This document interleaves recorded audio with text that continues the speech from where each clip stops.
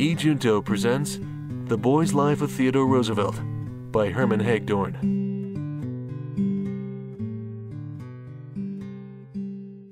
Prologue This is a book for boys and girls, for tomboys and for men. Sentimentalists and slackers and folk who serve two masters will find nothing in it to appeal to them. But lovers of heroic tales will find the story, if not the telling of it, music and honey to their hearts, so long as there is the need of intrepid fighters for right and justice in the world, and that will be a long time.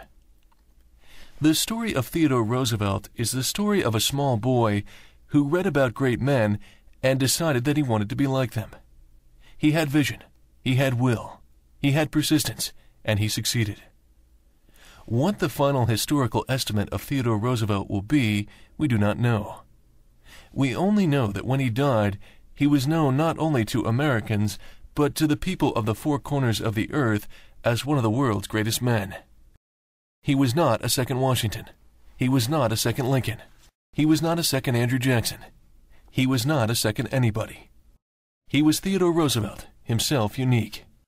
There has never been anybody like him in the past, and though the world wait a long while, there will never be anyone like him in the future for he had something of the prophet Ezekiel in him, and something of Natty Bumppo, something of Hildebrand the valiant warrior, something of Olaf the sea king, something of Cromwell, something of Charlemagne. He belongs to the heroic line, and we need not ask what those grand fellows would have thought of him. For eight years before he died, Theodore Roosevelt was beaten in every political campaign he entered. During those eight years, he made mistakes that would have killed and buried twelve ordinary public men. He was placed on the shelf as a mummy a half dozen times.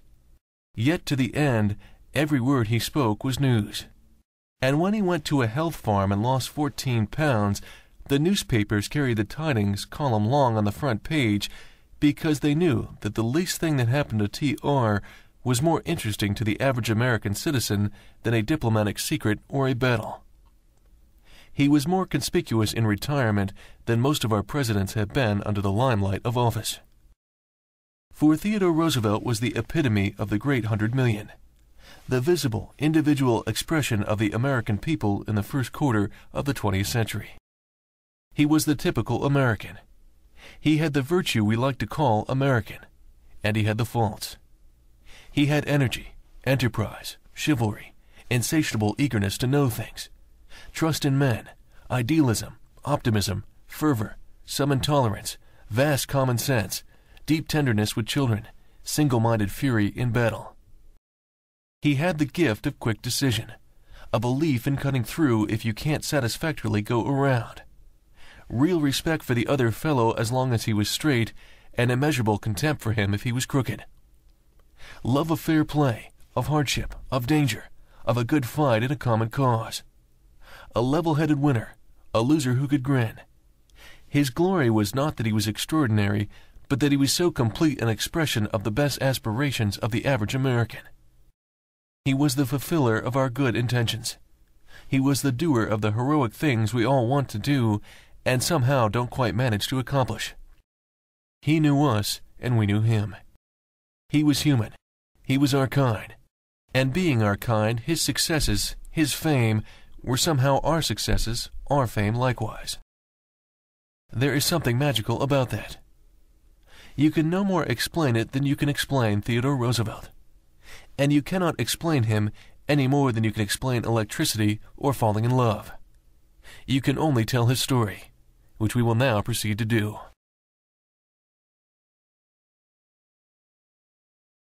Chapter 1 A Boy Arrives and Discovers the World.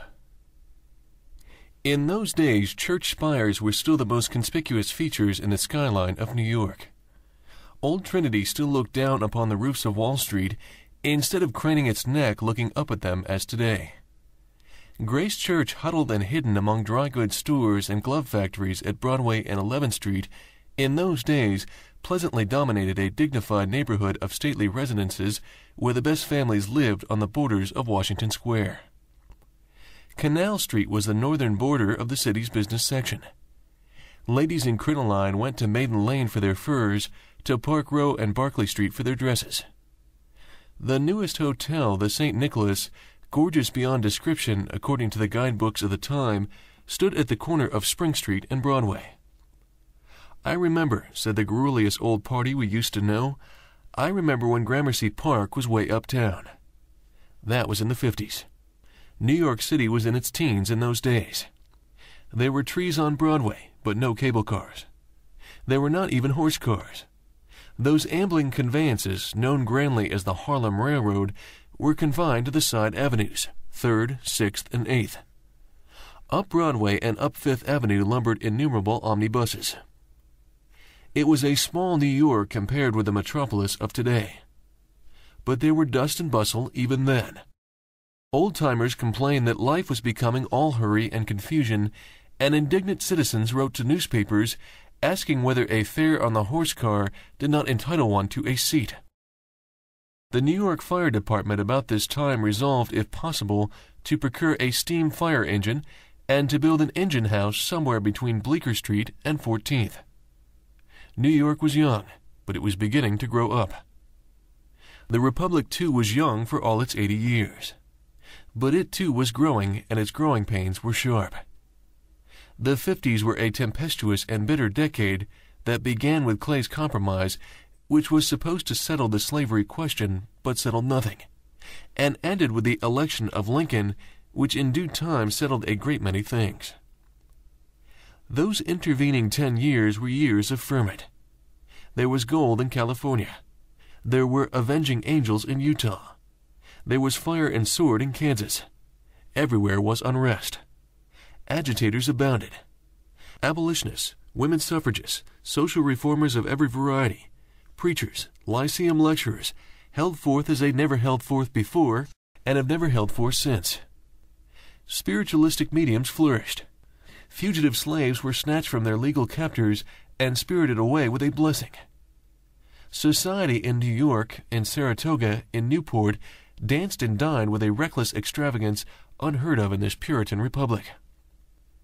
The 50s began with a hope expressed by North as well as South, by Democrats as well as Whigs, that the slavery issue was settled to be agitated no more. But by 1854, the new territories, Kansas and Nebraska, had rekindled the sleeping fires. On the plains of Kansas and in the halls of Congress, the struggle drifted nearer and nearer civil war. In the congressional elections of 1858, came the first real test of strength of the Republicans' new anti slavery party. That summer, here and there through Illinois, Lincoln debated with Douglas, clarified the issues, and by skillful questioning, made Douglas commit himself to doctrines that turned the South against him without gaining him the support of the North. The campaign drew to a close. On October 15th, Lincoln and Douglas at Alton held their last debate. On the 25th at Rochester, Seward made his famous irrepressible conflict speech. On October 26th in New York City, Tammany Hall, as always on the wrong side, enthusiastically endorsed President Buchanan with booming of guns, music, a bonfire, and a half empty house. On the 28th, General Jefferson Davis left Washington after an extended stay in the North, charmed with his Northern tour, we read, and with many of his ideas of Northern people changed. On the same day or thereabouts, Grant, a failure and sick with fever and ague on his farm near St. Louis, sold out his stock, his crops, and his farming utensils and gave up farming. On November 3rd was Election Day. Meanwhile, in the midst of the shouting and the excitement of the last days of the campaign, on October 27, 1858, at 28 East 20th Street, New York, Theodore Roosevelt was born. The baby in 20th Street was two days old when a fusion meeting of men of many parties opposed to the drifting policy of the Democratic administration was held a dozen blocks south of where he lay, staring with curious eyes at the ceiling and four walls of the world he had just entered. That meeting would have rejoiced his soul. Hear the words of the presiding officer Suffrage is universal. The duty to exercise it is universal. The consequences of neglecting it by men of right principles are bad government, dishonest and incompetent public men, general corruption of the public morals, and national disgrace. In our elections, neutrality and inactivity are a treason against popular government. They are ringing words, and it seems almost as though some spirit must have borne them from Astor Place to 20th Street and whispered them in the ears of the Roosevelt's new baby. For they constitute, curiously enough, the very message which that baby, 23 years later and thereafter, in season and out of season, was to din into the ears of the American people. Whether a spirit actually did do anything as interesting and important as that, we do not know. In any event, the baby showed no signs of it. He looked around in what was to him the world, and very much as other babies, began to take certain persons and certain landmarks into his consciousness. It is safe to say that for some time his mother engaged most of his attention. She was a beautiful woman, a Southerner whom Theodore Roosevelt the elder had married in Georgia four or five years before when she was Martha Bulloch. Her people had originally come from Scotland, though there was a strain of Huguenot and English blood in her veins, and had settled in Sunbury, Georgia, about the middle of the 17th century. Theodore Roosevelt had met her at the wedding of a friend who had married her half sister at Roswell, the Bulloch plantation and summer home in the uplands near Atlanta. He was himself as completely of the North as his wife was of the South, a member of an old Dutch family whose men had been bankers, aldermen, merchants, and solid citizens in New York City since the days when it was New Amsterdam and had 500 inhabitants. His ancestor, Klaus Martin Zune von Roosevelt, arriving in 1644, had stepped in the middle of the colony's first political upheaval. The burghers, it seemed, objected to the autocratic rule of Kieft the Governor General and wanted representation. It is noteworthy that they got it. In the veins of Roosevelt the Elder flowed the blood of fighting freemen. Not only Dutch, for there was a Puritan of Cromwell's generation among his ancestors, to say nothing of certain Welsh and English Quakers, peace loving but no pacifists, a number of Scots Irish, an Irishman or two, and certain Germans who fled to America in the latter half of the 17th century and founded Germantown. Men and women, all of them, who love liberty and refuse to be oppressed. Theodore Roosevelt the elder had inherited a respected name, a certain tradition of public service, and a moderate fortune. When his son Theodore was born, he was already an established glass merchant in New York City with an office on Maiden Lane and a spacious house to live in a man who, in spite of his fortune and the extravagance and frivolity of the society into which he was born, was at the age of twenty-eight already making a place for himself in New York. He was a vigorous and courageous man, yet extraordinarily tender, gentle, unselfish, with a gift for making friends and keeping them. His range of friends was unusual, for among them were bankers and newsboys, ambassadors and down and outers, society folk who rode to hounds, and little Italians who went to Miss Sattery's night school. At twenty-eight, he already had, besides his business, endless interests ranging from horses to philanthropy. He entertained generously, though simply, for he himself loved good company, and his wife was an exquisite hostess and a witty and delightful companion. He was a man who fulfilled his duties with the same zest with which he entertained his friends or drove a four in hand. He took life with great seriousness, but he took it laughing, which means that to him all activity, however difficult, was a source of enjoyment. To him there was no such thing as a chore. Fort Sumter was fired on when Theodore Jr. was a little more than a baby. The war between North and South had been threatening for forty years, and yet when it came, it came as a staggering surprise. In the house on 20th Street, the nation's tragedy was symbolized, for Theodore Roosevelt was as profoundly and wholeheartedly for the North as Martha Roosevelt was for the South. Every fiber in him resented slavery and disunion. All her traditions and all her training, on the other hand, held her firmly to the belief that slavery was a sacred institution and succession a sacred right. Her brother Jimmy and her brother Irvine, moreover, had joined the Confederate Navy. Irvine was only sixteen when he went, and her mother, left alone at Roswell, had to come north with her other daughter to live with her northern son in law. To Martha Roosevelt, they brought the very heart and soul of the South with them to the house on 20th Street. It is a testimony to the strength and fineness of their spirits and the depth of the affection they held for each other that Theodore Roosevelt and Martha Bulloch should each have kept their own convictions without wavering, and yet should have been able to live harmoniously together and make a home for their children, which, from all accounts, was singularly happy.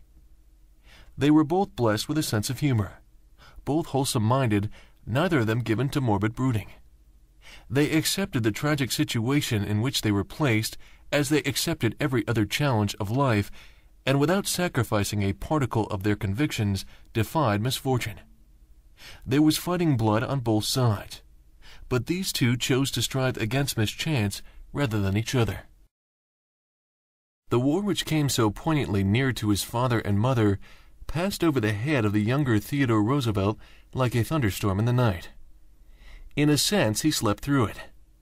He was two and a half when it broke out, too young to be conscious of the tenseness and distress in the house in 20th Street or the excitement on the streets. He probably saw the soldiers go down Fifth Avenue, but they left no impression on his mind.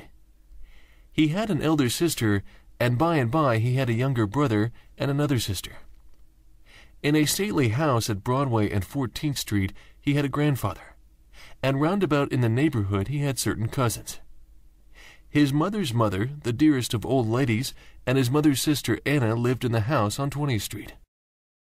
With his father and mother, a sister, and certain fascinating uncles, these made up his world, and for the time being the things they did were of vastly greater consequence to him than what a man named Lincoln was doing in Washington or a man named McClellan was failing to do on the Potomac. The younger Theodore Roosevelt was joyously unconscious of the bitter business that was engaging his country, but his father was not. His father was in the midst of the war activities from the very beginning. He would have made a good soldier, possibly a great soldier, and the active physical life unquestionably appealed to one who, in a generation that was not given much to violent exercise, was devoted to outdoor sports and who, while advising caution in others, was rather fond of taking risks himself. He did not become a soldier for family reasons, which seemed to his acute sense of duty unanswerable. But he worked tirelessly at home to help build that bulwark of public support which is as essential to victory as soldiers and munitions and food. He helped raise and equip several regiments, among them the 1st Regiment of Negroes. He helped to organize the Sanitary Commission and later the Union League, an organization formed in the face of Confederate military success and political disaffection in the North to stimulate and focus patriotic sentiment. He helped to organize and to carry on the Loyal Publication Society, which from time to time issued pamphlets aiming to make clear the issues of the war. Theodore Roosevelt the Younger, just turned three, saw little of his father that first winter of the war. For his father having done what he could to send the soldiers to the front, had by that time turned his attention to the care of the families they had left behind them. In many cases, these families were starving, and the money they should have received from the husband and father was going into the pockets of the settlers and hangers on of the army camps. Theodore Roosevelt went to Washington with a bill to establish allotment commissions to transfer to each soldier's family the money he could spare to send them. Congress passed the bill after a three months fight. Theodore Roosevelt was appointed head of the commission from New York, and through the early months of 1862 went from camp to camp visiting each of the 80 regiments New York had in the field. There were no limousines in those days. In storm and mud and cold, the commissioners lived in the saddle all day and at times half the night through the bitter winter. They were jeered at in camp and opposed at home, but they succeeded. The soldiers agreed to cooperate, and in New York alone, millions were saved for women and children who otherwise would have starved. The war went on. New Orleans and Antietam were won. Fredericksburg and Chancellorsville were lost. Victory came again at Gettysburg.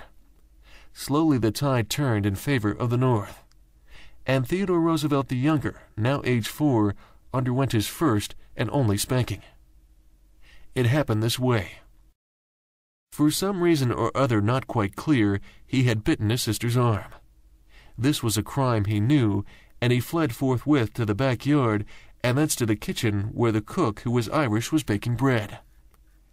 He seized a handful of dough, preparedness, and crawled under the kitchen table.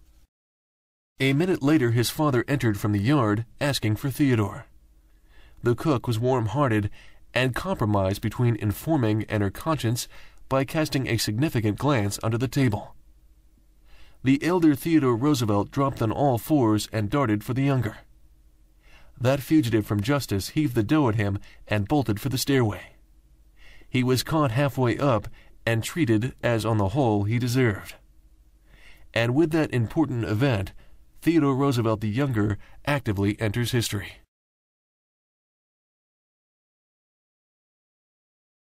Chapter 2 He Grows while Grant was hammering towards Richmond in the autumn of 1864, Theodore Roosevelt celebrated his sixth birthday.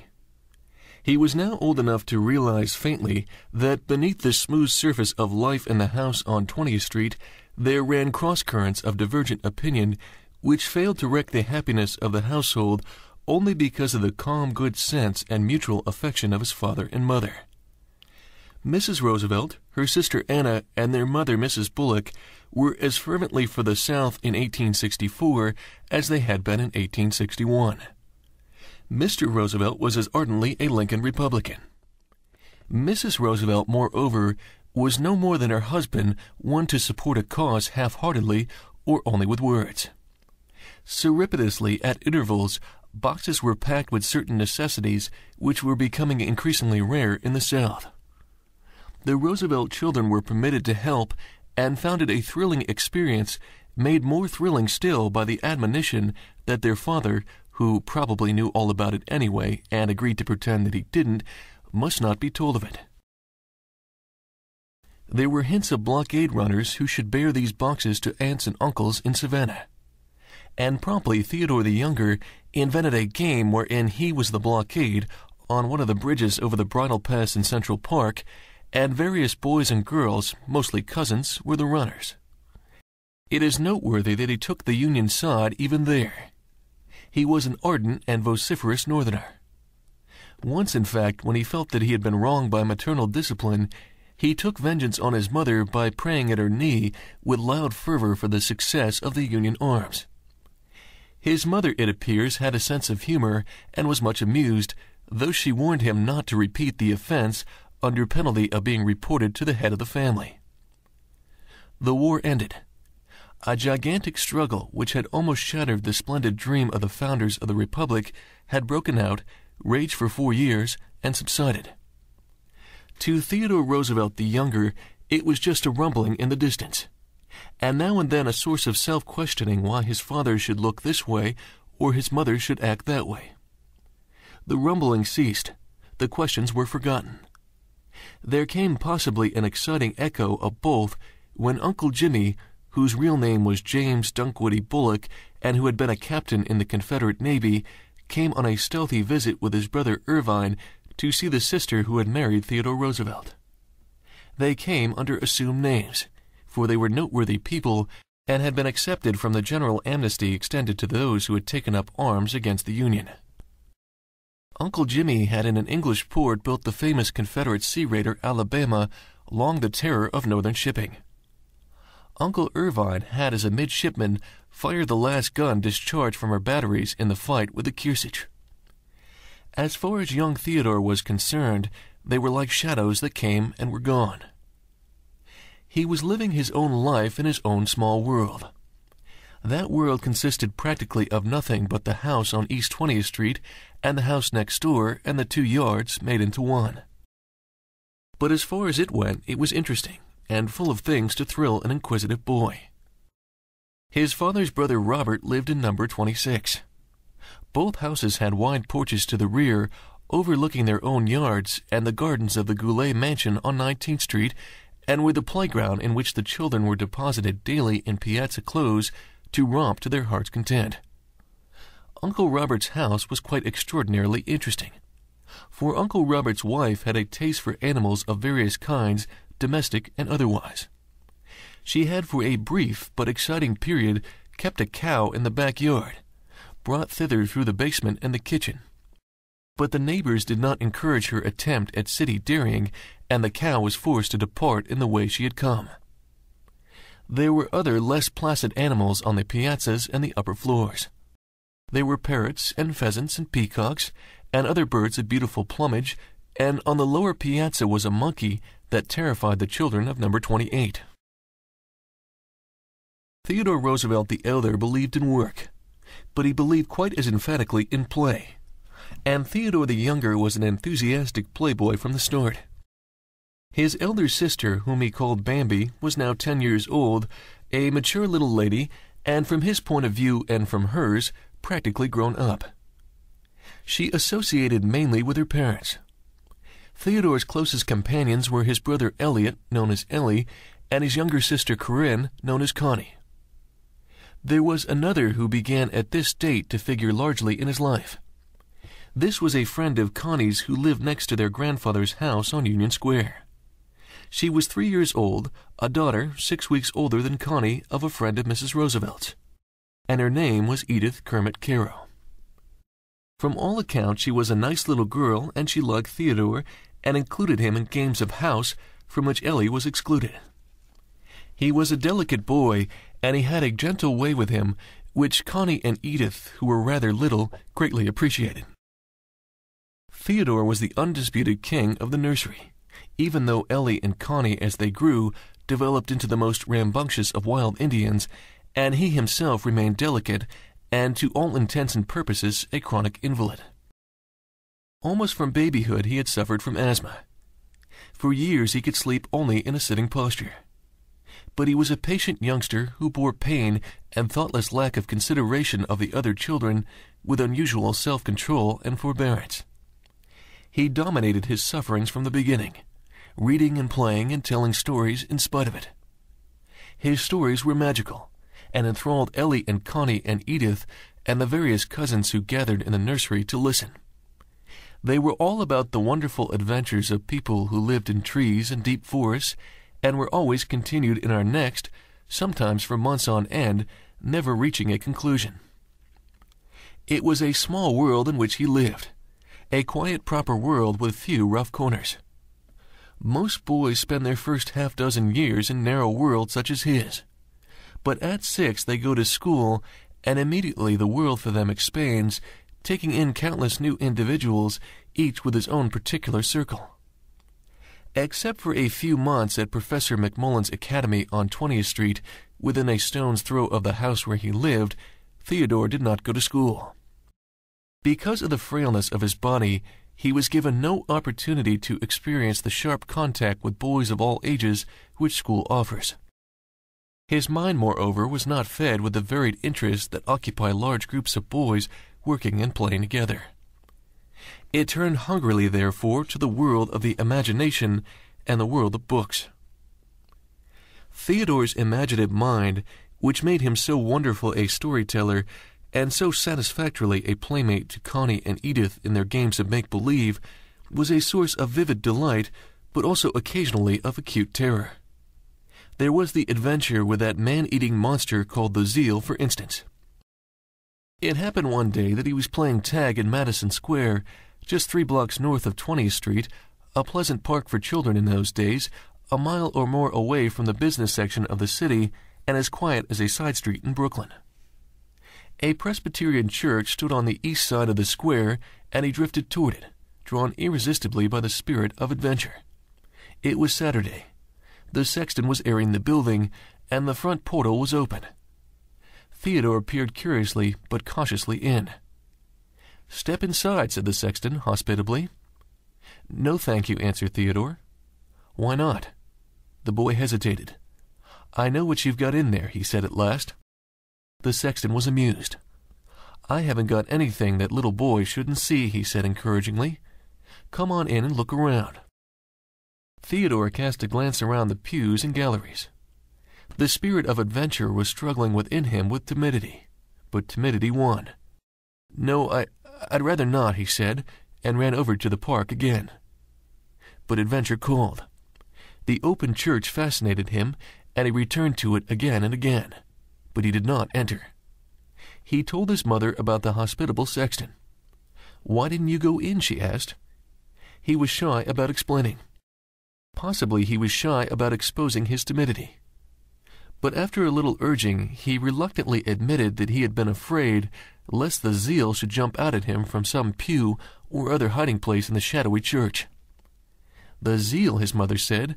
What on earth do you mean by the zeal? Why, explained Theodore, I suppose it is some big animal like a dragon or an alligator. I went there to church last Sunday with Uncle Robert, and I heard the minister read from the Bible about the zeal, and it made me afraid. Mrs. Roosevelt turned to the concordance, and one after another read the text that contained the word zeal. Suddenly, Theodore's eyes grew big as he exclaimed excitedly, That's it, the last you read. It was from the Psalms. For the zeal of thy house hath eaten me up. Theodore those days was not taking any chances. Life on the whole was not an undiluted joy for the youngster in 20th Street. Time and again his asthma kept him awake half the nights, coughing and trying to breathe. In those sessions of pain his father was his most devoted companion, and night after night would walk up and down the room with the boy in his arms, or in summer take him driving for miles through the countryside in the dead of night. It was possibly in those nocturnal vigils that the boy's affection for his father deepened into a devotion which the passage of time only strengthened.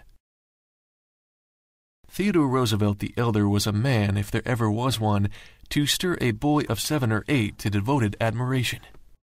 He was now thirty-five, tall, stalwart, bearded, with the gentleness of a woman and the courage, energy, and simple-heartedness of a backwoodsman. A man of universal feeling who touched every side of life. Aunt Anna Bulloch used to say that when he walked with his children, he reminded her of Greatheart in Bunyan. He was with all his bigness very human. He passionately loved a good time, and he could dance till he was dead. A boy could cuddle up to him, moreover, and pick his pockets when he came home from business in the evening, confident that he would find something put there to be discovered, though it were such a strange matter as a sick kitten found whimpering somewhere on the way home. Theodore the Younger was a born hero worshipper. Delicate boys often are, especially if they have imagination. It was therefore of the greatest moment to the growth of his character that he should have lived those early years so intimately close to a man of such unquestionably heroic stature. His father was his first and remained his greatest hero. But he began to read early, and from his reading to enlist a company of valiant characters who became the inspiration of his daydreams and the leaders in his imaginary adventures. Dr. Livingstone's travel and researches were probably the first grown up books that he read, and he must have been very small when he read it, for it is recorded that he was in kilts and could hardly drag the heavy volume from place to place. The adventures of this intrepid English explorer, naturalist, and apostle of Christ woke his imagination. Vague and unformed aspirations to be an explorer and naturalist himself, and to carry the light into dark, barbaric places, stirred in him. He turned to Mayne Reid for further instruction in natural history and for adventures even more thrilling than Livingstone's. His father, seeing the trend of his interest, placed before him sound and scientific books. Meanwhile, simultaneously with Connie and Edith, he discovered Our Young Folks best of children's magazines, and devoured Castaway in the Cold, Grandfather's Struggle for a Homestead, and other thrilling boy and girl stories which taught no lessons in natural history, but unobtrusively emphasized certain ideals of manly conduct to which his father, in his friendly way, was constantly calling his attention. Cooper, too, became a source of more than excited interest. With Natty Bumppo began his acquaintance with the American pioneer the hard and narrow but intrepid, indomitable, self reliant fighting frontiersman, the man who clears the forest, and having cleared it, pushes westward into deeper forest, saying little and imagining that he is only carving out his own daily existence, even while he is carving out a nation. Boone and Dave Crockett joined King Olaf and Morgan's riflemen in that heroic company which inhabited his imaginings. Theodore the Younger was during those early years primarily an indoor boy.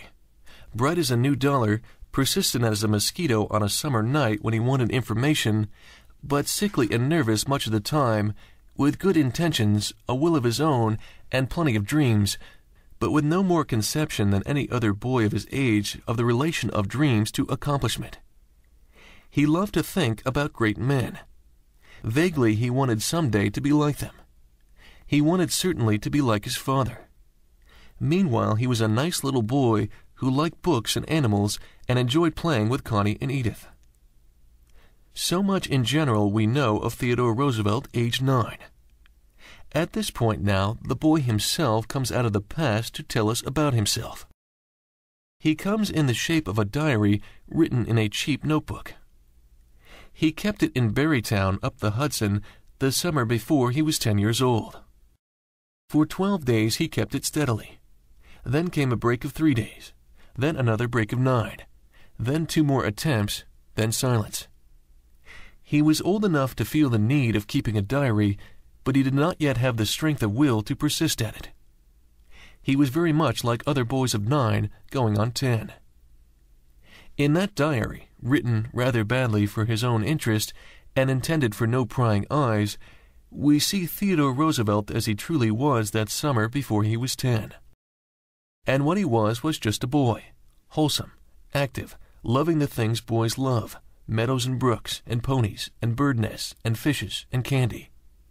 He had a sorrel Shetland pony named General Grant, after whom Connie vaguely suspected the president had been named, a lovable quadruped with the queer habit of always throwing off his rider once as a preliminary to a pleasant morning ride. With him he rode the highways and byways.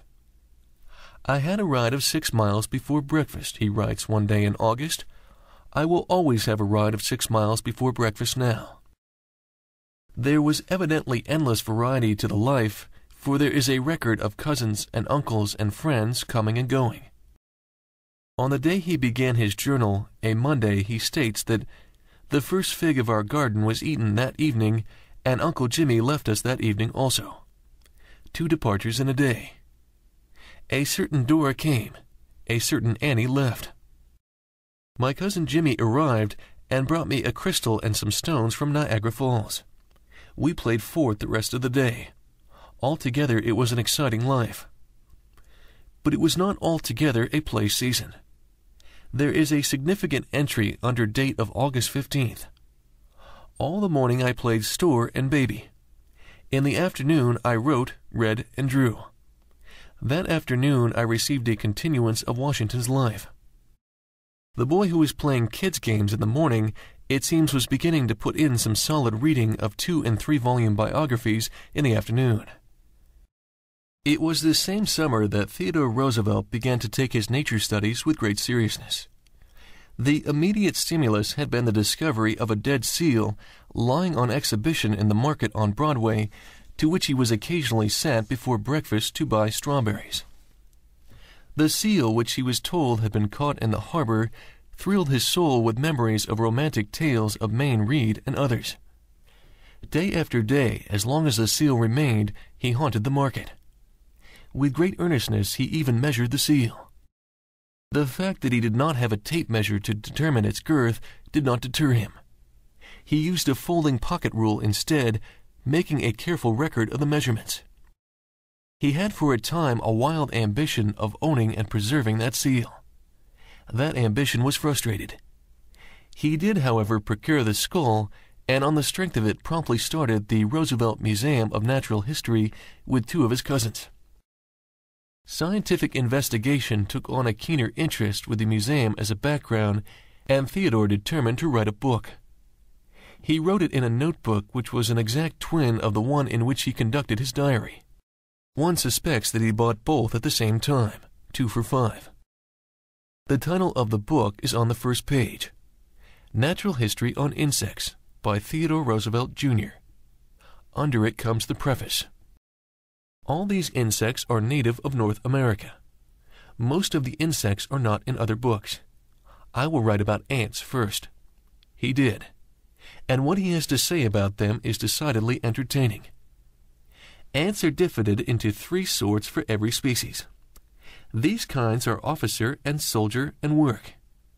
There are about one officer to ten soldiers and one soldier to two workers. He tells about the common black ant and the brown path ant and the various other kinds of ants. He tells about spiders and ladybugs and fireflies and horned beetles and dragonflies and mosquito hawks. All the insects that I write about in this book, he adds, inhabit North America. Now and then a friend has told me something about them, but mostly I have gained their habits from observation. The reader is left in suspense concerning the particular vicious habits he may have gained from them by observation. The author of Natural History on Insects adds to his volume a note or two on fishes. There is something finely simple about his description of a crayfish. I need not describe the form of the crayfish to you, he writes. Look at a lobster and you have its form. The minnow is dismissed with one or two generalities. The minnow is found in brooks in the same parts as the crayfish and eel.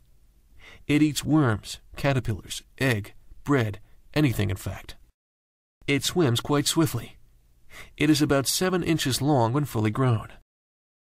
There are several illustrations by the author in the book, and at the close this personal note.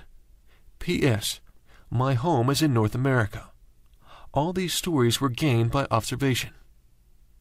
Age 9 years, born 28th of October. The spelling in this book is picturesque but the observation on the whole is keen. Theodore the Younger was beginning feebly, uncertainly, to express in actions the faint stirrings of ambition which Livingstone's book had first awakened.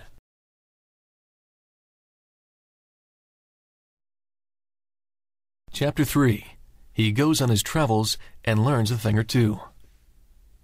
Mrs. Roosevelt's mother, Mrs. Bulloch, most recklessly indulgent of grandmothers, died soon after the close of the war. Anna Bulloch married. The relief activities growing out of the war no longer demanded the elder Theodore Roosevelt's constant attention. His own business on Maiden Lane more or less ran itself. Theodore Roosevelt, therefore, determined to take his family abroad for a year of travel through Europe.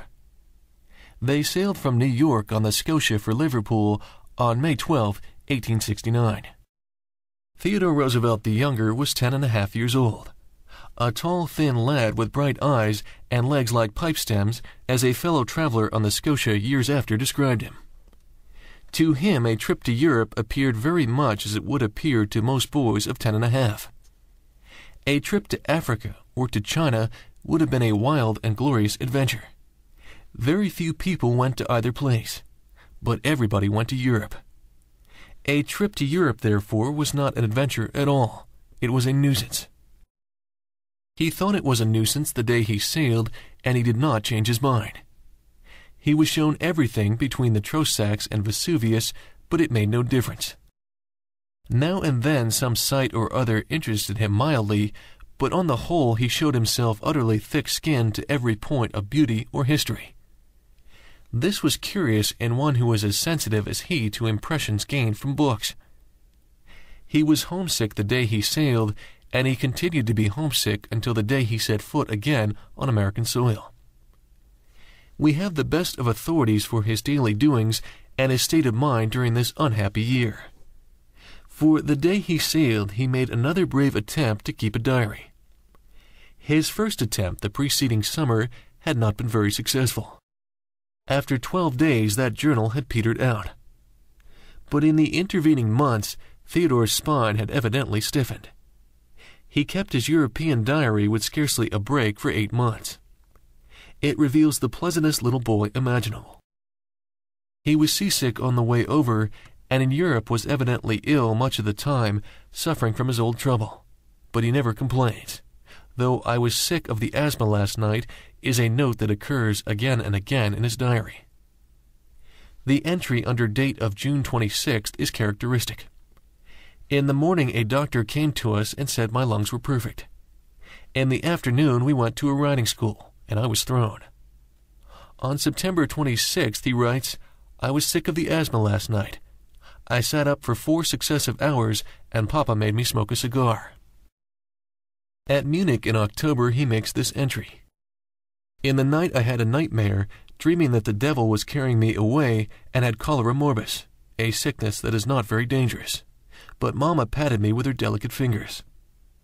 Whether it was Theodore or the devil who had cholera morbus remains unsettled.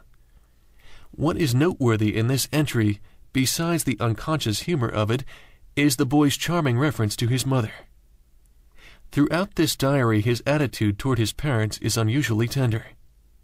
He frankly resents their dragging him all over Europe when he would much prefer to be home, but he takes pains to point out to himself that, according to their lights, they are trying to be good to him.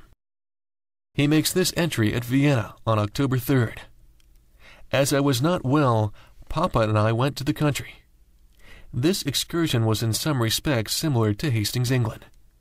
There were only two of us. I put myself to bed with nobody in the room. We had a nice walk alone, had Sunday school out, etc., but I did not enjoy myself so much. We got there just before dinner. After it, we walked in company with Papa's friends, or as I thought them, enemy, I having a miserable time, but it was not Papa's fault. Then Papa and I went a long roam through the woods and had Sunday school in them. I drew a church, and I am now going to bed. A month or two later at Dijon, he writes in much the same mood. I was expecting a sociable evening, and Mamma tried to make it so.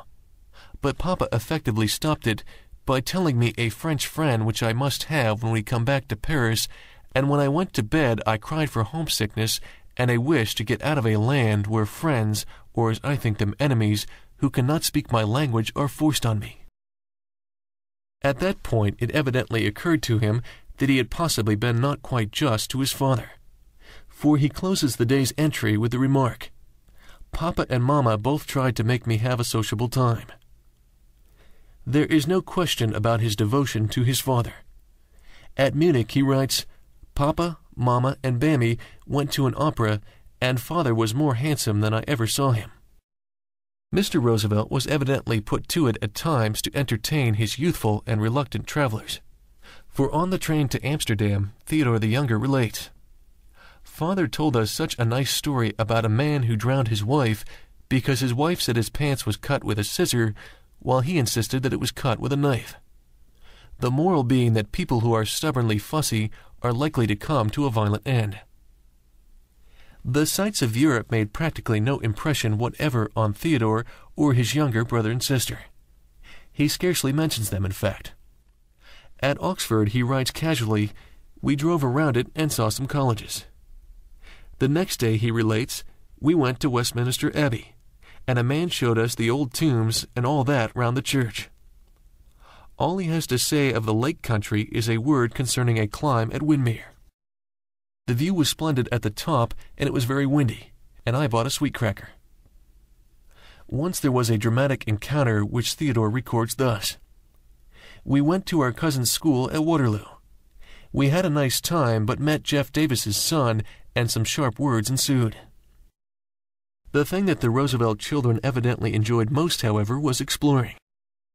At York, Theodore Wright. Connie and I went alone to the museum where we saw birds and skeletons, and Bamie and I went in for a spree and got two shillings worth of rock candy. At Ouchy, I took a walk around town investigating matters and petted a beautiful black cat who, as soon as I went away, ran after me until I petted her. At Chamonix, I found several specimens to keep, and we went on the great glacier called Mother of Ice. Theodore's French was a bit weak. We explored the hotel, Connie, Ellie, and I, he continues, and met with several cross chambermaids. We saw a palace of the Doges, he writes in Venice. It looks like a palace you could be comfortable and snug in, which is not unusual. We went to another church in which Connie jumped over tombstones, spanked me, banged Ellie's head, etc. This sounds exciting, and one wonders with trepidation what unmentioned forms of violence, etc., stands for. But glorious roughhouses of that sort were evidently few in church or out. We are fortunate in having the vigorous Connie's own enlightening comments on the glories of Europe. She too was writing a diary, though she was only eight, and here is the record of a day in Paris. I am so glad Mamma has let me stay in the beautiful hotel parlor while the poor boys have been dragged off to the awful picture gallery. It was in November that the Roosevelts went to Paris. But Theodore the Younger did not find the gay city any more attractive than Connie found it, for the asthma overcame him again and he had to stay in bed. I stayed in the house all day, he records on November 26th, varying the day with brushing my hair, washing my hands, and thinking, in fact, having a very dull time. November 27th, I did the same thing as yesterday. That does not sound exciting at all. All that year he corresponded off and on with Connie's friend Edith Carow, aged eight. We boys and Connie have some boy and girl friends here, he writes from Rome, and have quite a nice time, but we want to get home. We play soldier on the Pincian Hill, and Connie was bugler, but it is not now. We have six soldiers. I won't be captain because the soldiers sometimes rebel, and somehow the rebels always beat. We rebel when the captain is too stern. You are my most faithful correspondent. Ever yours, T. Roosevelt. In another letter, he remains, ever your loving friend. In fact, during the time he was ill in Paris, sick and in dull spirits, as he wrote her, he conceived a decidedly sentimental feeling for the little lady whose name he insisted for some reason on spelling E I D I E T H. This is the diary's evidence under date of November 22nd. In the evening, Mamma showed me the portrait of Edith Carow, and her face stirred up in me homesickness and longings for the past, which will come again, never a back never.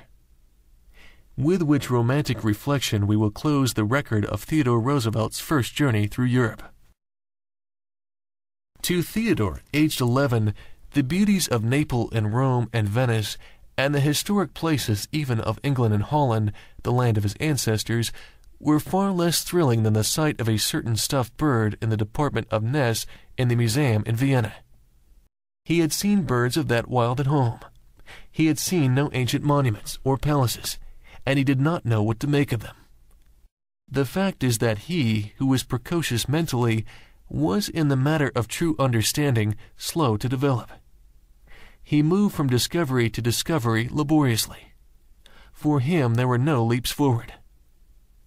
Theodore, Ellie, and Connie returned to America in May 1870 as blatantly confident that America was God's country and that Europe was a degenerate old witch which would shortly be kicked into outer darkness by the new as any three spread eagle patriots who ever crossed the sea. Theodore the Younger returned joyously to his books and his bugs and the society of certain cousins whom he could safely regard as friends since they spoke his language. He went to school very little or not at all, for his health was no better than it had been.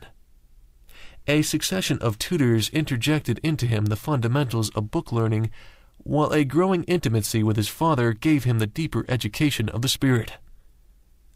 Father and son saw much of each other those years, especially in the summers which the Roosevelts spent within reach of New York, now at Madison, New Jersey, now at Dobbs Ferry on the Hudson, now at Barrytown, now somewhere else, each summer in a different place, in the hope that somewhere they would find a spot where Theodore the Younger might be freed for a time from the agonies of his asthma. Mr. Roosevelt was immensely fond of driving a four in hand or a spike team, that is, a pair with a third horse in the lead, and driving or riding he liked to have his children at his side. Apart from his reoccurring periods of illness, never more than ten days apart, the summers were a delight to Theodore. He had every variety of pet cats, dog, rabbits, even a coon, beside the pony General Grant, which his first diary mentions. As he wrote many years later, the seasons went by in a round of uninterrupted and enthralling pleasures, for there were the haying and harvestings to supervise, there were apples to pick. There were frogs and woodchucks to hunt. There were nuts to gather. They played Indians, building wigwams in the woods and staining themselves and their clothes with poke-cherry juice, not always to the delight of parents even as patient and understanding as theirs. Meanwhile, he was continuing his studies in natural history, devoting himself not to mosquito hawks and beetles, but to mammals and birds. It was in the summer after he became 13 that his first gun was given to him a breech loading, pinfire, double barrel of French manufacturer which had a reputation of being nearly as foolproof as a gun can be. The Roosevelts were living at Dobbs Ferry, and it was there that summer that Theodore discovered, quite by accident, that he was at a hopeless disadvantage as a hunter. For birds which his friend shot right and left, he could not even see. Spectacles literally opened an entirely new world to him. Countless beauties which he had never imagined existed stood suddenly revealed. His work as a naturalist now developed from a mere boy's pastime into an actual and more or less scientific study. In a musty little shop, he discovered a former companion of Audubon's, a tall, clean shaven, white haired old gentleman named Bell, who subsequently gave him lessons in taxidermy and spurred and directed his interest in collecting specimens for mounting and preservation. He had another friend at that time, Hilborne West, a connection by marriage of his mother's, an intimate of many of the most noted scientists of his generation, who was neither an original thinker himself nor even a learned man, but who had the rare ability of explaining in words of one syllable the intricate theories and discoveries of his profounder brethren. It was through the clear interpretation of Hilborne West that Theodore the Younger made his first acquaintance with the ideas of Darwin and Huxley, which were then shaking the foundation of science and religion. Theodore Roosevelt was now in his teens, physically still pig chested and asthmatic and undersized, but mentally reaching out into the great dominion of knowledge, a boy from his heels up, but a studious boy who took books with enormous seriousness and was reading more in a year than most boys read in ten. He read sitting down and he read standing up. At times he even read standing on only one leg, like a pelican in the wilderness supporting the other against the thigh of the first and using it as a bookrest. His tastes were liberal, and the books he devoured ranged from tales of the wildest adventure to Little Women, an old fashioned girl, and a summer in Leslie Goldthwaite's life. He loved Midshipman Easy and heartily disliked the Swiss Family Robinson because he realized that it was scientifically false. The old epics thrilled him. The heroes of the ballads were still his heroes. More ardently than ever, he wanted to be like them. And then something happened. For one day he picked up the dramatic romances of Browning and read The Flight of the Duchess. He had not read far before he came on a description of a young duke, a poor sprig of a grand line, the prettiest little ape that ever affronted human shape. And this was the duke's ambition. All that the old dukes had been without knowing it, this duke would fain know he was without being it. In other words, the Duke admired his ancestors and wanted to appear to be like them without making any effort to actually be like them. Those lines pulled Theodore Roosevelt up sharp like a lasso. He felt that the resemblance between that young Duke and himself was close enough to be disquieting. He felt discovered. He felt ashamed.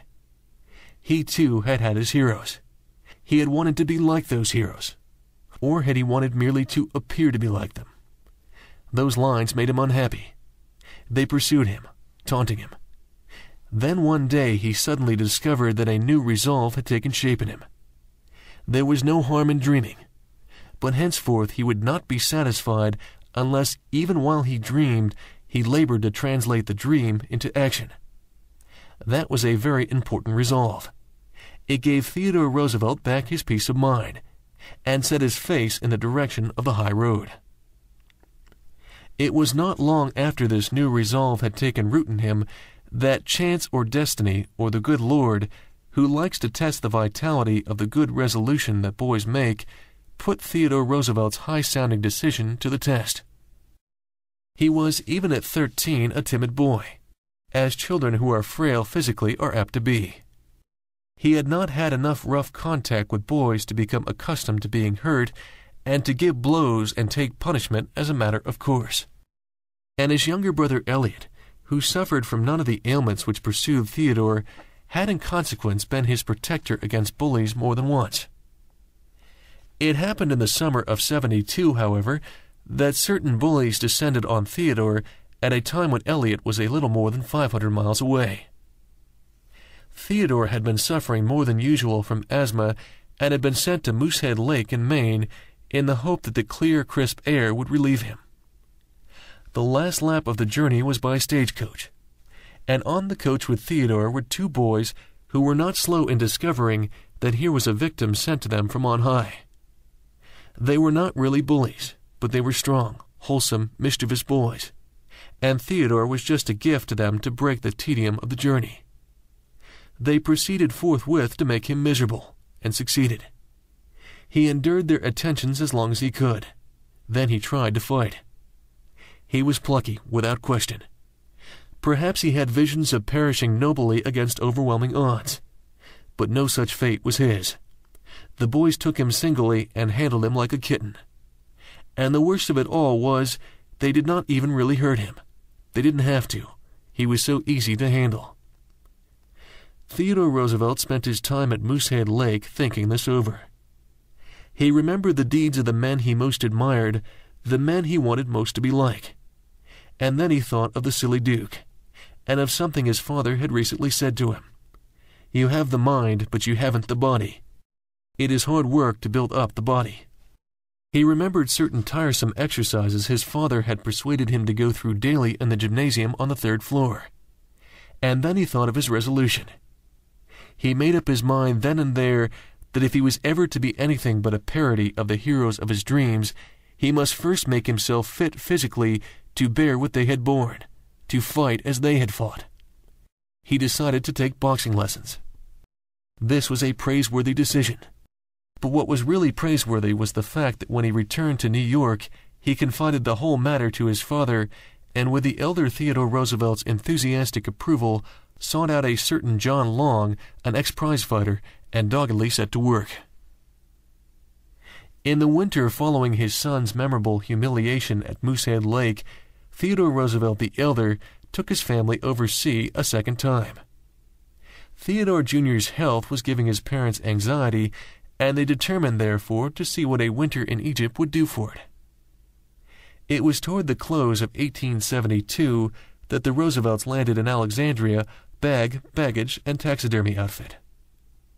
At Cairo, they engaged a dahabeah and began a leisurely sail up the Nile, which lasted two months or more, and proved to Theodore the Younger a continuous delight, broken only by certain tiresome French lessons by Bamie, which Mr. Roosevelt insisted on in order that the younger children should during this play winter not utterly forget that there was such a thing as work in the world. Theodore, Ellie, and Connie, on foot and on donkey back, scrambled happily among the ruins that winter, seeking out the most dangerous places as a matter of course. But Theodore did something besides. The Roosevelt Museum of Natural History had before his departure printed a set of special Roosevelt Museum labels in pink ink and given Theodore the Younger a roving commission to bring home all the specimens he could. He was not one to treat lightly a commission of that sort. Morning, noon, and night he was out, terrifying not only the natives, but the members of his own family, when he cavorted hither or yon on donkey back with his gun at a reckless angle. His bird collecting gave the Nile journey its chief zest. He had picked up in Cairo an excellent book on the birds of Egypt and deliberately set to work to gather something better than merely a boy's amateur collection. Theodore Roosevelt was very much the young professor that winter. He took himself with enormous seriousness and played the part of the abstracted and single-minded naturalist, dedicated to science and aloof from the general world of human pleasures as persistently as his natural boyish vitality and love of a wholesome good time would permit. Like Kipling's famous cat, he walked by his way alone. There was something of Don Quixote about him during that period, especially when he was on donkey back charging toward a specimen, seeing the specimen and nothing else on heaven or on earth. The fact that he suddenly began to grow that winter and was bulging out of his clothes in all directions long before the dahabeah could return to Cairo, where tailors were, distinctly added to his bizarre appearance. He saved himself from being a joke mainly because with all his queerness he was such good company and so absolutely square and had such a reliable sense of humor besides. The Roosevelt family went from Egypt to the Holy Land, and thence to Constantinople in Greece, and finally Vienna, where the elder Theodore Roosevelt had official duties as American commissioner sent by President Grant to the International Exposition. Everywhere Theodore the Younger collected specimens. That was all very nice for Theodore and did not bother the family. But wherever he went, he also dissected specimens and followed the vocation of taxidermist. A taxidermist, as anyone who has had experience will admit, is bad enough in his place. His place being a dingy shop well removed from the paths of human travel. The trouble with Theodore was that his taxidermy laboratories were the hotel bedrooms which he shared with his brother Elliott. It happened in Vienna one day that Elliott, who happened to be the neatest and most particular of mortals, came to his father with a rather woebegone expression. Father, do you think it would be extravagant, he inquired, if I were now and then to have a room to myself in hotels? I suppose not, if you really wish it, said Mr. Roosevelt. But why? Elliott did not try to explain. Come and see our room, he said. Mr. Roosevelt did. There were bottles on the tables and the chairs. There were bottles on the mantel and the washstand. Clothes were everywhere they happened to fall, and in the basin were the entrails of animals recently deceased. What Mr. Roosevelt said and did about Elliott's rebellion has not come down to us. He was evidently unable to do much with Theodore at the moment, for it is recorded that Theodore remained grubby for some time to come. Theodore was intent on scientific investigation, and neither his father's admonitions nor his brother's appeals could swerve him from what he conceived to be the path of duty. There was something ruthless in his persistence. He had a tender heart, an affectionate nature. He loved his father with a devotion such as he never gave again to any other man. He was deeply attached to his exquisite southern mother. And yet when he saw before him a goal to be attained, he disregarded even them. There was about him an almost terrible single-mindedness. He saw the goal and nothing else. If it seemed to him necessary to the interests of science to keep defunct field mice in the family refrigerator, he kept them there. If it seemed to him important to house a snake or two in the guest room water pitcher, the possible emotions of a guest discovering them there did not even enter into his consideration. He felt it his duty to study field mice and snakes, and that was all there was about it. My boy, my boy, said his mother, you are a little berserker which means that in certain respects, Theodore Roosevelt the Younger was at 14, with all his natural tenderness and charm, something of a savage. In the spring of 73, Mr. Roosevelt returned to New York. Mrs. Roosevelt and Bamie went to Carlsbad, where Mrs. Roosevelt was to take the cure, and the other children were left with a German family in Dresden. Their cousins Maud and John Elliott were living in Dresden with their mother, and with them the Roosevelt children formed the Dresden Literary American Club. This club possessed a copybook in which once a week each member of the society entered his or her contribution. In this copybook, his cousin Maud Elliott, aged 11 or thereabouts, wrote a story called The Birthday, of which Theodore was the rather dubious hero. Her description of him sounds accurate. Well, my dear little friend, she writes, I must tell you something about Theodore. You know he was a naturalist on a small scale. He was a very amusing boy, but he had a great fault. He was very absent-minded, so much so that whenever his mother would tell him to go and do something for her, he would say, Oh yes, you pretty little thing, but instead of doing it directly, he would go and skin his birds, or something that he took into his head to skin, and then he always thought he could do things better than anyone else. Theodore, Ellie, and Connie spent three months or more in Dresden in the family of an alderman and member of the Reichstag, Dr. Minkwitz, whose daughter undertook to teach them German. To Theodore, the life in the little house of these typical Germans, who were a little stiff and formal, but endlessly patient and kind, had extraordinary charm. He had difficulties with the language, but he felt at home in no time and promptly took up his established round of existence which included hedgehogs and reptiles of all sorts, and taxidermy and pleasant walks through what was known as Saxon Switzerland. He found the sons of his hosts, who were corps students, curious and fascinating. One of them was a noted swordsman and was called der Rote Herzog, the Red Duke. Another had had the tip of his nose cut off in a duel and sewn on again, and was subsequently known as Herr Nasehorn, Sir Rhinoceros. He liked these heroes of the student world. There was an old painter named Wegener who gave him drawing lessons and held wise and friendly discourses on their rambles through the neighboring hills. But besides these, his German acquaintances were few, for he was constantly suffering from asthma and frequently found conversation difficult. He was therefore thrown all the more intimately into the companionship of books. It was this summer that he first read the Nibelungenlied. The gorgeous old epic made a profound impression upon him. Instantly, Rudiger and Hagen, Hildebrand and Dietrich von Bern became heroes of his imagination beside the heroes of Norse sagas and the epics of Greece. The intrepid courage of men who could face life and face death calmly and with clear eyes rating life not too highly in the balance with what they deemed justice, set quivering every aspiration in his heart. The fierce grandeur of the song kindled his blood, and his spirit unawares took over some of the primitive battle ardor of it and made it its own. The Roosevelts returned to America that autumn, and Theodore immediately set to work to prepare seriously for college.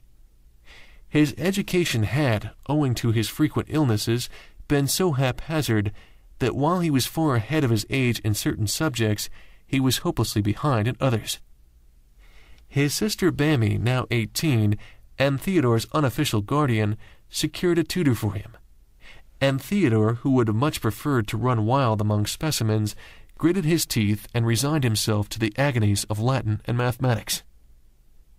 Theodore the younger was now fifteen, a slender boy with glasses, gifted, alert, energetic, dreaming deeply, but increasingly aware of the struggle it is to translate dreams into reality. He was an unusual boy, but he was in no sense a genius.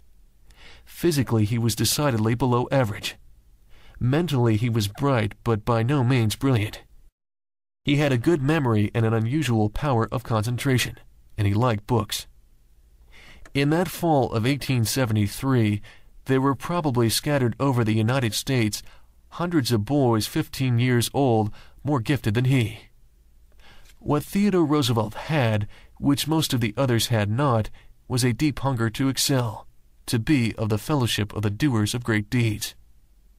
With it, vague at first but increasingly clear, came the recognition that men attain only through endless struggle against the sloth, the impurity, the fears, the doubts, the false content in their own hearts.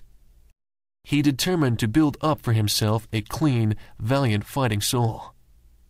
This was not an easy undertaking. He had lofty impulses and the best of intentions. He was naturally religious. He was singularly pure-minded, but he was still timid. A sea captain in one of the Marryat's novels helped him here. For this captain admits to a frightened midshipman that once he too was afraid but he had determined at least to appear unafraid, and though he was not brave, at least to act as though he were. And after a while he had actually become that which at first he had only feigned. Theodore Roosevelt took that sea captain's lesson to heart. While he was developing the muscles of his spirit, Theodore Roosevelt was with no less persistence developing the muscles of his body.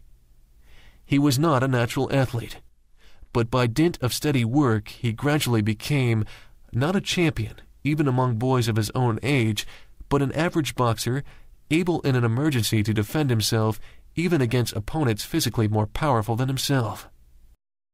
Once in a series of championship matches held by his teacher, the ex-prize fighter, he did win a pewter cup in the lightweight contest.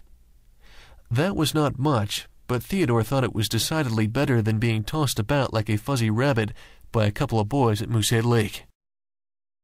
He boxed and wrestled in the winters, and in the gymnasium of the new house at 6 West 57th Street, into which the Roosevelts had moved after their return from Europe in the autumn of 73, chinned himself and struggled with the parallel bars patiently day after day. He saw clearly what few boys of his age ever see at all that if you intend to build high, you must first build deep. It was in the summer of 74 that Mr. Roosevelt leased a rambling old house at Oyster Bay, which was subsequently known as Tranquility.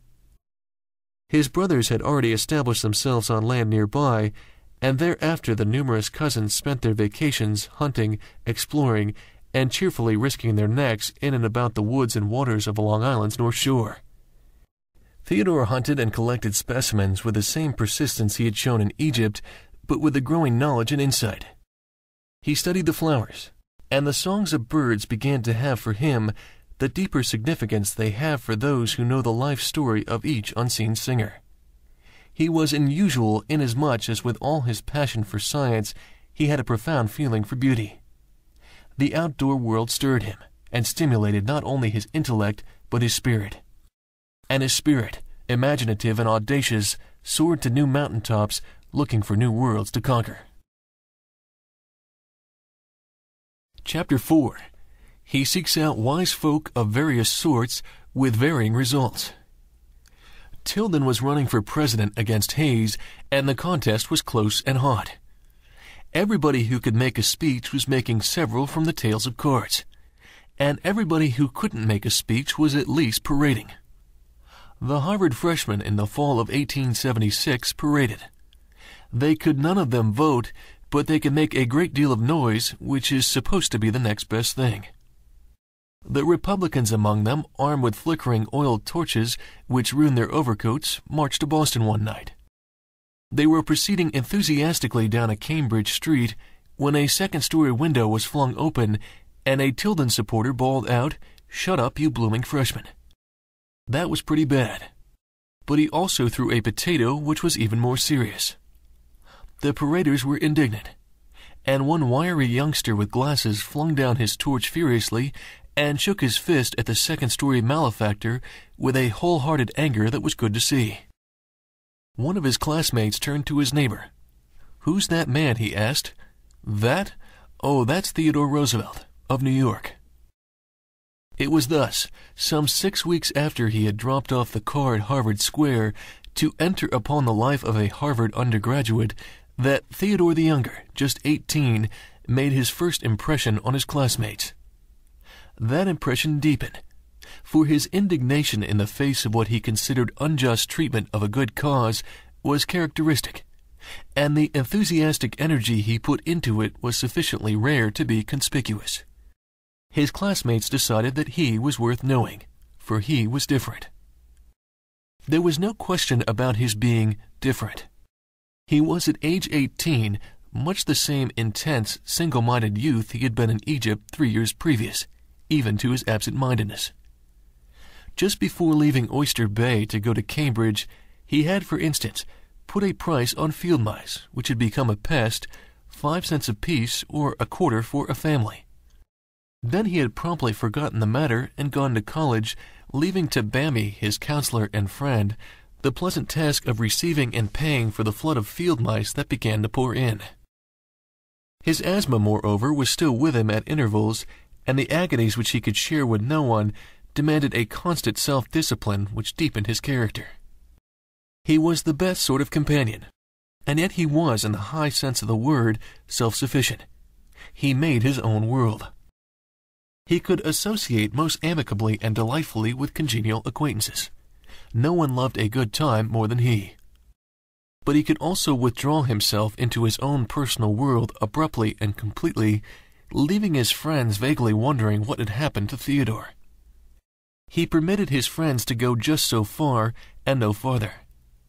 Nothing was said, but suddenly there was a door closed, barring the way that led to his innermost being.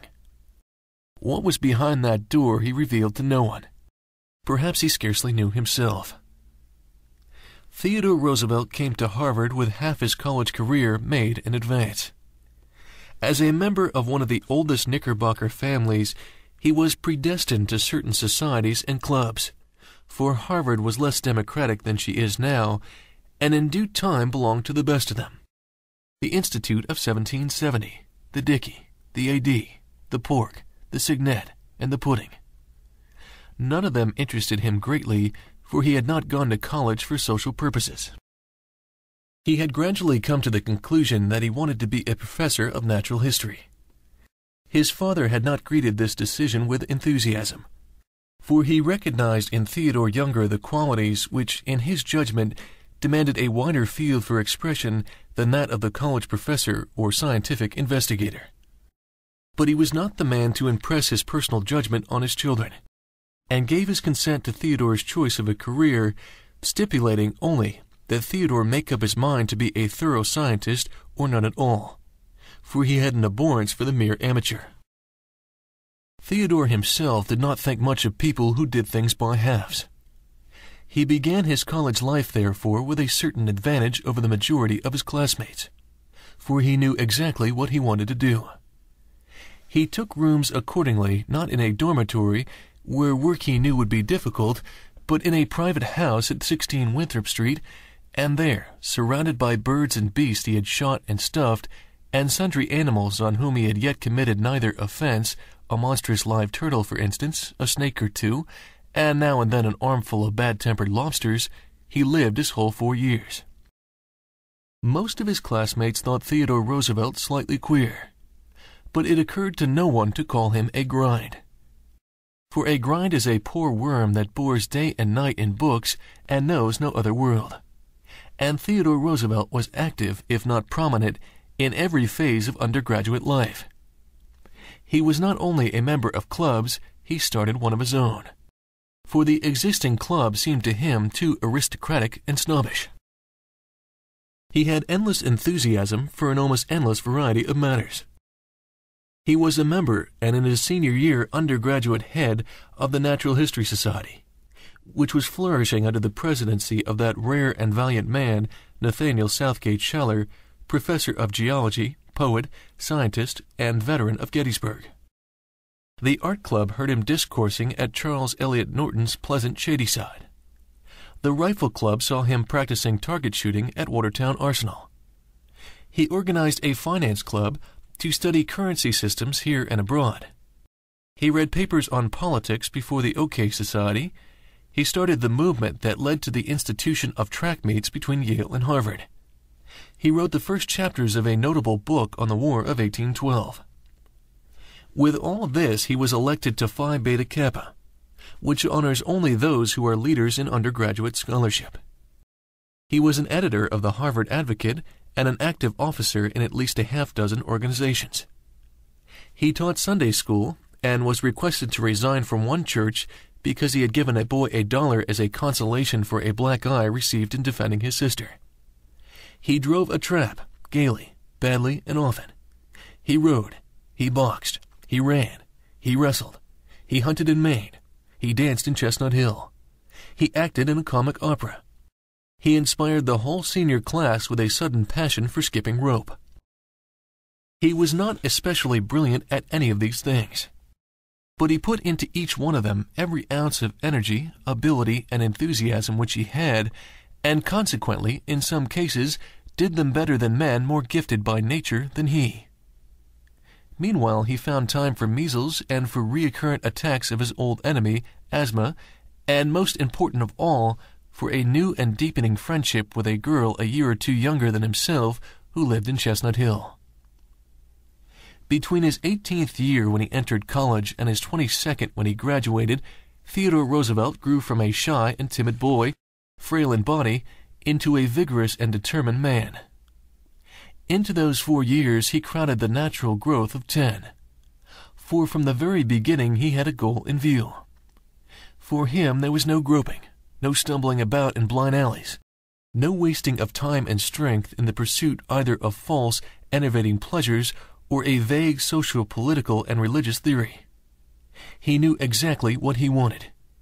He wanted to become a man who did things. That was his goal. He had seen it clearly from his fifteenth year, and with ever increasing clearness he saw the road, the only road that led to it. The name of that road was work. He worked to build up his body, not for the sake of mere bodily strength. He worked to build up his mind, not for the sake of mere mental agility, but both together as muscle and sinew for that spiritual power which constitutes the backbone of great men. Exactly what it was that he wanted to do, he did not yet know. The desire to become a natural scientist evaporated as his college experience taught him what such a career would mean. Scientific investigation, he found, meant in those days laboratory work and the microscope, and these only. For the faunal naturalist and observer of nature, there was, it seemed, no place in the world of science. The idea of spending his life peeking into a microscope was for Theodore the Younger too absurd to be considered. He decided that the life of a professor was not for him. This decision, meanwhile, in no way affected the main object of his life, which was to make himself a man as vigorous in body as he was alert in mind. There were few forms of athletic sport with which during these years he failed in some way to associate himself. But he was most active as a boxer and wrestler. He excelled in neither, but his indomitable spirit carried him far in both. He was plucky. Moreover, he took punishment with a grin, and he was a good sport. Once, for instance, in the middle of a hot bout, time was called. He promptly dropped his hands, but his opponent did not. That young man drew back and struck him square on the nose. There were some classmates watching, and an indignant roar of foul, foul arose. Roosevelt, his face covered with blood, ran to the referee. Above the noise of the angry protest, his voice could be heard shouting, Stop! Stop! He didn't hear! He didn't hear! Whether the other man really hadn't heard, and whether Roosevelt really thought he hadn't heard, or was merely giving him the benefit of the doubt, we shall probably never know. But the rumpus subsided. Theodore the Younger shook hands heartily with his opponent, resumed hostilities, and gave him the drubbing of his life. There was another fight, a more formal affair. Theodore the Younger had won his way to the finals in the lightweight sparring contest and was matched at last with a certain Mr. Hanks. That gentleman seems to have defeated him, but not without some difficulty. It was no fight at all, said one of his classmates, describing the bout. Hanks had the longer reach and was stronger, and Roosevelt was handicapped by his eyesight. You should have seen that little fellow staggering about, banging the air. Hanks couldn't put him out, and Roosevelt wouldn't give up. It wasn't a fight, but Oh, he showed himself a fighter. Many forces besides time operate to make a boy into a man. In the case of Theodore the Younger, the guiding force was his own spirit with one hand fighting bodily weakness, fighting timidity, and with the other plunging enthusiastically into the midst of life as into a gigantic grab bag for every wholesome pleasure and peril it contained. Yet there were other forces. One was the joyous circle of girls and boys in Chestnut Hill, and that new friend who was its radiant center. Another was a backwoodsman of Aroostook County, bearded and six foot four. That new friend's name was Alice Lee. That backwoodsman's name was Bill Sewell. They were not at all alike, but they were destined both to play a great part in the building of his manhood. It was during the winter of his freshman year in college that Theodore the Younger first met Bill Sewell. His tutor Arthur Cutler had discovered Sewell the year previous on a hunting trip with Theodore's cousin, Emlen Roosevelt, and had urged Theodore to run up to Island Falls with him, as much for the privilege of knowing Bill Sewell as for the hunting. For Bill Sewell, he said, was a man to know. Theodore found him all that Cutler had described, and more. He was a great stalwart man of thirty-three or so, with a vigorous reddish-brown beard, warm, friendly eyes that flashed on occasion, enormous physical strength, an alert mind, an indomitable spirit. Theodore himself was eighteen, thin, pale, asthmatic, outwardly the typical city filler. In physical appearance, they were indeed as far apart as a mountain oak and a fuchsia. I want you to take good care of this young fellow, said Cutler, taking Sewell aside. He's ambitious, and he isn't very strong. He won't say when he's tired. He won't complain, but he'll just break down. You can't take him on the tramps you take us. Bill Sewell listened, making no comments. One day shortly after, without thinking much about it, he took Theodore tramping 25 miles or more.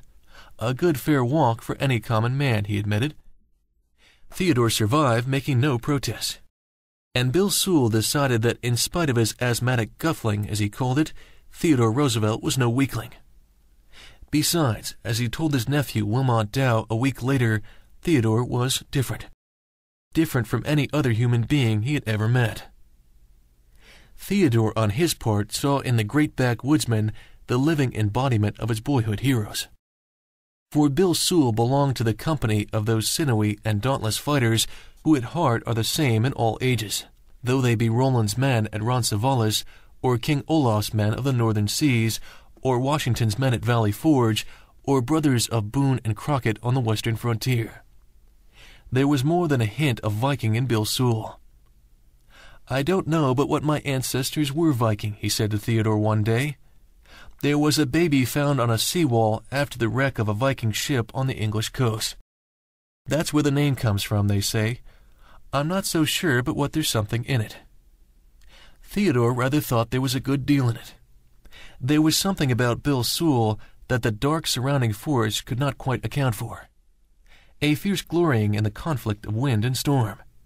An exultant defiance of the elements that made his eyes burn and his lips burst into poetry.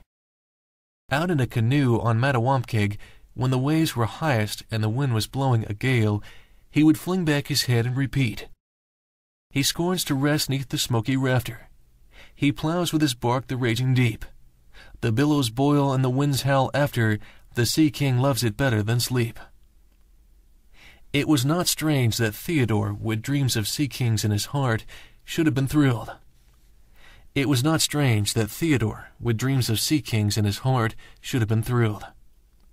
Everything in him that loved heroic action turned fervidly, turned fervidly to this heroic figure of the Maine woods. Through him he learned that the line to which King Olaf and John Ridd belonged is not extinct. Here were a man brought down with his axe forty to fifty giants of the primeval forest in the course of a day's work. Here were a man brought down. Here were a man brought down with his axe forty. Here were a man brought down with his axe forty to fifty giants of the primeval forest in the course of a day's work. Here were his heroes in flesh and blood. With all his soul, he wanted to be like them. Reluctantly, he admitted to himself that that was impossible. It was characteristic of him that he decided that he could be it was characteristic of him that he decided that he would be as much like them as he could. We hitched up well somehow or other from the start, said Bill Sewell a long time after. He was fair-minded, Theodore was, and then he took pains to learn everything. There was nothing beneath his notice. I liked him right off. I liked him clear through. There wasn't a quality in him I didn't like. He wasn't headlong or aggressive except when necessary and as far as I could see, he wasn't a bit cocky, though other folks thought him so. I will say he wasn't remarkably cautious about expressing his opinion. They hitched up well indeed, for the boy of eighteen and the man of thirty-three were equally clear-eyed in judging men, not by the externals of body and speech. They hitched up well indeed, for the boy of eighteen and the man of thirty-three were equally clear-eyed in judging men not by the externals of body and speech, but by the essentials of character and spirit. He didn't look for a brilliant man when he found me, said the backwoodsman many years later. He valued me for what I was worth. And a thousand miles away, the blue-blooded aristocrat said, How could I be a snob when I admired him so much? Twice a year at least during his college course, Theodore Roosevelt explored the woods and waters of Aroostook County with his friend Bill Sewell, shooting ducks, partridges, and rabbits, but no big game, not even deer, though once they started a bear, at another time they followed a caribou that eluded them. Those journeys into the wilderness, and especially on the waters of Lake Mattawamkeag, and in the forest that bordered it, saw the growth of a deep and significant friendship. They talked much of life and politics, finding that they were wonderfully agreed in their opinions of what was right and what was wrong. Bill Sewell was a Democrat from his heels to his head, and there was one poem which he took a certain unobtrusive pride in repeating to Theodore Roosevelt on their expeditions through the great quiet woods. Who are the nobles of the earth? the true aristocrats, who need not bow their heads to kings, nor doff to lords their hats. Who are they but the men of toil who cleave the forest down, and plant amid the wilderness the hamlet and the town? These claim no god of heraldry, and scorn the knighting rod. Their coats of arms are noble deeds, their peerage is from God. Theodore Roosevelt had probably heard all that sort of thing before, but he had never heard it from exactly such a source. That made all the difference in the world. And so it came about that a backwoodsman in the heart of Maine taught a New York aristocrat and a respected member of Harvard's most exclusive club a lesson in the meaning of democracy. Four years seem a century on the day a man enters college, and merely a watch in the night on the day he leaves it. Into his own four years, Theodore Roosevelt crowded a succession of full and glowing days, clouded for a time by a great grief when his father, that staunch and inspiring best friend of his, died in his sophomore year, and lit by a great happiness when two years later he became engaged to Alice Lee. Those years found him at their beginning a frail boy, intellectually mature, but in many ways a child still. They found him at their close a man in body and mind and spirit, matured by the experience of sorrow and joy, by physical hardship, independent thought, and contact with men of varied interest and diverse surroundings. In academic standing, he graduated 21st in his class. In the affection of his classmates, he stood far nearer the top. Theodore Roosevelt graduated from Harvard in June 1880.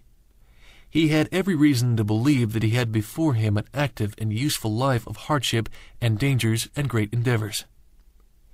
A day or two before he left Cambridge, he went to his physician for a last physical examination. The doctor told him that he had heart trouble, that he must choose a profession that would demand no violent exertion, that he must take no vigorous exercise, that he must not even run upstairs. It was a stiff blow, but he took it as he had taken other blows. Doctor, he said, I am going to do all the things you tell me not to do. If I've got to live the sort of life you have described, I don't care how short it is. In October, he married. The following summer, he went abroad and ascended the Matterhorn for no earthly reason except that two Englishmen with whom he was conversing seemed to be under the impression that they were the only ones who have ever ascended it and the only ones who ever would. And he survived, in spite of the pessimistic doctor. Chapter 5 He finds his place in the universe without quite knowing it. I put myself in the way of things happening, said Theodore Roosevelt, and they happened. It was with the deliberate intention of having a part in the government of his country that Theodore Roosevelt joined the 21st District Republican Association in the fall of 1880. He did so from no particular grand passion for public service and with no notion that the country needed saving and that he was the one to save it. He wanted to be on the team, that was all. It was that old desire of his boyhood, to be of the fellowship of the doers of great deeds. Ward healers, he might have said, were not as romantic as Vikings, but they were probably in their way quite as effective fighters. The battle between right and wrong, he might have added, is at bottom the same in all ages merely the clothes and the weapons change. Joe Murray of the 21st might have had some difficulty fighting in King Olaf's chain armor. King Olaf, on the other hand, would never have been able to swing the nominating convention for Theodore Roosevelt against Jake Hess and the party machine. But Joe Murray and King Olaf would undoubtedly have liked each other very much, for they were both fighters, fearless, clean, strong. Roosevelt's friends told him mournfully that politics were low, that political organizations were controlled not by gentlemen, but by saloon keepers, horse car conductors, and the like. Theodore replied that if saloon keepers and horse car conductors were the ones who were governing the United States, and the lawyers and merchants and social lights of his own class were merely the ones who were governed, he thought that the saloon keepers and horse car conductors were emphatically the ones he wanted to know. If they're too hard bit for me, he remarked, I suppose I shall have to quit. But I do not intend to quit until I have made an effort and have found out whether I actually am too weak to hold my own in the rough and tumble. So, to the distress of his friends, he joined the Republican Association and began to attend its meetings at Morton Hall, a large barn like room over a saloon in 59th Street. The boss of the district was the city commissioner of charities and corrections, a man named Jake Hess, who treated him with distant affability.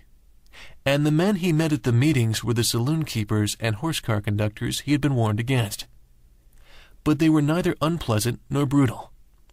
For a time they were a bit wary of him, for as one of them later remarked, he looked like a dude, side whiskers and all, you know.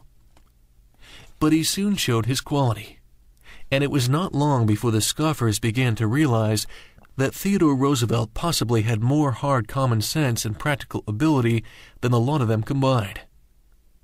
He showed his fighting qualities over a question of a nonpartisan system of street cleaning which he wished the organization to support. The members applauded his speech on the subject enthusiastically, for they liked the ginger behind it. Possibly it was nothing but stern duty which prevented them from voting as he wished. But stern duty, in the shape of Jake Hess, shook its head, and Roosevelt was buried 95 to 4. Roosevelt took his defeat with a grin. His fellow Republicans of the 21st District liked that grin and began soon to have the kind of respect for the man behind the grin that they had for prizefighters, political bosses, and all others who could give and take vigorous punishment. There was one man in particular who eyed him first with humorous tolerance, and then with growing and possibly slightly puzzled interest. He was a stockily built Irishman in the middle of the thirties, with sparse reddish hair, a drooping mustache, a fine head, a fighter's chin, and twinkling eyes. His name was Joe Murray, and he had come over from Ireland in the steerage at the tender age of three, enlisted in the Army of the Potomac at eighteen, and at the close of the war settled on First Avenue as a leader of a gang. He was fearless, powerful, and energetic. And so it came about that the local Tammany Hall boss found a job for him of a kind that he enjoyed. This job was with his gang to make life miserable for Republicans on Election Day. He fulfilled every requirement nobly, but it happened that a time came when the local boss waxed proud and forgot to reward Joe Murray and his gang. Joe Murray, on his part, was not forgetful. He remembered for a full year, and at the next election it was not the Republicans who were knocked over the head. As far as the Republicans of that particular district were concerned, justice that day came to her own with a whoop. The Republican leaders sent for Joe Murray and expressed their gratitude by giving him a place in the post office. Joe Murray and Theodore Roosevelt had met at the meetings and liked each other. Like Bill Sewell, Murray too could see beneath the surface, and he admired the college dude for his ideas, his courage, his energy, his human understanding, his boyish and unreserved friendliness. Roosevelt, on his part, noting not the superficial qualities which Joe Murray might lack, but the fundamental qualities which he possessed, conceived a great liking and admiration for the shrewd and witty Irishman. He was not slow to realize that all the wealth and all the educational advantages in the world could not of themselves make a man a match for Joe Murray's unpretentious power and sagacity. That discovery made him fittingly humble. And so it was that an Irish immigrant gave Theodore Roosevelt another lesson in the meaning of democracy.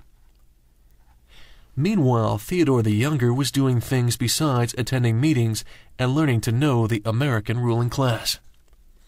His uncle Robert had persuaded him to take up the study of law at Columbia, which he did without enthusiasm. A part of every day he worked in his uncle's law office. In off hours he went ahead with his history of the Naval War of 1812, which he had begun at college.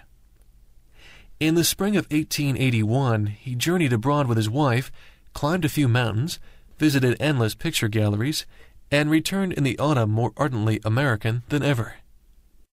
He found the Republican Association of the 21st Assembly District oiling the machinery for the November election. The boss, it seemed, wanted to renominate for the assembly the man then representing the district. That, under ordinary circumstances, would have been enough to end the discussion. But it happened that that particular assemblyman had figured none too favorably in the newspapers, and one of the boss's lieutenants had a firm conviction that the man would be defeated. The big boss was obdurate, but the little boss was not a man to knuckle under at anyone's dictation. For it happened that the little boss was Joe Murray.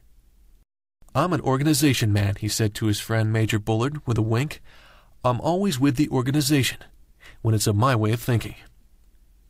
So without arguing the matter further with Jake Hess, Joe Murray and his friend Major Bullard contrived matters in such a way that they beat the boss at his own game, and without making any fuss or feathers about it, quietly obtained control of the nominating convention.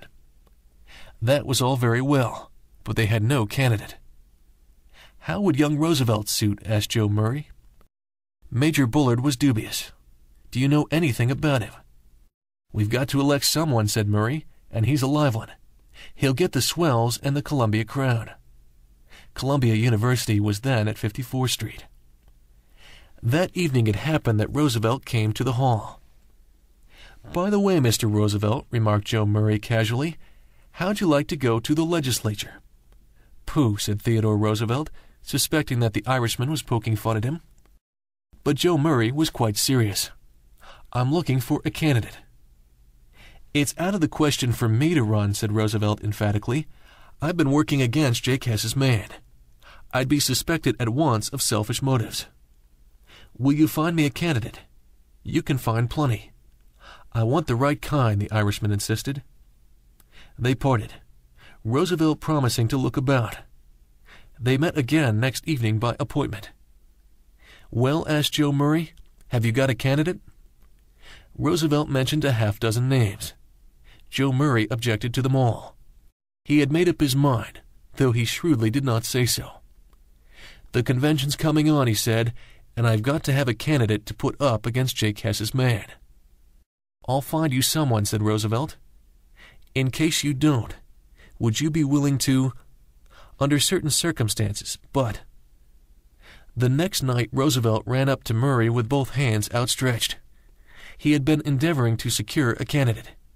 He had found none, but he had found out something that made his eyes shine as he greeted his friend. I owe you an apology, he cried earnestly. Joe, I thought you were guying me.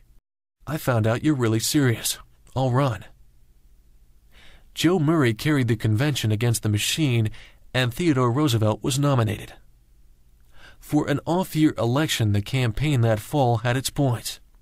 And for once, Fifth Avenue was thoroughly interested for it had two silk stocking candidates in the field. Theodore Roosevelt was running for Assembly, and William Waldorf Astor running for Congress. Astor kissed the babies, treated the boys, and let the money run like water. Theodore Roosevelt told the saloon keepers, to the dismay of Joe Murray, that he favored not lower license, but higher license. He made speeches here, there, and everywhere, speaking of cleaner streets and cleaner politics. He asked his neighbors for their votes not because of his name and not because of his money, but because of the things he stood for. And his neighbors, stirred by his sincerity, rallied to his support. Election day came, and with it, from the seclusion of their brownstone fronts, came millionaires and college professors to work hand in hand with Joe Murray and the boys of the Republican Association to elect Theodore Roosevelt, 23 years old, to the Assembly. His sisters folded ballots. His brother-in-law, Douglas Robinson, paid $2 for the use of a newsstand and gave out tickets all day long. The football and baseball squads of Columbia came out in a body asking, Where do you think the most trouble is going to be? and demanded to be sent there. That night, after the returns were in, William Waldorf Astor was a defeated and bitterly disappointed man. But Theodore Roosevelt was an assemblyman elect. Joe Murray sat back chuckling and decided that on the whole he had done a good job, an opinion for which there is much to be said. Albany in 1882 was very much like every other state capital in 1882. There were in the Assembly and Senate a few disinterested, public spirited men with ability and drive, a somewhat larger number of good people who preferred honest government to dishonest government, but had not the vision or the force to achieve it, and a sinister group known as the Black Horse Cavalry, who were the paid agents of the interest, and whose point of view is best represented by the declaration of one Albany statesman. I'm in politics working for my own pocket all the time, same as you. Theodore Roosevelt quickly found his place in the Assembly among that small number of Democrats as well as Republicans who were wise and forceful as well as good. He himself was wholeheartedly a Republican. But he realized soon that it was not on lines of party principle or political theories that the legislature split. The interests were powerful, and to them it made no difference whether the man who took their money was of one party or the other. When you've been here a little longer, young man, said one old warhorse to him one day, you'll learn that there's no politics in politics. It was not Democrats against Republicans. It was honest government against corruption, justice and right against bribery, theft, and blackmail. Theodore Roosevelt needed no one to tell him which of these two forces to support. He found a number of strong and attractive fighters, moreover, ranged on his side. There was Billy O'Neill, for instance, who owned a country store in the Adirondacks somewhere and had run for assembly against the local machine and with the aid of a buggy and horse beaten it. There was Mike Costello, who had been elected as a Tammany man, believing that Tammany was a patriotic organization, and who cheerfully defied it when he discovered that it was nothing of the kind. And there was Pete Kelly of Brooklyn, another Democrat who also fought for the people of his state against the armed legions of corruption and was later flung aside without pity by his bosses and died like a soldier. Day after day, night after night, with shoulders squared and feet set firm, these men fought with Theodore Roosevelt for justice and honest government. It was not an easy battle to fight, for the enemy had wealth and powerful influence, and in many cases the issues were not clear. Theodore Roosevelt and his friends found that it was often a heartbreaking business, not so much to defend the right and defeat the wrong, but to find out which side was right and which side was wrong. When Roosevelt came to Albany, he thought that the agents of the interests would be the only ones with whom he'd have to fight. He had to fight them, and he fought them hard. But he had not been in the legislature a week before he discovered that there was another variety of criminal there as bitterly hostile to the interests of the people of the state as any bribe tool of the corporations. That was the man who pretended to be a friend of the people and who introduced bills aimed at big business for no other reason except to be paid by big business not to push them. Some of these bills were just. The majority of them, however, were wild and improper. None of them were expected to pass. They were introduced merely as blackmail, a form of holdup and highway robbery to which the corporations had to submit or perish. Outwardly opposed to these two varieties of gaffers, but actually their allies, were on the one hand certain good men who were naturally conservative and thought that rich men were a noble national institution which should always be protected and coddled, and on the other hand, certain other good men who were naturally radical and thought that rich men were always wrong and should always be thwarted merely because they're rich. There was another group besides these, consisting of amiable idealists who talked a great deal and never got very far. Between these various groups of ineffective men with high ideals and decidedly effective men with no ideals at all, Theodore Roosevelt and his associates took their stand, believing that men could follow a high ideal and still be effective. Taken in all, they put up a first-rate fight for clean government and a square deal. The most important affair in which Roosevelt was individually prominent was the battle for the impeachment of Judge Westbrook. And in this, Roosevelt, from first to last, played the leading part. The case was not unusual. The judge had used his judicial office to further the schemes of Jay Gould and other financiers in connection with a fraudulent and bankrupt elevated railway company in New York City. The scandal was public and the newspapers called for action, but no one acted. The legislature was averse to touching it. There was dynamite in scandals of this sort. The members hoped the thing would blow over. Theodore Roosevelt was in years as well as in experience the youngest member in the legislature. He had been in Albany less than three months. He hoped that an older man would take the lead, but no older man did. The older men were cautious. Suddenly, on March 29th, Roosevelt presented a resolution calling for an investigation.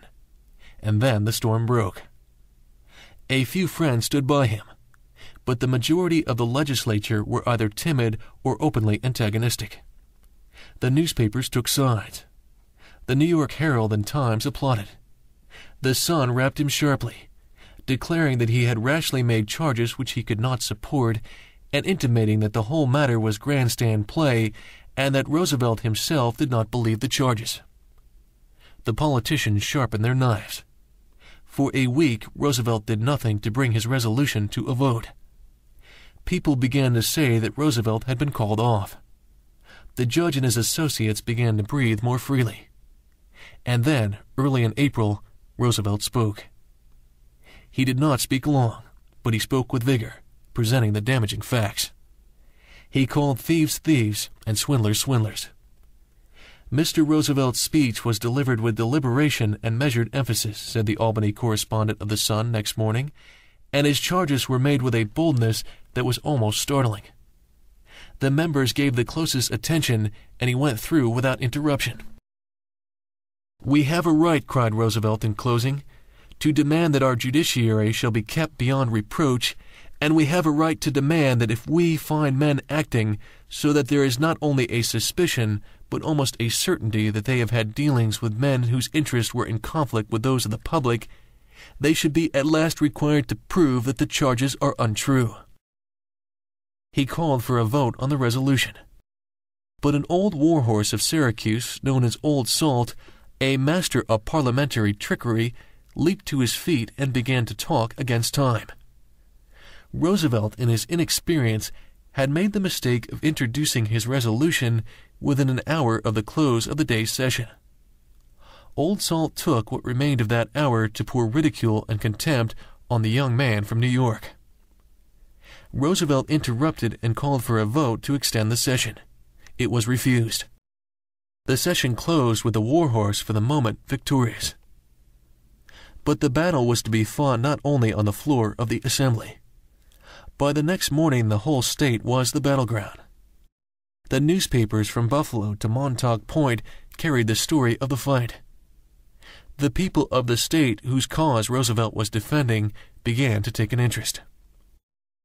Meanwhile, in the words of the New York Times, mysterious influences were at work to cover up the scandal.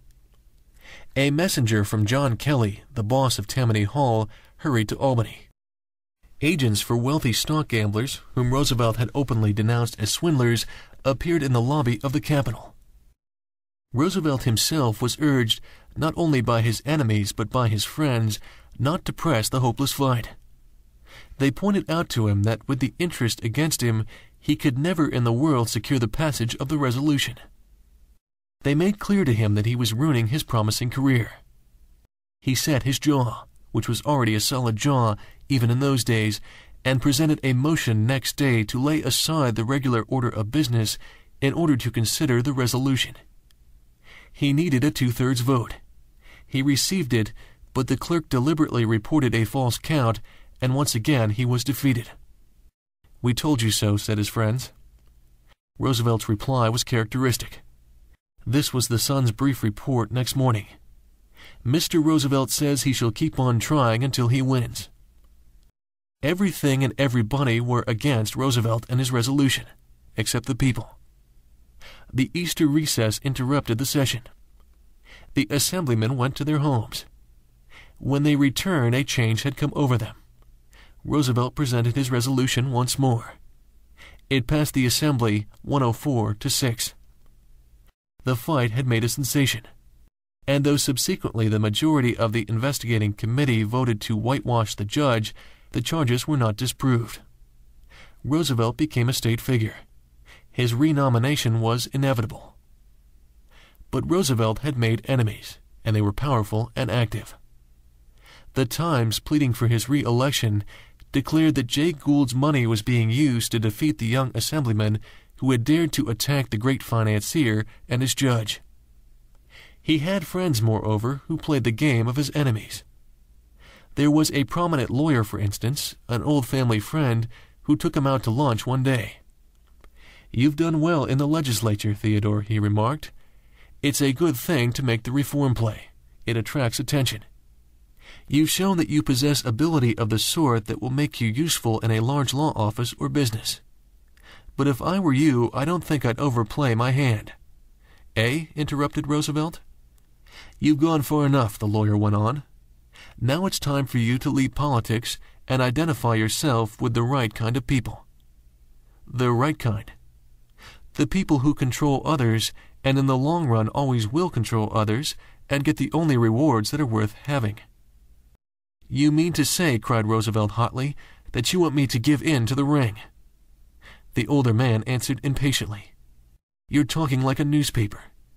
You're entirely mistaken if you think there is a ring made up of a few corrupt politicians who control the government. Those men have only limited power. The actual power is in the hands of a certain inner circle of big businessmen. The big politicians, lawyers, judges, are all in alliance with them and in a sense dependent on them. No young man can succeed in law, business, or politics who hasn't the backing of those forces. That is as it should be for it is merely the recognition that business is supremely important and that everything else must bow to it. Theodore Roosevelt had never before come in contact with that point of view, and it gave him a shock. It threw a vivid light backward on the impeachment investigation. He understood now why, with all the evidence against the venal judge and the people of the state of New York calling for his impeachment, he had nevertheless escaped. Theodore the Younger did not take his friend's advice. I think I'll try to go back to the legislature, he said. And he did. He won his re-election in spite of the open opposition of Jay Gould and those other forces which his friend had declared no man could ever successfully oppose. In spite even of a Democratic landslide in the state, which carried an almost unknown sheriff from Buffalo into the governorship and introduced to a surprised world Grover Cleveland. In the 21st District, Roosevelt ran 2,000 votes ahead of his party. Roosevelt was glad to return to Albany, no longer a novice now, but at 24 the leader of his party in the Assembly. He was nominated for Speaker, but defeated, for the Democrats were in full control. His force and influence were unquestioned. He was known as the Cyclone member. It would have been strange if his swift rise had not somewhat turned his head. It did turn it for a brief period. He had won his place in the Assembly and in the respect of the people of the state through his straightforward and blunt independence. He thereupon became so impressed with the virtue of complete independence that he paid no attention to the opinions or prejudices of others. He had fought the fight against Judge Westbrook practically alone. He came to the conclusion, consequently, that he could fight any fight alone. He no longer sought advice or cooperation. His own conscience, his own judgment were to decide all things. He refused to make concessions, being unable to see that a man might disagree with him on details or methods and yet be heartily with him in principle. His opponents talked of Big Head. His friends grumbled, What's got into Roosevelt? He won't listen to anybody. He thinks he knows it all. He fought hard for good causes, but he was no longer successful. Before he knew what was happening, his influence had evaporated. He was a leader without a following, the laughing stock of his enemies, the despair of his friends. Gradually, he began to understand. No one can live by himself alone, he realized, and with increasing clearness he saw that his only hope of doing effective work lay in close cooperation with men who, though differing from him in minor matters, agreed with him on the fundamentals. It was not easy for Theodore Roosevelt to eat humble pie, but he ate it. Chapter 6 He Goes on His First Real Hunt. It was in the late summer of 1883. Theodore the Younger had had a reoccurrence of his asthma, complicated by an attack of that other enemy of his boyhood, cholera morbus. On a postal card addressed to his motherling, he speaks of the nightmare of that period of illness.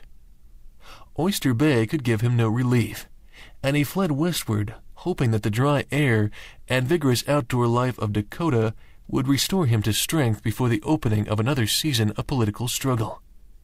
He had no particular destination. He wanted to hunt buffalo while there were still buffalo to hunt. That was all. He wanted to taste the life of the Wild West before that life vanished like mist before the wind. The West had begun to call him before he was out of his teens. His brother Elliott, two years younger than he, had shot buffalo in Texas, while Theodore the Younger was tamely acquiring an education in Massachusetts and had returned with thrilling stories of hairbreadth escapes from wild beasts and wilder men. More than once he had been charged by a wounded buffalo. He had been caught in a stampede, escaping with his life by a miracle. His camp had been raided by Comanches and his horse stolen. He had gone for two days without water or food. Now and then at a ranch or at one of the border towns where he and his companions stopped for the night, he had become involved in what his journal briefly described as big fights, and he was just 17. Theodore ached to find the country where adventure grew like that. But for the moment they were not for him.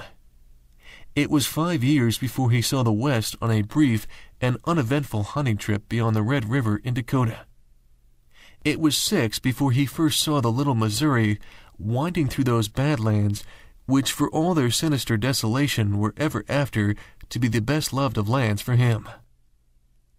Theodore Roosevelt, bound westward, left New York one evening in late summer, still weak and miserable from the effects of his illness but the mere prospect of a touch of wildlife seemed to be a restorative. Before he reached Chicago, he had written his mother that he felt like a fighting cock.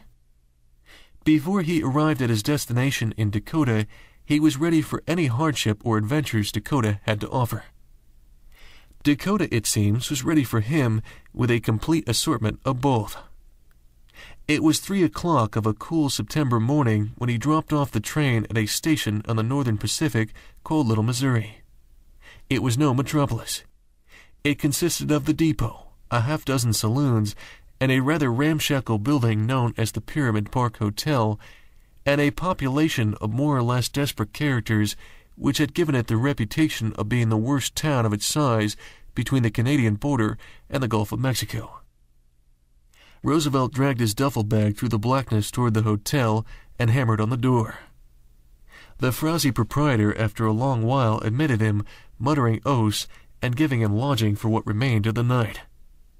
But he knew of no guide who would take an Easterner with spectacles hunting bison.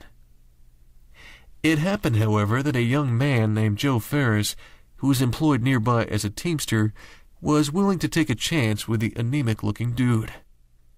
He was running a ranch on the side with his brother and friend some six or seven miles up the Little Missouri River, and suggested that Roosevelt go there with him. Roosevelt agreed. Chimney Butte Ranch turned out to be a log structure with a dirt roof, a chicken house attached, and a corral for the horses nearby. There was only one room inside, with a table, three or four chairs, a cooking stove, and bunks for Ferris, his brother Sylvane, and their partner Bill Merrifield. The three men were ranchmen. That is, they were cowboys with a small herd of their own. Roosevelt liked them, and after they had reconciled themselves to his glasses, always looked upon with suspicion by plainsmen in those days as a sign of defective moral character, they decided that they liked him. Joe Ferris volunteered to be the one to help Roosevelt to the buffalo he wanted. Buffalo had been plentiful round about for several winters, but some six months previous the last of the great herds had been either destroyed or driven out, and only a few stragglers remained far up the river. The hunters proceeded to the cow camp of a Scotchman named Gregor Lang, forty miles south of the Chimney Butte, and from there began their hunt. The weather was abominable, but Roosevelt ignored his guide's plaintive suggestions that they wait for the rain to cease and morning after morning started forth with his rifle over his saddle bow. He returned each night unsuccessful. But if Joe Ferris had expected that this tenderfoot would not be able to stand the racket, he was doomed to disappointment. It was Joe who each night wrapped himself exhausted in his buffalo robe immediately after supper, but Roosevelt sat up and launched into conversation. He had found congenial spirits in Lang and his son Lincoln, a boy of sixteen, and they talked cattle together, and politics, and again cattle, until midnight came and the hands of the clock crept up on the small hours. It was a new region, only recently won from the Indians, and adventurous spirits from all over the world were coming to make their fortunes there. Roosevelt began to dream dreams. The rain ceased at last, but the luck of the hunters did not change with it. They came on the fresh tracks of a buffalo, lost it, found it again, and finally came upon their prey so suddenly that the great bull bison had plunged over a steep bank and disappeared before they had time to shoot. They hunted all day in vain over brown barren land in streaming heat. Then at last, late in the afternoon, in the middle of a large plain, they saw three black specks. On hands and knees they crept forward, but the buffalo eluded them. They mounted once more, loping their jaded horses along at a brisk pace. Finally, when the sun had just set, they noticed that all three buffalo had come to a stand in a gentle hollow. There was no cover anywhere. They concluded to run them on their worn out ponies. The bison faced them for an instant, then turned and made off. Daylight was swiftly falling, and Roosevelt spurred his pony to a last desperate spurt, closing in on the animal he had wounded just as the rim of the full moon rose above the horizon. Ferris, better mounted, forged ahead. The bull, seeing him coming, swerved. Roosevelt cut across and came almost up to him. The ground over which they madly dashed was broken into holes and ditches. It was impossible in the dull light to guide the horses, which floundered and pitched forward at every stride, utterly fagged and scarcely able to keep their feet. Roosevelt fired at the wounded bull at twenty feet, but the darkness blurred his vision, and the violent motion of the pony threw out his aim. He dashed in closer. The bull's tail went up, and he wheeled suddenly and charged. The pony, panic stricken, spun around and tossed up his head, striking the rifle which Roosevelt was holding in both hands and knocking it violently against his forehead, cutting a deep gash. The blood poured into Roosevelt's eyes. The buffalo passed him, charging Ferris, who dashed off over the broken ground as fast as the stumbling horse would go, with the buffalo snorting almost at his pony's tail. Ferris, swerving suddenly and dismounting, fired at the buffalo, missed in the dim moonlight, fired again, and again missed. The wounded bull lumbered and labored off. Roosevelt made after him on foot in hopeless and helpless wrath until the great hulk disappeared in the darkness. They did not mount the exhausted horses, but led them trembling, foaming, sweating in the hope of somewhere finding water nearby. The horses as well as the men had drunk nothing for twelve hours and were parched with thirst. At last, in a reedy hollow, they found a muddy pool. But the water was like thin jelly, slimy and nauseating. They could drink a mouthful and no more. They did not go quickly to sleep. The horses were nervous, restless, alert, in spite of their fatigue, snorting and standing with ears forward, peering into the night. Roosevelt remembered certain half-breed Crees they had encountered the day before. It was quite possible that the Indians might come for their horses and perhaps their scalps. They dozed fitfully, feeling danger in the air. At last they fell asleep. They were rudely waked by having their pillows whipped from under their heads. They leaped to their feet. In the bright moonlight they saw the horses madly galloping off, with the saddles bounding and trailing behind them. It occurred to them that the horses had been stampeded by horse thieves and they threw themselves on the ground, crouching in the grass with rifles ready. There was no stir. At last, in the hollow, they made out a shady four-footed shape. It was a wolf which strode noiselessly to the low crest and disappeared. They rose and went after the horses, taking the broad trail made by the saddles through the dewy grass. Once Ferris stopped. I've never done anything to deserve this, he exclaimed plaintively. Then, turning straight to Roosevelt, evidently suspecting that the man with four eyes must be a Jonah, He cried wrathfully, Have you ever done anything to deserve this? Roosevelt grinned. They found the horses sooner than they expected and led them back to camp. Utterly weary, they wrapped themselves in their blankets once more and went to sleep. But rest was not for them that night. A thin rain began to fall at three in the morning. Until dawn, they cowered and shivered under the blankets. Then they rose and made their breakfast of the same sort of dry biscuit of which they had made their supper, mounted their horses, and started away through a drizzling mist. Traveling by compass over the foggy, shapeless plain, drenched to the skin by an occasional deluge of rain, they rode for several hours.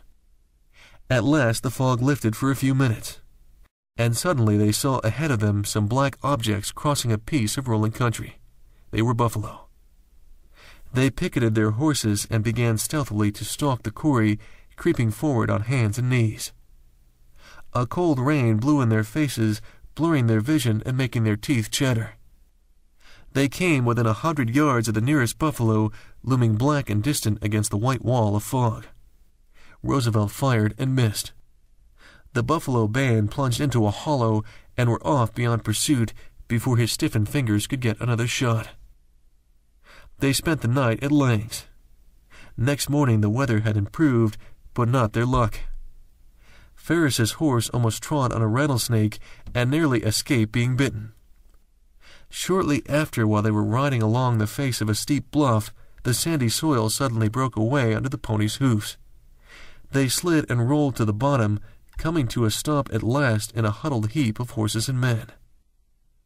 The hunters mounted the frightened animals again, but shortly after, while galloping through a brush covered bottom, Roosevelt's pony put both forefeet into a hole made by the uprooting of a tree and turned a complete somersault pitching his rider a good ten feet beyond his head. It's dogged as does it, runs a famous maxim. Roosevelt helped his horse to his feet and again mounted. And a little later, in the bed of a dry creek, which had all the appearance of solid ground, the earth suddenly gave way like a trap door under his horse and let him down to his withers in soft, sticky mud. Roosevelt flung himself out of the saddle and floundered to the bank, loosening the lariat from the saddle bow. Pulling and hauling with Ferris's pony to aid, they drew the trembling and mud-plastered horse to safety. They returned to Lang's. More than once Joe had wondered whether the Easterner would not confess that he had had enough. But he was forced to admit to the Scotchman and his son that this was a new variety of tenderfoot, handy as a pocket in a shirt, and altogether a plumb good sort. Roosevelt on his part took a great fancy to his wilderness companions. He liked the country, too. It was bare and wild and desolate, a land of endless prairie, brown from the scorching heat of summer, and varied only by abrupt and savage hills known to the cowboys as buttes. In the river bottoms were waving cottonwood trees, in the scarred uplands cut by cannons, here and there bleak and twisted cedars. There was no soft loveliness in this country but there was about it a stark beauty that made it a fit background for the men who lived and worked and suffered hardship in it. People called it the Badlands, not without reason, for winter and summer did their worst there. It was a land of enormous distances, with no farms and no fences. Only at wide intervals ranch houses where the men lived whose herds grazed over the prairie through the summers and congregated in huddled, shivering, unhappy herds in the shelter of the canyons throughout the winter. The wildlife mightily allured him. He decided that above all things he wanted to be part of it. Abruptly that evening he asked Lang to start a cattle ranch for him and be his foreman. Lang, it appears, was already tied up. But he advised Roosevelt to talk the matter over with Merrifield and Joe's brother Sylvane. Roosevelt agreed and promptly sent the boy Lincoln to the Chimney Butte Ranch. Two days later, the two attractive young Argonauts arrived. The conference was brief but satisfactory. Roosevelt gave them a check for $14,000 then and there, with instructions to secure him as large a herd as the money would buy. He had been in the country only ten days or less. He had seen the man only once before. A cautious man would have hesitated. But, as Bill Sewall had a way of saying, Roosevelt was not overcautious. Roosevelt secured his buffalo next morning. Near the upper waters of the Little Cannonball Creek, his pony suddenly threw up his head and snuffed the air. Roosevelt crept on foot up a narrow coulee where the hoofprints of a buffalo were plainly visible and came on his quarry at last grazing in the bunch grass. It was a great bull bison, and he threw back his head and cocked his tail in the air. Roosevelt fired, hitting him behind the shoulder. The buffalo bounded up the farther side of the ravine, heedless of two more shots that struck him in the flank, and disappeared over the ridge. They found him in the next gully, stark dead. The following day, Roosevelt went north to look at his new ranch. Ten days later in St. Paul, he signed a contract with Sylvane Ferris and A.W. Merrifield, and for better or worse became a ranchman in the Badlands. He returned east, strengthened in body and spirit. He was re-elected to the legislature in November and plunged into his work with new vigor and more solid self-reliance. He ardently supported civil reform. He was a chairman of a committee which investigated certain phases of New York City official life and carried through the legislature a bill taking from the Board of Aldermen the power to confirm the mayor's appointments. He was chairman and practically the only active member of another committee to investigate living conditions in the tenements of New York, and as spokesman of the worn and sad looking foreigners who constituted the Cigar Makers Union, argued before Governor Cleveland for the passage of a bill to prohibit the manufacture of cigars in tenement houses. The bill was passed. The governor signed it but it never became operative. The Court of Appeals declared it unconstitutional, declaring it an assault on the hallowed associations of home. Many of those homes consisted of a single room where two families, sometimes with a boarder or two, lived, ate, and worked. Theodore Roosevelt raged at the injustice, at the absurdity of the decision, and began to wonder whether in such matters the people rather than the judges should not speak the final word. For two years Roosevelt had now worked in the legislature, learning much of politics and of life, and growing day by day in character and vision and spirit. He saw, he could not help seeing, that he was making a striking success in politics. He realized that there was a possibility that he might have ahead of him a great career. With a little care in the choice of associates, with a little circumspection in his actions, he said to himself, Perhaps. He began to adapt everything he said and did to the requirements of political nursing. How will this affect my career? he began to say to himself. How will that further or hinder my career? He nursed along his career for one month, and for one month only.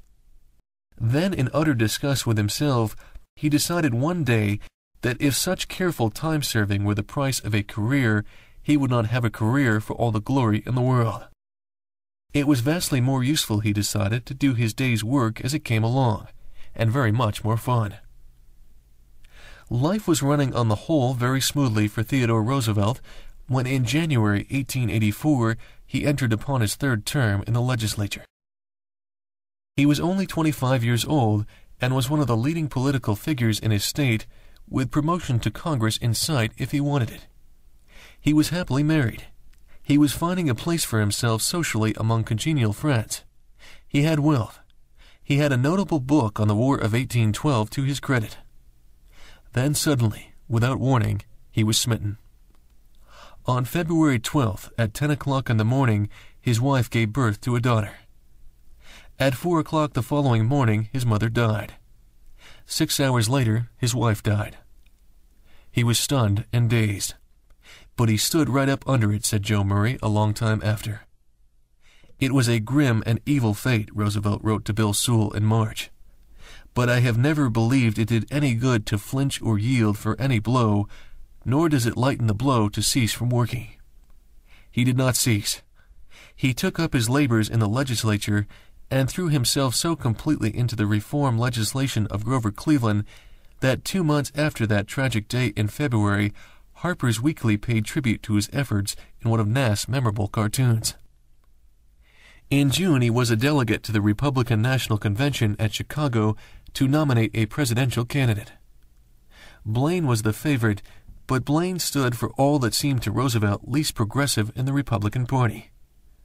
Roscoe Conkling, who led the fight for Blaine, spoke scornfully of that dentifricial young man with more teeth than brains.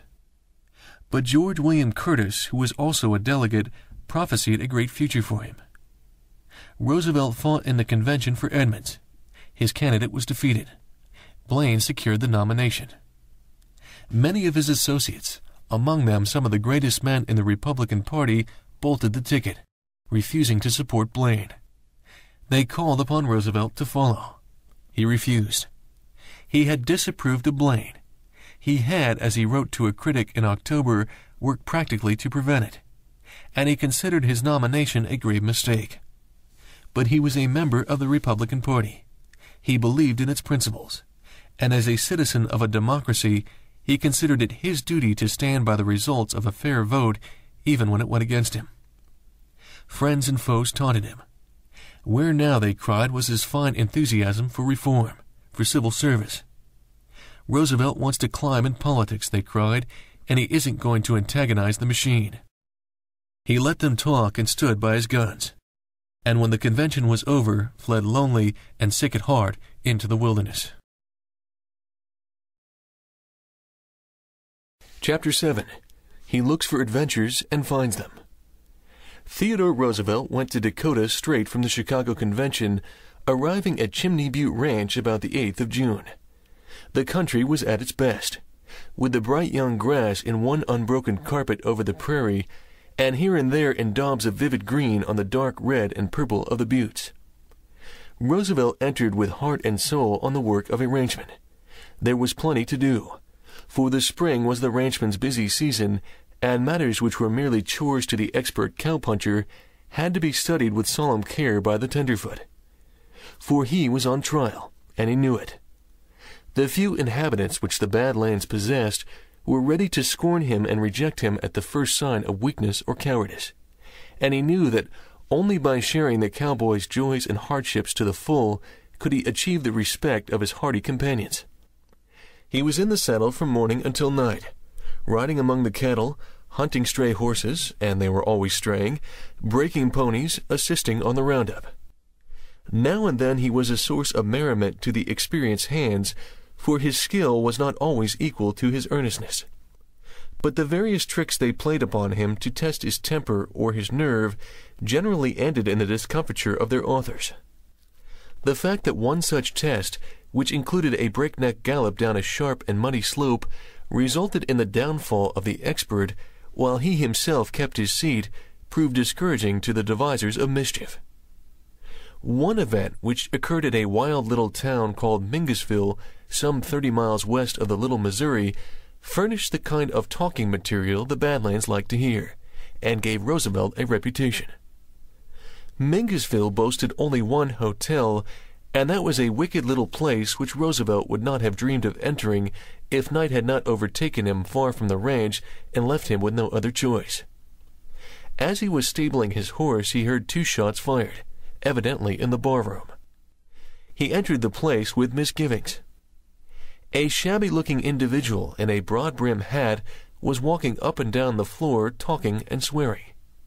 He was in full possession of the situation for he had a cocked gun in each hand, and the half dozen other men in the room, who were evidently sheep herders, seemed to be in no way inclined to dispute his authority. The clock had two holes in its face, which accounted for the two shots Roosevelt had heard. Four eyes, shouted the bully as he spied Roosevelt with his offensive spectacles. There was a nervous laugh from the sheep herders, in which Roosevelt joined. Four Eyes is going to treat, there was another laugh.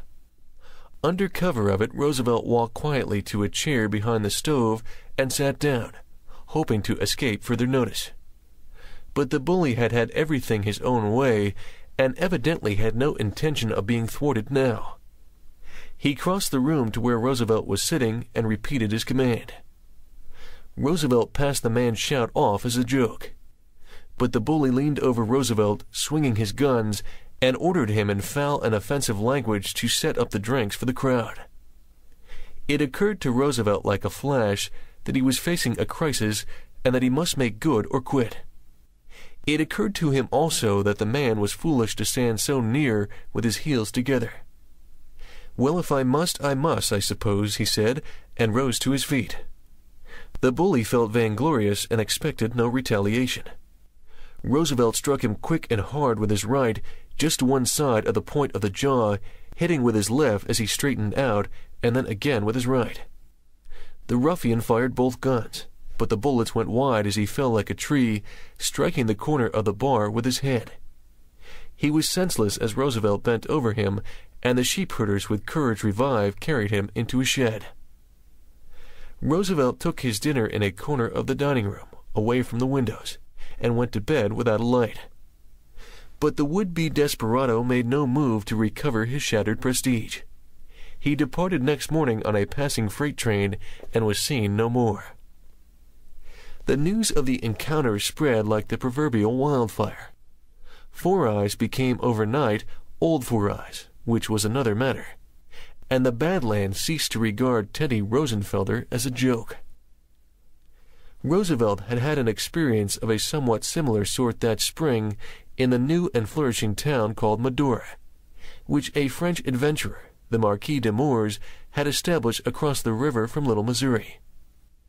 Medora was as raw as beef in a butcher shop, and the language that was spoken there was obscene beyond description. The worst offender, by common consent, was a burly reprobate who went by the name of Hell-Roaring Bill Jones. He had a checkered career, but was not without excellent qualities which Roosevelt had promptly recognized. It happened one day that Roosevelt was sitting in the office of the only other literary gent in the neighborhood, a young Michigan graduate named Packard, who was editor of the local weekly, The Badlands Cowboy. There were a number of cowpunchers in the room, and the language was more than picturesque. The most foul-mouthed of the lot, as usual, was Hell-Roaring Bill. Roosevelt had no taste for foul stories. Men who really knew him somehow failed to think of foul stories when he was about, or if they thought of them, instinctively left them untold. Evidently Bill Jones did not know him very well. Roosevelt stood the foul stuff as long as he could. Then he looked Bill Jones straight in the eye and skinned his teeth and said, I can't tell why in the world I like you, for you're the nastiest talking man I ever heard. The cowpunchers gasped. Bill Jones was notoriously light-triggered, and they expected his hand to fly to his gun. But Bill's hand did nothing of the sort. There was deep silence in the room. Then a sheepish look crept over the bad man's face as he said apologetically, I don't belong to your outfit, Mr. Roosevelt, and I'm not beholden to you for anything. All the same, I don't mind saying that maybe I've been a little too free with my mouth. They were friends from that day. They remained friends until Bill Jones died a pathetic wreck 30 years later. It did not take many incidents of this sort to fix Roosevelt's reputation in the Badlands. In a community in which the oldest inhabitant had resided only a year or two, it did not take a man long to establish himself. In Medora there was a small law-abiding element completely surrounded by a vast sea of iniquity. Rascals of every degree of wickedness came and went, gamblers and game butchers, horse thieves and cattle thieves, boyish adventurers and fugitives from justice. Roosevelt associated himself with the small group, including the editor of the Cowboy, which was endeavoring to bring law and order into the untamed region. His power was instantly recognized and before the summer was well advanced, one of the leading newspapers of western Dakota was speaking of him as a possible candidate for Congress. Roosevelt, however, had put politics temporarily behind him. The vigorous outdoor life in a wild country amid hardy men thrilled him to the depths. Beside it, the life of politics and society seemed for the moment unreal and valueless. His double bereavement had made the very intercourse with acquaintances and friends of the happy former times a source of renewed pain. His little daughter Alice was living with Bamie in the house on 57th Street. Soon that house was to be closed. The old home and the home that had been his during the first years of his married life were both gone. He determined that he would build a new home in surroundings that had no painful memories. Forty miles north of Chimney Butte, where the Little Missouri took a long swing westward through a fertile bottom bordered along its mile or two of length by sheer cliff walls, on a low bluff, surmounted by cottonwood trees, he found the bleached interlock antlers of two great elk, and there he determined to build his house.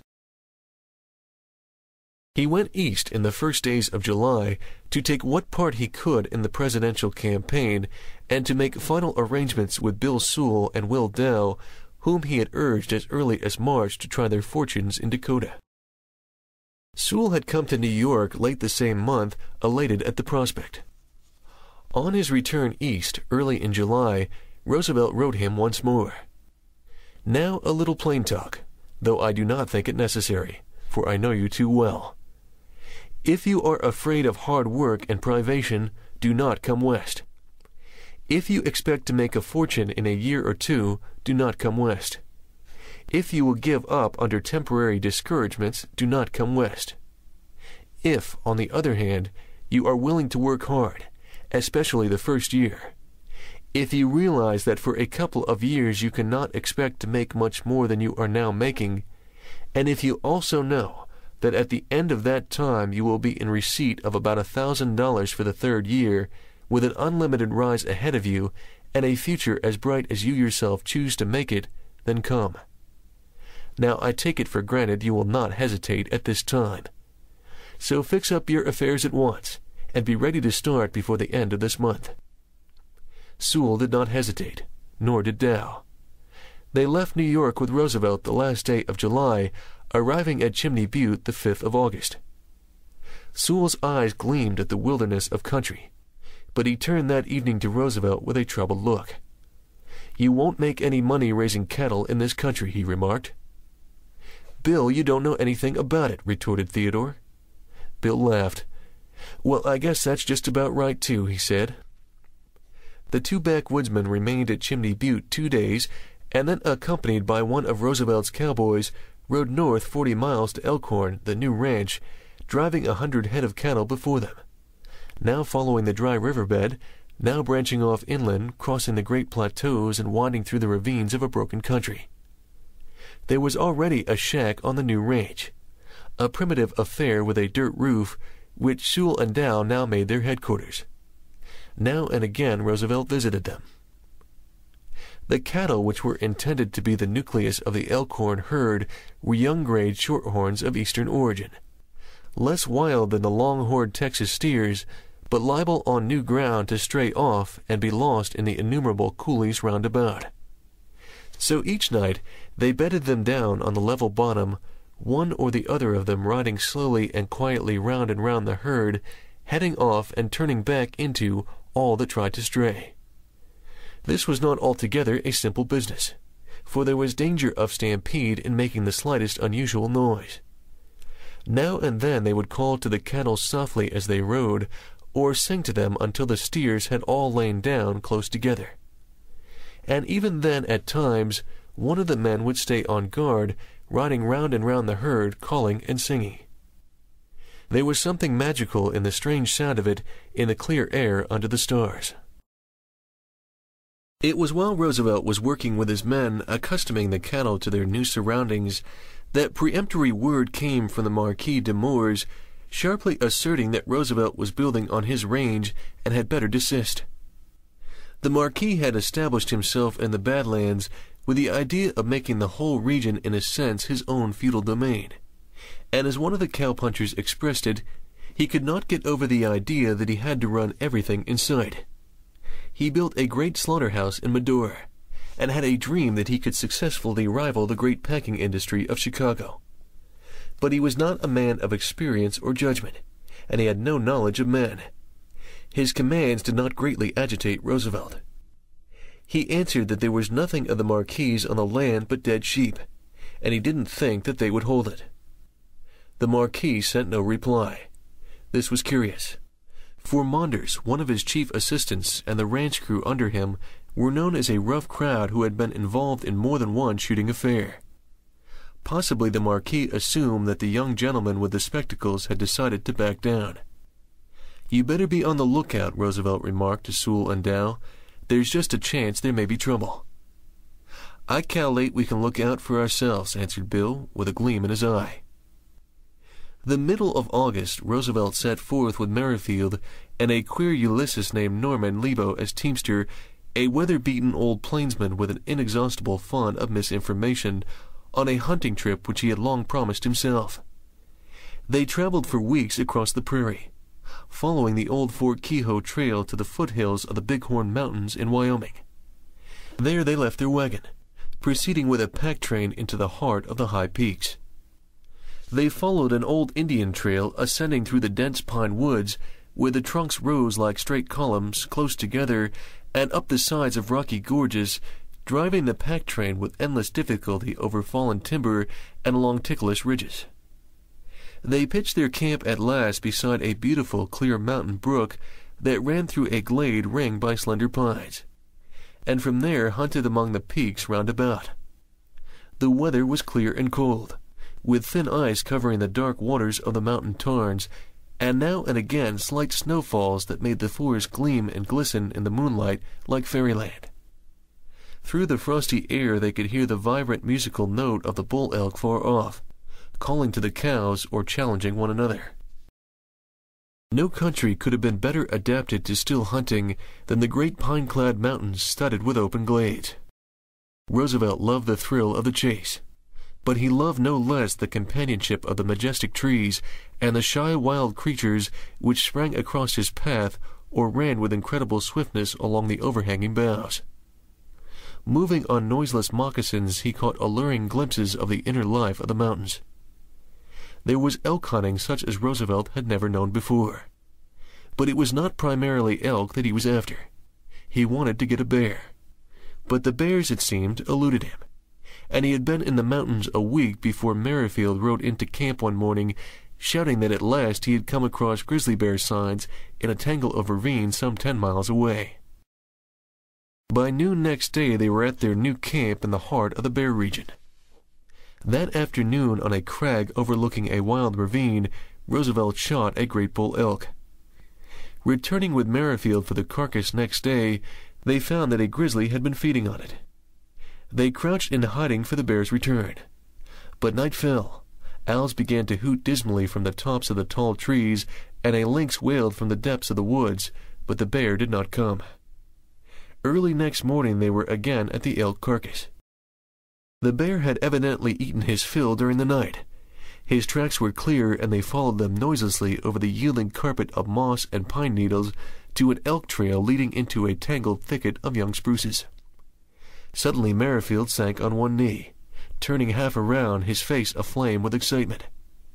Roosevelt strode silently past him, his gun at the ready. There, not ten steps off, was the great bear, slowly rising from his bed among the young spruces. He had heard the hunters and reared himself on his haunches. Seeing them, he dropped again on all fours, and the shaggy hair on his neck and shoulders bristled as he turned toward them. Roosevelt aimed fairly between the small, glittering, evil eyes and fired. The huge beast half rose, fell over, and was dead. The hunters broke camp the following morning, and in single file moved down through the woods and across the canyons to the edge of the great tableland, then slowly down the steep slope to its foot, where they found the canvas top wagon. Next day they set out on the 300 mile journey home to Chimney Butte. It was long and weary traveling across the desolate ranches of burnt prairie, over which, day after day, Roosevelt galloped now in this direction, now in that, on the lookout for game while the heavy wagon lumbered on.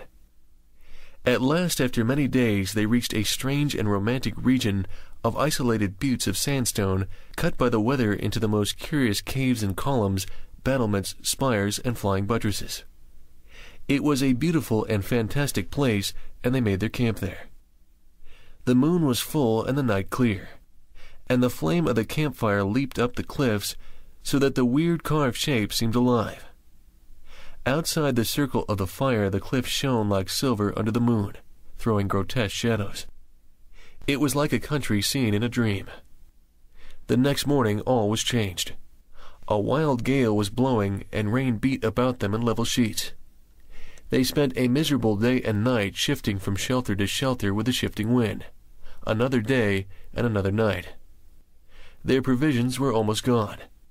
The fire refused to burn in the fierce downpour. The horses drifted far off before the storm. The third day dawned clear and crisp, and once more the wagon lumbered on. That night they camped by a dry creek on a broad bottom covered with thick parched grass. To make sure that their campfire would not set the surrounding grass alight, they burned a circle clear and stood about with branches to keep the flames in check. Suddenly there came a puff of wind. The fire roared like a wild beast as it started up. They fought it furiously, but it seemed that they were fighting in vain. In five minutes, they told themselves, the whole bottom would be a blazing furnace. Their hair and eyebrows were singed dry before they subdued the flames at last. They were three days from home, three days of crawling, voyaging beside the fag team. The country was monotonous, moreover without much game. After supper that night, Roosevelt concluded to press ahead of the wagon with Merrifield and ride the full distance before dawn. At nine o'clock they saddled the tough little ponies they had ridden all day and rode off out of the circle of firelight. The September air was cool in their faces as they lopped steadily mile after mile under the moonlight and then under the starlight over the rolling plains that stretched on all sides. Now and again bands of antelope swept silently away from before their path, and once a drove of longhorn Texas cattle charged by, the ground rumbling beneath their tread. The first glow of the sunrise was flaming up behind the level bluffs of Chimney Butte as they galloped down into the valley of the Little Missouri. Sewall and Dow, meanwhile, had been having a rather exciting time. One day on a roundup in the neighborhood, Dow overheard one of the Marquis de Morès' men remarking to another that there'd be some dead men round that Elkhorn shack some day. Dow told Sewall, Well, Draw Bill, if there's going to be any dead men hereabouts, I calculate we can fix it so it won't be us. A day or two after, one of the Marquis's men rode to where they were cutting timber. There's a vigilance committee around here, I hear, he remarked casually. They got a young fellow recently what was on foot, and reckoning that he was probably getting ready to steal a horse, they strung him up so his feet just touched the ground. They wanted him to confess. But he said he didn't have nothing he could confess. It was too bad about him. You haven't seen the Vigilance Committee about, have you? I heard they're considering making a call on you folks. The men from Maine said to each other that the thing began to look smoky. They carried rifles and revolvers after that when they went to cut timber. The vigilantes did not come, but six of the Marquis's men did, heralding their arrival with revolver shots in the air. It was Sunday morning. Sewall was alone. Unostentatiously his hand fell on his gun and remained there. He invited them into the shack to have some beans. The boss of the gang had been drinking, said Sewall, telling Roosevelt about it later. He had a good appetite, so I got all the beans into him I could to make him feel good. I guess he finally decided I wasn't worth shooting. Sewall and Dow greeted Roosevelt on his arrival with a full account of their adventures. People are breathing out slaughter against us, folks, said Sewall. What for? asked Roosevelt sharply. It's that Frenchman's outfit, said Sewall. I thought there'd be trouble there. Maunders, he's the boss, troublemaker of the Frenchman's outfit. He says he wants to shoot you, said Sewall. This was decidedly interesting. Maunders was known as a good shot and had in fact recently killed a man. Roosevelt went out to the corral, roped and saddled his horse, and rode to Maunders' shack. Maunders was there. Roosevelt rode up to him. I hear that you want to shoot me, he said quietly. I come over to find out why. After a brief conversation, it appeared that Maunders did not, after all, want to shoot him. He had been misquoted. They parted excellent friends.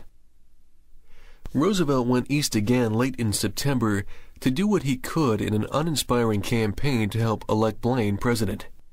But Cleveland was victorious, and Roosevelt, resigning himself to a fact that no effort of his could now alter, returned to Dakota. Sewall and Dow were at Elkhorn, busy cutting the timber for the new house, which was to stand under the shade of a row of cottonwood trees overlooking the broad, shallow bed of the Little Missouri. They were both mighty men with the axe. Roosevelt himself was no amateur, but he could not compete with the stalwart backwoodsman. One evening he overheard one of the cowboys ask Dow what the day's cut had been. Well, Bill cut down 53, answered Dow. I cut down 49, and the boss, he added dryly, not realizing that Roosevelt was within hearing, the boss, he beavered down 17. Roosevelt remembered a tree stump he had seen recently gnawed down by a beaver and grinned. Winter settled down over the Badlands. There was little snow, but the cold was fierce in its intensity. By day, the plains and buttes were dazzling to the eye under the clear weather. By night, the trees cracked and groaned from the strain of the biting frost. Even the stars seemed to snap and glitter. The river lay fixed in its shining bed of glistening white, like a huge bent bar of blue steel. Wolves and lynxes traveled up and down it at night as though it were a highway. Roosevelt was now living mainly at Chimney Butte, writing somewhat and reading much, sharing fully meanwhile in the hardship of the winter work. It was not always pleasant to be out of doors, but the herds had to be carefully watched, and every day, which began with breakfast at five, three hours before sunrise, he or one of his men was in the saddle from dawn to dark, riding about among them and turning back any herd that seemed to be straggling toward the open plains. In the open country there was always a strong wind that never failed to freeze ears or fingers or toes in spite of flannels and furs. The cattle suffered much, standing huddled in the bushes in the ravines, and some of the young stock died of exposure.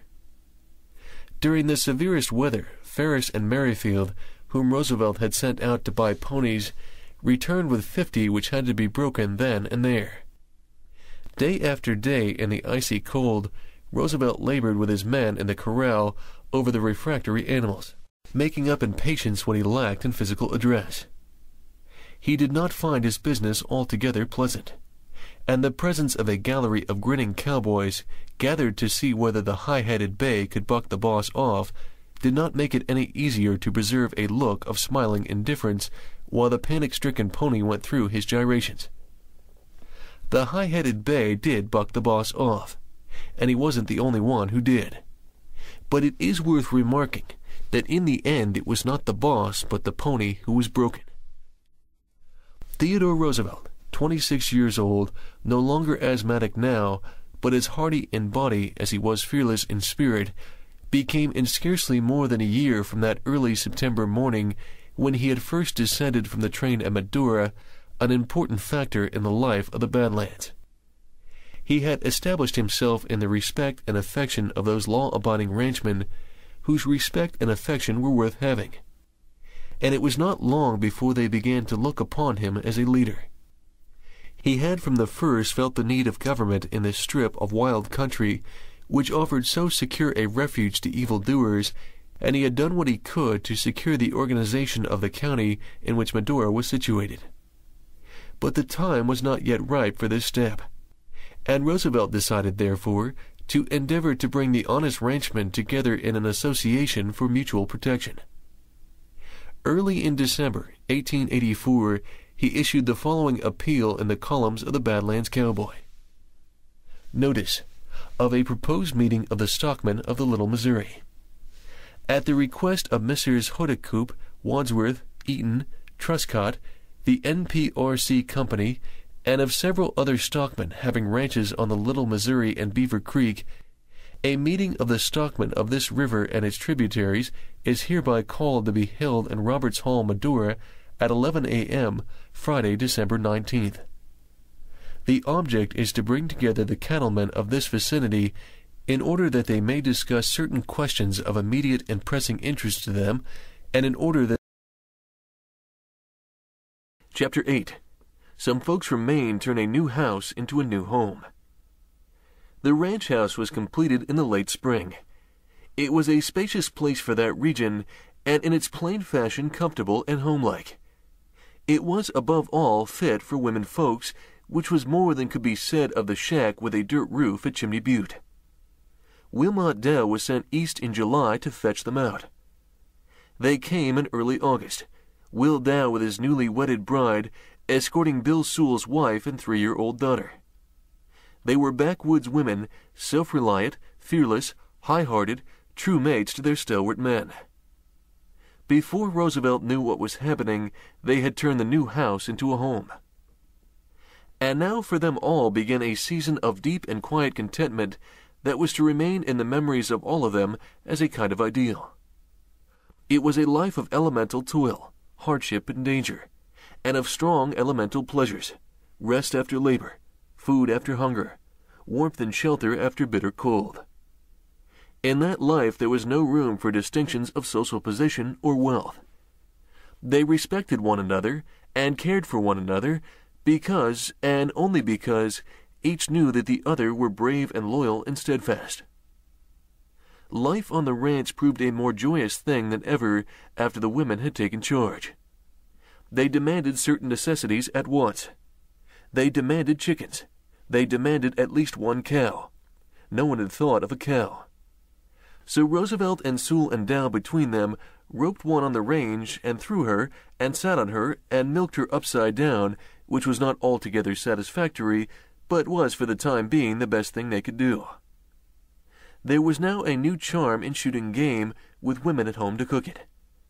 And Mrs. Sewall baked bread that was not at all like the bread Bill baked. Soon she was even baking cake, which was an unheard of luxury in the Badlands. Then after a while the buffalo berries and wild plums began to disappear from the bushes round about and appear on the table as jam. However big you build the house, it won't be big enough for two women, pessimists had remarked, but their forebodings were not realized. At Elkhorn no cross words were heard. They were, taken altogether, a very happy family. Roosevelt was the boss in the sense that since he footed the bills, power of final decision was his, but only in that sense. He saddled his own horse. Now and then he washed his own clothes. He fed the pigs. And once, on a rainy day, he blackened the Sunday boots of every man, woman, and child in the place. He was not encouraged to repeat that performance. The folks from Maine made it quite clear that if the boots needed blackening at all, which was doubtful, they thought someone else ought to do the blackening not at all because it seemed to them improper that Roosevelt should blacken anybody's boots, but because he did it so badly. The paste came off on everything it touched. The women mothered him, setting his belongings to rights at stated intervals, for he was not conspicuous for orderliness. He, in turn, treated the women with the friendliness and respect he had shown to the women of his own family. And the little Sewall girl was never short of toys. Elkhorn Ranch was a joyous place those days. Cowboys, hearing of it, came from a distance for a touch of home life and the luxury of hearing a woman's voice.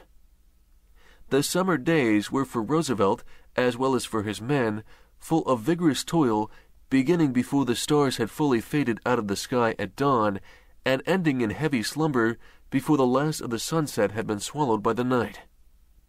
He was in the saddle much of the time, working among the cattle, salvaging steers mired in the numerous bog holes and quicksands, driving in calves overlooked in the spring branding, breaking ponies, hunting. Meanwhile, he was writing a series of magazine articles dealing with politics and was preparing for the press a remarkably entertaining volume of hunting experiences called Hunting Trips of a Ranchman, which he had written the previous winter.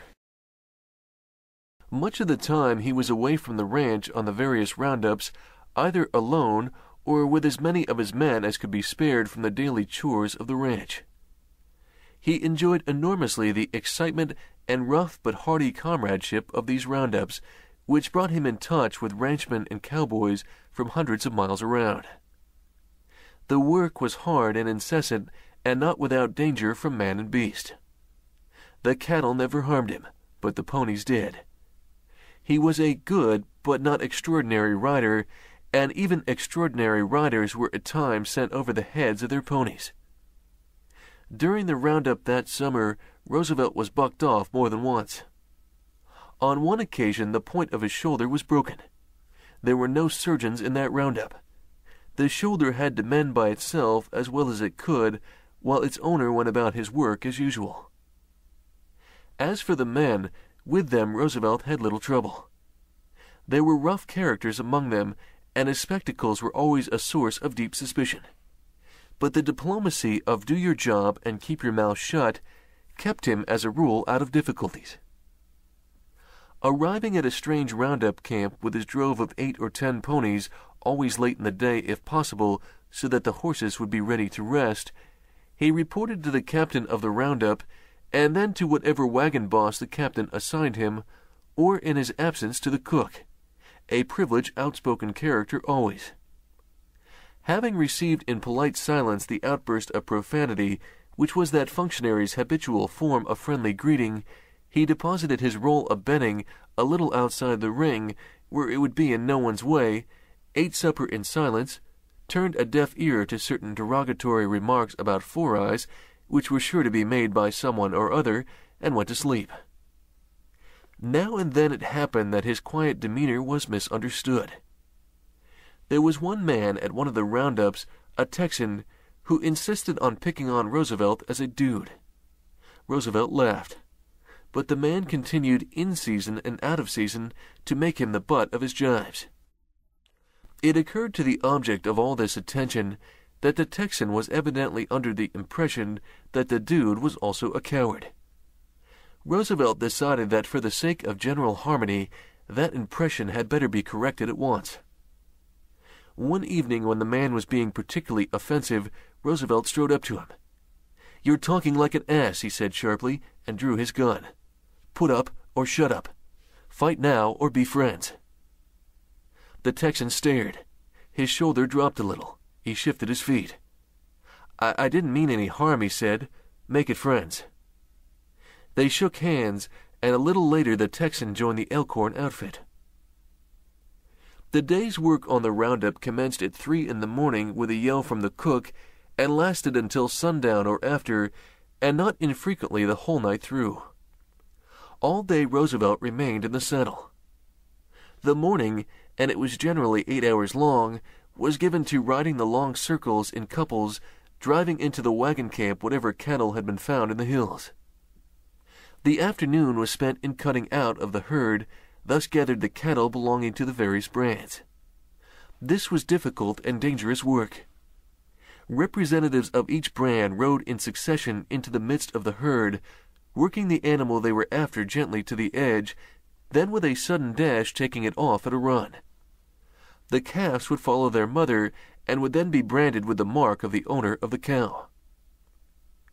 At night there was occasionally guard duty, a two hours slow patrol about the restless herd.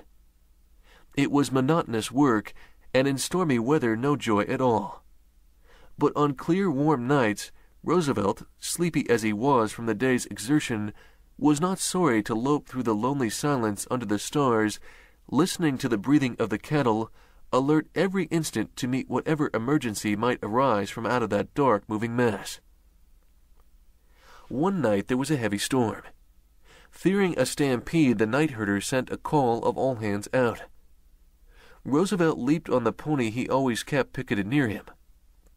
Suddenly there was a terrific peal of thunder.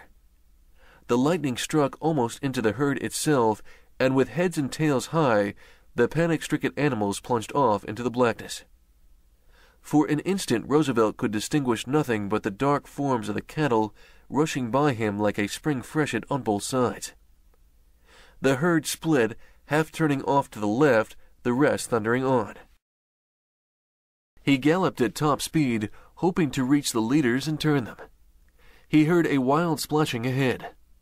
One instant he was aware that the cattle in front of him and beside him were disappearing. The next he himself was plunging over a cut bank into the Little Missouri. He bent far back. His horse almost fell, recovered himself, plunged forward, and struggling through the water and quicksand made the other side. For a second he saw another cowboy beside him. The man disappeared into the darkness and the deluge, and Roosevelt galloped off through a grove of cottonwoods after the diminished herd. The ground was rough and full of pitfalls. Twice his horse turned a somersault, throwing him. At last the cattle came to a halt, and after one more half-hearted stampede, as the white dawn came, turned reluctantly back toward the camp. Roosevelt gathered in stray groups of cattle as he went, driving them before him.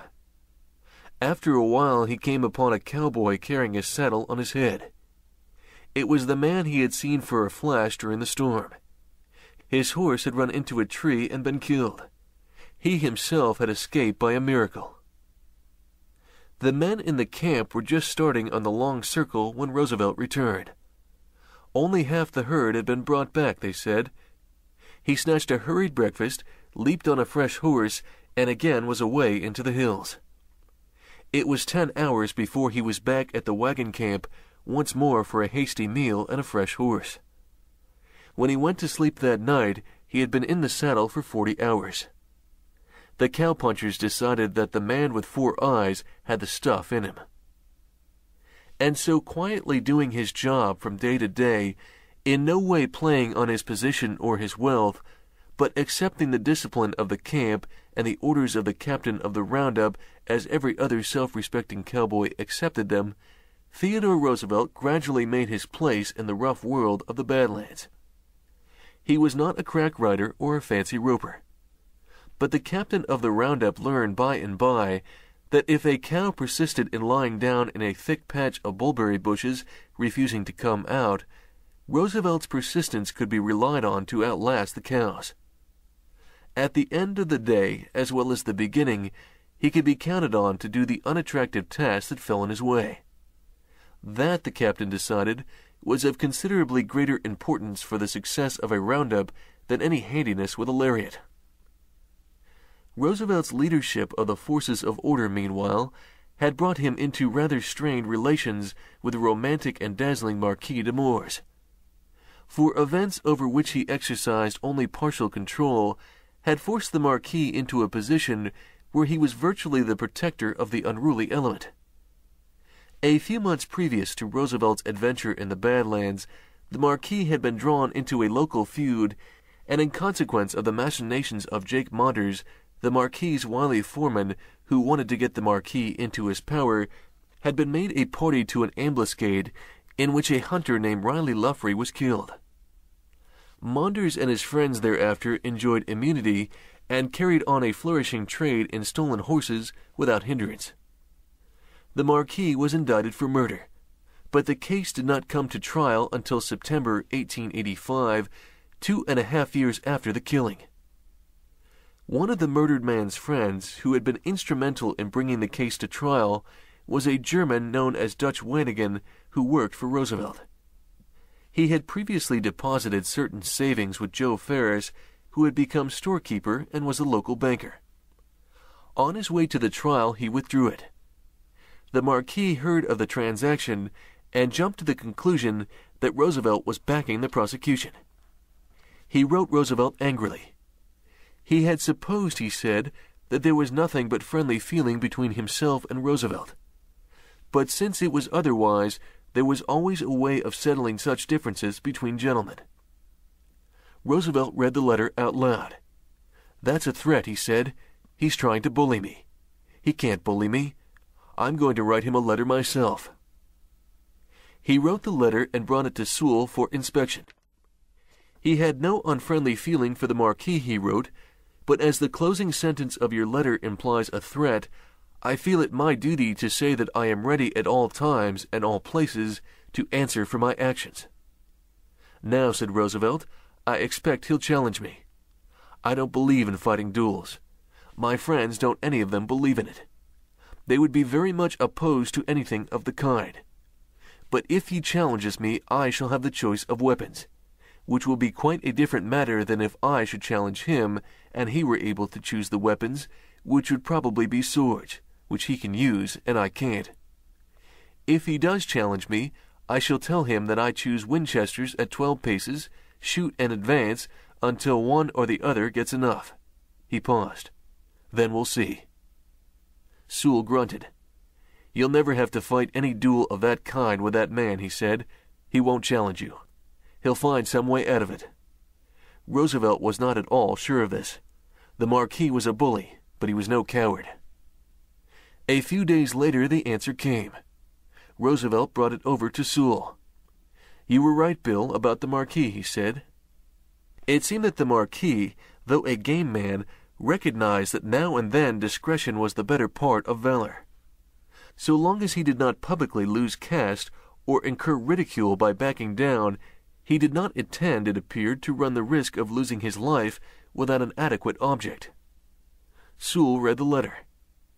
The Marquis declared that Roosevelt had completely misconstrued the meaning of his message. The idea he had meant to convey was that there was always a way of settling affairs of that sort between gentlemen without trouble. And wouldn't Mr. Roosevelt do him the honor of dining with him, and so forth and so on. And so it came about that there was profound peace thereafter. Chapter 9 The End of the Ideal The season which began with Finnegan and Company proved poor from a business standpoint, but rich in varied experiences. The cattle had not come through the winter well. Many of the weaker animals had died. The price of beef, meanwhile, remained low. But though Roosevelt was not getting much financial return on his rather generous investment, he was getting other things, for him at this time of far greater value. He who had been weak in body and subject to raking illness had in these three years developed a constitution as tough and robust as an Indian's. He had achieved something besides this.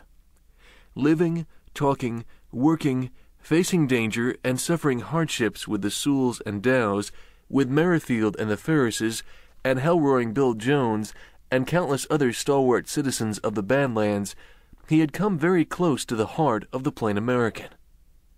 He loved the wild country. He loved the vigorous life.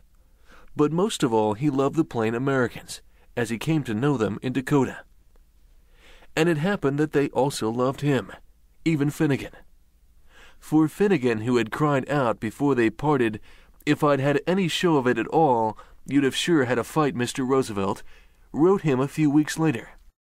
Should you stop at Bismarck this fall, make a call at the prison. I shall be glad to meet you. It was no wonder that Roosevelt wrote his brother in law that July, If I continue to make long stays here, I should very soon get to practically give up the East entirely. Roosevelt wrote much that summer, putting the finishing touches on his life of Benton, but more than half the time he was in the open, working on the various roundups, riding among the line camps, hunting, breaking colts. He broke other things besides colts. A rib on one occasion when the pony bucked him off on a rock. He made a speech to a Fourth of July crowd of cowboys and grangers at Dickinson. He opened a hop with the wife of a notorious gunfighter at Medora. He pronounced a friendly benediction on two babies which arrived at Elkhorn Ranch within a week of each other, and once, when he was alone on the prairie, he successfully repulsed a small band of Indians. The Indian adventure happened this way. He had been traveling along the edge of the prairie on a solitary journey to the unexplored country north and east of the range on which his cattle grazed, and was crossing a narrow plateau when he suddenly saw a group of four or five Indians come up over the edge directly in front. As they saw him, they whipped their guns out of their slings, started their horses into a run, and came toward him at full speed. He reined up instantly and dismounted the Indians came on, whooping and brandishing their weapons. Roosevelt laid his gun across the saddle and waited. When they were within a hundred yards, he threw up his rifle and drew a bead on the foremost rider. The effect was instantaneous. The Indians flung themselves over the sides of their horses, scattered, wheeled, and doubled on their tracks. At some distance they halted and gathered, evidently for a conference. Thereupon one man came forward alone, making the peace sign first with his blanket and then with his open hand. Roosevelt let him come within fifty yards. The Indian was waving a piece of soiled paper, his reservation pass. How? Me good Indian, he called. How? Roosevelt answered. I'm glad you are, but don't come any closer. Now from the right and left the other Indians began almost imperceptibly to draw toward him. Roosevelt whipped up his gun once more, covering the spokesman. That individual burst into a volume of perfect Anglo Saxon profanity, but he retired, which is what he was supposed to do. Roosevelt led the faithful Manitou off toward the plains. The Indians hovered about, but he was watchful, and they knew that he had a gun and that he was not afraid. They vanished in the radiant dust of the prairie. He had another adventure that summer, and it came uncomfortably close to costing him his life. It was in September, and he had gone west to the Coeur d'Alene Mountains with Merrifield and a guide, an extraordinary woodsman, but a man of more than dubious morals, for a fortnight's chase after white goats. The country through which they hunted was a vast wooded wilderness of towering peaks on every side, and valleys that lay half in darkness between timbered slopes or steep rock walls. Wild torrents sprang down through the chasms. They camped far up the mountains, hunting day after day through the deep woods just below the timber line. The climbing was very hard, and the footing was treacherous. There was endless underbrush, thickets of prickly balsam or laurel, but there were no goats. At last, one mid afternoon, as he was supporting himself against a tree halfway across a long landslide, Roosevelt suddenly discovered one of the beasts he was after a short distance away, waddling down a hill, looking for all the world like a handsome tame billy. He was in a bad position for a shot, and as he twisted himself about, he dislodged some pebbles. The goat, instantly alert, fled. Roosevelt fired, but the shot went low, only breaking a foreleg. The three men raced and scrambled after the fleeing animal. It leaped along the hillside for nearly a mile, then turned straight up the mountain. They followed the bloody trail where it went up the sharpest and steepest places, skirting the cliffs and precipices. Roosevelt, intent on the quarry, was not what Bill Sewall would have called overcautious in the pursuit. He was running along a shelving ledge when a piece of loose slate with which the ledge was covered slipped under his foot. He clutched at the rock wall. He tried to fling himself back, but he could not recover himself. He went head first over the precipice. There is probably something in the theory of guardian angels. Theodore Roosevelt's particular guardian angel that day took the form of a clump of evergreens in the ravine 40 or 50 feet below. The angel, whoever he was, caught the falling huntsman in a tall pine, sent him bouncing through it, and brought him up finally and reasonably comfortable in a thick balsam, somewhat shaken and scratched, but with no bones broken, and with his rifle still clutched in his hands. From far above came the hoarse voice of the guide. Are you hurt? No, answered Roosevelt, a trifle breathlessly. Then come on. Roosevelt came on, scrambling back up the steep heights he had so swiftly descended, and raced after the guide.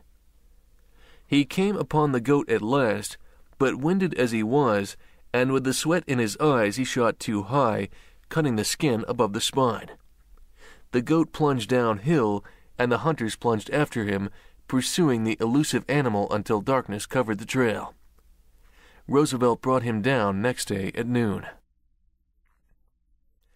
He returned to Elkhorn to find that during his fortnight's absence, two important things had happened. The first was the arrival of a letter notifying him that a nonpartisan organization, including the most prominent citizens of New York City, Democrats as well as Republicans, intended, with his consent, to make him their candidate for mayor at the coming election.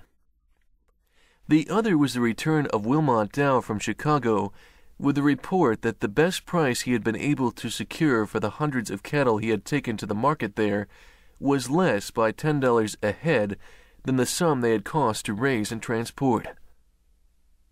Roosevelt had gone into the cattle business against the urgent advice and remonstrances of his family and his other friends. He did not like to admit that he had not made good. He was not at all sure, in fact, that with ordinary luck he might not yet succeed.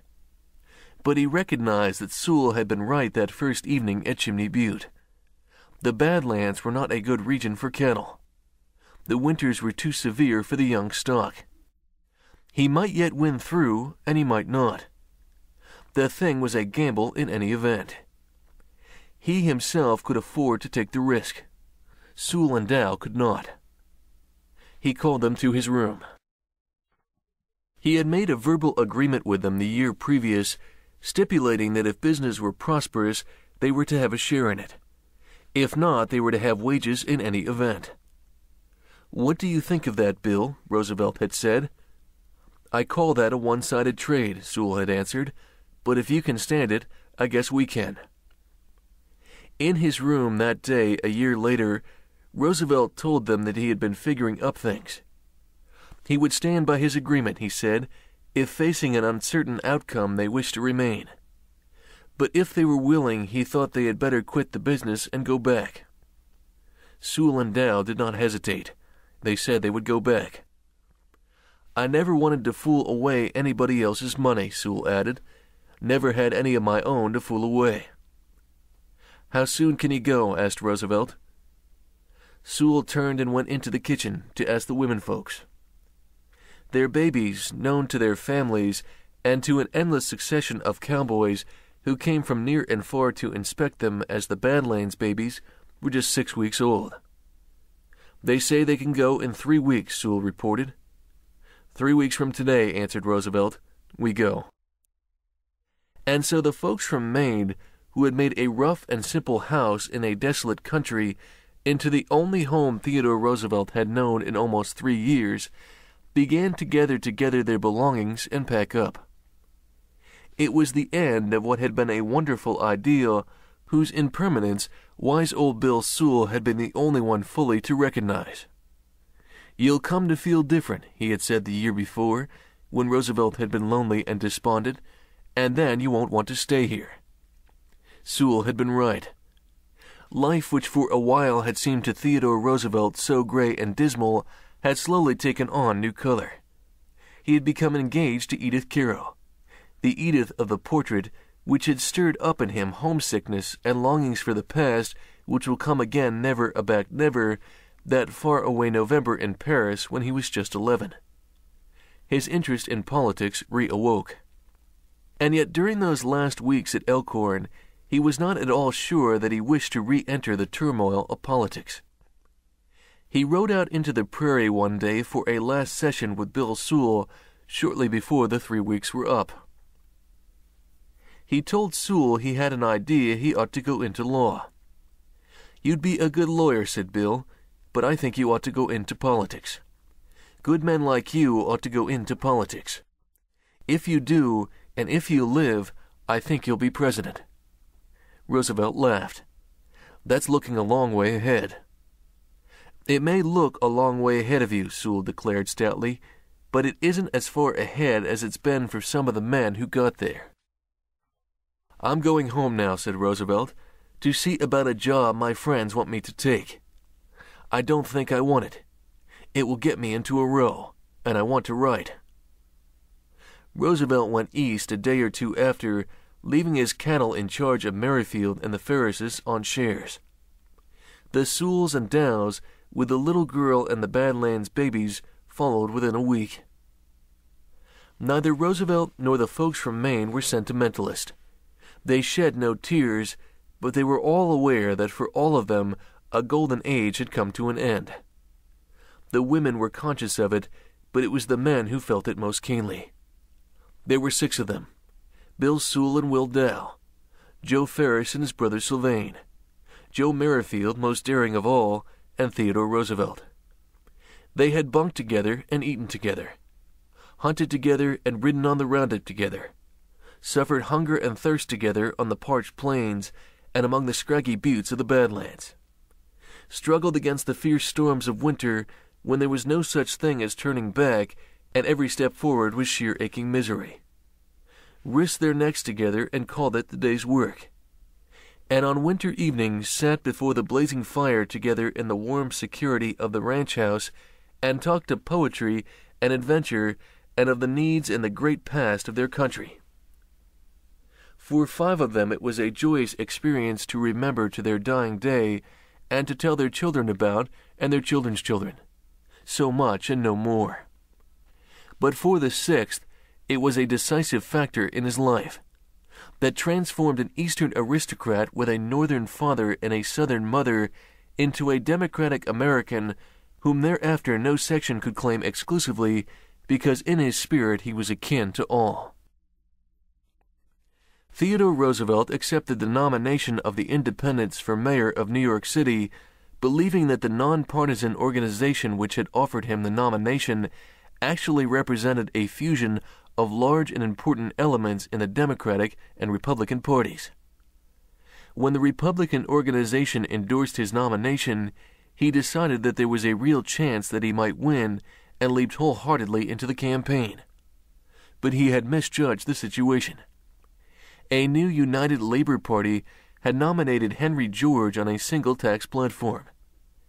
Tammany Hall had resorted to camouflage and nominated Abram S. Hewitt, an admirable and public spirited citizen. The fight was hopeless from the start. The thoughtful elements in the city, on whose support against the radicalism of Henry George on the one hand and the corruption of Tammany on the other, he had believed he could safely count, became panic stricken at the possibility of a labor victory and gave their votes to Hewitt. Roosevelt conducted a lively campaign, and here and there among his audiences, the spark of his enthusiasm for just and honest government began to kindle the hearts of young men to a fervor more profound and lasting than the effervescence of ordinary election excitement. For the first time, young men under the spell of the hot sincerity of Theodore Roosevelt, age 28, began to say, That's the man for me. He was not elected. In fact, he ran third. But anyway, he said cheerfully, I had a bully time. He went abroad immediately after election, and in December, at St. George's, Hanover Square, London, he married Edith Kermit Carow. Theodore Roosevelt and his wife returned to America early in the new year and immediately moved into the new house on Sagamore Hill at Oyster Bay, which Roosevelt had built two years previously, and which, with its wide view over woods and waters, was to be home thereafter. Aside from certain work in the Republican organization, Roosevelt took no part in politics. He thought of himself, in fact, not as a politician at all, but as a man of letters. His Life of Benton had been published the previous autumn and had quickly run into a second and third edition. He was now at work on its successor, The Life of Gouverneur Morris, and was already gathering material for what was to be his greatest historical work, The Winning of the West. Meanwhile, the news from Dakota was bad. The winter had been terrible in its severity.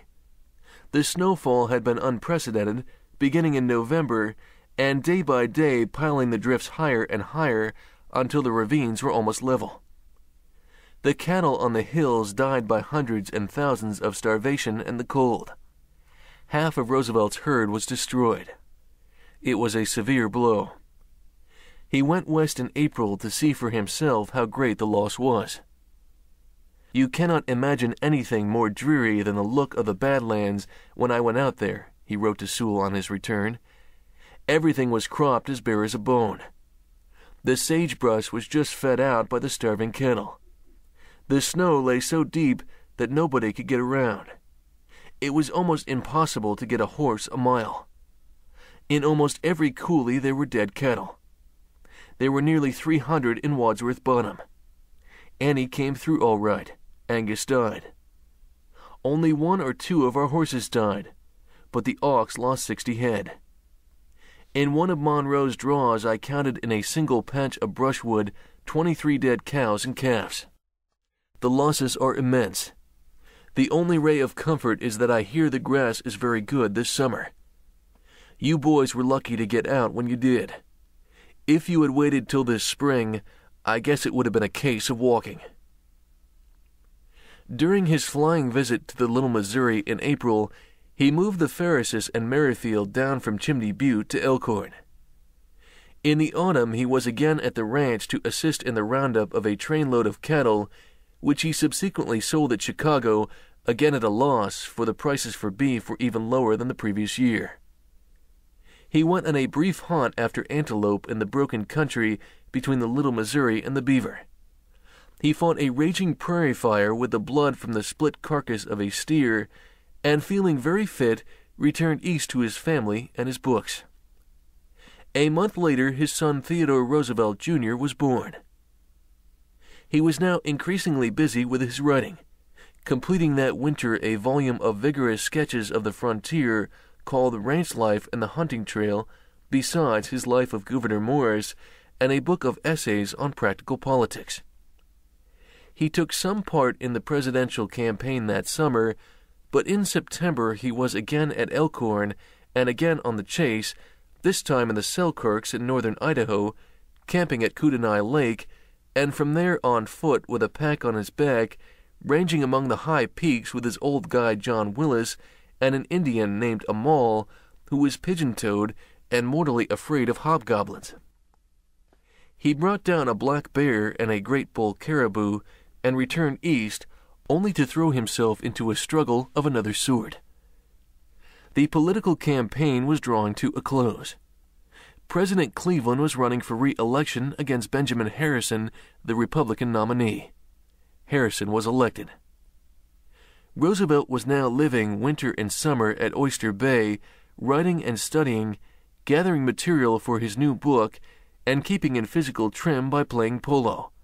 Not well, but as well as he could, with certain neighbors of his who, like himself, cared more for the sport than the exact science of the game. In the same spirit, he hunted with the Meadowbrook hounds and was regularly in at the death, not because he was a good rider on a good horse, but because though only a respectable rider riding an ex buggy horse, he would not allow even a broken arm or the fact that his horse might take it into his head to throw him at every fence to interfere with the day's business. He led a life of varied activity, but still he was half uncertain whether he had actually found his proper career. More than once he was impelled to go into business. He felt that he must, in self respect, leave to his children a heritage either of wealth or a widely honored name. He had grave doubts whether his books would bring him either. The critics took particular pains to point out to him, not altogether correctly, that though his writings were interesting, they were not literature. The new administration was inaugurated in March 1889. In May, President Harrison offered Roosevelt a place on the Civil Service Commission. Roosevelt had hoped that he might be appointed first assistant of Blaine, who was Secretary of State, but Blaine was afraid of the younger man's rather aggressive independence. The position of Civil Service Commissioner was not one to appeal to an active and ambitious man. It was in a sense a graveyard where many a good man had been deposited by his friends to be heard of no more. It led nowhere except to oblivion. For the conflict which a civil service commissioner must carry on unceasingly with congressmen on questions of patronage is not of a character to make smooth the road of political advancement. Roosevelt's friends advised him earnestly not to accept the place. He would be sidetracked for life, they said. He believed heartily in civil service reform.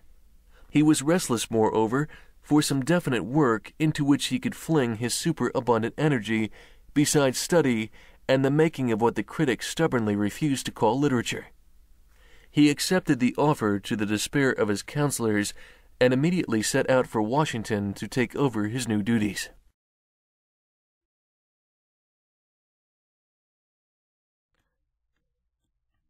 Chapter 10 He brings a graveyard to life and incidentally comes to close grips with a bear. Theodore Roosevelt plunged into his new work with vigor and enthusiasm. There was much to be done the Civil Service Commission was still in its infancy. Its friends looked upon it hopefully, but not with the burning hope of the earlier days of the reform, for it had not yet revolutionized politics. Its enemies, the spoilsmen, still nourished the belief that they could kill it. The country at large, meanwhile, knew next to nothing about it. The commission, consisting of two Republicans and two Democrats, had been created six years previous after a long struggle in which Roosevelt, as an assemblyman in New York, had done his share.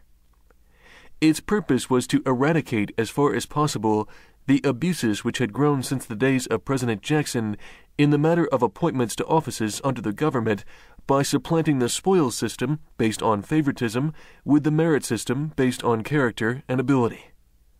14,000 minor offices had already been brought under the jurisdiction of the Civil Service Commission. But the old time politicians who believed that to the victor belong the spoils yelped and howled like hungry wolves at every attempt made by the Commission and its friends in Congress to extend what was known as the classified service. Roosevelt saw at once that what the Civil Service Commission needed, if it were to do effective work, if in fact it were to survive at all, was the support of an enlightened public opinion. Roosevelt's predecessors on the commission and one or two of the commissioners serving with him had conducted their work with as little publicity as possible, fearing that public discussion would merely rouse the spoilsmen to fiercer opposition. Roosevelt pursued the opposite theory. No good cause, he believed, need fear the light of day.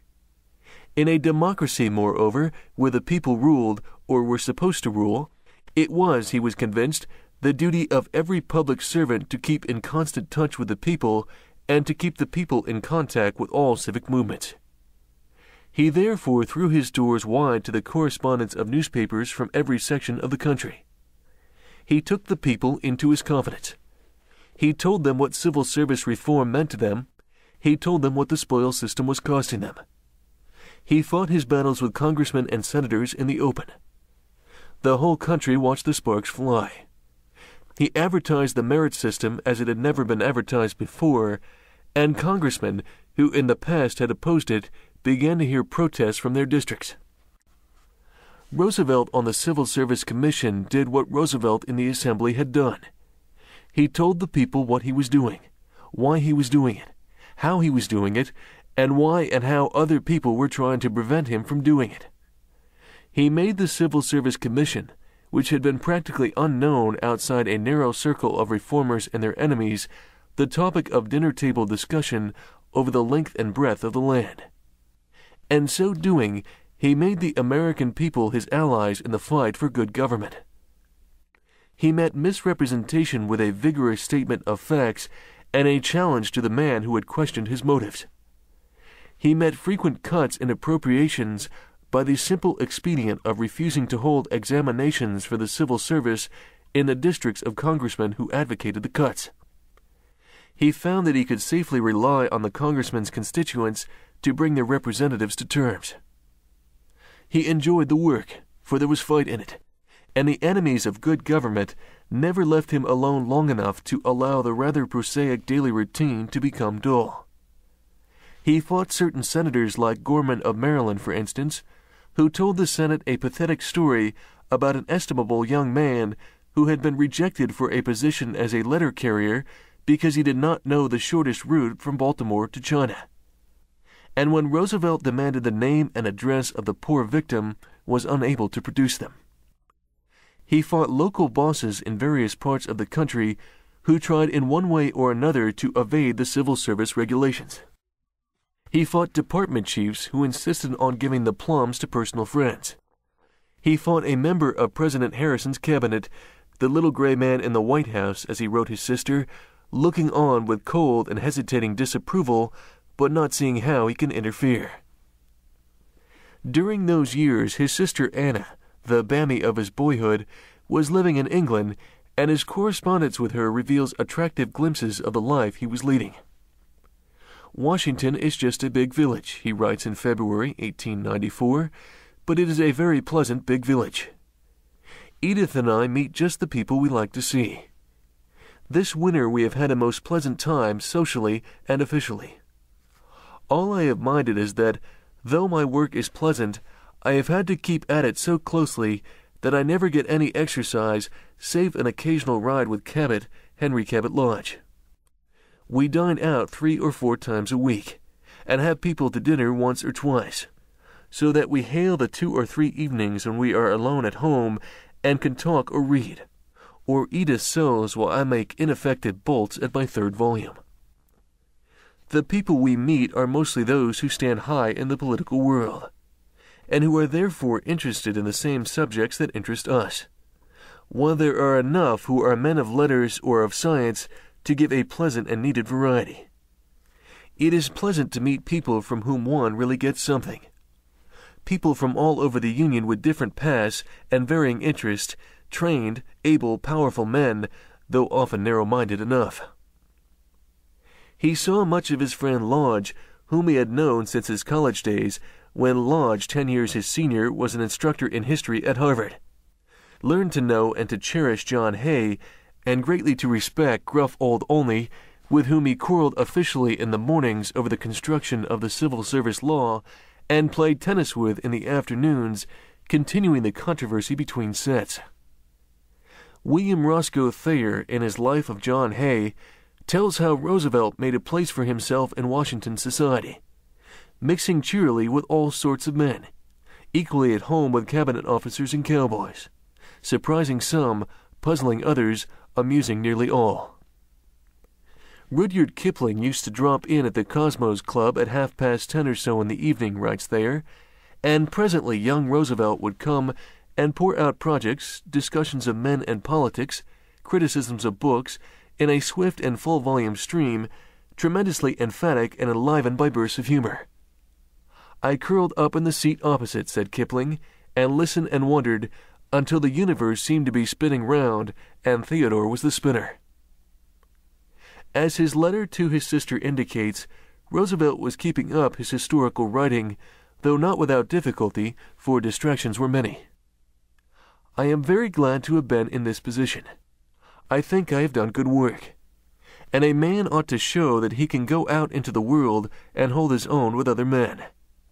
But I shall be glad when I get back to live at Sagamore and can devote myself to one definite piece of work. We Americans are prone to divide our efforts too much. A little later, he writes, out of a vague discontent with himself, I have been going out too much. I wish I had more chance to work at my books. Here I am occupied, but never busy all day, and go out in the evening. So I don't feel as if I were really working to lasting effect.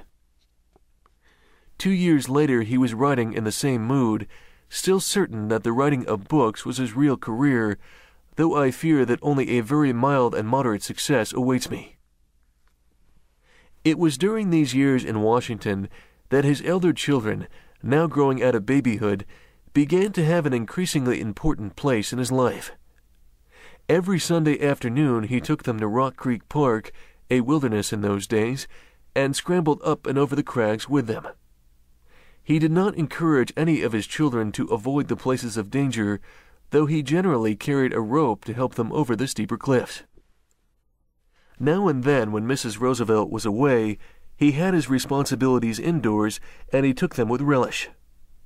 All this week, he writes, I have been here alone with the four younger bunnies. At breakfast, I generally have to tell Ted and Kermit stories of hunting and of ranch life, and then Ted walks part way down to the office with me. In the evening, I take my tea with Ted and Kermit and Ethel while they are having supper, and then I read, first to the two smallest, and afterwards to Ted. As for Archie, he is the sweetest little fellow in the world, and I play with him as much as I possibly can. The children are just too sweet for anything. The other day, discussing their futures, Ted said, I'll be a soldier. To which Kermit solemnly answered, I'll just be a plain man with bunnies like father. Meanwhile, the plain man with bunnies was fighting the good fight vigorously, and not without a certain delight in making the men of his own party toe the civil service mark as strictly as the Democrats, who under President Cleveland were in power during the greater part of his period on the commission. I am trying to persuade the President, he wrote early in 1894, to make some real extensions of the classified service. I only wish he would make all that are possible now. If the Republicans do come in again, I hope they'll have as little patronage to quarrel over as possible. The American people from Maine to California watched the dramatic battle in which Roosevelt led the forces of honesty and fair play against the hordes of corruption and favoritism. And here and there young men who dreamed of cleaner politics and better government began to take hope seeing that a man might be honest and have a high purpose and nevertheless be more than a match for the dishonest experts in guile. Here and there young men began to realize that politics might offer a career that a self respecting man might follow. Roosevelt, endeavoring to interest the American people in a great and urgently necessary reform, unconsciously set in motion forces of progress which were gradually to revolutionize American politics. For six years he preached civil service reform to the American people. The people listened to his words and forgot them, but they did not forget the ardent spirit who uttered them. Words are cheap and perishable things, but a flaming spirit burns his mark on the hearts of men and is not forgotten. Here and there young men awoke to a new vision of justice and service. And so in work and struggle six years went by. If the Civil Service Commission was, as Roosevelt's friends had declared, a political graveyard, it was during those years the liveliest and most inspiring graveyard the world has ever seen. Theodore Roosevelt, government official and plague of the spoilsman, was for all the prickings of his conscience not neglectful of what he regarded as his real profession, the making of books. In 1891, he had published a history of New York City. Two years later, The Wilderness Hunter, a stirring narration of his hunting experiences here and there through the West. And the same year, American Big Game Hunting, the book of the Boone and Crockett Club. Two years later, again, he published Hunting in Many Lands, likewise for the club. And in collaboration with Henry Cabot Lodge, then a member of the House of Representatives, Hero Tales from American History. During the latter years of his commissionership, he occupied himself whenever occasion offered with the winning of the West. He was quite sure that writing and not politics was his true vocation. I have really enjoyed my work, he writes to his sister, Mrs. Douglas Robinson, of his civil service activities. I feel it incumbent on me to try to amount to something either in politics or literature, because I have deliberately given up the hope of going into a money making business. Of course, my political life is but an interlude. It is quite impossible long to do much between two such sets of kittle cattle as the spoilsmen and the mugwumps. He lived mainly in Washington, remaining at his desk even through the scorching summers, with only occasional brief vacations at Oyster Bay. Every autumn, however, he went west for a month, for half his heart was always in Dakota. I go on for a hack at the bears in the Rockies, he wrote his younger sister in 1889. I am so out of training that I look forward with acute physical terror to going up my first mountain. He took his hack in September, just west of Yellowstone Park in Idaho. His companion was a crabbed, rheumatic old mountain hunter named Hank Griffin, who had an extraordinary gift for finding game, but also a surly temper and profound contempt for tenderfeet, especially tenderfeet who wore spectacles. He had never trundled a tenderfoot before, he remarked, and gave the impression that he considered Roosevelt in the light of one who had blackened his otherwise spotless record. He took his revenge by lying abed late and letting Roosevelt do all the work about the camp. Finally, one day he refused altogether to go out on the day's hunt. He had a pain, he said.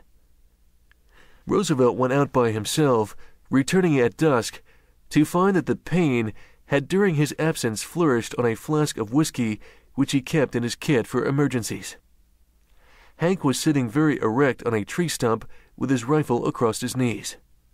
Roosevelt nodded in greeting. The guide leered at him. He was evidently very drunk. Roosevelt leaned his rifle against a tree near the cooking things and walked over to where his bedding lay. He suspected that his flask had been tapped. He rummaged through his belongings. The flask was there, but the whiskey was gone. He turned on the man swiftly. Hank, you've emptied my flask, he cried. The guide chuckled drunkenly. Suppose I have. What are ye going to do about it? I'll tell you what I'm going to do about it, answered Roosevelt hotly. I am going to take one of the horses and go on by myself. Hank stiffened up and cocked his rifle. You can go alone, he muttered, but you won't take a horse. Roosevelt saw that the man was in a dangerous mood. All right, he said. If I can't, I can't, I suppose. Then he began to move about in search of some flour and salt pork.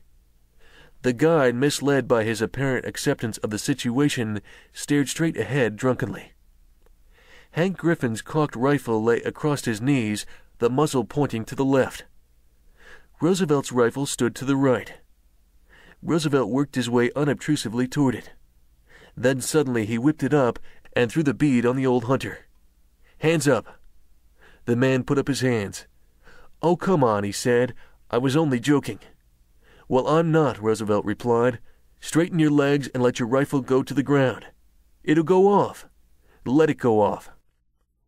But the gun did not go off after all, for the guide straightened his legs with care so that it slipped to the ground without a jar. Move back. The guide obeyed, and Roosevelt picked up the rifle. The cramped old man was quite sober now and quizzical instead of angry. Give me back my rifle, he remarked in a conciliatory tone, and we'll call it quits and go on together. I guess we won't do that, said Roosevelt. The hunt's about through anyway, and I think I'll go home.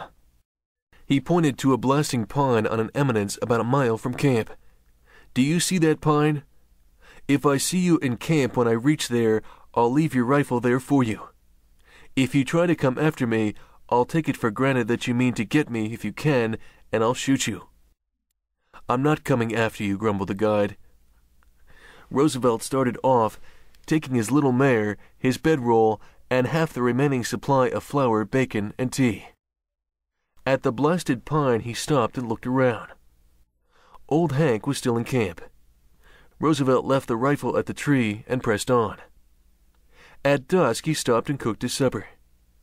He did not believe that the old hunter would follow him but there was just a chance that he might. So he made use of a familiar trick of the trappers in the old Indian days. Leaving his campfire burning brightly, he pushed ahead until darkness made further progress impossible. Picketing the mare, but building no fire, he lay down and slept until the first streak of dawn, then again pushed on for two hours or more before halting to cook breakfast.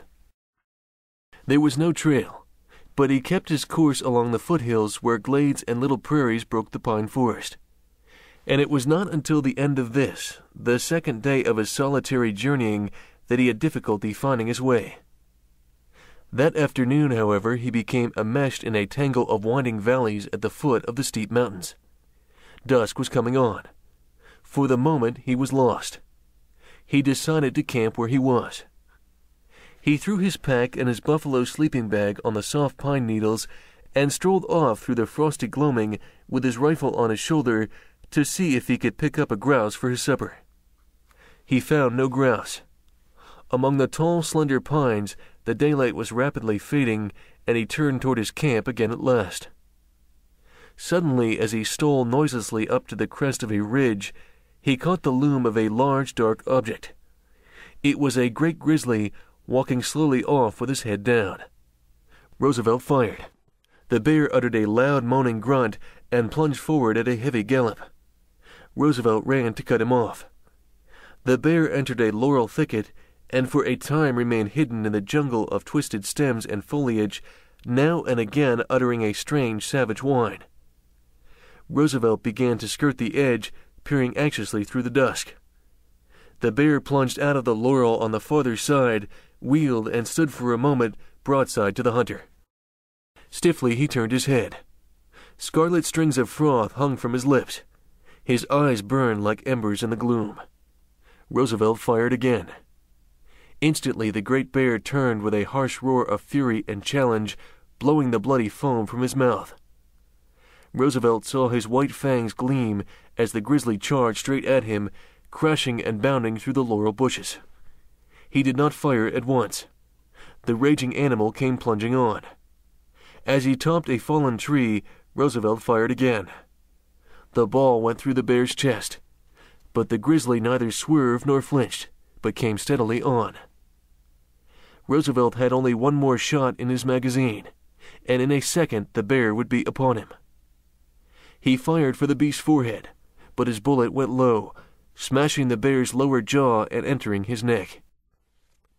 Roosevelt leaped aside even as he pulled the trigger. The smoke hung for an instant, and through it he saw a great paw striking viciously at him. He flung himself back, hurriedly jamming a couple of cartridges into his rifle. The rush of the grizzly's charge carried him past his pursuer. As he struck, he lurched forward, recovered himself, and made two or three leaps onward, then suddenly collapsed, rolling over and over. Roosevelt's hack at the bears had been successful. For a time he had still kept cattle on his ranges in the Badlands, with Merrifield and the Ferrises in charge at Elkhorn. In 1890 he was at the ranch with Mrs. Roosevelt. A year later he hunted elk with an Englishman named Ferguson, now his ranch partner, at Two Ocean Pass in the Shoshones in northwestern Wyoming. That autumn he closed the ranch house. A year later he returned to Elkhorn for a week's hunting. The wild forces of nature had already taken possession.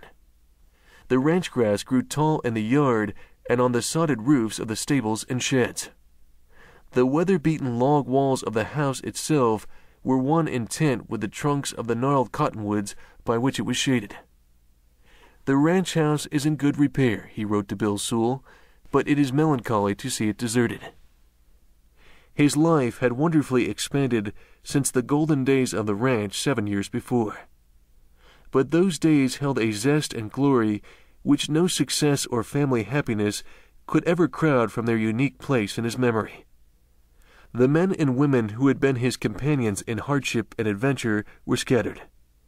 The Ferrises had retired on their earnings. Merrifield had moved to Oregon.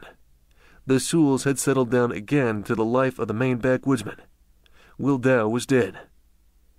A year or two later, the waters of the Little Missouri rose and flooded the banks and carried away the ranch house. And that was the end of that chapter in the life of Theodore Roosevelt.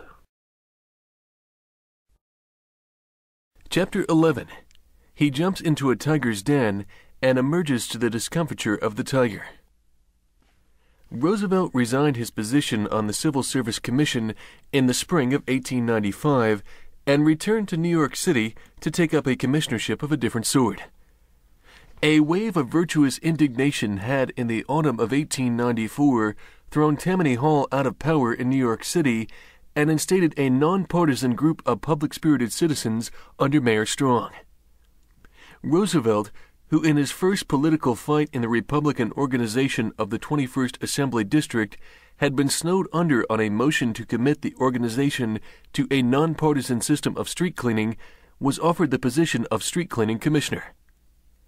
I have been dreadfully harassed over this offer of Strong's, he wrote his sister Bamie in December 1894. Finally, I refused after much hesitation. I should much have liked to help him and to find myself again in close touch with my New York friends, but I was not willing to leave this work at this time, just when the ends are loose. In April of the following year, the mayor offered him the police commissionership. His friends, notably Lodge, whose judgment he trusted, urged him to accept. I hated to leave Washington, he wrote, for I love the life, and I shall have, if I go, much hard work and I will hardly be able to keep on with my literary matters. Moreover, it is a position in which it is absolutely impossible to do what would be expected of me. The conditions will not admit it. I must make up my mind to much criticism and disappointment. But on the other hand, I am nearly through with what I can do here. And this is a good way of leaving a position which I greatly like, but which I do not wish permanently to retain, and I think it is a good thing to be definitely identified with my city once more.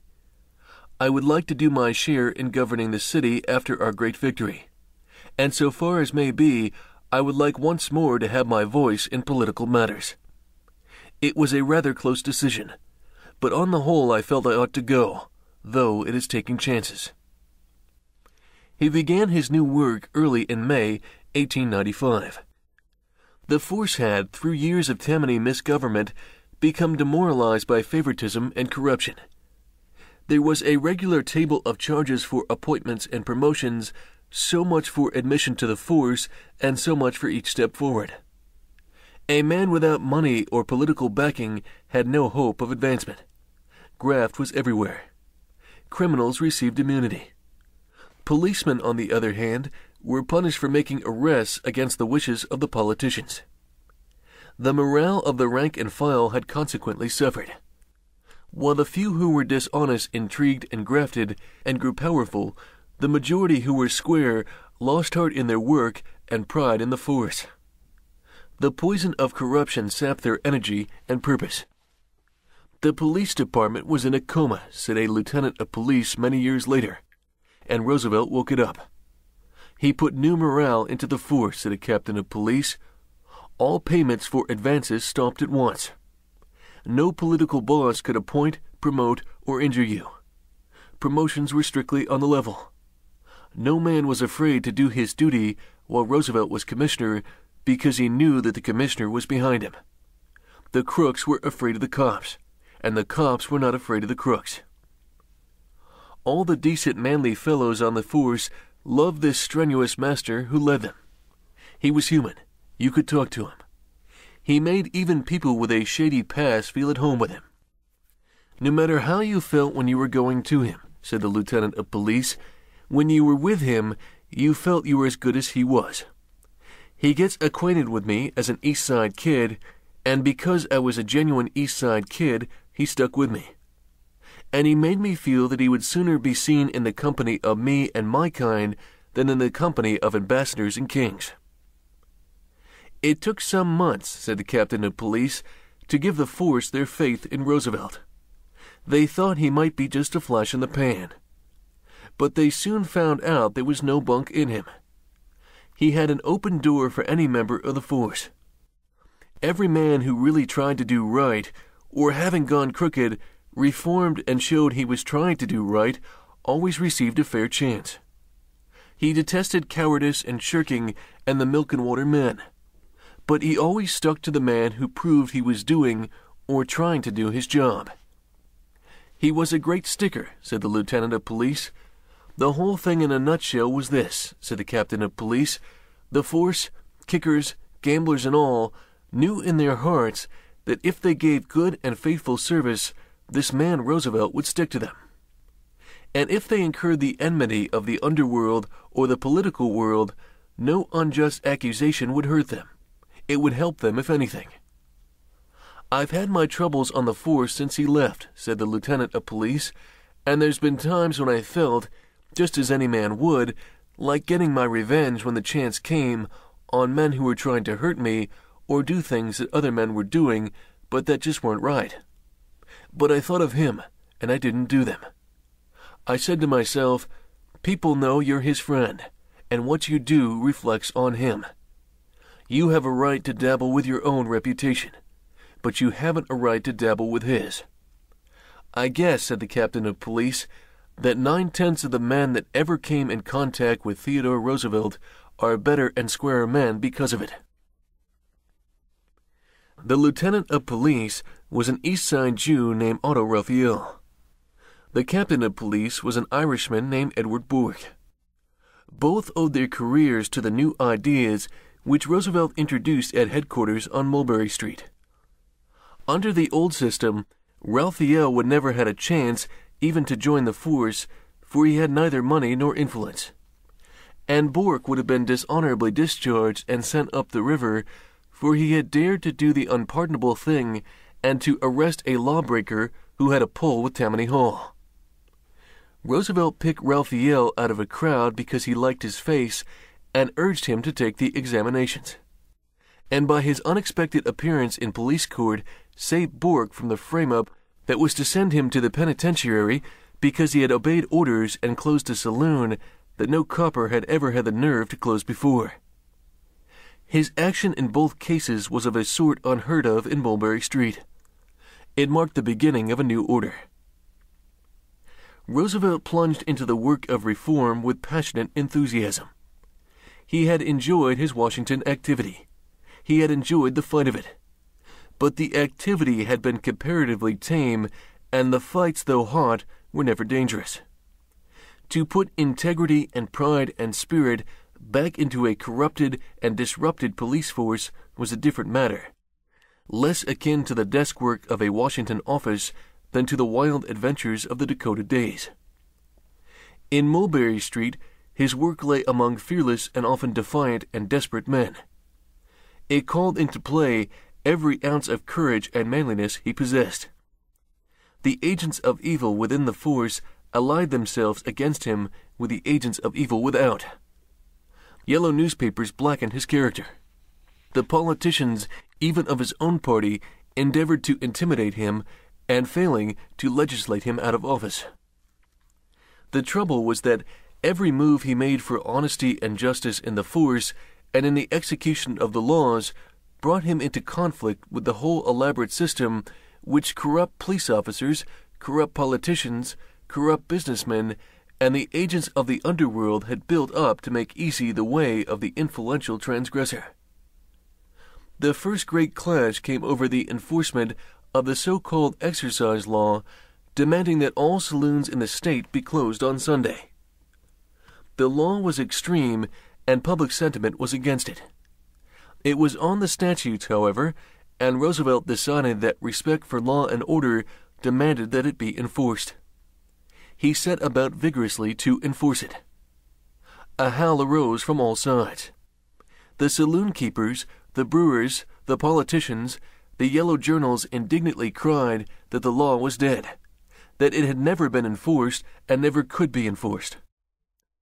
Roosevelt replied that if the law was dead, the thing to do was to repeal it.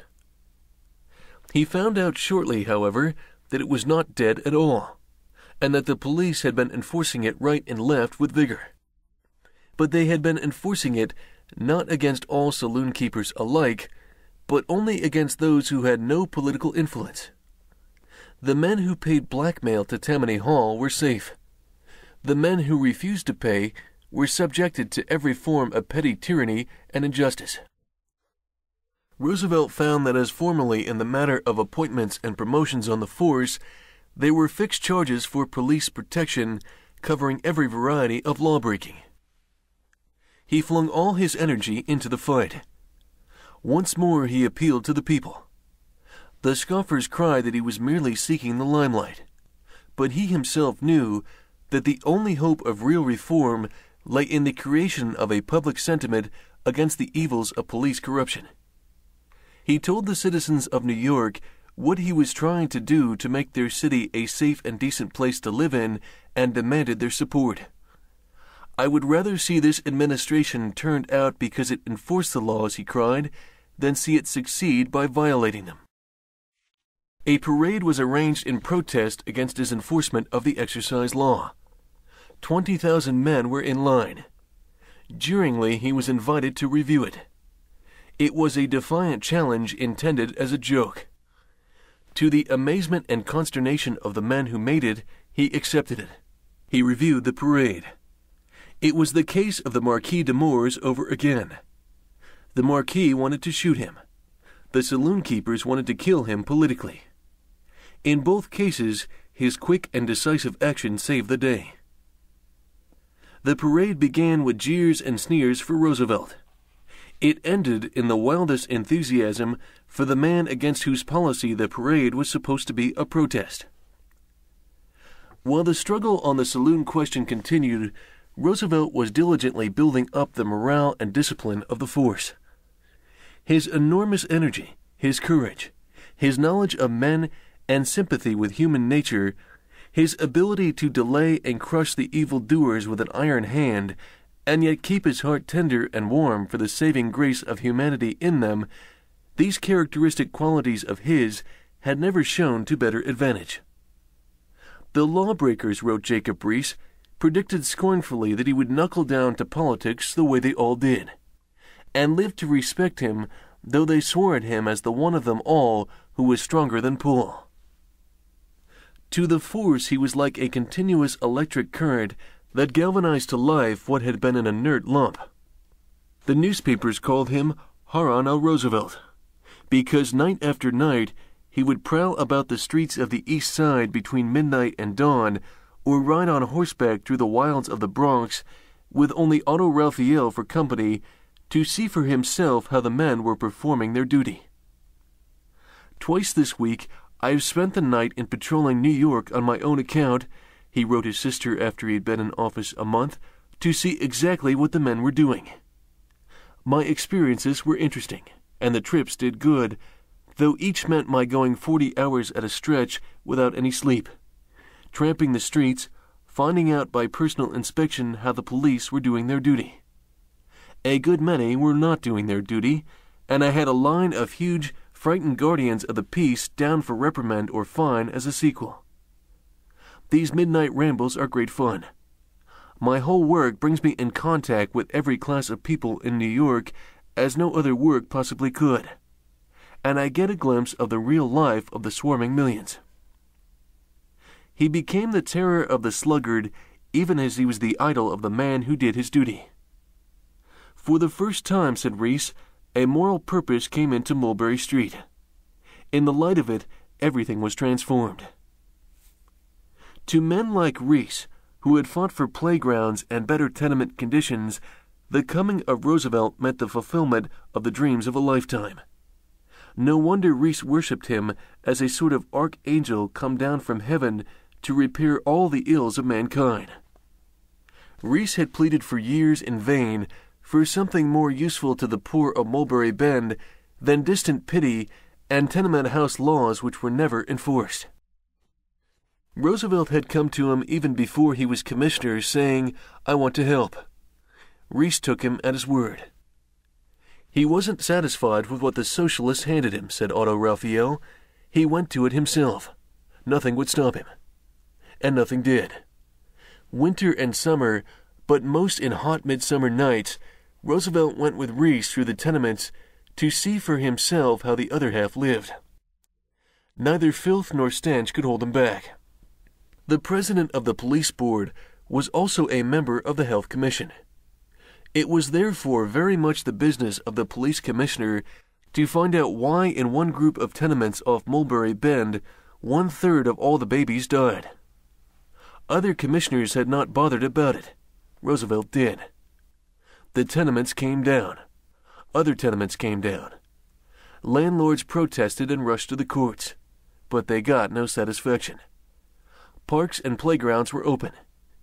The overcrowded old Tombs prison was demolished and a new one erected on its site. The police lodgings house, which had degenerated into harbors for every species of tramp and vagrant and nurseries of every variety of crime, were closed and always the grafters held, and the yellow newspapers jeered, fanning the flames of class hatred, and the timid good people protested, and because they did not understand, lent their strength to the people who were neither timid nor good. In the New York political world just at present, he wrote his sister, after he had been in office eight months, every man's hand is against me, every politician and every editor, and I live in a welter of small intrigue. I rather think that in one way or another I shall be put out of office before many months go by. But as I don't see what else I could have done, I take things with much philosophy, and will abide the event unmoved. I have made my blows felt at any rate. Day by day, the struggle became more bitter. I work and I fight, from dawn until dusk almost. And the difficulties, the opposition, the lukewarm support I encounter give me hours of profound depression. But at bottom, I know the work has been well worth doing, and that I have done it as well as it could be done. And what I most care for is its intensely practical workday character. It is a grimy struggle, but a vital one. Two weeks later, he was writing, All day I strive to push matters along, to keep on good terms with the mayor, while rejecting his advice and refusing to obey his orders. Not to be drawn into a personal quarrel with Platt. Not to let my colleagues split either amongst themselves or with me. To work with reformers like Dr. Parkhurst and yet not to let them run away with the department. To keep weeding out the bad men. To attend to the thousand complaints, well and ill founded, of citizens. To try to improve discipline and to build up the detective bureau and develop leaders, and so on and so on. By evening, I am pretty well tired. Gradually, it began to dawn on the minds of the people of the city that the police department was becoming more efficient than it had been at any previous time in its history, and the screeching mendacity of the newspapers began gradually to wear through. But the politicians of both parties continued to fight him hammer and tongs. There is nothing of the purple in it, he wrote of his work in June 1896. It is as grimy as all work for municipal reform over here must be for some decades to come. And it is inconceivably arduous, disheartening, and irritating beyond almost all other work of the kind. I have to contend with the hostility of Tammany and the almost equal hostility of the Republican machine. I have to contend with the folly of the reformers and the indifference of decent citizens. Above all, I have to contend with the singularly foolish law under which we administer the department. The work itself is hard, worrying, and often very disagreeable. The police deal with vile crimes and hideous vice, and it is not work to be done on a rosewater basis. The actual fighting with any of my varied foes I do not much mind. I take it as a part of the day's work. But there is much that is painful. But fight after fight is won, and its very memory vanishes. Meanwhile, his efforts had been made even more difficult by constantly increasing friction with other members of the board. His queer, strong, able colleague Parker, whom he had described a year before as the most positive character with whom I have ever worked on a commission, had turned violently against him. If he and I ever get at odds, Roosevelt had prophesied, we shall have a battle royal. And a battle royal it turned out to be. I have endless petty rows with Fitch and Parker. Very irritating because they are so petty, but very necessary. The battle for decent government must be won by just such interminable, grimy drudgery. Painful months of marching and skirmishing, mostly indecisive. The glorious days of striking victory are few and far between, and never take place at all unless there is plenty of this disagreeable preliminary work. Parker blocked every move he endeavored to make toward better conditions on the force and among the poor. Lord, Roosevelt exclaimed in one of his letters, it is hard work trying to really accomplish something in civic reform. The fight within the board was as bitter in its way as the fight against the lawbreakers, the grafters, and the landlords who wanted their dollars and did not care though the blood of children dripped from them. It hampered the work of reform and threatened to destroy the new spirits and discipline of the force. But Roosevelt knew that the things for which he fought were right, and raged at the short sightedness which insisted on blocking the gears of progress and justice. Respectable people were shocked because he lost his temper. But he was human, and he saw better than they the enormous needs to be met and the powers of evil to be conquered. It was, as he described it, a grimy struggle. But the letters of this period reveal how little of the grime remained on the man who spent his days in the midst of it.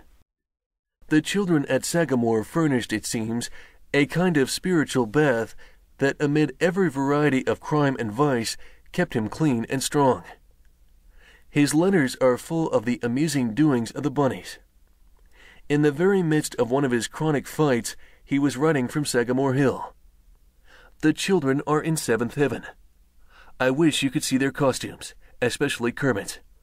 He wears blue overalls like those of our hired man, with a cap like that of a second rate French cook, a pair of shabby tennis shoes, and as his hands are poisoned, a pair of exceedingly dirty kid gloves. When in this costume, turning somersaults on the manure heap, he is indeed a joy forever. Ted has suddenly begun greatly to enjoy riding Pony Grant. Archie is the sweetest thing you ever saw, and perfectly friendly with cows, dogs, and horses. I have been teaching Ted and Kermit to shoot with the Flobert rifle. We went on a picnic to the marsh, he wrote a month later. We were out six or seven hours, Alice steering one boat while Edith steered mine. Ted enjoyed himself hugely and on the way home slumbered peacefully in the bilge water. The autumn brought delights of its own. Bob, Robert Ferguson, passed Thanksgiving Day here and was just a dear, and the same playmate as ever. In the afternoon, He and I and Ted took a 10 mile tramp with axes to clear out a bridle tack which had become overgrown. Ted really stood the walk wonderfully. We came home after dark. The faithful Susan, a pet of the children who had been named regardless of his sex, was with us, and at the foot of our hill he treed a possum. So Bob ran for a gun, while Ted, who had reached the tree and had seen the possum before either Bob or myself, and Susan and I, stayed to keep ward over the possum. Bob returned leading the delighted Kermit, who, as we returned in triumph with our quarry, explained that it was the first time he had ever seen a fellow shot. He felt as if it were much like any other homicide, but much approved of it. Ted, age eight, chops hard with me. Today he got down an oak at least sixty feet high. Christmas brought a magic all its own. There was first the excitement of selecting the tree, packing into a carriage old and young, and driving through the woods under the gray sky amid the joyous racket of the dogs. The master of Sagamore himself always chopped down the tree. Then on Christmas morning there were first the bulging stockings, then the rush of bare feet into the room of the father and mother where the larger presents were, then the drive to the little church and the short address of Oyster Bay's leading citizen, and then home again to roast pig and hearts before the roaring wood fire. Romping at Sagamore Hill, fighting in Mulberry Street, plowing ahead on the fourth volume of his Winning of the West when occasion offered, making speeches sometimes night after night, the object of endless abuse in New York, and the lion of the hour in Chicago when he made the Washington's birthday address there under the auspices of the Union League Club, Theodore Roosevelt lived his crowded life. He took part in the presidential campaign of 1896, speaking here and there in behalf of McKinley. His candidate was victorious, and once more a Republican administration was to have control of the government. Roosevelt continued doggedly at his desk, cleansing the Augean stables of political corruption as effectively as opposition on his own board, in the newspapers of his own city, and among the leaders of his own political party in the state would permit. Meanwhile, a few people came to love him for the glorious fight that was in him, and the force came to idolize him because they knew that he was square. And here, there, and everywhere over the country, civic workers gained a deeper insight, a wider vision, and a surer courage from his experience and his personality. Roosevelt was no longer merely a reformer. He was becoming a national inspiration.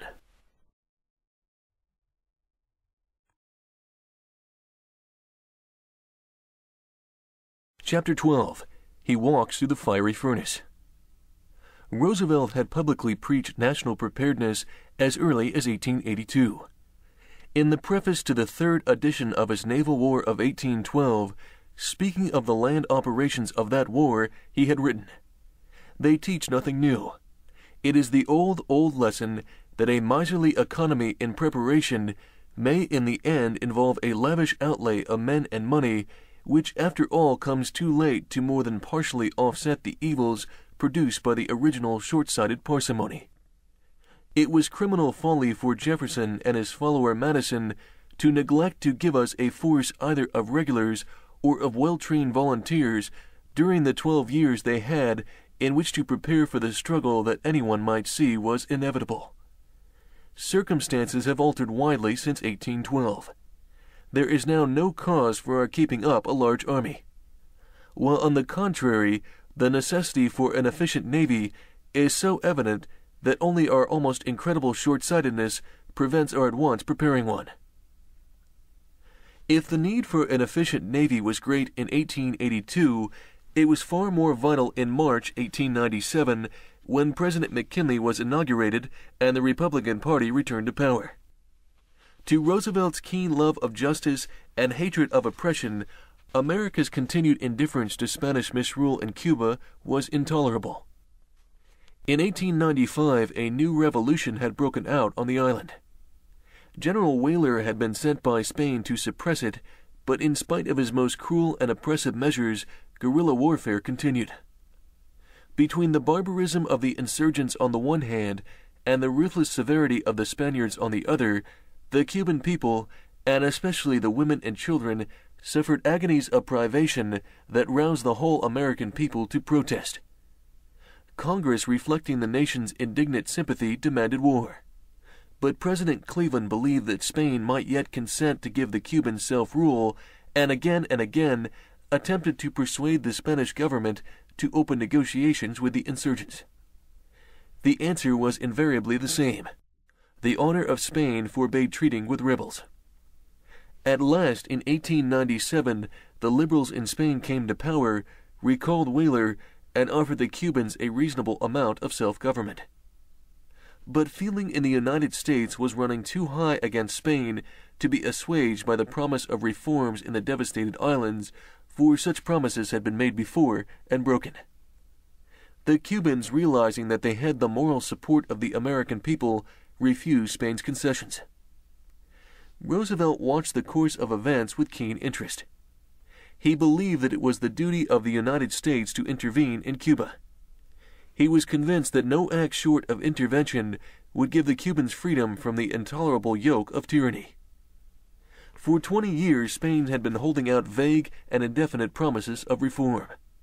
These promises she had never kept. While the governments of the United States and Spain were exchanging notes, meantime, the people of Cuba were perishing in awful numbers. In season and out of season, Roosevelt insisted that in human pity, Americans must drive the Spaniards out of Cuba. People shrugged their shoulders and called him a militarist and a firebrand. President McKinley was inaugurated in March 1897. Roosevelt was offered a post in the new administration. He chose the position that would give him the best opportunity to prepare the tools in that war which he had preached America must in duty wage. He became Assistant Secretary of the Navy. He began at once to do what he could to make America's fleet ready for emergencies. He reorganized the system of rank and promotion among naval officers. He adjusted the difference between the line and the engineers a quarrel reaching back to the days of sailing ships.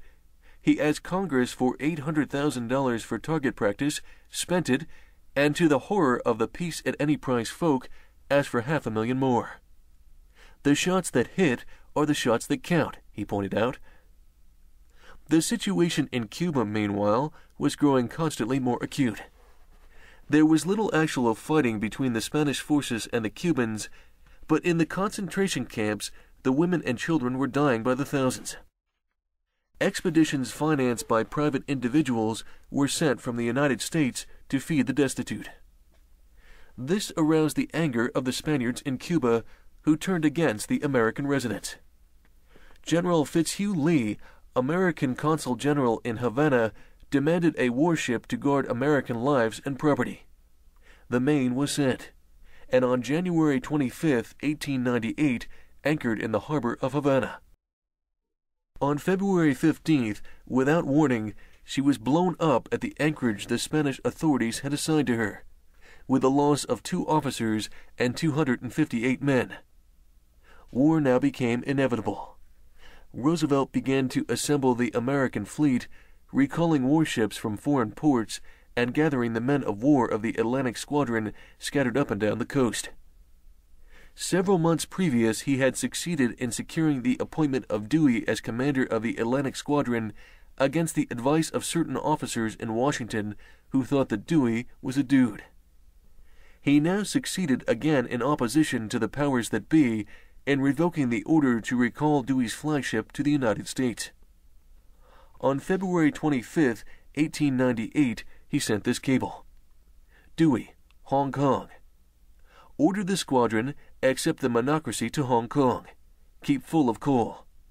In the event of declaration of war Spain, your duty will be to see that the Spanish squadron does not leave the Asiatic coast and then offensive operations in the Philippine Islands. Keep Olympia until further orders. Roosevelt. On April 21st, Spain withdrew her minister at Washington and gave the American minister at Madrid his passports. Spain and the United States were at war.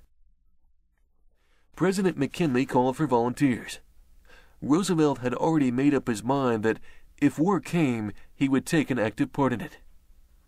With his friend Leonard Wood, a surgeon in the Army and a veteran of several Indian campaigns, he had already discussed the possibility of raising a regiment of mounted riflemen from among the skilled horsemen of the plains. When Congress therefore authorized three regiments of cavalry, he immediately offered to raise one of them. General Alger, the Secretary of War, accepted the offer and in turn offered Roosevelt the colonelcy of the regiment. Roosevelt refused it, not feeling that he was yet competent to handle the regiment. Leonard Wood was made colonel, and Roosevelt accepted the lieutenant colonelcy. Roosevelt resigned from the Navy Department amid a storm of protests. The President, the Secretary of the Navy, and the newspapers urged him to stay where he was. His family and his friends implored him not to risk his life in battle when there was important work for him to do at home, and when he would not listen to that argument, begged him not to wreck a promising political career. Even Bill Sewall, that valiant fighter, counseled discretion. I thank you for your advice, old man, Roosevelt wrote him on April 23rd, the day war was declared, but it seems to me that if I can go, I'd better head. My work here has been the work of preparing the tools. They are prepared, and now the work must lie with those who use them. The work of preparation is done. The work of using the tools has begun. If possible, I would like to be one of those who uses the tools. He went. At San Antonio, Texas, he assembled his Rough Riders. I couldn't stay, he wrote to his sister, Mrs. Douglas Robinson, in May. That was the sum and substance of it. Although I realize well what a change for the worst it means in my afterlife. For a month, the 1st Volunteer Cavalry, or the Rough Riders as they were nicknamed, trained at San Antonio, while Wood and Roosevelt scoured the country for supplies, determined that no lack of equipment should prevent the regiment from being the first on the firing line. The regiment was a motley crew, if there ever was one. There were cowboys there and swells from Fifth Avenue, Western bad men and Eastern college boys, West Pointers and Indians, and mining prospectors, and gunfighters, and bronco busters, and town marshals, everything that could shoot and ride, and had an alert mind and a valiant spirit. A thousand of them chosen from thousands who swarmed to offer themselves. They were children of the dragon's blood, hardy and strong, with resolute, weather-beaten faces and clear, unflinching eyes. On May 29th, the regiment entrained for Tampa. There everything was chaos and confusion, and it was only by the exercise of ingenuity and nerve that Roosevelt and Wood were able to fling their troops aboard the transport assigned to them when the orders came to embark. A week or more later, they were at anchor off Daiquiri on the southern shore of Cuba. Again, as at Tampa, confusion reigned. The orders were to land the horses and men. The details were cheerfully left to Providence. We disembarked, wrote Roosevelt many years later, higgledy-piggledy just as we had embarked. The horses and mules were thrown overboard, and those which could swim swam ashore. Those which could not were drowned. It was very simple. The men were treated with only a little more care. They were crowded into the ship's boat of the transports and the men of war. Those that were landed at the dock at Daiquiri were forced to clamber over slippery girders. Those that were landed through the surf were generally flung into it and forced to make their way ashore as best they could. Fortunately, the Spaniards made no attempt to contest the landing. Five hundred resolute men might have held the American army at bay. That night, the Rough Riders camped on a dusty, brush covered flat between low hills a quarter of a mile inshore with jungle on one side and on the other a shallow fetid pool fringed with palm trees. In the high grass the troopers pitched their dog tents or built green bowers thatched with palm leaves. It was all very romantic, except for the huge land crabs which scuttled noiselessly hither and thither, and the lizards and evil-looking snakes which wriggled silently in and out of the underbrush. Roosevelt's baggage was somewhere in Cuba. His sole camp equipment was a Macintosh and a toothbrush. He slept that night under a clear heaven of stars. Cuba was at her best, enticing and irresistible in her tropic beauty. Except for the land crabs, the Rough Riders decided that war was certainly one grand lark. At noon the next day came orders from General Joseph Wheeler, who was in command in the absence of General Shafter, that the Rough Riders were to be ready to break camp at a moment's notice. An hour later they were under way under the tropic sun, marching swiftly west through jungle country toward Siboney.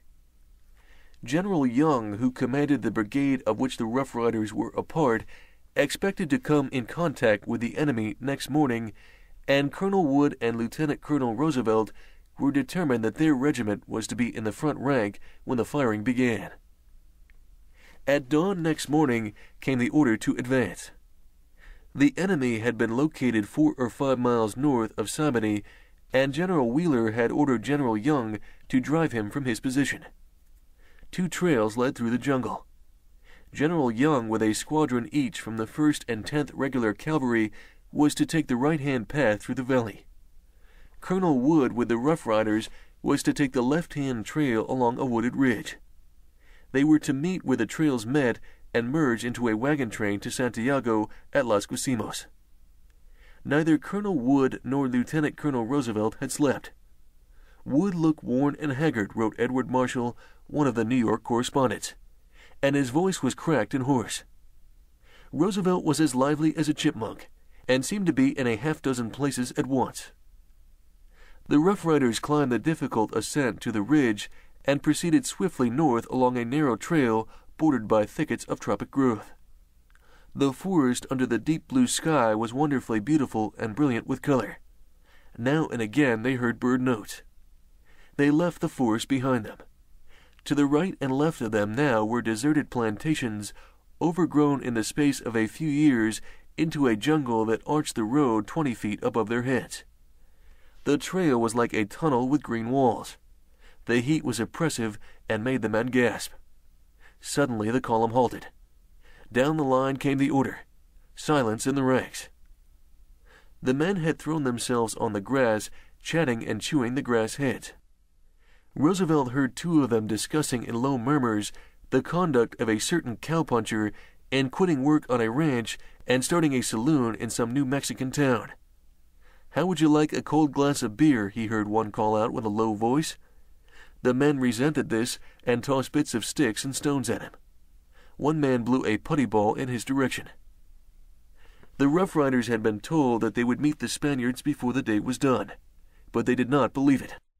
They had never seen a Spaniard with a gun in his hand. They strongly suspected that there was no such animal. The war was just a lark.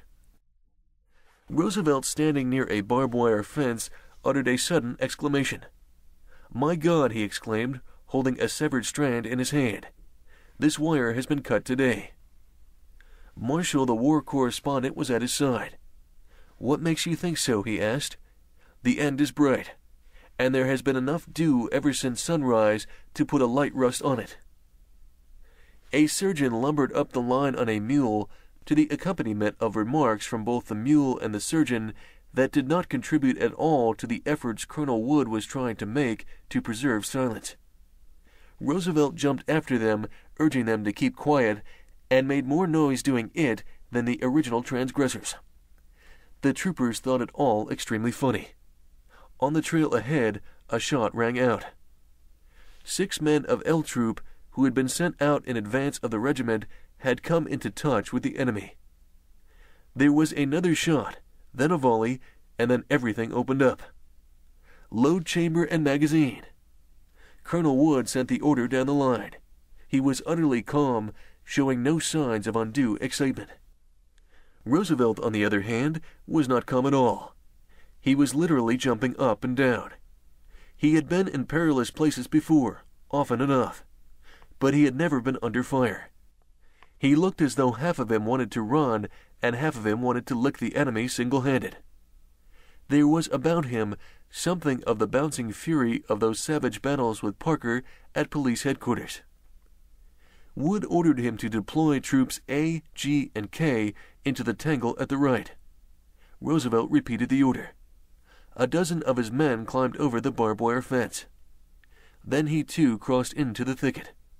And suddenly he was no longer excitable, but calm and cool, a heroic soldier, an inspiring leader of men. The country was confusing, for it was mountainous and covered with thick jungle. The first troop, which Roosevelt deployed into the thicket, disappeared immediately as though the earth had swallowed it. He kept the others in columns, determined to deploy them when he reached the firing line. Meanwhile, he had no idea where the firing line was. There was firing to the right and firing to the left. But the Spaniards used smokeless powder, and though the bullets rent the air with the sound of ripping silk, he could not discover whence they came. He decided that he could not go far wrong if he went forward and plunged ahead with his men. Suddenly, one of the troopers crumpled up and lay still, then another, and then a third. In less than three minutes, nine men lay helpless. The Rough Riders had discovered that they were Spaniards in Cuba after all. They advanced in quick, desperate rushes, rising out of the high grass, racing forward, then burrowing deep into the grass again, and firing as they caught a glimpse of a comical hat in the underbrush ahead. The heat was fierce in its intensity. The sun blazed down in the men's eyes like a limelight. To right and left their comrades fell, shot down by an invisible enemy. The men panted for breath, beating their way with their carbines through the tangle of vines and creepers. Roosevelt moved among them here, there, and everywhere, exposing himself not recklessly, but with a cool disregard of danger that quieted and steadied his men as no words could possibly have steadied them. Once, while he was leaning against a palm tree, a bullet passed through the trunk, filling his left ear and eye with dust and splinters. Firing and rushing forward, sometimes only the distance that a man can slide to a base, Roosevelt and his men advanced a mile and a half. They came at last to the brink of a deep, jungle filled valley. On the farther side to the right, a troop of American regulars appeared. On the left was lively shooting. Roosevelt was puzzled to know what to do. If he pushed ahead, he might leave a gap for the Spaniards in case they should venture a counter attack. He left his men where they were and set out to find Colonel Wood. Major Brodie, in command of the left wing of the regiment, had been wounded, and Wood sent Roosevelt to command Brodie's battalion in addition to his own. From his new position, he was able not only to see all his men, but the Spaniards also. They were shooting, he found, from a group of red tiled ranch buildings on the crest of a low hill a good distance ahead. He charged forward with his men in stubborn short rushes. The Spaniards, after a short resistance, fled. He took possession of the buildings. They tried to catch us with their hands, protested a Spaniard later. Firing had now ceased everywhere along the line. The Spaniards were in full retreat on the main road north in the direction of El Caney. Roosevelt found Colonel Wood nearby in consultation with Generals Wheeler, Chaffee, and Lawton, and had difficulty in refraining from a grin of relief when they solemnly congratulated him on the way he had handled his troops. He had not been at all sure that he might not have committed some awful sin for which he could be court-martialed. His superiors did not court-martial him. On the contrary, when a few days after the Las Guasimas fight, General Young was taken ill with fever and Colonel Wood was given command of the brigade, they made Theodore Roosevelt colonel of the Rough Riders. As for his men, those of the right wing had had their baptism of fire under him. Those of the left wing had charged with him to victory. All of them were ready now to follow him to the end of the world. It was a week before the army came once more into contact with the enemy. It had meanwhile moved northwestward to a village called El Paso, and it was from there that on the first day of July the advance on Santiago was made. The intervening days had been trying, for a deluge of rain came regularly every afternoon or evening, food was scarce, tobacco was lacking altogether, sleep was made difficult by rain and tarantulas, Fever began to lay low one man after another, and what joy remained in life was spoiled by Spanish sharpshooters, who from their distant eyries in the tops of the trees picked off men as they exposed themselves by day, or as the lightning flashes by night shattered the security of the darkness. The Rough Riders had respected and admired Theodore Roosevelt from the San Antonio days. But it was only after the Las Guasimas fight that they began to love him. During the fight, he had shared every peril with his men. After the fight, he shared every privation. If his men had no shelter, he had none. If his men had no food, he went without food likewise. The occasional delicacies sent up from the transports to the officers' mess he sent on to the wounded and the sick. He knew every man in the regiment by his first name. He was the equal and friend of all, making no distinction of race or color or creed or politics or social standing. It was like the old ranch days. He was human, and so the men loved him. He was capable and brave, and so they respected him. He bore a great responsibility with coolness and reserve, and so they were glad to recognize him as the boss. On the afternoon of June 30th, the Rough Riders received the order to advance toward Santiago, and at 8 o'clock that night, with Colonel Roosevelt at their head, reached El Paso Hill and bivouacked on its slopes. General Wood, now in command of the brigade, was already there. That night the two friends slept side by side under a starry sky. They were up and about before dawn, talking little, but making ready for the fight they knew was ahead. The troopers were quiet with suppressed excitement. They had learned that war was no lark at all, and they polished up their rifles, wondering who would be missing when night fell. At nine o'clock came the order to advance. General Lawton's division had been ordered to take El Caney. General Sumner's division, including the Rough Riders, had been directed to move toward the San Juan Hills, connect with General Lawton's division after the capture of El Caney, and the following morning capture the trenches on the San Juan Ridge. The road along which the Rough Riders advanced was scarcely more than a muddy trail, overcrowded now with thousands of men stepping on one another's heels. Within an hour they came within the enemy's zone of fire. The Spaniards knew that road. Their guns had the range of every inch of it, and with merciless accuracy they poured their fire into the advancing lines. Men began to fall right and left. At a ford of the San Juan River, over the heads of the huddled troops, the commanding general sent up an observation balloon. It made a perfect target for the enemy. Shells began to break about it, scattering death among the soldiers below. Volley on volley from the Spanish trenches raked the tall grass behind. Roosevelt, mounted on his pony Texas, moved his men swiftly to the right along the farther side of the creek, out of the worst of the murderous fire. The Rough Riders were a part of the Second Brigade. The First Brigade had been directed to move to the right, then face to the front. The Second Brigade had been ordered to pass in the rear until clear of the First Brigade, and then likewise face the front. The original plan had been that these two brigades should wait at the ford and, on receipt of definite orders, proceed along the river and connect with General Lawton's forces after the capture of El Caney. Under the lee of the river bank, Roosevelt halted his men, while the First Brigade disentangled itself sufficiently to spread out to the right according to the original plan. His men stood waist deep in water or crouched in the burning jungle grass. The heat was intense.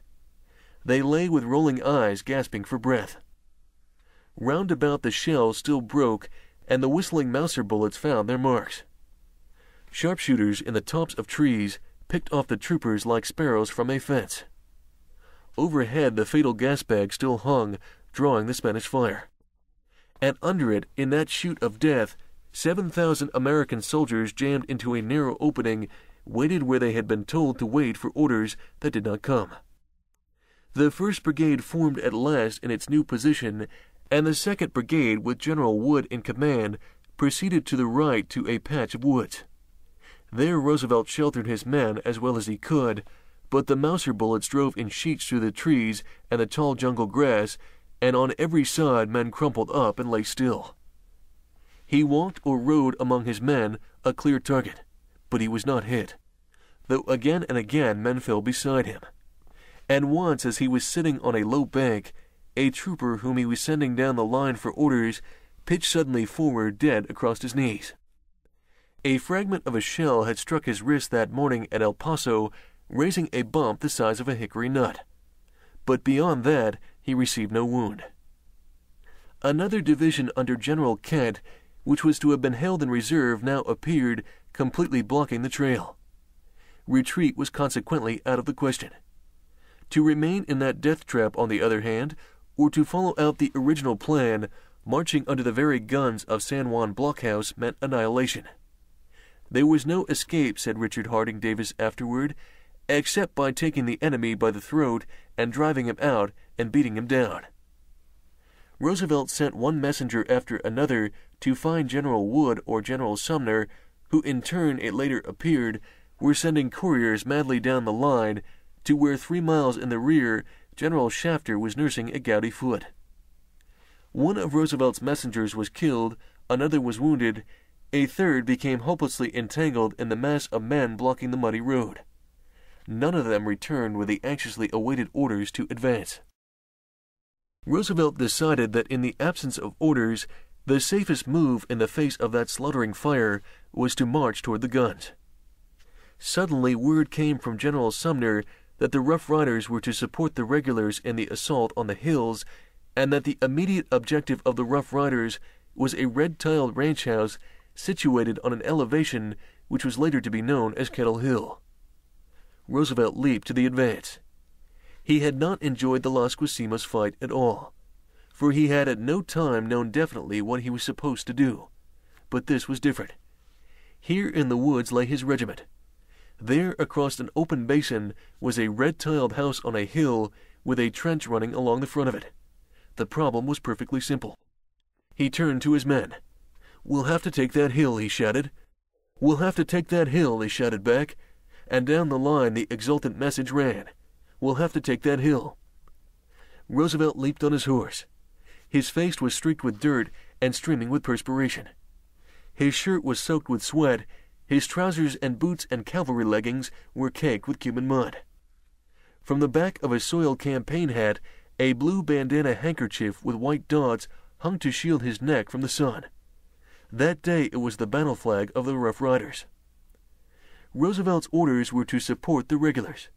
But when at the head of his regiment he came up with the Ninth Regular Cavalry, a colored regiment, he found them still firing across the valley at the distant entrenchments. Why don't you charge? he demanded of one of the officers, who happened to be his inferior in rank. We have no orders, was the reply. Then I give you the order, cried Roosevelt. The elderly officer in command hesitated. Then let my men through, sir, Roosevelt commanded. The lines of the Ninth Cavalry parted as Roosevelt, swinging his hat, charged through, and closed again as the colored troops, with a cheer, rose and swung into the charge. Through the tall grass of the basin, Roosevelt led his men, wheeling his horse now to this flank and now to that, as he kept true the wide line of scattered men. He waved his sword, urging them on, the most conspicuous figure on the battlefield, the inspiration not only of his own men, but of the regulars now breaking cover on all sides. Forty yards from the top of the hill was a wire fence that for a minute held up the charge. Roosevelt flung himself off his horse and over the fence and plunged forward on foot. It was a glorious spin, wrote his former ranch partner Bob Ferguson, now a rough rider, to Mrs. Roosevelt, over trenches and barbed wires instead of oaken panels. One never expects to see the like again. His courage was so simple and so true to him. Another minute and the crest was swarming with rough riders and the colored troops of the Ninth. The Spaniards had fled from their trenches to a second line of defense and now opened fire with rifles and one or two pieces of artillery. The shells broke directly overhead. T moved about in the midst of shrapnel explosions, Ferguson wrote, like Shadrach, Meshach, and company, in the midst of the fiery furnace, unharmed by the fire. Every part of the air was stung by the vicious Mauser bullets or by the buzzing, exploding bullets of the irregulars save just under the lee of the crest where the thin line lay, and even there bullets from a crossfire kept drop dropping and cutting men down as they lay. Theodore preferred to stand up or walk about, snuffing the fragrant air of combat. I really believe firmly now that they can't kill him. Frankly, Roosevelt himself wrote home, It did not enter my head that I could get through without being hit. But I judged that even if hit, the chances would be about three to one against my being killed. He had now accomplished the task he had been ordered to accomplish. He had captured the red tiled ranch house. But the battle was by no means over. To the left, General Kent's division was storming the San Juan blockhouse, and he ordered the troops on the crest to turn their fire on the troops defending it. At last, the Spaniards leaped from the trenches. The blockhouse was in the hands of the Americans. Roosevelt turned to General Sumner for permission to charge on to the next line of hills where the troops who had held Kettle Hill were now entrenching. Go ahead, said Sumner. There was a barbed wire fence along the crest. Roosevelt jumped it, shouted to his men to follow, and started forward on the double quick. He had gone a hundred yards before he was aware that only five men were with him. One of these fell, then another. He shouted to the remaining three to stay where they were and ran back to where the rest of the regiment was waiting in the high grass. He taunted them bitterly. The Rough Riders looked grieved. We didn't hear you. We didn't see you go, Colonel, one of them protested. Lead on now. We'll sure follow you. And they did. The other regiments on the crest leaped forward with them, and they charged across the wide valley while the Spanish bullets ripped the grass round about. At full speed they plunged up the farther hill. The Spaniards began to break cover and run. Two of them, leaping from the trenches, fired point blank at Roosevelt and his orderly. Roosevelt killed one with his revolver at less than ten paces. The Rough Riders plunged on over this crest to another line of hills overlooking Santiago. There they were ordered to halt. The Spanish fire was severe and shelter was scant, but for Roosevelt and his men there was no retreating. Late in the afternoon, they beat off a counterattack with cheers. By the next day, the battle had settled down into a siege. Theodore has sure made his mark on the Spaniard, wrote Ferguson. He had also made his mark on his own countrymen. A day after the battle, Edward F. Bourke, late of the New York police force and for the moment gun captain on the USS Hist off Guantanamo, saw a man in khaki passing in a launch and called out, How's Colonel Roosevelt getting on? Colonel Roosevelt, cried the man in khaki. He bears what you call a charmed life. Wherever the bullets are flying thickest, you'll find him. He's the greatest thing you ever heard of. The news of Roosevelt's charge over crest on crest of the San Juan Hills was the kind of news Americans like to hear. From one end of the country to the other, the splendid story was told. Overnight, Roosevelt became a popular hero. Meanwhile, though the active fighting was over for the time being, there was little rest for the colonel of the Rough Riders, for the malaria fever was striking his troops down right and left, and here and there a more sinister foe than Spain was touching his men with deadly fingers. There was no fighting malaria and yellow fever in that pestilential place. So Roosevelt did what he could to give the sick some measure of care and comfort there where doctors and nurses were few, and endeavored in company with General Shafter and other division and brigade commanders to persuade the War Department to send the Army north for a brief period of bracing air in preparation for the campaign against Havana in the fall. Santiago had surrendered. Cervera's fleet was destroyed. To keep the army in Cuba would be to needlessly sacrifice American lives. General Shafter asked Roosevelt, as the only brigade commander who intended to return to civil life, and therefore had no reason to fear offending the War Department, to write a letter stating conditions in Cuba. Roosevelt wrote the letter and joined in writing another letter, a so called round robin, signed by all the division and brigade commanders. General Shafter gave both documents to the Associated Press correspondent. In the storm that ensued, Roosevelt was praised for his courage and bitterly censured for what was called his insubordination. But neither the praise nor the blame mattered very much to him. The important point was that the army was ordered north. Meanwhile, his fame had set the politicians of New York State to thinking. The Republican Party there had fallen on evil days. There was a governor to be elected in November. Roosevelt heard rumors in Cuba that his brief career as a soldier might after all not mean so serious a change for the worse in his afterlife as he had believed. He did not take these rumors very seriously.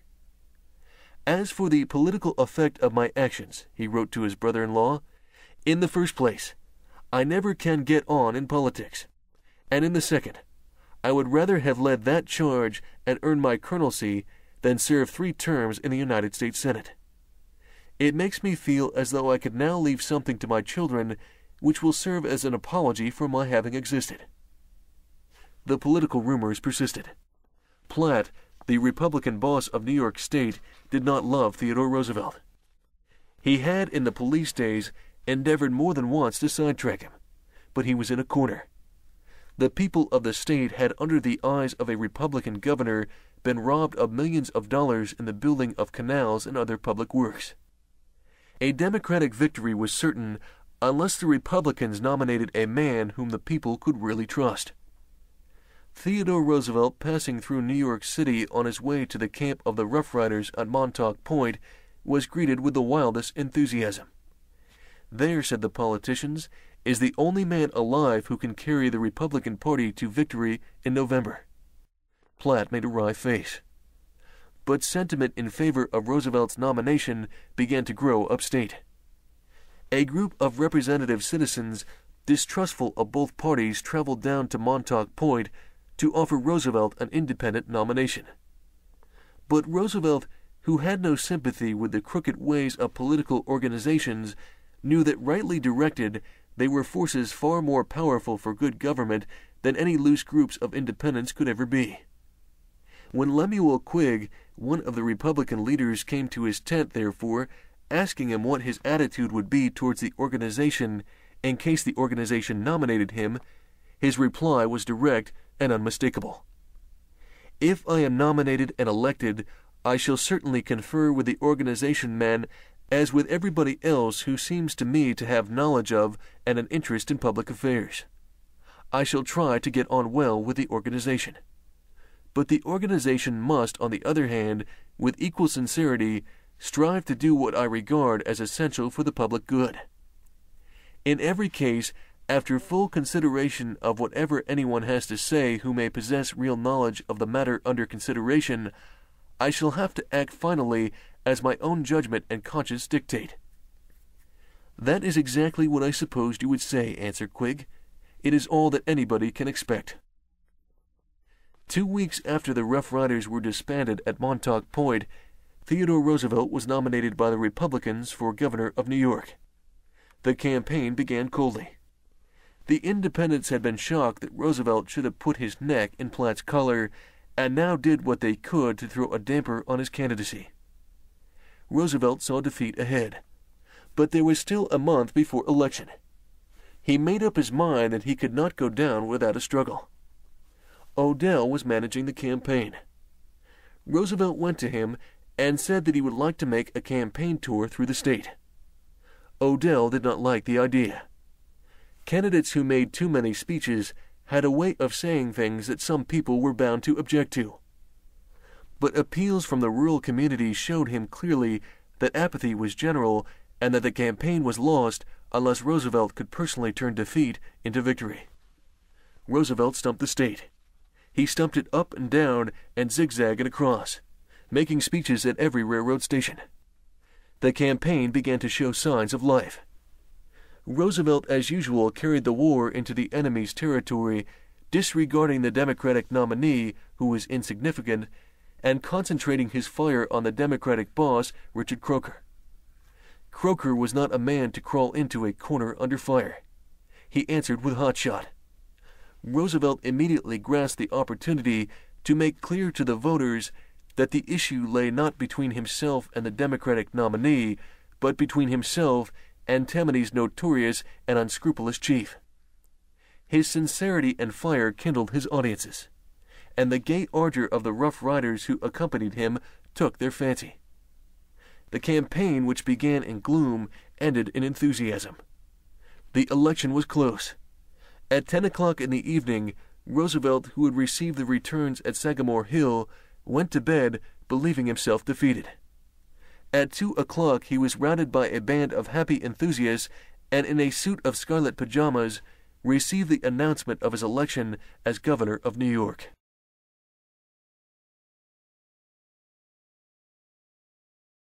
Chapter 13 He governs a great state justly in spite of the interests. Roosevelt had hitherto been known principally as a powerful agitator of the public mind, an inspiration to patriotic effort, a trumpet to the slumbering, the lethargic, the apathetic, a man with a genius for advertising good causes. He had proved his qualities as an executive as president of the police board. He had proved himself a leader of men on the hot hillsides and in the steaming fever camps of Cuba.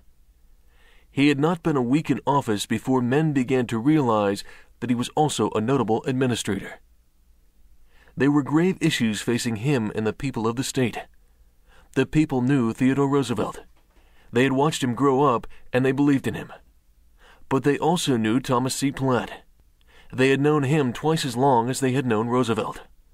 They had known him as the easy boss who for years had held the Republican machine in the hollow of his hand and who had never failed to use it as the interest directed. They knew that no Republican had ever bucked Platt successfully. They liked Roosevelt. They knew he was courageous and they believed he was square. But Senator Platt was boss of the Republican Party, and Roosevelt had accepted his nomination from the hands of Platt and conferred with him during the campaign with a frank openness which seemed to support his opponents in their contention that he would be merely another shadow governor. For weeks, one question above all others agitated the columns of the newspapers. Would Platt swallow Roosevelt, or would Roosevelt swallow Platt? The men who constituted the machine had their own ideas on the subject. Among themselves, they said they had Roosevelt hogtied. They knew that the legislature in both branches and the State Department heads, with one or two exceptions, were controlled absolutely by Platt and did his bidding without question. They themselves were powerful and unscrupulous men. They figured that although they would have difficulty with the governor, they would wear out his resistance in the end. Roosevelt himself made no statement on the matter.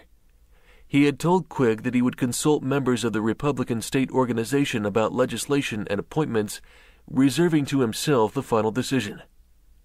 The machine had agreed to this arrangement, but he had not yet been inaugurated before there was a clash. I am glad to say, remarked Senator Platt cheerfully one morning a month or so after the election, that you are going to have a most admirable man for superintendent of public works. What's that? ejaculated Roosevelt. Platt handed him a telegram. He has accepted, he said. Roosevelt knew the man and liked him. But the main business of the superintendent of public works would be to investigate the frauds connected with the deepening of the Erie Canal, and this man came from a city along the line of the canal. Besides, thought Roosevelt, he would have to make clear sooner or later that he was the governor elect and not Platt, and the sooner the better. I am sorry, he said quietly, but I can't appoint that man. There was an explosion. Roosevelt made his own appointment, but he did not crow over the aged senator. On the contrary, he allowed Platt to publish the appointment as his own, glad to let the old gentleman save his dignity and to allow the impression to go out that all was harmony between him and the boss, for though this picture of harmony worried the fireside moralist, those independents, whose independence Roosevelt explained consisted in one part moral obliquity and two parts of mental infirmity, it made for results. Gradually, and before Platt and the machine themselves knew exactly what was happening, business methods began to supplant favoritism and political intrigue in the government of the state. From the very beginning, Roosevelt insisted on a policy of light in the State House. There were no back entrances to his private office, and regularly, twice a day, the correspondents of the press were invited to hear what the governor was doing, what he had done, and what he was planning to do. Cynics remarked, There is Theodore getting into the limelight again. But Roosevelt knew that if he were to accomplish anything at all as governor, he must have the people at his back, seeing clearly whither he was leading them. In the governorship, as in every other public office he held, he made the people he was serving his most faithful ally. He fully needed their support. Against the measures he considered just, were ranged the hundreds of big and little leaders who constituted the machine, and behind them the huge silent forces of wealth that constituted the interest. The history of Roosevelt's administration as governor is largely the history of an unceasing struggle to govern honestly and justly, in spite of the desire of the men who controlled the party which had elected him that he governed dishonestly and unjustly. That struggle was in no way a simple one. He could repudiate Platt and his Confederates once and for all, and win a certain amount of popular applause by so doing. Or he could accept Platt's dictation and secure the powerful support of the machine in his future career. If he did the first, he knew that he would be rendered utterly powerless to pass any legislation whatsoever, or in fact to achieve any results in any direction. If he did the second, he knew that he would lose something more precious than political honors, namely his self respect. He chose neither to repudiate Platt nor to accept him as his boss but to cooperate with him where cooperation was possible and to fight him only on fundamental issues of right and wrong. He determined that he would strive for the best, but if he could not get it, he would fight to get the best possible. So it happened that the governor and the Republican boss breakfast together in Manhattan whenever the political waters grew troubled and exchanged friendly expressions of mutual regard. The governor had a way with him that did wonders. He allowed Platt to propose men for positions, and if the men were honest and able, he accepted them. If they were neither honest nor able, he asked Platt to suggest other names, incidentally suggesting one or two possibilities himself. It was all very amicable and friendly. In matters of legislation, Roosevelt, knowing that Platt's control of the legislature was complete, won him over to important reforms by tact and cajolery. The politicians looked on incredulous, wondering how long this curious alliance would last. Those who did not know Roosevelt personally believed him to be quarrelsome, egotistic, headstrong, self sufficient, and unthinking. They did not know that there were two sides to this man the one slow, reflective, open minded, eager for counsel, the other quick, reckless, and set. The man they saw was the man of action and never dreamed that there was in him another man who sought advice and deliberated, and sought advice and deliberated again before he let the fighter in him loose at his enemies. So it happened that Platt, the political leader of the interest, was persuaded to give what Roosevelt later called a grudging and querulous assent to the reenactment of a civil service law and the passage of a mass of labor legislation which Platt in opposition would never have dreamed of countenancing. Much of this legislation was based on investigations which Roosevelt had personally made with Riis on the police board days, and further investigations which they now made together in the congested districts of the East Side. Some of the legislation he demanded was accepted by the machine and passed. Some of it was lost in committee or defeated on the floor of the Assembly or Senate. Over all of it, the fighting was hard and bitter. Once by a clever political trick, the machine defeated a nonpartisan appointment in which he had been deeply interested. Roosevelt laughed outright when the report came. He knew how the politician loves the sensation of driving a knife into a man's back. They can beat me at that game every time, he said. I never look under the table when I play, and I never shall. Face to face, I can defend myself and make a pretty good fight, but any weakling can murder me. Remember this, however, that if I am hit that way very often, I will take to the open, and the blows from the dark will only help me in an out and out battle. Laws were presented and passed at Roosevelt's instigation for forest preservation and the protection of wildlife and against the adulteration of food products. In every department, meanwhile, the administration of the laws was perfected. Political intrigue was punished honest service was recognized and given its reward. A new spirit came into the administration of state affairs. When a measure was introduced in the legislature, men were heard to ask with increasing frequency not, is it expedient, or how is it going to help me, or what is it worth to the party, but is it right? Roosevelt was stirring the conscience of the people of the state. At the end of four months, the inevitable happened, and Roosevelt reached a point in his relations with Platt and the machine when tact and what Bill Sewall used in the Dakota days to call diplomacy failed, and open warfare seemed inescapable. A Republican senator had introduced a bill for taxing franchises. A franchise is a right granted by the government of any city to a transportation company to lay tracks and operate cars along certain public streets. This right has enormous cash value, but no one had ever thought of levying a tax upon it. The idea, moreover, of interfering in any way with public service corporations was in those days unheard of. The corporations had hypnotized the public into believing that any attempt by the people of the state to limit their complete freedom of action was to undermine national prosperity. Every man who advocated such a thing was said to be a socialist, an anarchist, a bad character generally. The bill calling for a franchise tax had been introduced during the previous administration, but had been allowed to slumber in committee. Roosevelt decided that the bill was just and in a special emergency message urged its passage. He was scarcely prepared for the storm that broke over his head. Roosevelt talked the matter over with Platt, who gently reproached him for what he called his various altruistic ideas intimating that altruism was something which was not considered quite decent among men of the world. He begged Roosevelt to drop the bill and let it die. Roosevelt, anxious to give in to the boss on minor matters for the sake of harmony, knew that here a fundamental principle was at stake and refused absolutely to give in. Platt made dire threats.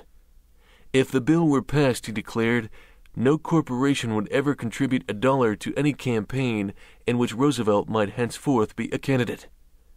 The people would applaud his independence and forget. The corporations would be resentful and would never forget. Republican corporations, too? asked Roosevelt. The boss smiled a thin, bland smile. The corporations which subscribe most heavily to campaign funds subscribe impartially to both organizations.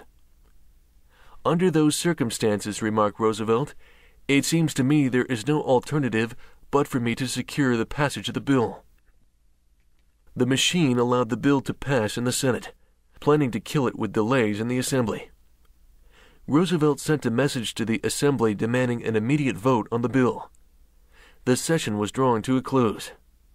The agents for the interests in both parties decided that if they could force even a slight delay, the session could be adjourned before the bill could be brought to a vote. Roosevelt's message never reached the Assembly. The Speaker of the House, to whom the governor's secretary had delivered it, tore it up in a rage. Roosevelt prepared a duplicate and sent it to the Speaker with a note saying that if the bill were not read from the desk, it would be read from the floor. And if it were not read from the floor, he would go to the hall of the Assembly and read it himself. The bill was read and passed. Roosevelt signed it in the executive chamber.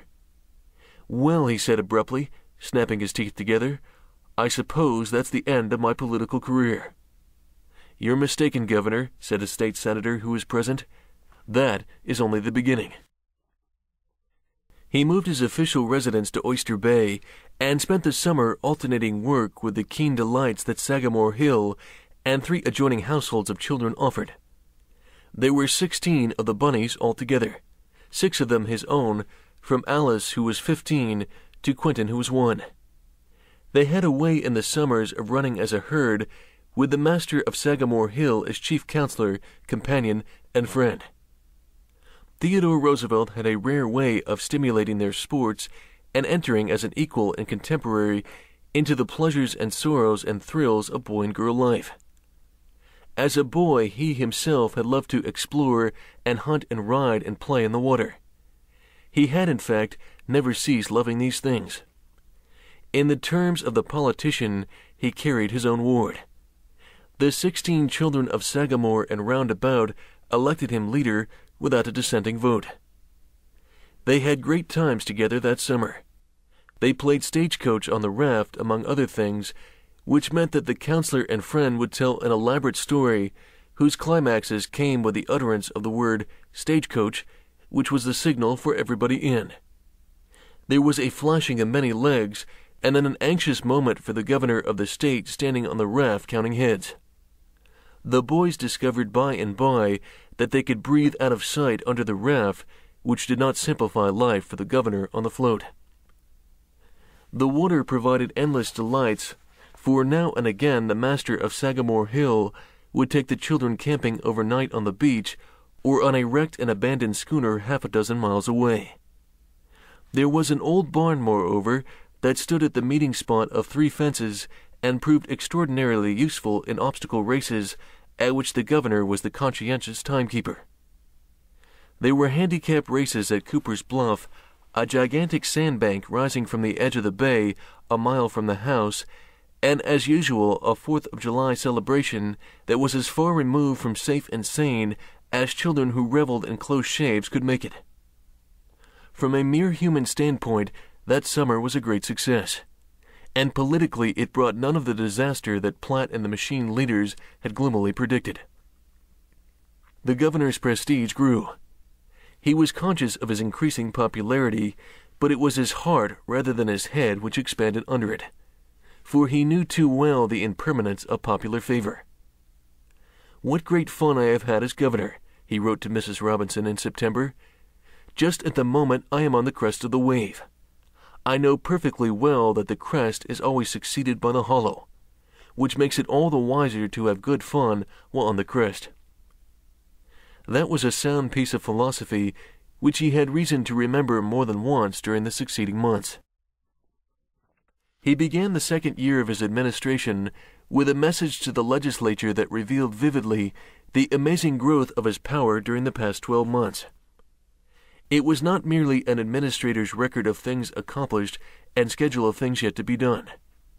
It was a statesman's clear analysis of the social, industrial, and political problems of his time with a statesman's recommendations for their solution. Through that message, delivered on January 3, 1900, Theodore Roosevelt, in a sense, took command of the new century. Meanwhile, he was having what he called his parochial troubles. With the large issues of capital and labor, of trust and conservation and just government absorbing his attention more and more, he was not neglecting to attend to the practical application of his theories. The result was that for a second time he came to death grips with Platt and the machine. The Commissioner of Insurance, Lou Payne, was a spoils politician of the old school, the boss of his county. His term was drawing to a close. Roosevelt determined not to reappoint him. Platt sent him word peremptorily that Payne must be reappointed. The governor was firm. Platt declared that he would fight, and would see to it that any successor whom Roosevelt might name would be refused confirmation by the state senate. Roosevelt, keeping his temper, genially replied that he would make his appointment after the legislature adjourned. Platt insisted that as soon as the legislature reconvened, Payne would be reinstalled. Very good, said Roosevelt. You can give me a very uncomfortable time if you want to, but I'll guarantee to make the opposition more uncomfortable still. The fight raged for weeks. Meanwhile, Roosevelt was not letting the administration of public affairs altogether interrupt his activities. During the preceding year, he had published The Rough Riders, describing the part of his regiment in the Cuban campaign. He was now busy on a life of Oliver Cromwell. He made frequent speeches at public gatherings and in odd moments contrived to keep his body in trim. It was at the very height of the Payne affair that his passion for healthy exercise threatened to upset the serious business of the state. Recently, he wrote to his sister, Mrs. Cowles, on January 22nd, I have been having a little too much strenuous life with a large gentleman whom I have had up to wrestle with me. First of all, he caved in my ribs. When I got over those, I fetched loose one shoulder blade while endeavoring to give him a flying fall. I think I shall take to boxing as a gentler sport. He carried out his intention. Mike Donovan, the ex lightweight champion, whom he lured to Albany to box with him, has himself left a record of the gentleness of the sport as the governor conceived it. After we shook hands, he writes in a book of reminiscences, I studied him carefully. Then I let a left jab, following it up with a faint hearted right that landed like a love tap high up on his cheek. He dropped his hands and stopped. Look here, Mike, he said indignantly. That is not fair. I was afraid I had done something wrong. What's the matter, Governor? I asked. You're not hitting me, he said, shaking his head. I'd like you to hit out. All right, Governor, I said, thinking to myself, this man has a pretty good opinion of himself. We started in again, and I sent in a hard right to the body as he rushed in, and then tried a swinging left for the jaw. He stepped inside and drove his right to my ear. It jarred me down to the heels. I realized from that moment that the governor was no ordinary amateur. If I took chances with him, I was endangering my reputation. The insurance fight went on. Roosevelt picked out an honest and competent man from the organization as Payne's successor and prepared to send his appointment to the Senate for confirmation. The afternoon before the nomination was to be made public, he conferred with Platt and asked him for the last time to yield. Platt refused flatly, saying that if Roosevelt insisted, it should be war to the knife. That will mean your political destruction, he said. Perhaps it will mean the destruction of the Republican Party. I am very sorry, Roosevelt answered. I simply can't yield in this. If that means war, then war will have to come. The nomination goes to the Senate tomorrow morning. They parted. Shortly afterward, Platt's right hand lieutenant sent Roosevelt a message requesting an interview that evening. Roosevelt met him at the Union League Club. The man went over the old ground once more. Platt won't give in under any circumstances, he asserted. If you try to fight him, he'll beat you, and that will be your finish. It seems too bad for you to end a fine career in a smash up like that. Roosevelt repeated that he intended to stand fast. The man protested. They argued the matter for a half hour more. Then Roosevelt rose. There's nothing to be gained by further talk, he said. It's your last chance, cried the other. It's your ruin if you don't take it. On the other hand, he added, if you do, everything will be made easy for you. Roosevelt shook his head. There is nothing to add to what I have already said. You have made up your mind. I have. You know it means your ruin. We will see about that, cried the governor, and walked to the door. You understand. The fight begins tomorrow, and it will be to the bitter end. I understand, said Roosevelt, and opened the door. Good night. And at that last word, the politician took a quick step toward him. Hold on, he cried. We accept. Send in your nomination. The senator is very sorry, but he will make no further opposition. Roosevelt had called the bluff. Payne was removed. Roosevelt's appointee was confirmed. On a clear cut issue of right and wrong, Roosevelt had stood immovable and had won. And he had won for a reason which the professional politicians who had appealed to his political ambitions would never have understood. He really had no political ambitions as they understood the term. On the sands at Montauk Point the previous autumn, Lincoln Steffens had asked him whether he was thinking of the presidency. Roosevelt had stopped short. No, no, don't ever say that again. I never sought an office. I always wanted a job, for I like work. The governorship was a job, a chance to do certain things that ought to be done. I am proud of being governor and am going to try to make a square and decent one, he had written to Bill Sewall in January. I do not expect, however, to hold political office again, and in one way that is a help, because the politicians cannot threaten me with what they will do in the future. The boss and his henchmen would have saved themselves a great deal of time and trouble if they could have brought themselves to believe that Roosevelt was interested not in holding an office, but in doing a job. Of course, they did not believe it. Being themselves men who lived by plotting and intrigue, they naturally thought that he too was an intriguer, ascribing to him a Machiavellian cunning which he never possessed. He was, with all his learning and all his experience and knowledge of men, still an unusually simple hearted and, in the deepest sense, unsophisticated boy. Like Peter Pan, he had never grown up. At forty, he was applying to the tangled problems of government the order, the energy, and the unclouded standards of boyhood. And for that reason, the politicians found him utterly baffling. Roosevelt's utterances concerning the rights of labor and the regulation of trusts had meanwhile been making the interests uneasy. His personal force was great. His popularity was constantly increasing. If life was to proceed undisturbed for the predatory rich, it was highly important that Theodore Roosevelt should be laid on the shelf. There was no better shelf in American politics than the vice presidency. Roosevelt, as it happened, knew this as well as the politicians knew it, and had no intention of stepping into that trap. For he enjoyed being governor, and he was more than a little elated with his success. I am having my hands full here as usual, he wrote to his sister the end of February, but somehow I contrive to wiggle through. Occasionally I talk pretty to the gentlemen.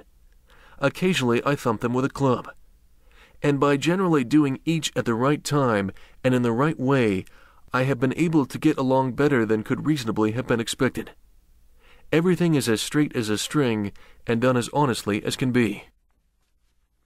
He had his hands firmly on the reins in Albany, but his activities were by no means confined to his state. He was beginning to be recognized as the leader of the new progressive movement in the nation. During the winter and early spring of 1900, he spoke here and there over the country on the fundamental issues before the nation. The American people listened, stirred by his youthful enthusiasm and the hot sincerity of his crusading spirit. There are dangers of peace and dangers of war, he said at Grant's birthplace in Galena, Illinois, late that April. Dangers of excess in militarism and of excess by the avoidance of duty that implies militarism. Dangers of slow dry rot and dangers which become acute only in a great crisis. When these crises come, the nation will triumph or sink accordingly as it produces or fails to produce statesmen like Lincoln or soldiers like Grant, and accordingly as it does or does not back them up in their efforts. We do not need men of unsteady brilliance or erratic power, unbalanced men. The men we need are the men of strong, earnest, solid character, the men who possess the homely virtues, and who to these virtues add rugged courage, rugged honesty, and high resolve. To do our duty, that is the sum and substance of the whole matter. He pleaded for national preparedness, for the acceptance and fulfillment of the nation's international obligations. Let us make it evident that we intend to do justice, he said, then let us make it equally evident that we will not tolerate injustice being done us in return. Let us further make it evident that we use no words that we are not prepared to back up with deeds, and that while our speech is always moderate, we are willing and ready to make it good. Such an attitude will be the surest guarantee of that self respecting peace, the attainment of which is and must ever be the prime aim of a self governing people. Roosevelt's friends, meanwhile, were working for the same end as his foes and were pleading with him to allow himself to be nominated for the vice presidency. But Roosevelt refused utterly to consider the proposal. It would be an irksome, wearisome place where I could do nothing, he wrote to Mrs. Cowles. At present, it looks as if I would be renominated. There is more work to be done in the governorship in two years than in the vice presidency in four. And with our kaleidoscope politics, it is foolish to look too far ahead as regards places as regards the work itself. I always follow the same lines. My being in politics is in a sense an accident, and it is only a question of time when I shall be forced out. The best thing I can do is to strive to get the position in which I can do most work, and that position is surely the governorship. As the time of the National Republican Convention drew near, however, both Roosevelt's friends and foes intensified their effort to persuade him to accept the second place on the ticket. But he went his way, refusing good humoredly to take them seriously when they suggested behind the vice presidency might loom a greater honor in 1904. Cabot feels that I have a career, he wrote to Mrs. Cowles the end of April. The dear old goose actually regards me as a presidential possibility of the future, which always makes me thoroughly exasperated, because sooner or later it will have the effect of making other people think that I so regard myself, and that therefore I am a ridiculous personage. He insisted again and again that he would not accept the nomination for the vice presidency, that he would, in fact, rather be a private citizen than be vice president. Platt apparently accepted his decision. At the convention in Philadelphia, at which Roosevelt himself was a delegate, Platt, however, threatened to thwart Roosevelt's desire for a renomination as governor if Roosevelt persisted in his refusal. Roosevelt took up the challenge and announced that he would make the threat public. Platt submitted. The New York delegation was instructed to cast its vote for Lieutenant Governor Woodruff for vice president. But Roosevelt, as well as the machine, was reckoning without the forces that Roosevelt had by his acts and his utterances awakened in the West. The demand for Roosevelt for vice president became too insistent to be disregarded. Senator Hanna, the national boss who had opposed Roosevelt, began to waver. That night, a group of newspapermen called on Roosevelt at his hotel. He told them with all the emphasis at his command that he did not want the nomination and that he did not intend to be nominated if he could help it. It happened that he could not help it. Strange forces worked together to set aside his personal desire. The Western delegates declared that unless Roosevelt were nominated for vice president, they would abandon McKinley and nominate Roosevelt not for second, but for first place on the ticket. Roosevelt finally became convinced that there was a genuine desire that he take second place on the ticket in order to strengthen it before the country. He yielded, deciding to do the duty that offered itself and let the future bring what it might. President McKinley was renominated for president. Roosevelt was nominated for vice president, both by acclamation. I would not like to be in McKinley's shoes, said Roosevelt's classmate Washburn to a friend shortly after. He has a man of destiny behind him. Roosevelt was sent into the field to be his party spokesman, and for over two months he stumped the country, traveling 22,000 miles, making from five to six hundred speeches of considerable length, addressing face to face between three and four million of his fellow citizens. He was not an orator of the silvery sword his voice had no particular pleasing quality, and though he had a gift for creating telling phrases that caught the popular fancy, he had no gift at all for building up elaborate rhetorical effects. The strength of his speeches was altogether in the spirit from which they sprang. He spoke with the passionate ardor of a crusader and carried his audiences off their feet by the sheer force of his sincerity. For Roosevelt, it was an exhausting experience but his tough constitution bore him through it. The trip was an extraordinary success. The campaign awoke, for the people had awakened. The Republican ticket was elected. Roosevelt, believing that his political career was ended, looked about for something to occupy him during his term in the vice presidency and afterward. He made up his mind to expand his winning of the West, and in conjunction with his private secretary, William Loeb, Jr., who, like himself, had an unfinished law course to his credit, determined to complete his preparation for admission to the bar, which had been interrupted by his election to the Assembly nearly twenty years previous. These plans were never carried out. On September 6th, President McKinley was shot in Buffalo. Roosevelt heard the news at Isle Motte in Lake Champlain. He went to Buffalo at once, arriving early in the morning feeling as he confessed that evening a hundred years old. The sudden realization that he might at any moment be called to the chief place in the nation staggered him. The possibility had never entered his head. The news with which he was greeted was cheering. The president was resting well. Recovery was more than possible. Roosevelt's spirits rose. The bulletins from the bedside continued favorable he conferred with the members of the cabinet who had hurried to Buffalo. The affairs of the nation were in firm control. On the 11th, the physicians in attendance declared that the president was practically out of danger. The members of the cabinet began to leave the city. Roosevelt decided to join his family, who were at the Tahawus Club in the heart of the Adirondacks. The morning of the 13th was misty, threatening rain But Roosevelt had determined to ascend Mount Marcy with Mrs. Roosevelt and the children that day, and at six they were on their way.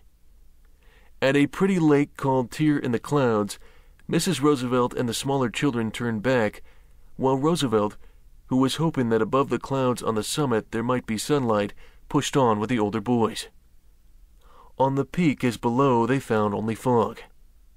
They descended and camped for luncheon at the timber line. A thin rain was falling. They spread out their lunch feeling wet and uncomfortable. News had meanwhile come to North Creek, 35 miles from Tahawus, that the president had a sudden relapse. The message was telephoned to the lower club, 25 miles north. Mounted messengers were sent to the upper club, 10 miles away. The man in charge of the club told the riders when they came that the vice president was somewhere on the sides of Mount Marcy. Runners were dispatched in all directions. Roosevelt, descending the mountain in the late afternoon, heard shots fired in the distance at regular intervals. It occurred to him that this was a signal. He fired his own gun in answer. It was five o'clock when the men who were searching for him found him at last. They gave him a message from the president's secretary. The president's condition has changed for the worse. Cortelyou. He descended quickly to the clubhouse. No further news had come. He sent runners to the lower clubhouse ten miles away, where there was telephone connection with the outside world, and waited. The hours passed. He walked alone up and down in front of the cottage where he was living, trying to think it all out. At one in the morning the summons arrived. Come at once. He flung his grip into the buckboard that was waiting for him and was off. It was a bad night, misty and black. The road was less a road than a wide trail, cut into gorges only a day or two before by a cloudburst which had drenched Roosevelt on his way to the club. The driver turned to the man beside him, hesitating. Go ahead, cried Roosevelt. The man went ahead. The light wagon jumped from side to side, threatening to fling its passengers out now on this side, now on that. It skirted dangerous abysses. It just missed dashing into boulders and trees. The driver turned once more. Go on, cried Roosevelt. He went on. Into the blackness he went, the horses finding their way by instinct rather than sight, the wagon holding together by the grace of Providence. Ten miles down the trail, they found fresh horses waiting for them. Roosevelt helped the driver unhitch the exhausted team by the light of a lantern and hitch the new team to the shaken buckboard. Then again they were off into the blackness. It was 35 miles to the railroad at North Creek. Ten miles farther down they came on another fresh relay. They changed the horses and again were away along the rocky trail at breakneck speed. Roosevelt clung to the seat as the wagon swayed this way and that. Too fast, cried the driver.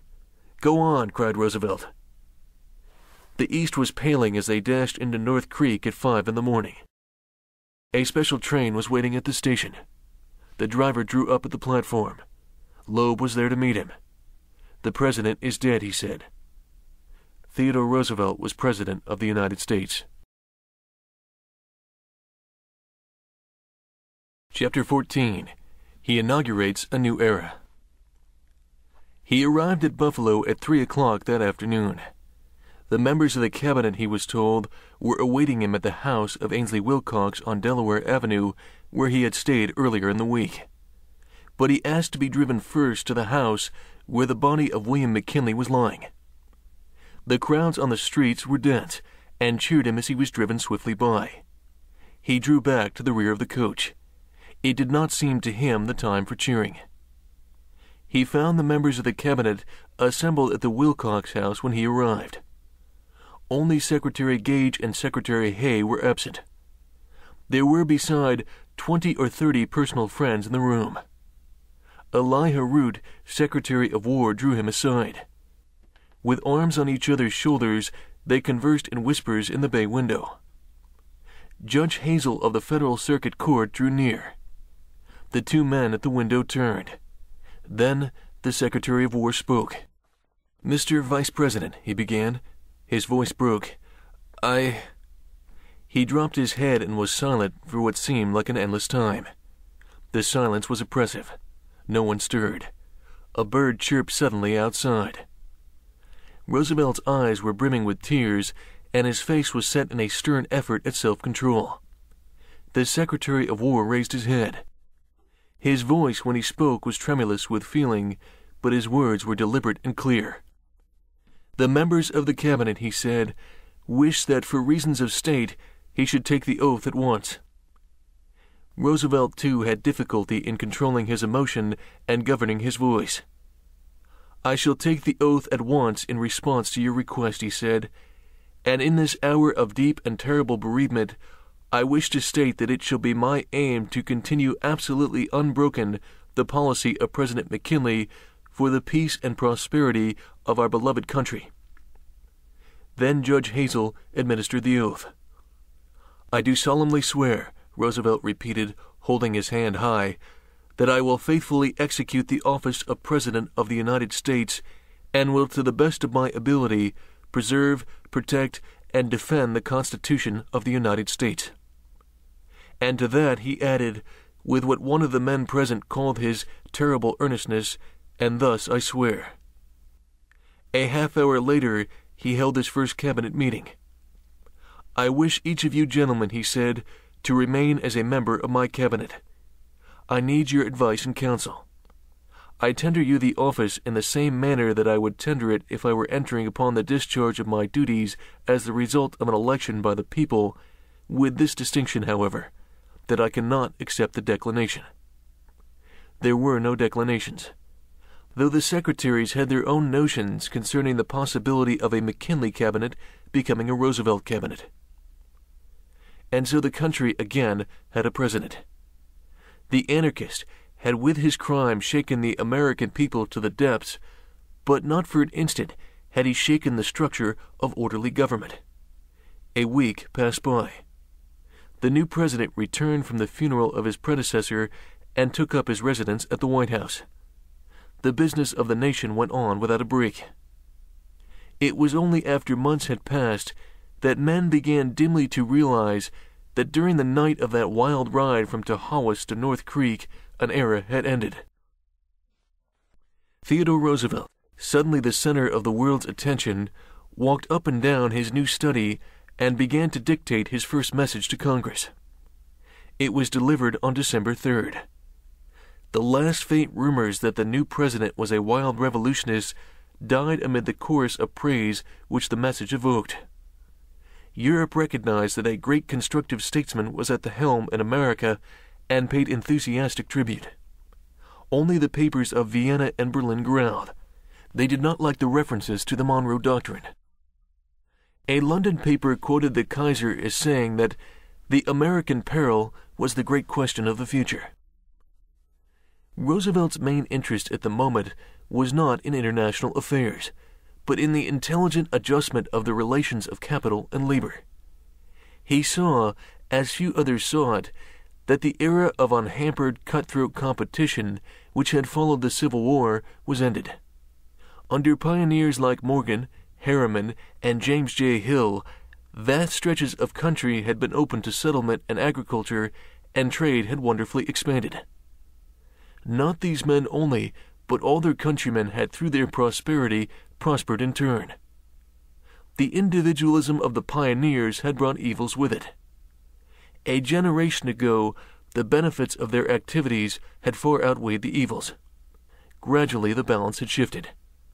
The enormous growth and extension of the power of the financial and industrial leaders had given them an almost despotic control over vast numbers of their fellow citizens. Some of these leaders regarded themselves as above the law. Governors, legislators, and judges were their tools. College presidents, preachers, and the editors of the greatest newspapers in the country their agents and defenders. Their grip on both great political parties seemed absolute. An insurrection in one of them, such as the Free Silver Crusade in 1896, served by its crude excesses only to make more firm than before their control over the other. Meanwhile, the rapid increase in population caused congestion in the cities and conditions approaching slavery in the mines and larger industries.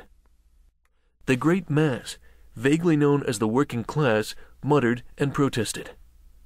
There were strikes and riots, put down with ruthless violence by troops under the direct or indirect command of the employers.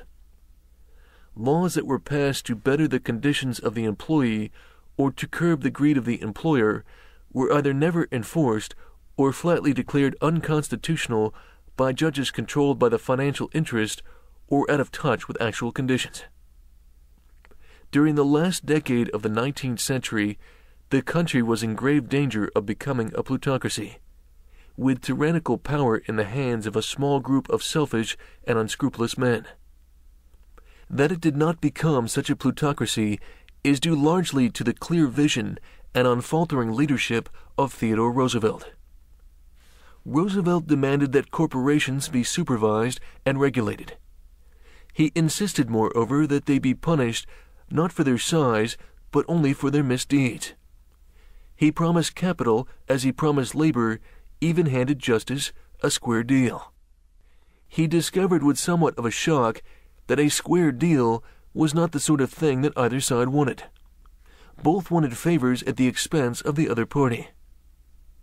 Roosevelt's first great action against the entrenched forces of capital was taken against the Northern Securities Company, a merger of five great railways in the Northwest. The merger had been formed in good faith on the basis of a decision made by the Supreme Court in a case involving the Sugar Trust. Roosevelt believed the decision unwarranted. He knew, moreover, that if it were allowed to stand as a precedent, the hands of the government would be forever tied in its dealing with the trust. He ordered the Attorney General to bring suit against the Northern Securities Company for dissolution. The interests protested wildly. They knew what vital matters were at stake. Roosevelt himself knew that on the decision of the court depended the question whether or not the government had power to deal with the great corporations. The case went its leisurely way. The president and the country waited. Meanwhile, a new spirit was invading the official world of Washington. Men going to the Capitol with ideas in their heads no longer wandered from department to department, hunting in vain for someone to take them seriously. They went straight to the White House, certain to find a welcome there. The president was a busy man, conferring with senators and congressmen, dictating messages and speeches and letters by the hundred, receiving deputations by the dozen, entertaining men from the four corners of the earth, a prince from Germany and a Negro from Alabama, riding, boxing, playing tennis, unveiling a monument here, opening an exposition there, reading novels, history, poetry, scientific treatises on the side, romping jubilantly with his children down the dignified corridors of the White House or up the crags of Rock Creek Park, fighting always at the drop of a hat for a good cause. Presidents in the past had all too often been slightly animated statues. The new president was a throbbing machine. He was a tireless worker, because by nature he loved work.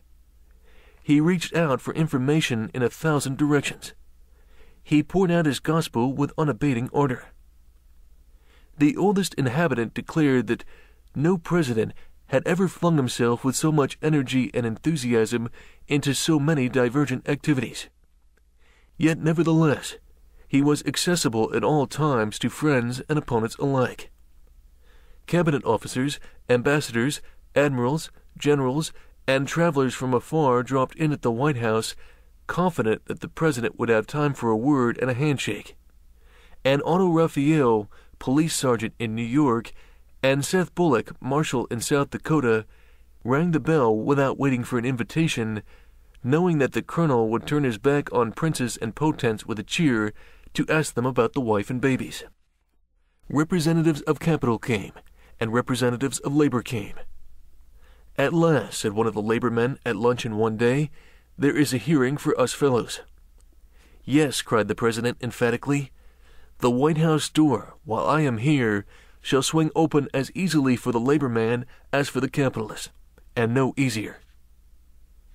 White men and black men, educated men and men with no education at all, rich men and poor men, men of every religion and men of none, were welcomed by the new President not from any sense of duty, but from an inveterate hunger for understanding. To him, every man who crossed his line of vision was important. He sought to learn from them all. From one, a new point of view. From another, a new method of approach. From a third, perhaps, the psychology of some dangerous prejudice which only clear vision and sympathy could overcome. He made himself accessible to the thoughts and feelings of every section of the American people. In countless ways, he endeavored to find out their reaction to the problems of the time. Then, with a clear understanding of their needs and their prejudices, he led them not where they, in their lethargy or their blindness to the true issues, desired to go, but where he, standing on the vantage point of the presidency, saw that they ought to go. He knew the compelling power of the line of least resistance. He knew men's natural tendency to seek the easiest grade, and being a good leader, he inspired the people with a desire to climb. The nation felt the new impulse before Roosevelt had been half a year in office. Under its spell, a new type of public servant began to appear here and there, a type vastly removed from the hard and callous politician to whom Washington was accustomed. They were men who wanted neither money nor personal honor, but only the opportunity to serve. Men of vision who realized that fate had suddenly thrust upon the country a man not only of power, but of constructive imagination. Two such men called on him the day he arrived in Washington after the funeral of President McKinley. He had not yet taken up his residence at the White House, and they went to the house of his brother-in-law, Captain Cowles, where he was staying, to lay before him their plans for the reclamation and irrigation of the arid lands of the Southwest and the consolidation of the forest work of the government in the Forestry Bureau. The men were Frederick Hayes Newell and Gifford Pinchot. Roosevelt had since the ranch days been a warm believer in reclamation, and immediately asked them to prepare material on the subject for use in his forthcoming message. They did so. The forest and water problems, he declared in that message, are perhaps the most vital problems of the United States. On the day the message was read, a committee was organized in Congress to prepare a reclamation bill. A bill was drawn up.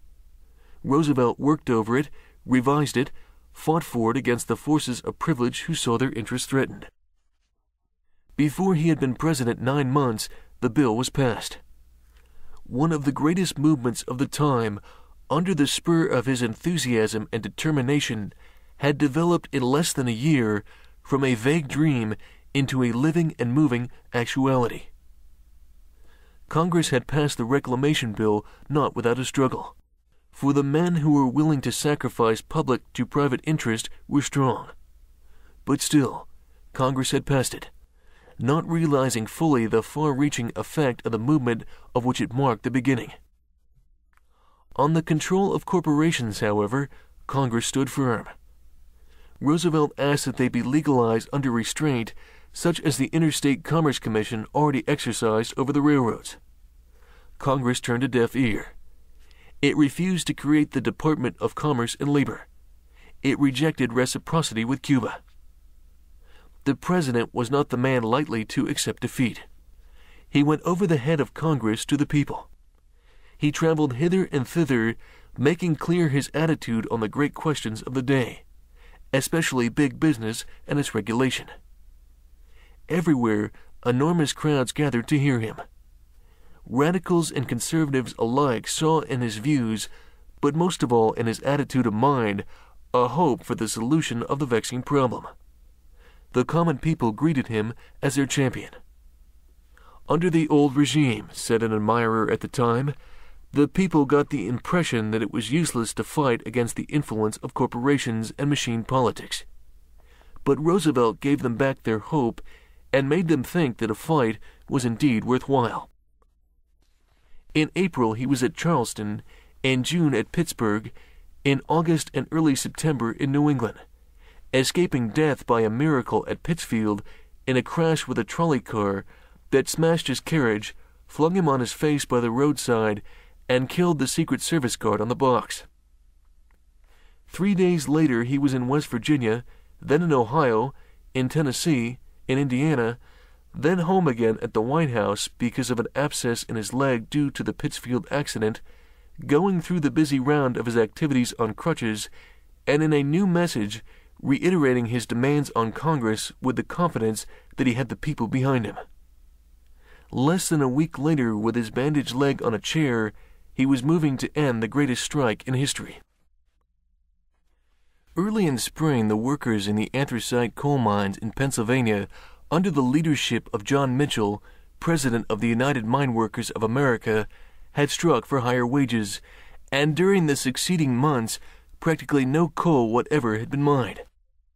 The miners and the operators became deeply embittered, and between them the public stood helpless. Coal rose in September to $25 a ton. Unless coal should be promptly available, a frightful calamity threatened the country, as terrible, Roosevelt knew, as an invasion of a hostile army of overwhelming force. Coal was a necessity of life, and he could, as he wrote Mrs. Cowles, no more see misery and death come to the great masses of the people in our large cities and sit by idly because under ordinary conditions a strike is not a subject for interference by the President, then he could sit by idly and see one man kill another without interference because there is no statutory duty imposed on the President to interfere in such cases. Toward the end of September, he communicated with the operators and with the miners, asking them to agree to the appointment of a commission of arbitration and to promise to accept its findings, the miners to go to work as soon as the commission was appointed at the old rate of wages. The miners agreed but the operators flatly refused. Thereupon, on October 1st, the President invited the operators and representatives of the miners to the White House for a conference. Two days later, the conference was held. Mitchell, speaking for the miners, repeated their acceptance of the President's proposal. But the operators were stubborn. They said that they would far rather die of cold than yield on such a high principle as recognizing arbitration with the striking miners. The trouble with the excellent gentlemen was, wrote Roosevelt to his sister two weeks later, that they were not in danger of dying of cold. They would pay extra for their coal and would get insufficient quantities and would suffer discomfort, but the poorer people around about them would and could get no coal, and with them it would not be discomfort, but acute misery and loss of life. In other words, those people really meant that they would rather somebody else should die of cold than that they should yield. Such a position was impossible. The conference broke up without result. The operators exultantly announced that they had turned down not only the miners, but the president. Roosevelt refused to accept the rebuff, for he recognized that he had not only justice and right on his side, but also the majority of the American people. From here, there, and everywhere came expressions of hearty support of his action and rage at his adversaries. The country was losing patience. In endless conference with representatives of the operators, he tried in vain to make clear to them that in their own interests they must yield or be completely overwhelmed. In his first message, he had said the American people are slow to wrath, but when their wrath is once kindled, it burns like a consuming flame. Roosevelt saw what the operators refused to see that in a winter of coal famine lay the menace of revolution. Day in, day out, he worked for an agreement. May heaven preserve me, he exclaimed in a letter to his sister at that time, from ever again dealing with so wooden headed a set when I wish to preserve their interest. At last, after two weeks, the operators, seeing dimly the writing on the wall, yielded, agreeing to arbitrate. Yes, we have put it through, wrote the President to Governor Crane of Massachusetts. But heaven and earth, it has been a struggle. Roosevelt did not tell the operators until long after that if they had not voluntarily yielded, he would have taken action which they would have long remembered. His plans for the emergency were complete. Major General Schofield, supported by the United States troops, would have taken over and operated the mines as a receiver, while Grover Cleveland and a special commission arbitrated the miners' claims. The president had made up his mind that the American people were not to be without coal. Roosevelt brought the coal strike to an end the middle of October. A month later, he was hunting bears unsuccessfully in Mississippi. A month later again, he came suddenly face to face with Germany and the prospect of war. The crisis arose over the same troublesome nation which had come so near to precipitating war between the United States and England in 1895. Venezuela was now under the dictatorship of a shrewd and unscrupulous adventurer named Castro, who, secure as he believed in the protection of the United States under the Monroe Doctrine, was cheerfully defying half of Europe. Venezuelan citizens owe large sums of money to Germany, England, and Italy. Collection of these debts proved difficult. Castro intimated that Europe might come and get the money if it wanted it. Germany, always on the alert for an opportunity to gain a foothold in South America, as a year or two previous she had gained a foothold in China, now approached the governments of England and Italy with a view of effecting joint intervention to protect the interests of their citizens in Venezuela. Both nations agreed to cooperate and all sent gunboats to blockade the Venezuelan coast. Castro protested vociferously to the United States. John Hay, Secretary of State, answered that the Monroe Doctrine did not mean that the United States would preserve any South American nation from the consequences of its own financial indiscretions. The so called Pacific blockade continued for a year. Numerous neutral vessels were sunk. Hay lodged an emphatic protest and urged arbitration. The Allied nations refused.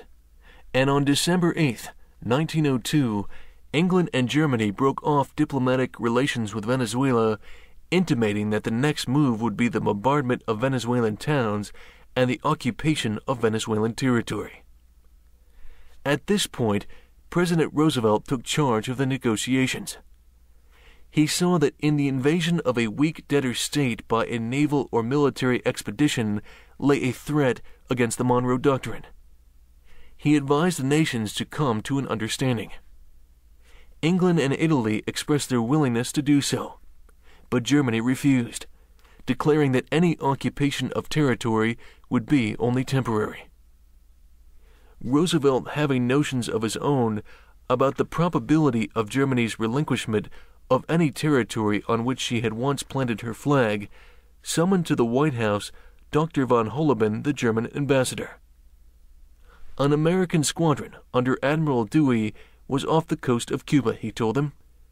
Unless Germany consented to arbitrate her Venezuelan claims, he would order Dewey at noon, ten days later, to proceed to the Venezuelan coast and prevent, by force of arms if necessary, the landing of a German expedition.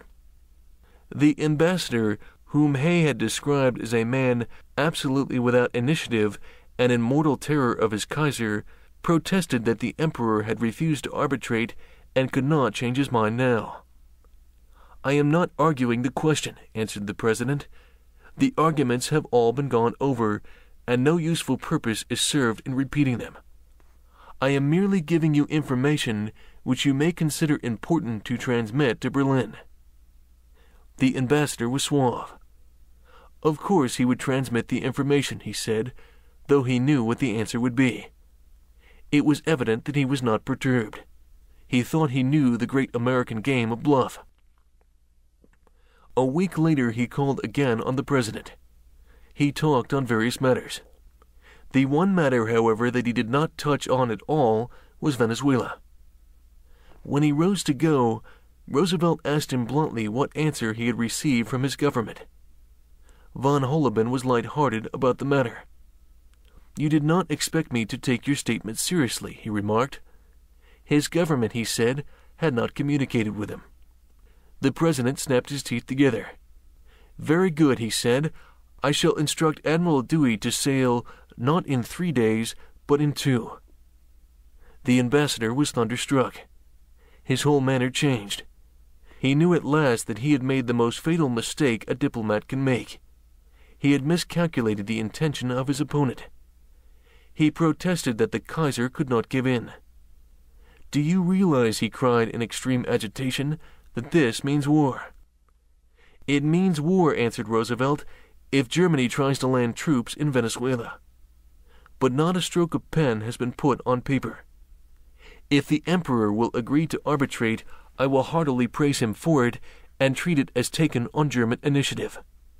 But I must have an offer to arbitrate in 48 hours or Dewey sails. Within 36 hours, the ambassador returned to the White House wreathed in smiles. A dispatch had just come from Berlin, he said, saying that the Kaiser would arbitrate. Roosevelt did as he promised and commended the Kaiser publicly for being so staunch a friend of arbitration. Holleben was almost immediately recalled by his government. The affair evidently rankled in the emperor's mind. But his attentions to America and Americans increased in fervor. From the Venezuelan affair dated his almost romantic devotion to Theodore Roosevelt. The president had spoken in the only way William II understood, and in his curious and medieval heart, the emperor loved Roosevelt for the very qualities which had revealed him as his master. Two weeks after the settlement of the Venezuelan affair on January 1903, another international controversy, which had for years been dragging its way up and down the corridors of diplomacy, came before Roosevelt for action. Like the Venezuelan imbroglio, this affair also involved England. After her initial mistake in allying herself with Germany in the so called peaceful blockade of the Venezuelan coast, the British government had, in response to public sentiment in England, behaved extremely well. In this other controversy also, England showed her evident desire to keep on terms of close friendliness with the United States. The affair dealt with Alaska, whose eastern boundary along the strip above the 5440 line had been a matter of dispute for generations.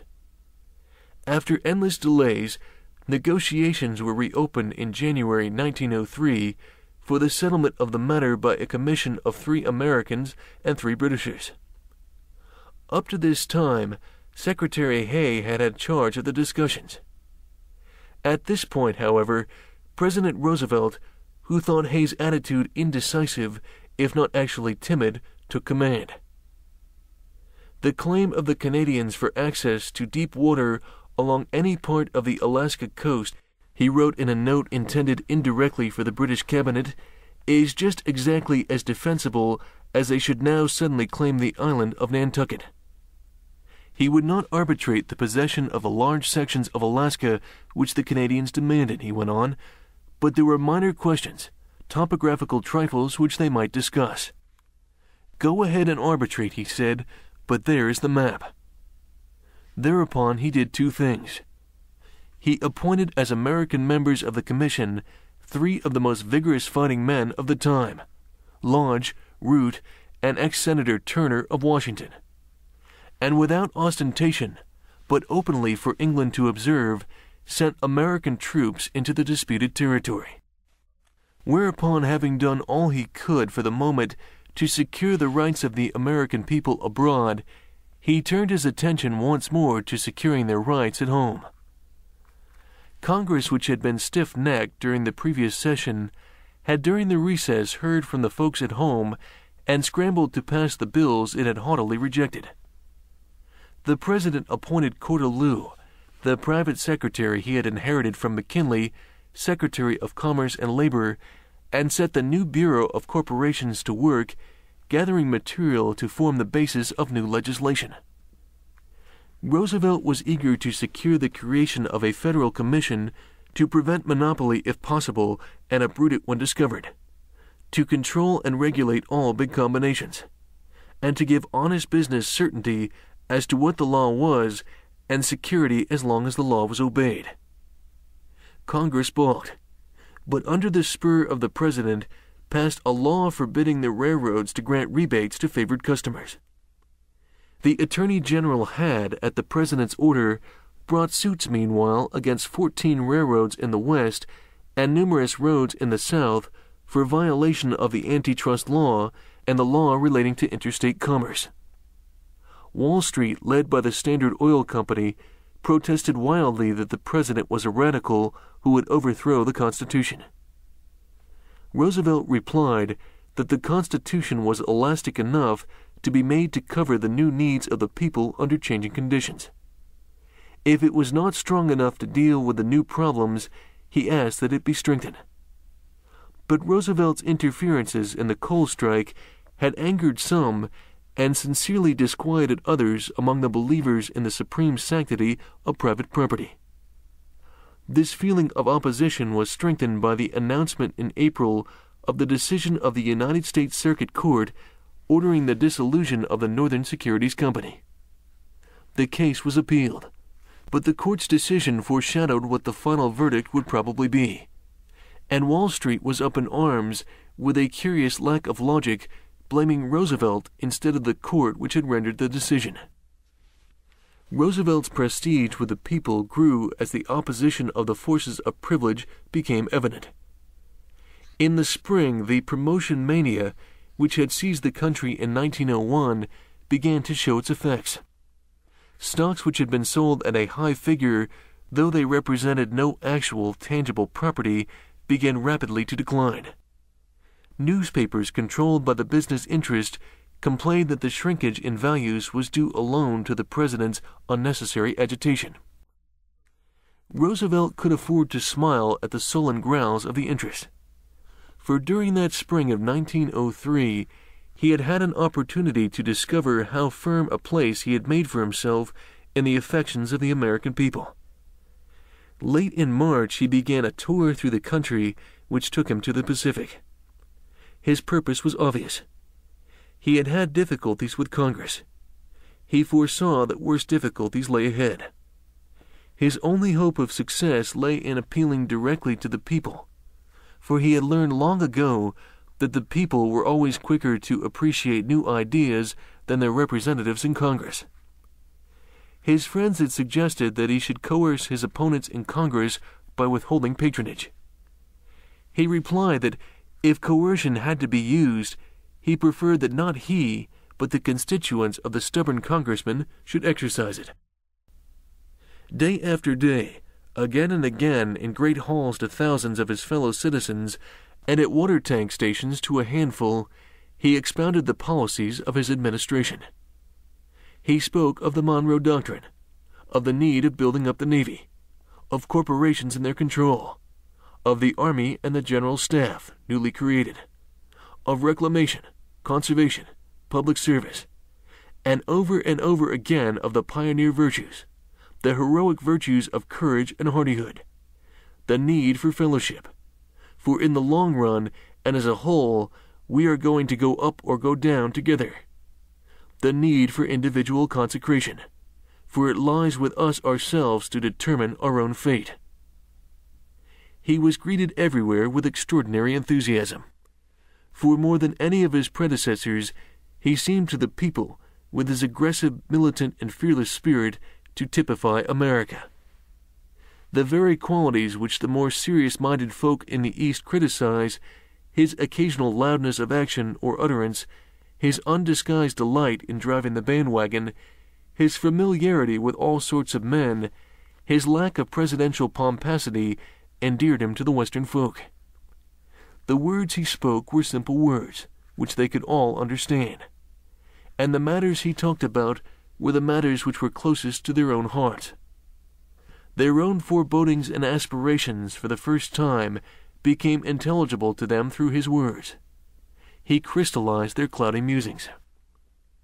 It was natural that, giving utterance as he did to the best that was in their hearts, he should strike there a spark of that high spirit of national service which burned so fiercely in his own being. Under his spell, men rediscovered their country and took pride in her, and came to feel a personal responsibility for her welfare and honor. He made them desire not safety, but the doing of difficult things. He made them want to do their duty. He made them ashamed not to want to do their duty. He stung their consciences to life.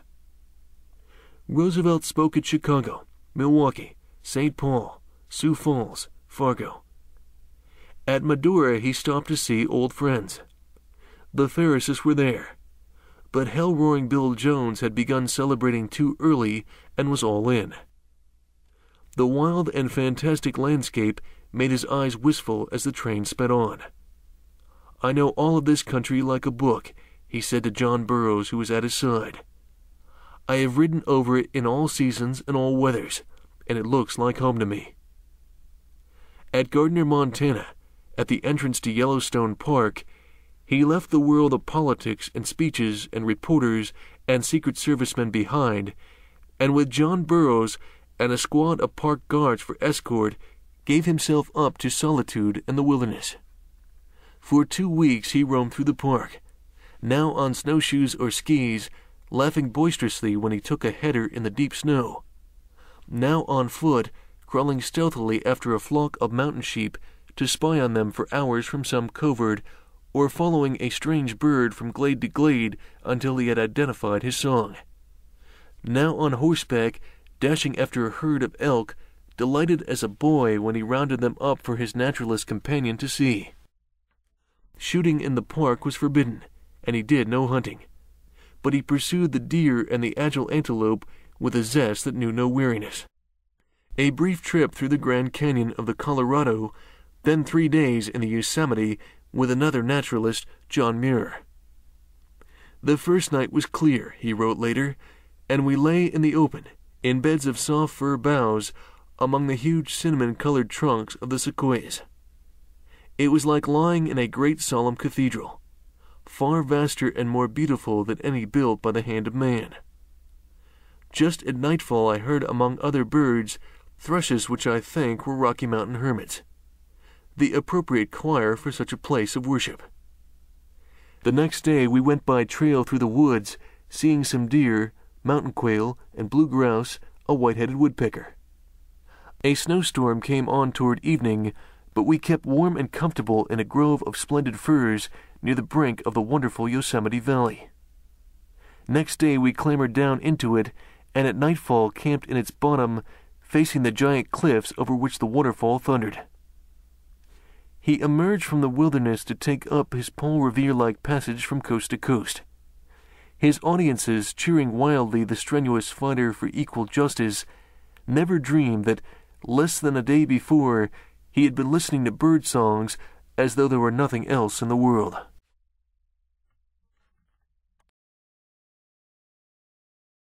Chapter 15 He establishes himself and his country as a world power. The president returned to Washington early in June and plunged once more into the turmoil of his administrative duties. Corruption had been brought to light in the Post Office Department, and the Postmaster General, though eager to end it, was nervous about the effect the exposure might have on the fortunes of the Republican Party. Roosevelt insisted on absolute publicity and relentless justice wherever the trail might lead. The trail happened to lead to high quarters politicians appealed frantically to Roosevelt to keep the scandals quiet. The president made it clear that if he were going to preach clean government, he would have a clean house of his own. Affairs at home and abroad alternately demanded his attention. Not only in the post office department was corruption revealed. He discovered that frauds on a huge scale had been practiced in the distribution of public lands and in the execution of the immigration laws and set the wheels of justice moving. Meanwhile, early in July, a report reached him that the American vice consul at Beirut, Turkey, had been murdered.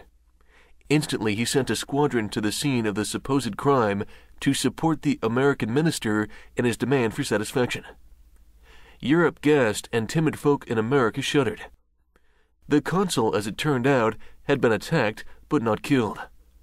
The Turkish government was profuse in its expressions of regret and suddenly showed a willingness to accede to certain long standing requests concerning American missionaries. The squadron sailed away. No blood had been shed, but Europe had a new respect for American citizenship.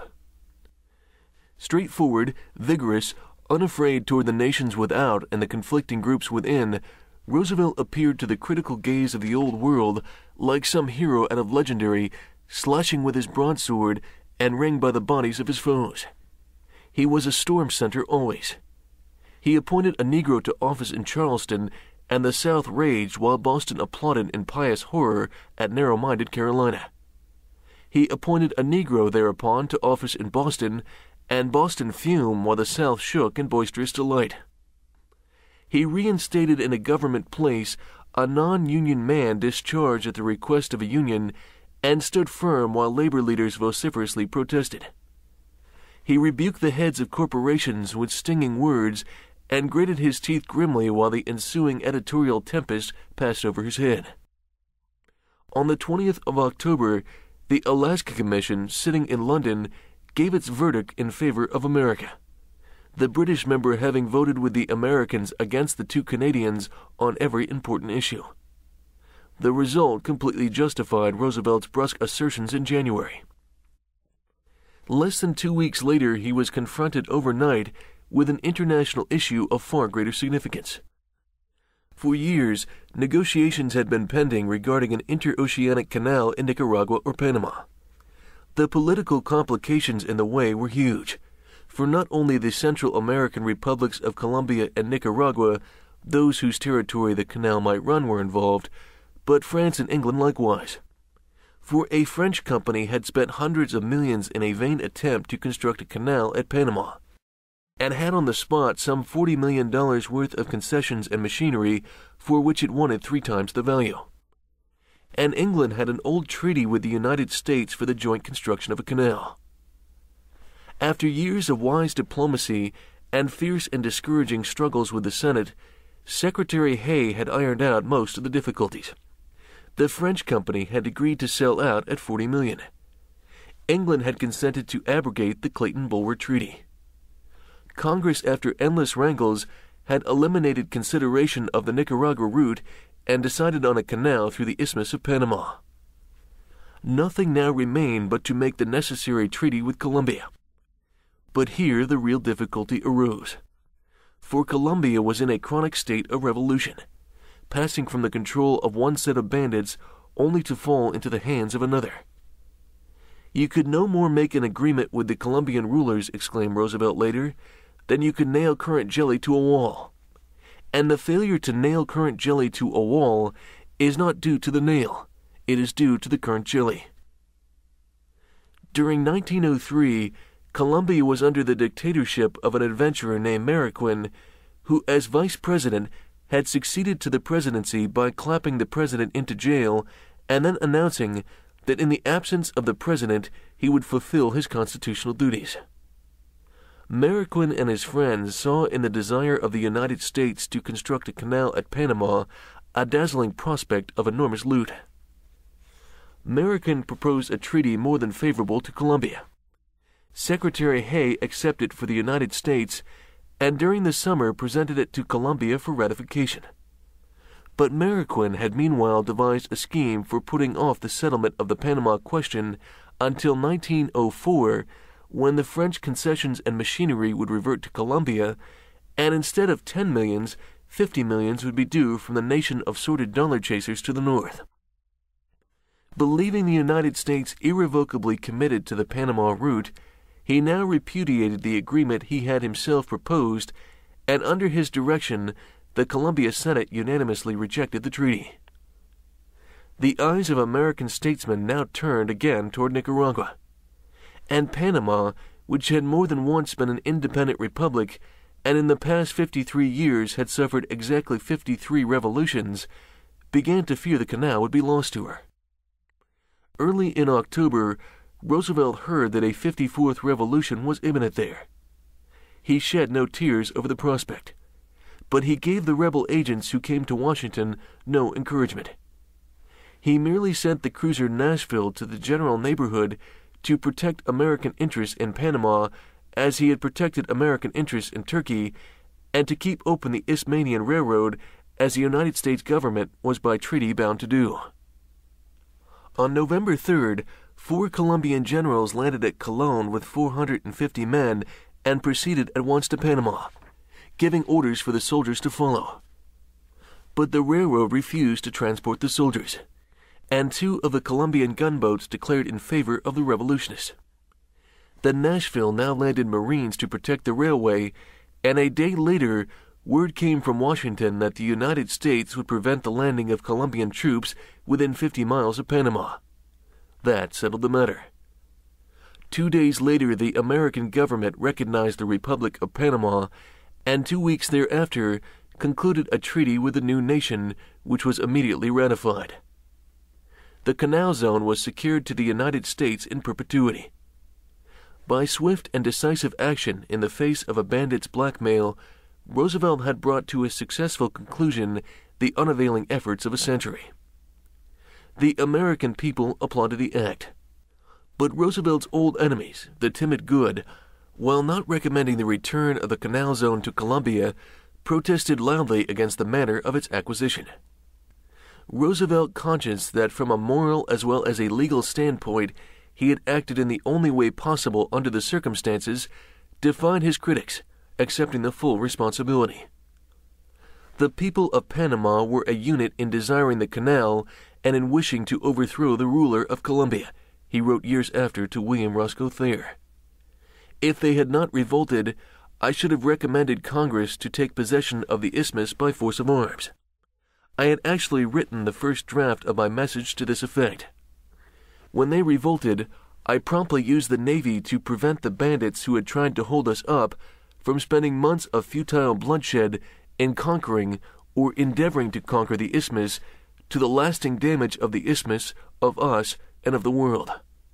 I did not consult Hay or Root or anyone else as to what I did, because a council of war does not fight, and I intended to do the job once and for all.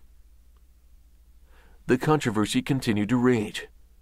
But while the talking went on, the president set about to make the canal zone a sanitary place to live in, appointed a committee of engineers to decide on the type of canal to be constructed, and started Congress on the long wrangle he knew it would insist on having before the work could start.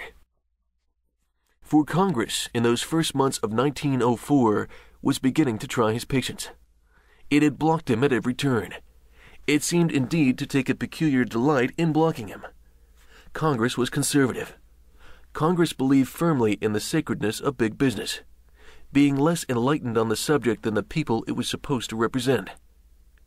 A special session called to ratify the Cuban Reciprocity Treaty spent its energies in petty quarrels the national election now began to absorb the whole interest of the country.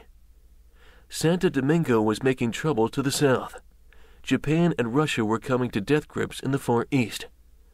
But neither struggle could compete in interest with the presidential campaign. Roosevelt's nomination by the Republicans was definitely assured when his only possible rival, Senator Hanna, died in February. The convention met in Chicago in June and was the scene of the wildest enthusiasm. While the convention was in session, Roosevelt was involved in a delicate international situation which incidentally involved all the great powers of Europe. An American citizen, Ion Perdicaris, had been captured by bandits in Morocco under the leadership of a notorious chieftain named Raisuli, who had succeeded in terrorizing the foreign offices of most of the powers. Roosevelt demanded his release. The Sultan of Morocco made promises, but Perdicaris was not set free. Roosevelt thereupon sent an American warship to Tangier.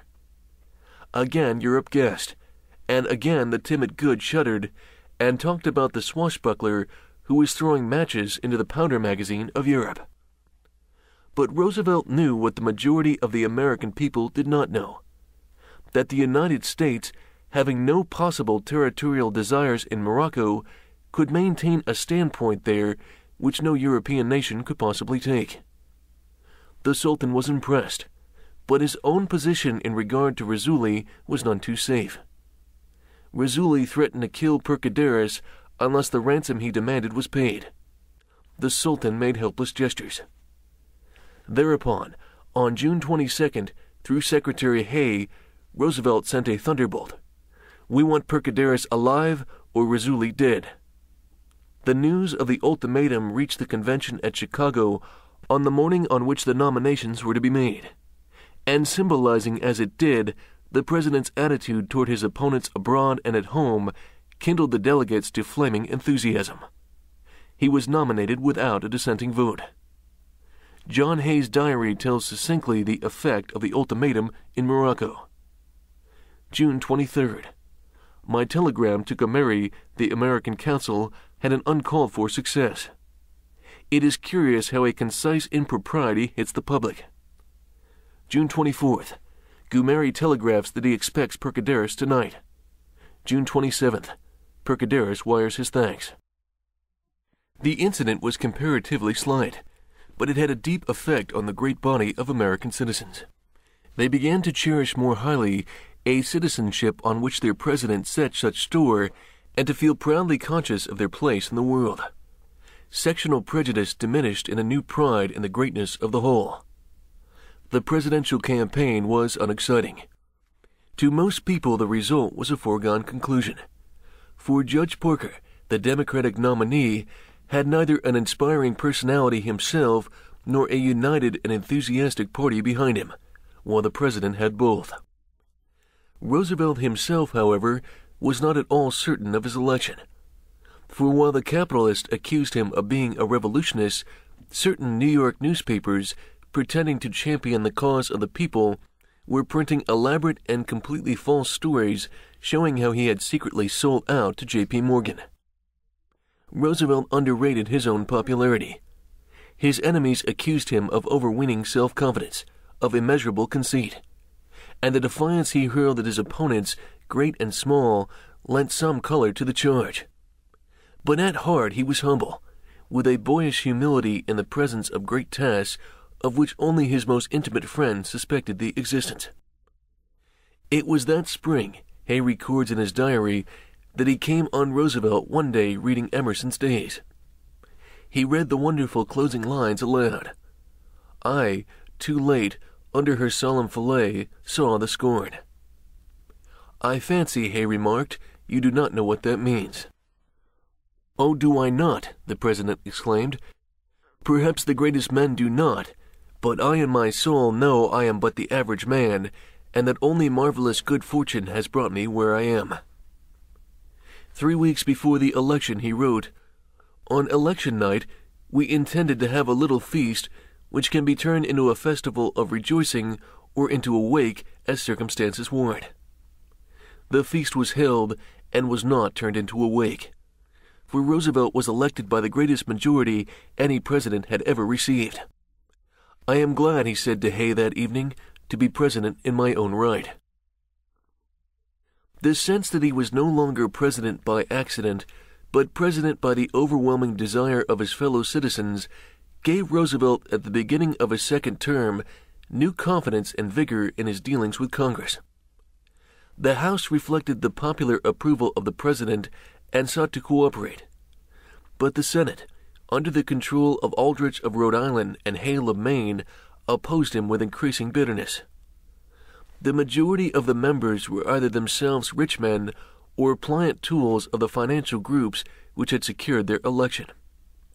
They formed the bulwark of the interest and opposed Roosevelt with a savage bitterness, holding him responsible for the social unrest beginning to make itself manifest. When Roosevelt declared that all he wanted was to give justice to both capital and labor, they refused to believe what he said. They accused him of desiring to overturn American institutions, failing utterly to comprehend that the President was seeking to conserve those institutions by adapting them to the swiftly changing conditions. They were like King Canute, bellowing at the oncoming tide, and they called Roosevelt a revolutionist because he implored them to convert their throne into a raft. Roosevelt saw bitterly what he had seen as far back as 1899, and which they could not even now perceive that the old era of capital unrestricted was gone forever. He saw the social forces seething all over the world. He saw the smoldering discontent, the growing consciousness among the masses that the relations between capital and labor were unevenly balanced and unfair. The rumblings of social revolution in Europe were not lost to him. He was aware of the sinister effect of the sinister exploitation of the aliens who sought on these shores of liberty which they failed to find. He noted the beginning of an insurgent movement in the very stronghold of conservatism, the Republican Party. The significance of the election of Democrat so called reform governors in five of the states which had given him their electoral vote was not lost to him. There had been revolution in the air at the time of the coal strike in the autumn of 1902. The peril had for the moment been averted, but the fundamental causes remained. Roosevelt knew that the overturn of the existing order was sooner or later inevitable unless the forces of capital and the forces of labor met on the common ground of governmental regulation and control. And because he knew that such an overturn would bring anarchy to the country and misery to the working man as well as to the capitalist, he sought with all his energies to prevent it. He was assailed on every side with inconceivable bitterness. But he was a valiant fighter, and the people as a whole were with him though capitalists accused him harshly of pandering to labor, and labor leaders accused him of yielding to capital. He sought to give justice to both sides, and both sides accused him of temporizing. Roosevelt was determined to enlarge the powers of the Interstate Commerce Commission over railroad rates, and under his direction, the Hepburn Rate Bill was introduced. The Senate rejected it as it had rejected certain arbitration treaties he had presented for ratification as a personal rebuke and in fear of increasing his power. Roosevelt once more turned to the people. During that spring of 1905, he made another speech making tour through the country, preaching the doctrines he had always preached with stubborn, unwearying insistence. Congress granted him not half of what he asked for. Though a year later it passed the Hepburn Bill and consented reluctantly to investigations of the Standard Oil Company, the American Tobacco Company, and the Beef Trust. Roosevelt had, however, familiarized the American people, meanwhile, with the problems he was seeking to solve. And even while he was meeting defeat again and again in Congress, he was creating in the people a desire for reform. His old genius for advertising good causes had never served the country better. He was not always altogether adroit as a politician, and crafty senators playing their deep games deliberately angered him to the point of fury in order to discredit and defeat him. But among the people he was steadily successful. Never did the fact that, as he himself said, he was merely an average man with average capabilities developed to the full stand him in better stead. Being an average man, he understood the average man no wall of abnormally acute intellectuality stood between them. Highly intellectual folk in those days took to smiling at the president a little patronizingly, calling him platitudinous. They recalled what Speaker Reed had said about Roosevelt. What I admire most about Theodore is his discovery of the Ten Commandments. Roosevelt grinned and admitted that it was the common, everyday things that interested him above all and went on preaching the evangel of public service and business regulation. Everywhere the people responded. But the great newspapers controlled by the interests took to calling him a demagogue. His campaign for the regulation of big business went on steadily, with many setbacks, but without interruption. Meanwhile, he was striking at the irresponsible power of the few from another angle. Without any great blaring of trumpets, but with visible success. The reclamation bill had, by judicious cutting of red tape, been put into immediate effect under the direction of Newell and Pinchot, and by 1906 projects were already underway for the irrigation of more than 3 million acres. Parallel with this activity went the movement, likewise directed by Pinchot, for the preservation and extension of the national forest, the regulation and control of water power, and the protection everywhere of public lands in the public interest. The area of national forest was increased from 43 to 194 million acres. The water power resources of the national forest put under the control of the government to prevent speculation and monopoly, and cattle raisers grazing their herds on the reserves were forced to pay for what they got. This steadily expanding policy incurred the wrath of men who had always regarded the natural resources of the nation as the divinely appointed field of private exploitation. Unrestricted enterprise had done much to open the Western country. The country was now open, but the resources of it were being rapidly exhausted. The rights of the public to the natural resources, Roosevelt contended, outweigh private rights. The fight raged in Congress, where again and again efforts were made to abolish the Forest Service. Land speculators, gamblers in water rights, timber slashers, sheep owners, coal barons, and the politicians, local and national, who served their interest, howled about the executive usurpation. Roosevelt went on, not serenely, for serenity was never a conspicuous quality of his, but with the dash and fire he had shown on the day of Las Guasimas, when not knowing which way he was supposed to go, he had decided to press on in the direction of the guns. Out of the forest movement grew the general conservation movement, which applied to the other natural resources of the nation the principle there laid down that the executive is the steward of the public welfare. In March 1907, Roosevelt created the Inland Waterways Commission. In October, he took a trip down the Mississippi as guest of the commission, skillfully using the dramatic news value of the incidents of the trip to call the attention of the country through the newspapers day after day to the question of conservation. He announced his intention of calling a conference on conservation at the White House the following spring. The governors of all the states were invited to attend it. The conference was held in May 1908. The fact that it was the first national conference of state governors on any subject attracted enormous attention. Overnight conservation became a great national issue. A National Conservation Commission was appointed to prepare an inventory, the first ever made for any nation, of all the natural resources which underlay its property. The inventory was completed in six months. A joint conservation congress, meeting in December, suggested the holding of a North American Conservation Conference to which representatives of Canada and Mexico were invited.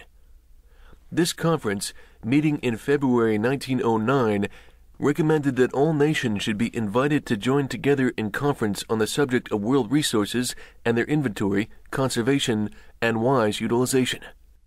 The invitation was sent to 45 nations. From a conference of three men in Captain Cow's house in September 1901, a small reclamation project had, through the vision and persistence of Theodore Roosevelt, expanded into an international movement for the conservation of all natural resources. Roosevelt's second term was not rich in legislative accomplishment, for the Senate was consistently hostile, and gradually even the House turned against him accusing him of overweening ambition and dictatorial methods. His repute with the people meanwhile grew, and his influence with them deepened. They exulted in the face of cynical Europe that during the first years of Roosevelt's administration, the United States had kept her promise to Cuba and withdrawn her troops.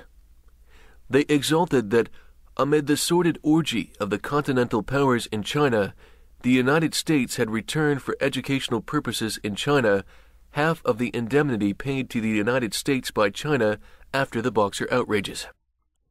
They took pride in the decisive action that had won them Panama and the persistence which, after endless wrangling and administrative difficulties, resulted in the beginning on a firm basis of the construction of the canal. They respected themselves and their neighbors more because the person of an American citizen was safe in any part of the world, and because his government thought him worth fighting for against any power. Above all, they were proud that they were part of a government which fearlessly and impartially executed justice within its own borders. During that first decade of the 20th century, to be an American citizen meant what it had meant during the first century to be a citizen of Rome. During the summer of 1905, President Roosevelt once more made Europe aware of the changed position of America in world affairs by suddenly offering his services to end the Russo Japanese War. The war had been proceeding a year and a half, with terrible bloodshed on both sides. Roosevelt sent identical notes to both belligerents, asking whether his mediation would be acceptable. Both replies were in the affirmative and in August the peace commissioners arrived and began their sessions at Portsmouth, New Hampshire. The American people watched the conference with mingled feeling of pride and apprehension. The president's enemies screamed loudly that he was riding for a fall, that to satisfy his vanity, he had undertaken an impossible task which could result only in failure and a lamentable loss of prestige for the country. Indeed, failure seemed for a time inevitable. The commissioners themselves expected nothing less. Japan demanded an indemnity. Russia refused absolutely to pay it. There the matter hung. Roosevelt conferred with the commissioners at Sagamore Hill and on the Mayflower again and again. With dogged persistence, he clung to hope after all others had abandoned it, advised this, recommended that, suggested this other. Early in September, a treaty was signed. The war was over. Roosevelt's part in the negotiations was immediately recognized on all sides and had an extraordinary influence both abroad and at home. America's place in world affairs was by it definitely established, and Roosevelt's own position in the eyes of his countrymen gained a new security. The least enlightened began to realize that in Roosevelt they had a president who was an international force. Roosevelt was meanwhile endeavoring to establish closer relations with the Spanish American states by so dealing with the weak and helpless among those states that America's position as the dominant nation in the Western Hemisphere would become to all the source of confidence and satisfaction instead of apprehension. He protected the weaker peoples threatened by foreign nations or by the misrule of adventurers. But at the same time, he sought to cooperate with those Central and South American governments with whom dealing on terms of equality was possible. He helped to establish a Central American Court of Arbitration and in 1906 sent Elihu Root, Secretary of State in succession to Hay, who had died the previous year, on a tour through South America. Root was extraordinarily successful, for he knew the Latin mind and established among the statesmen of South America a confidence in the great neighbor to the north which they had never before felt. Speak softly and carry a big stick, and you will go far. Roosevelt had preached this motto for ten years or more. As president, he practiced it without and within. In his diplomacy, he was cordial, sympathetic, fair minded, but at the same time unmistakably firm. He made no threats which he did not intend, if necessary, to put into effect. He never blustered. The words he spoke were clear, unambiguous. Everyone knew exactly what they meant. Everyone knew likewise that behind them was an indomitable will, a stiff spine, and the utmost force of the United States. That force Roosevelt brought to a point of efficiency it had never known before. The Army he did not enlarge, though he increased greatly its practical usefulness. The Navy he doubled in size and more than doubled in effectiveness. In season and out of season, he preached preparedness against war. He pleaded with Congress for a program of four battleships a year, but he pleaded in vain. Reluctantly, Congress granted two. His opponents and newspaper offices protested against the president's militaristic mind which could not realize that the era of war was over and the world was entering on the era of peace. California passed a number of vigorous anti Japanese regulations. Japan protested, and Roosevelt wondered how secure the establishment of that era of peace really was. The feeling between Japan and the United States became suddenly tense. The yellow press of both countries fanned the flames. Japan, flushed from its victory over Russia, was self confident. The American people, believing the Philippines, Hawaii, and the whole Pacific coast threatened, were ready, if necessary, to defend them with their blood. Roosevelt kept his head and held a series of conferences with Baron Takahira, the Japanese ambassador. He made clear the intention of the United States to limit Oriental immigration. But he made clear at the same time his desire in no way to humiliate Japan. His tact, coupled with his great popularity, not only in California but in Japan, carried the day. A gentleman's agreement was arranged. War between Japan and the United States was, for the time at least, averted. Roosevelt had taken a leading part in the movement for international arbitration and had endeavored, though unsuccessfully, to persuade the Senate to ratify 20 or more treaties of limited arbitration. But he knew that peace can be kept by no treaty, however sacred, unless that treaty is backed by force. Early in 1907, he announced to the amazement of the country and the incredulity even of naval experts that he intended to send the American battleship fleet on a trip around the world. European experts declared flatly that the thing could not be done. The timid folk asserted that it meant war. Congress cried that it would cost too much money. The President stood firm. He had two reasons for desiring to send the fleet on this long journey. He wished, in the first place, in some dramatic way, to call the attention of the American people to the Navy and its needs.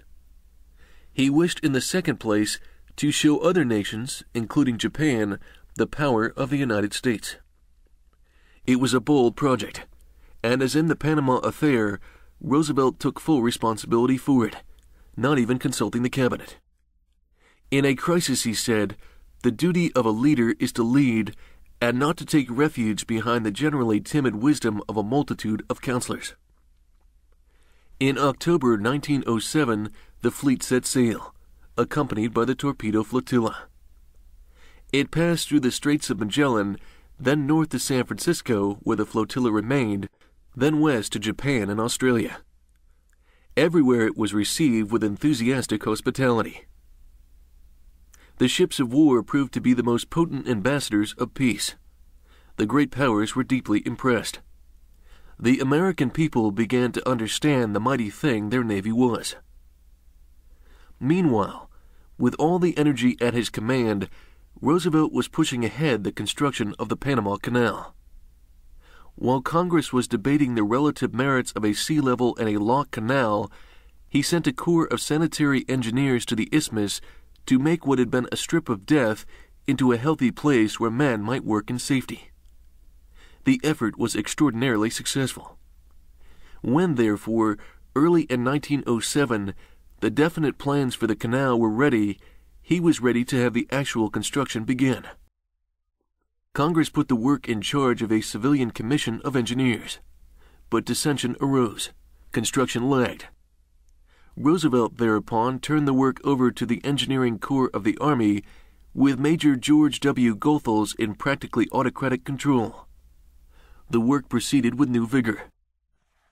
He himself went to Panama, to the perturbation of finicky folk who said that it was against the rules for an American president to leave American soil, and for three days of tropic rain and mud inspected the work of construction.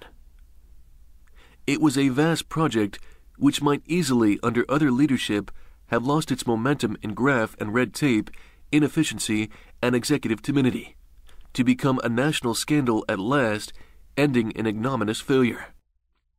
It was Roosevelt who made such an outcome impossible at the very start.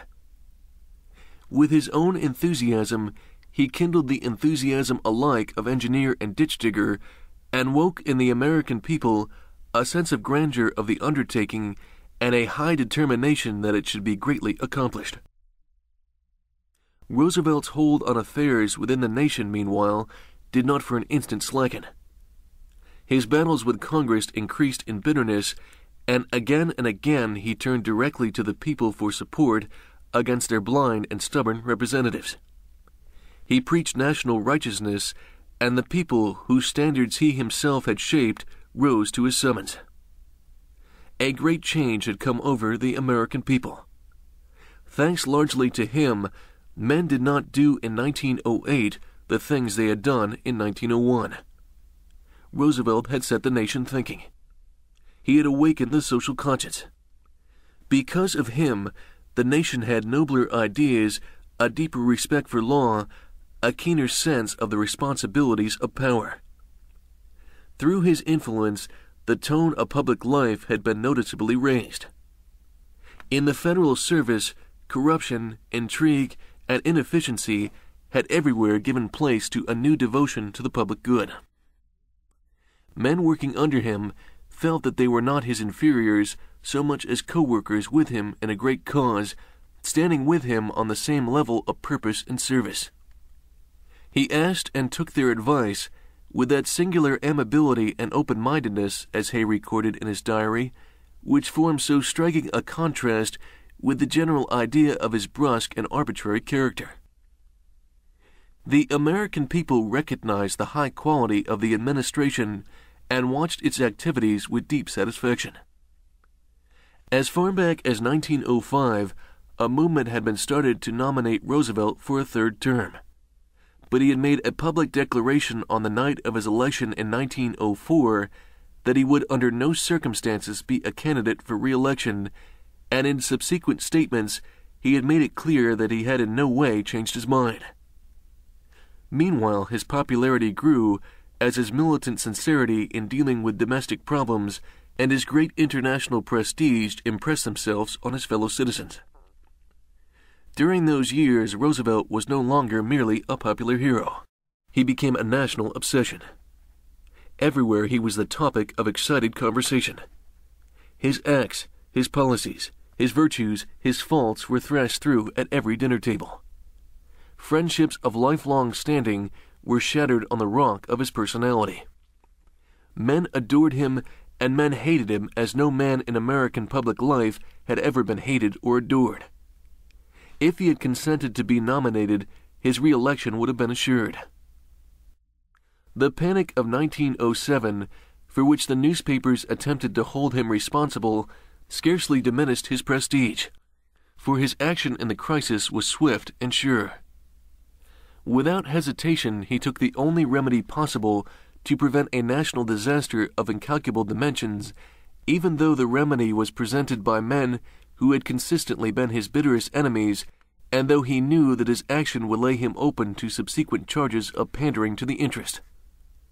Faced by the overwhelming facts, he had the courage to make an exception to a rule he had himself insisted on and to let the demagogues howl. The temptation to keep the enormous power he held in his hands and to carry through the great movements he had put under way was great. He might have made himself virtually a dictator. He put the temptation behind him, working harder to prevent a renomination than most presidents have worked to achieve one. He was keeping a pledge he had made three years previous. There was no glory in that. No one commended him for it.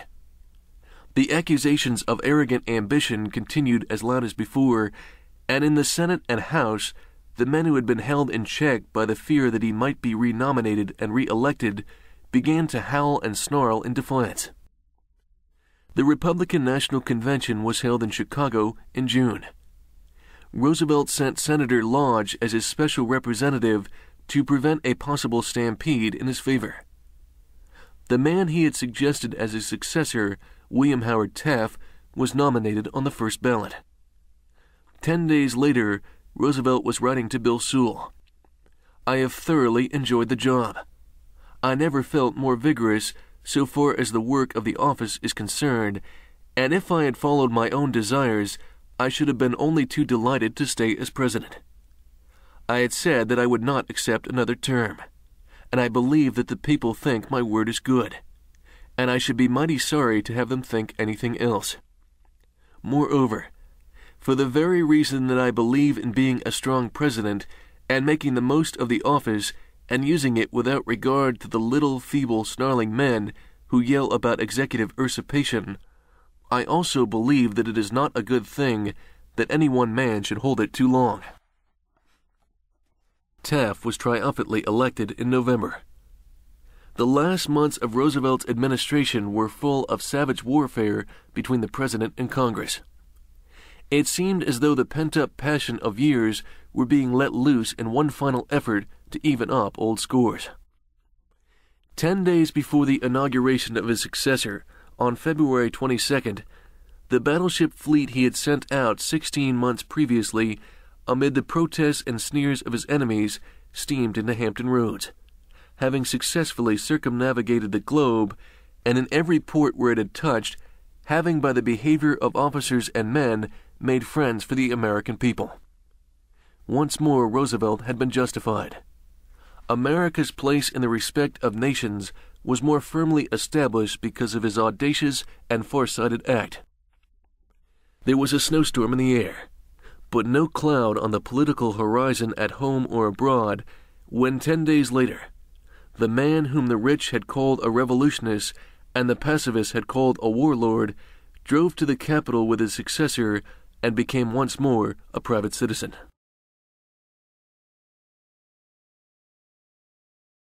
Chapter 16 He Goes Out into the Wilderness. Almost a year before the close of his term, Roosevelt had decided to take a hunting trip through Africa when he retired from the presidency. He had ever since his college days been eager to hunt the big game of the tropics. He was hungry, moreover, for the wilderness. Except for brief trips in the West, coursing wolves in Oklahoma, and hunting bears with hounds in Colorado and Mississippi, he had kept to the crowded haunts of men. Immediately after the close of the convention which nominated Taft, he had written to Mrs. Kells I am very much pleased with the result. And now, as regards myself, I am already looking away from politics and towards Africa. When I am through with a thing, I am through with it. And as long as I have power to work, I want to turn heart and soul to the next bit of work to be done. With the life I have led, it is unlikely that I shall retain vigor to a very advanced age. And I want to be a man of action as long as I can. I do not want to make the African trip as a mere holiday, and am trying to arrange and hope to succeed in arranging that I shall go on a regular scientific trip representing, say, the National Museum, with one or two professional field taxidermists to cure the trophies and arrange for their transport back to this country. He made the arrangements he desired with the Smithsonian Institution, and less than three weeks after he had left the White House on that stormy 4th of March, with his son Kermit, age 19, as his companion, was on board the SS Hamburg, moving slowly down the harbor amid the din of a thousand steamboat whistles leaving behind him a disconsolate people who wondered how they were going to get along for twelve months without Tyor.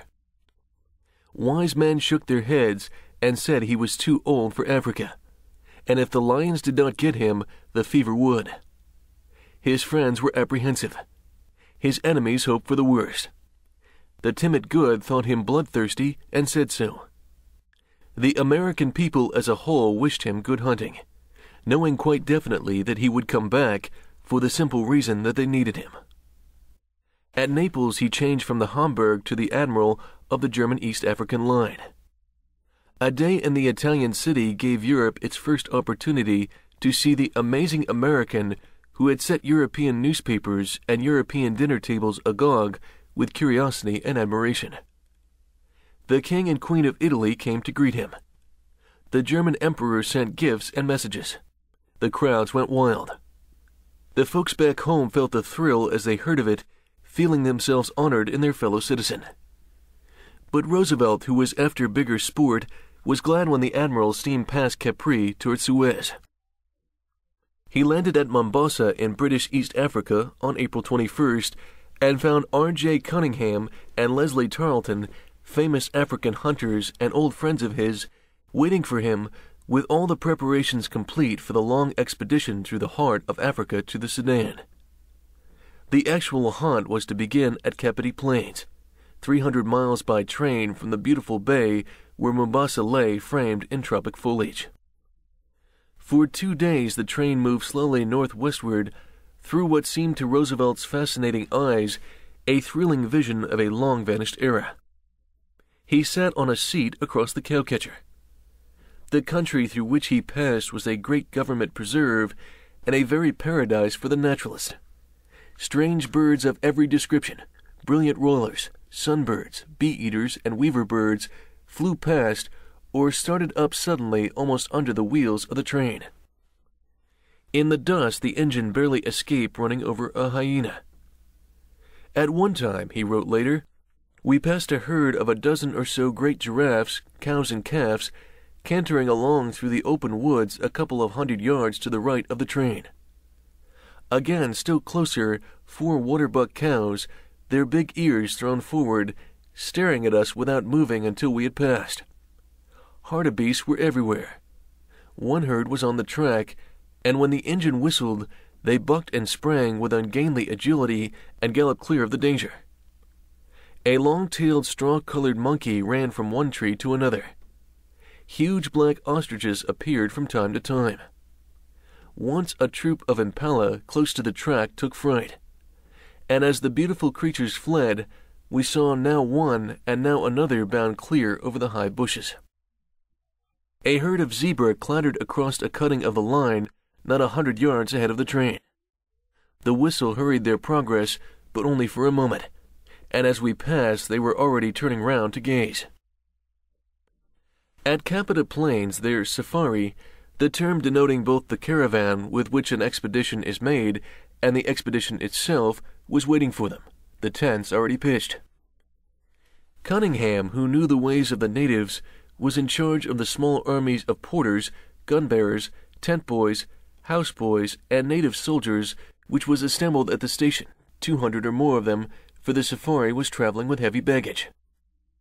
There were four tons of salt alone to be carried for the curing of the skins, and an endless array of canned food. One native bore a leather case of books. That was the pigskin library, containing some eighty volumes ranging from Alice in Wonderland to Gregorovius' History of Rome. The Roosevelts, it seemed, had no intention of being bored in Africa for lack of reading material. On the third day in camp, Roosevelt, having completed the arrangement of the outfit, went on his first African hunt, riding northward from the railroad across the desolate flats of shortgrass to the low hills or kopjes beyond. Almost immediately he came upon the shy denizens of the wilds here and there and everywhere about him, hartebeest and wildebeest, antelope and brindled gnu, countless zebra and beautiful gazelles. In a shower, the first of the season's big rains, he shot his first African game. The day following, he rode his party to the hills of Kitanga, sixteen miles away, where Sir Alfred Pease, who had hunted with him the day before, had a large farm. It lay in a beautiful country. Below the one story house, with its shady veranda on three sides, was a green valley with countless flat-top acacia trees. Beyond were wide, lonely plains, and beyond these the snowy summit of Kilimanjaro, crimson in the twilight. The plains were bare, except for low bushes covered with flowers like morning glories. But along the watercourses were mimosas in blossom and giant cactus-like euphorbia shaped like candelabra, and on the higher hills fig trees and wild olives. Wild flowers and birds were everywhere, brilliant with many colors. Day after day, Roosevelt rode with only his native horseboy and gun bearers for company out over the strange and fascinating plains. These rides with his silent black followers through the lonely country teeming with game had a peculiar charm. Here a herd of zebras stared at him as he rode by. There a hartebeest perched as a lookout on some huge ant hill a dozen feet high leaped frantically away as it became aware of his presence. On the plains were herds of hundreds and herds of thousands of the beautiful wild creatures. In the brush of the ravines were strange rustlings. All day he was out, dozing at midday under some wide branching tree, or watching with his telescope the distant herds.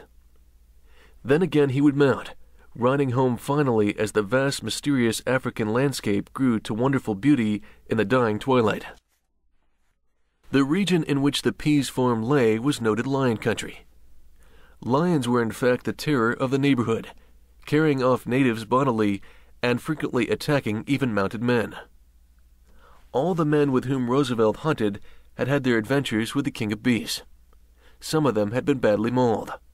All had had narrow escapes. Every day Roosevelt came on the skeleton of a zebra or gnu some lion had killed and eaten, leaving the last of the ghastly meal to the vultures and ravens and the hideous marabout storks. He hunted lions twice in vain. The third time, after beating through the ravines all morning with Kermit and his host without result, in a dry sandy watercourse he came upon the track of a lion.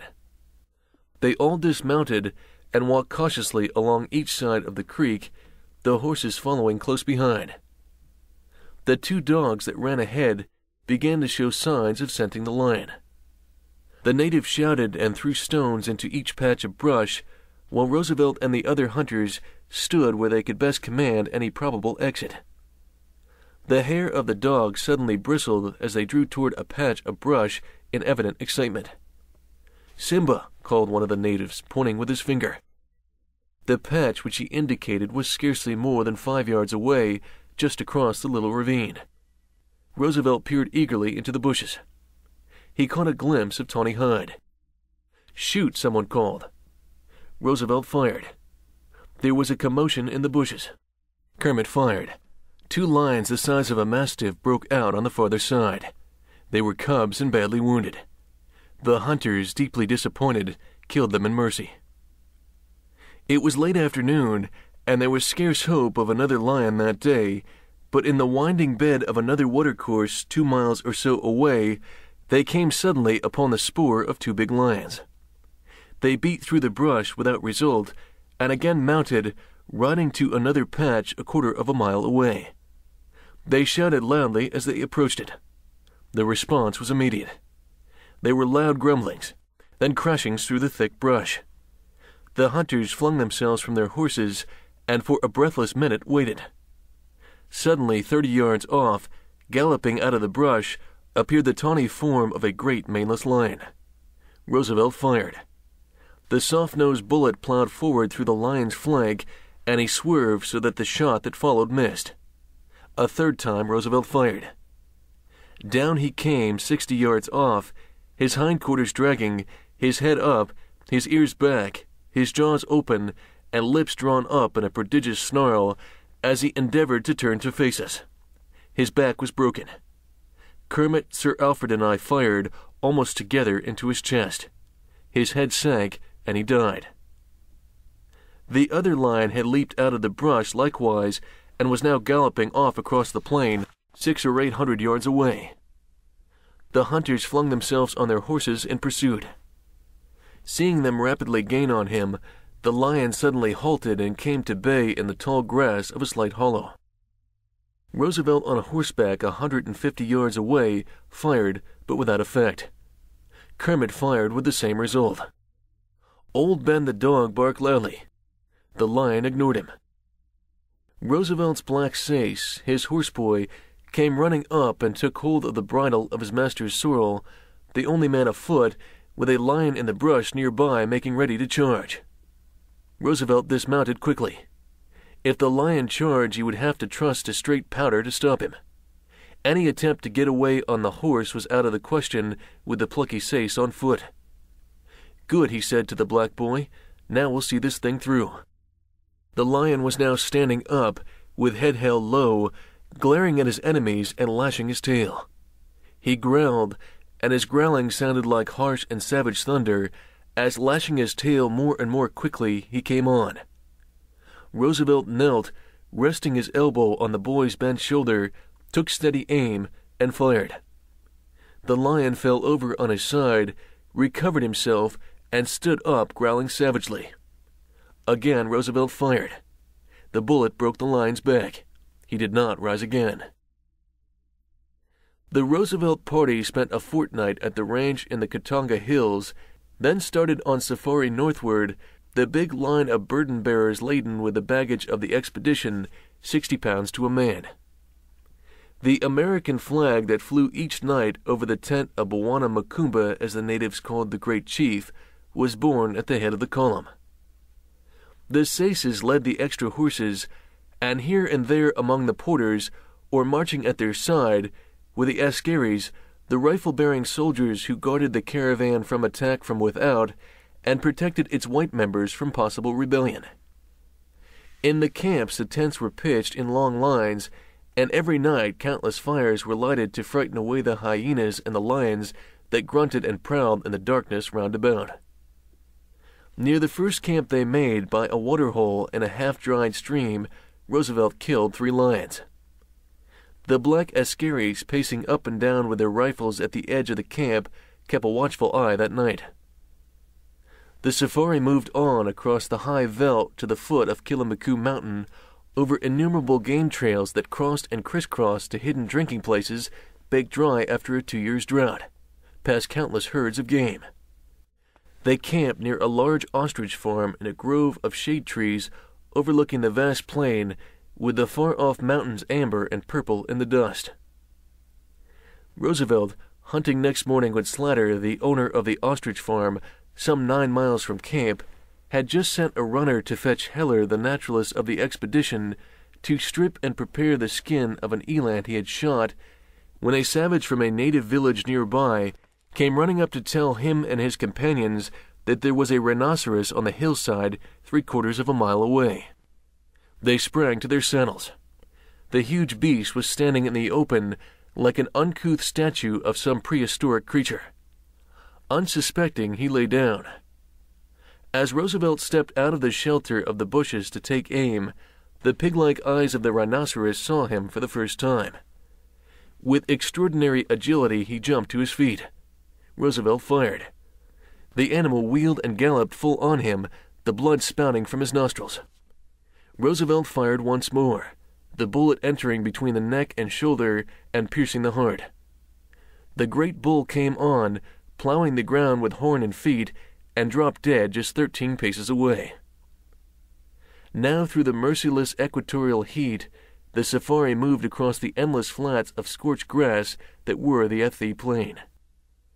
At the junction of the Nairobi and Roraro rivers lay Juja Farm, the ranch of an American named McMillan. There they halted.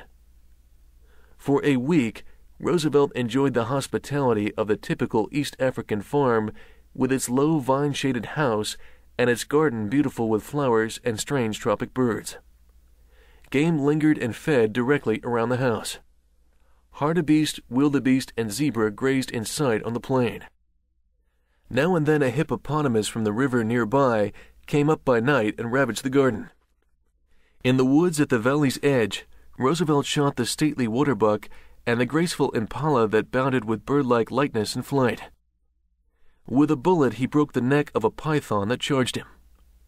On the plain, he shot giraffes. One day, he spied a hippopotamus in a black wooded pool. As we crept noiselessly up to the steep bank which edged the pool, the sight was typically African. On the still water floated a crocodile, nothing but his eyes and nostrils visible. The bank was covered with a dense growth of trees, festooned with vines. Among the branches sat herons. A little cormorant dived into the water, and a very large and brilliantly colored kingfisher, with a red beak and large turquoise crest, perched unheedingly within a few feet of us. The hippopotamus escaped for as he was stealthily creeping up on him, there was a crash of a great body in the papyrus nearby. A rhino cried his companions, Shoot! Shoot! The rhinoceros broke from cover, twitching its head from side to side as it came lumbering straight at him.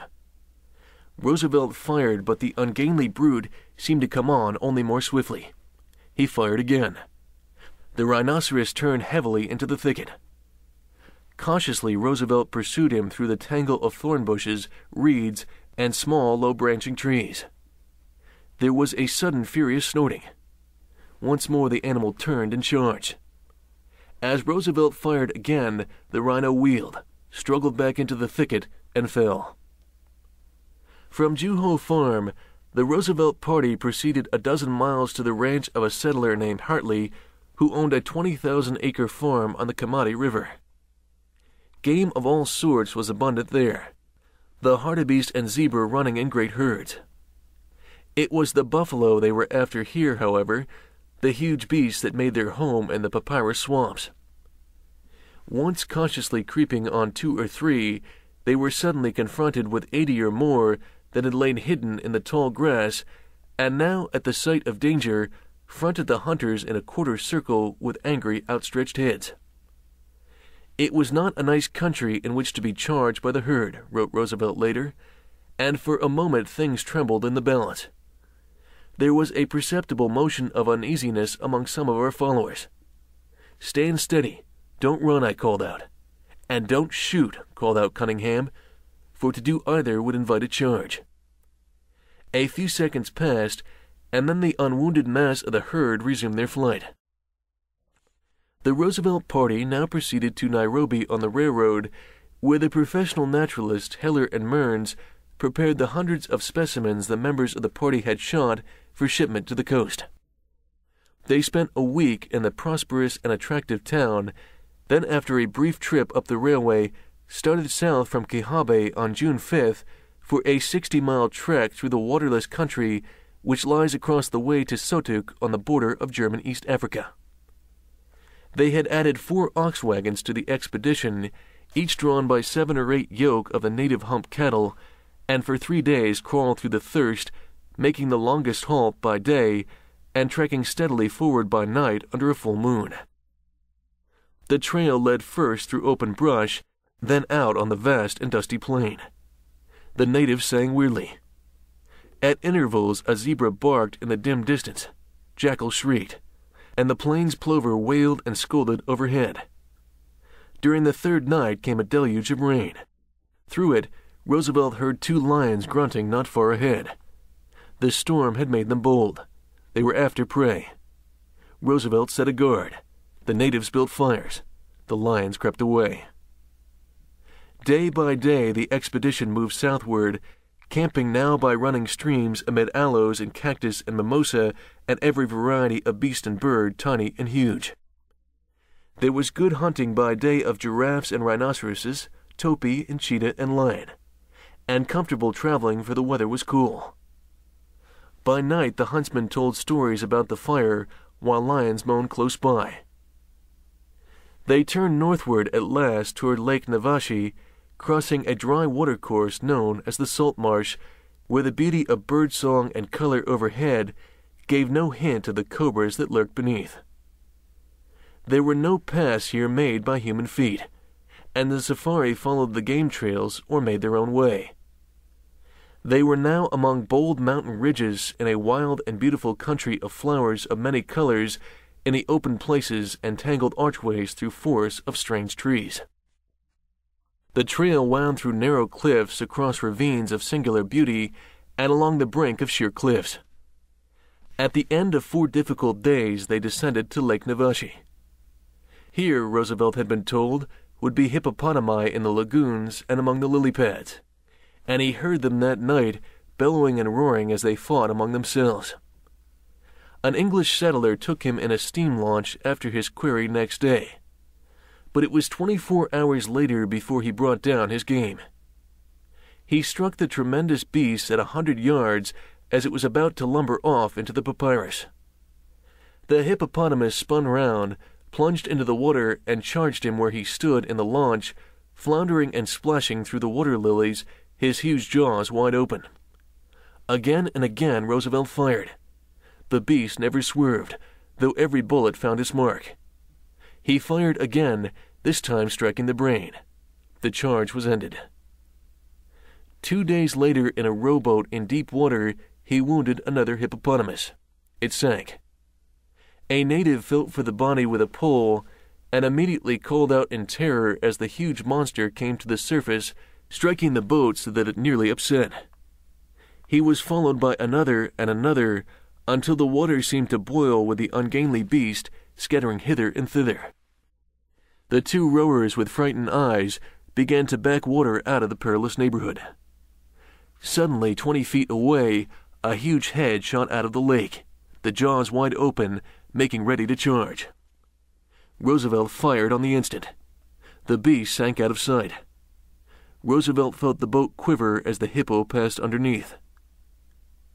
In the midst of his hippo hunt, he was prostrated by a sudden attack of the fever from which he had suffered at long intervals ever since his Cuban campaign. But he did not let it interfere seriously with the day's business. His diary for that period of illness runs as follows July 16th, wrote fever. July 17th, wrote fever. July 18th, getting better. July 20, 5 Hippo. The party returned once more to Nairobi, the naturalists to pack and transport the accumulated skins and antlers. Roosevelt to visit some neighboring missions and to lay a cornerstone or two. Then again they left civilization behind for a four days' march across the high plateaus and mountain chains of the Aberdare Range to Nyeri. The steep, twisting trail was slippery with sand. Our last camp, at an altitude of about 10,000 feet, was so cold that the water froze in the basins and the shivering porters slept in numb discomfort. There was constant fog and rain, and on the highest plateau the bleak landscape, shrouded in driving mist, was northern to the senses. The ground was rolling, and through the deep valleys ran brawling brooks of clear water. One little stream suddenly tearing down a hillside might have been that which Child Roland crossed before he came to the Dark Tower. At Nyeri, the district commissioner had arranged a great Kikuyu dance in Roosevelt's honor. And before him, the half naked savages swung rhythmically in rings and columns, springing and shouting while the drums throbbed and the horns blared and the women shrieked their shrill applause. The next day he was again on his way with Cunningham, making for snow capped Mount Kenya. They made their camp well up among the foothills in an open glade, surrounded by the green walls of the tangled forest where parrots chattered and monkeys called. They were after elephant. Three days of cautious progress through the dim, cool archways of the forest, and at last they came upon the herd whose tracks they had been stealthily following.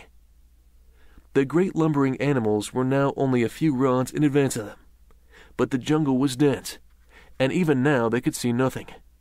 They crept closer. A great bull with heavy tusks lifted his head and slowly turned it toward the hunters. Roosevelt fired. The shock stunned the elephant, who stumbled forward, half falling, recovered himself, and fell crashing to the earth under a second bullet. At the same instant, the thick bushes parted at Roosevelt's left, and through them surged a huge bull elephant charging. The matted mass of tough creepers snapped like a pack thread before his rush. He could have touched Roosevelt with his trunk. Roosevelt leaped aside. He had had no time to reload his gun. He dodged behind a tree trunk, opening his rifle, throwing out the empty shells, and slipping in two cartridges. Cunningham fired right and left and flung himself into the bushes. The elephant stopped short in his charge, wheeled, and disappeared in the thick cover. The two men ran forward, but the jungle had closed behind him. They heard him trumpet shrilly in the distance. Then there was silence. Roosevelt left the naturalist in charge of his elephant and returned to Naraboma to gather a safari of Kikuyu porters for a hunting trip along the Guaso Nyiro. Cunningham and Heller joined him in a week, and together they proceeded to Meru on the northeastern slopes of Mount Kenya where Kermit Roosevelt and Tarleton, who had been on a safari of their own, rejoined the party. At Meru they remained a fortnight, hunting elephant and rhinoceros. Then the party once more split, Roosevelt and Cunningham with a donkey train, going off for a month along the Guaso Nyiro after giraffe and ostrich and eland and oryx and buffalo and crocodile. It was a hunter's paradise through which they trekked, and a land of varying and fascinating beauty. October was two thirds over before they again reached Nairobi. Five days later, they were once more underway, starting from the railroad at London for the Uasin Gishu Plateau and the foothills of Mount Elgon. There, crossing and recrossing the equator, now shivering in northern cold, now baking in tropic heat, they spent a month. At Surgoi Lake, they watched a company of savage warriors surround and kill a lion with their spears. Roosevelt returned to Nairobi the end of November to bid farewell to his friends there and to the safari that had served him faithfully for seven months. Then he proceeded with his party to Kisumu on Lake Victoria Nyanza, where a 24 hours trip by steamer took him to Entebbe, the seat of the English governor of Uganda. The shores they skirted were beautiful with luxuriant meadows and forest, but the fisher folk who had once prospered there had vanished, stricken with the terror that had crept on them out of the jungle to the north and slain them by thousands with the sleeping sickness. Roosevelt secured a new safari in Kampala, just west of Entebbe, and after paying his respects to the little black king of Uganda, proceeded with his party northwestward toward Lake Albert Nyanza. For days they passed through the high elephant grass, twice as tall as a man on horseback. In it, here and there, were strange trees, where monkeys chattered, and birds of many colors sprang like bright sparks in and out of the green shadow. The hills became higher as they went on, and thorn trees and royal palms flanked the trail. Once they passed a company of porters returning from the Congo. Their master, an elephant poacher, had been killed by natives. Once they came upon elephant spoor, and following it through dim, cavernous windings in the dark, vine covered jungle, were charged by the huge beast. Steadily, silently, his feet swishing through the long grass, he came on. Roosevelt and Kermit, facing him together, stopped him, and then as he veered round, followed him for hours through the wild tangle. They finished him at last. His trunk made excellent soup. The chiefs of the native village had been warned some time before of their coming, and each camp with open rest house and wickerwork fence was prepared for them when they arrived. The local chief greeted them when they came with music of rudimentary fiddles and harps and bowing and clapping of hands. At Hoima, a little native town, they stayed for a day, exchanging courtesies with the king of Unyoro and the Episcopalian and Roman Catholic missionaries. Then once more they proceeded northwestward through the luxuriant thickets where birds were a delight and puff adders a constant peril. On January 5th, they reached Lake Albert Nyanza. A flotilla, consisting of a crazy little steam launch, two sailboats, and two large rowboats, was waiting for them and immediately started northward down the White Nile. The brilliant tropic stars made lanes of light on the lapping water as we ran on through the night. The river horses roared from the reed beds and snorted and plunged beside the boat, and crocodiles slipped sullenly into the river as we glided by. Toward morning a mist arose, and through it the crescent of the dying moon shone red and lurid. Then the sun flamed aloft, and soon the African landscape, vast, lonely, mysterious, stretched on every side in a shimmering glare of heat and light and ahead of us the great strange river went twisting away into the distance. They disembarked after two days in the Lado, northeast of the Belgian Congo, to hunt the white rhinoceros. Here they were in the heart of the African jungle, a wild and lonely country where they saw no human beings except an occasional party of naked savages armed with bows and poisoned arrows. The heat by day and night was terrific. Roosevelt was bitten by the sleeping sickness fly, but escaped infection, though at a river village where they had stopped the day before, eight natives were dying of the dread disease, and the other white members of the party were all suffering at times from fever, dysentery, or heat prostration. All night the hippopotami grunted and brayed and splashed among the reeds close to their camp. And now and again the hunters would hear the roaring of lions and the trumpeting of elephants. One night, a party of lions, scenting the rhinoceros meat, prowled within fifteen feet of the tents. Game was plentiful, and the party remained in the neighborhood three weeks or more, securing specimens for the museum. For meat, they depended entirely on their rifles. Once Kermit shot a crocodile. It was a female and contained a little more than four dozen eggs. They scrambled the eggs and ate them. Once more they took to their flotilla and steamed and drifted down the Nile, white men and black men, tents, foods, and spoils of the chase, all huddled together under the torrid sun. At Nimule, 26 hours later, they embarked, to begin on February 17th the 10 days' march through the terrifying heat to Gondokoro. At quarter of three in the morning, the whistle blew. We dressed and breakfasted while the tents were taken down and the loads adjusted. Then off we strode through the hot starlit night, our backs to the Southern Cross and our faces toward the Great Bear, for we were marching northward and homeward. The drum throbbed and muttered as we walked on and on along the dim trail. At last the stars began to pale. The gray east changed to opal and amber and amethyst. The red splendor of the sunrise flooded the world. And to the heat of the night succeeded the more merciless heat of the day. Higher and higher the sun rose. The sweat streamed down our faces, and the bodies of the black men glistened like oiled iron. And so they came to Gondokoro, and the world of officials and palatial ships, and telegrams from potents, and gloomy letters from old friends telling how the things that Theodore Roosevelt had fought for among his own people were in peril of destruction. The great hunting trip of Bwana Makuba was ended.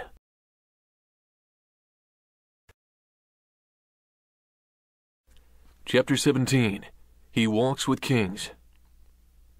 For a year, in spite of his absence from the scenes of its vital affairs, the world, and especially that part of it which calls itself the United States, had been talking of Theodore Roosevelt and arguing about Theodore Roosevelt and asking what Theodore Roosevelt would say about this and do about that, and counting the days until Theodore Roosevelt should emerge from his self imposed exile and take up once more his leadership of the forces of progress.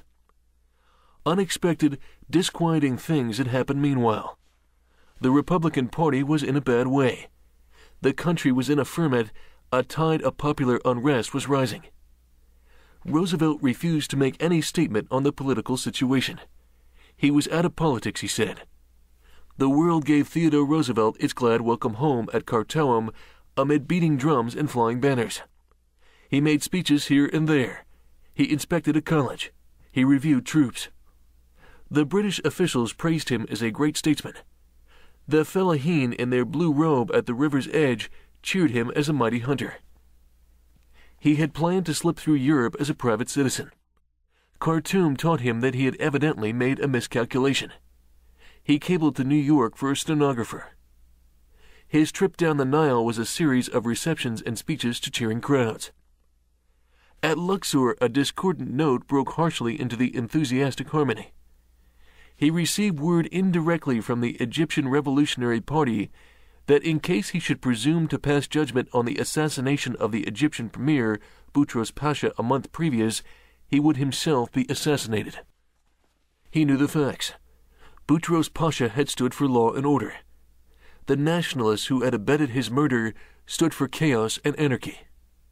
Three days later, he spoke at Cairo before the University of Egypt and in unequivocal terms condemned the assassination and all who defended it.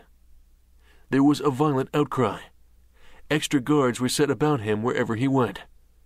The nationalist newspapers exoriated him. But sober public sentiment applauded, and no one made the threatened attack against his life. He proceeded to Rome and was immediately the center of another bitter controversy he had asked to be presented to the Pope. The Vatican had sought to make his presentation conditional on his declaration that he would not call at the College of the Methodists the Church's active opponents in Rome. Roosevelt felt that self respect and his position as an American citizen forbade his acceptance of any restriction on his freedom of action, and knowing that the most effective foe of misunderstanding was publicity, gave the full correspondence to the press the newspapers of Europe and America flamed with the story. A fierce religious controversy threatened. Roosevelt sent out a statement to the American people expressing the earnest hope that the incident would be treated in a matter of fact way as merely personal, and above all as not warranting the slightest exhibition of rancor and bitterness, rebuked the head of the Methodists in Rome who attempted to make capital out of it, and flung himself with zest into the celebrations of every sort arranged for him by the King of Italy, the Italian government, and the city of Rome. The journey of the private American citizen north through Italy to Venice and along the Riviera was a triumphant succession of receptions and wildly cheering crowds.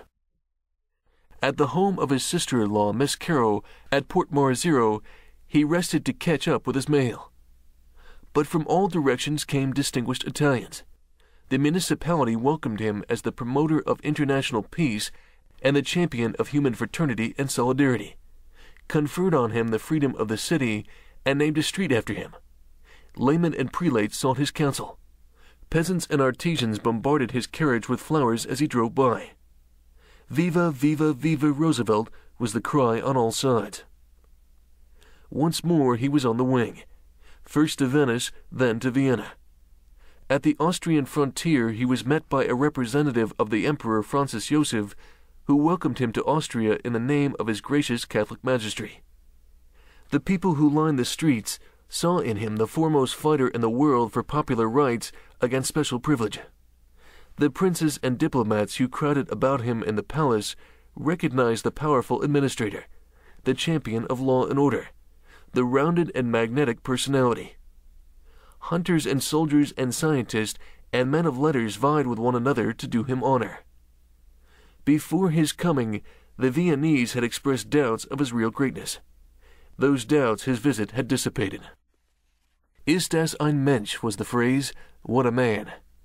And the head waiter of the hotel where Roosevelt was stopping stared with large eyes at the crowd gathered to see the great American enter his carriage and cried, This is wonderful. I never saw anything like it before, and yet we have had many kings staying here. He proceeded to Hungary. At the station at Budapest, thousands were waiting for him in a heavy downpour of rain. Here he met the same enthusiasm he had found in Rome and Vienna. In the Hungarian House of Parliament, Count Apponyi greeted him officially as the champion of human rights and liberty and international justice. He called on Francis Kossuth, the son of the great Hungarian patriot. I am ill, said Kossuth, but if you had not been kind enough to call on me, I should have been conveyed to your hotel on a litter.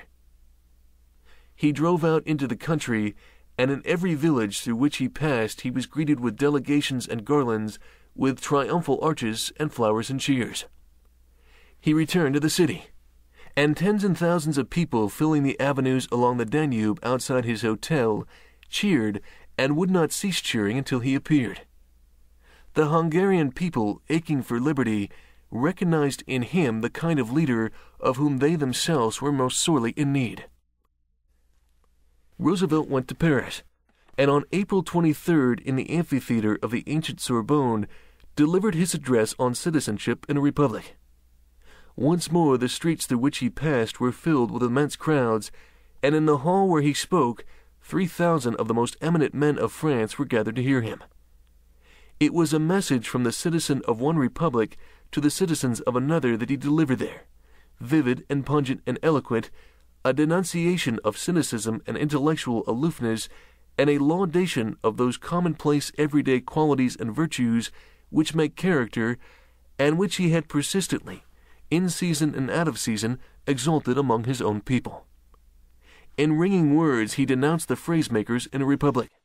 The phrasemonger whose speech does not make for courage, sobriety, and right understanding, and held high the man of action, who does actually strive to do the deeds, who knows the great enthusiasm, the great devotions, who spends himself in a worthy cause, who at the best knows in the end the triumph of high achievement, and who at the worst, if he fails, at least fails while daring greatly, so that his place shall never be with those cold and timid souls who know neither victory nor defeat. Paris and all France were stirred by his words. His speech was sent to every schoolteacher in the Republic. Political leaders gained new courage from it. The people new inspiration.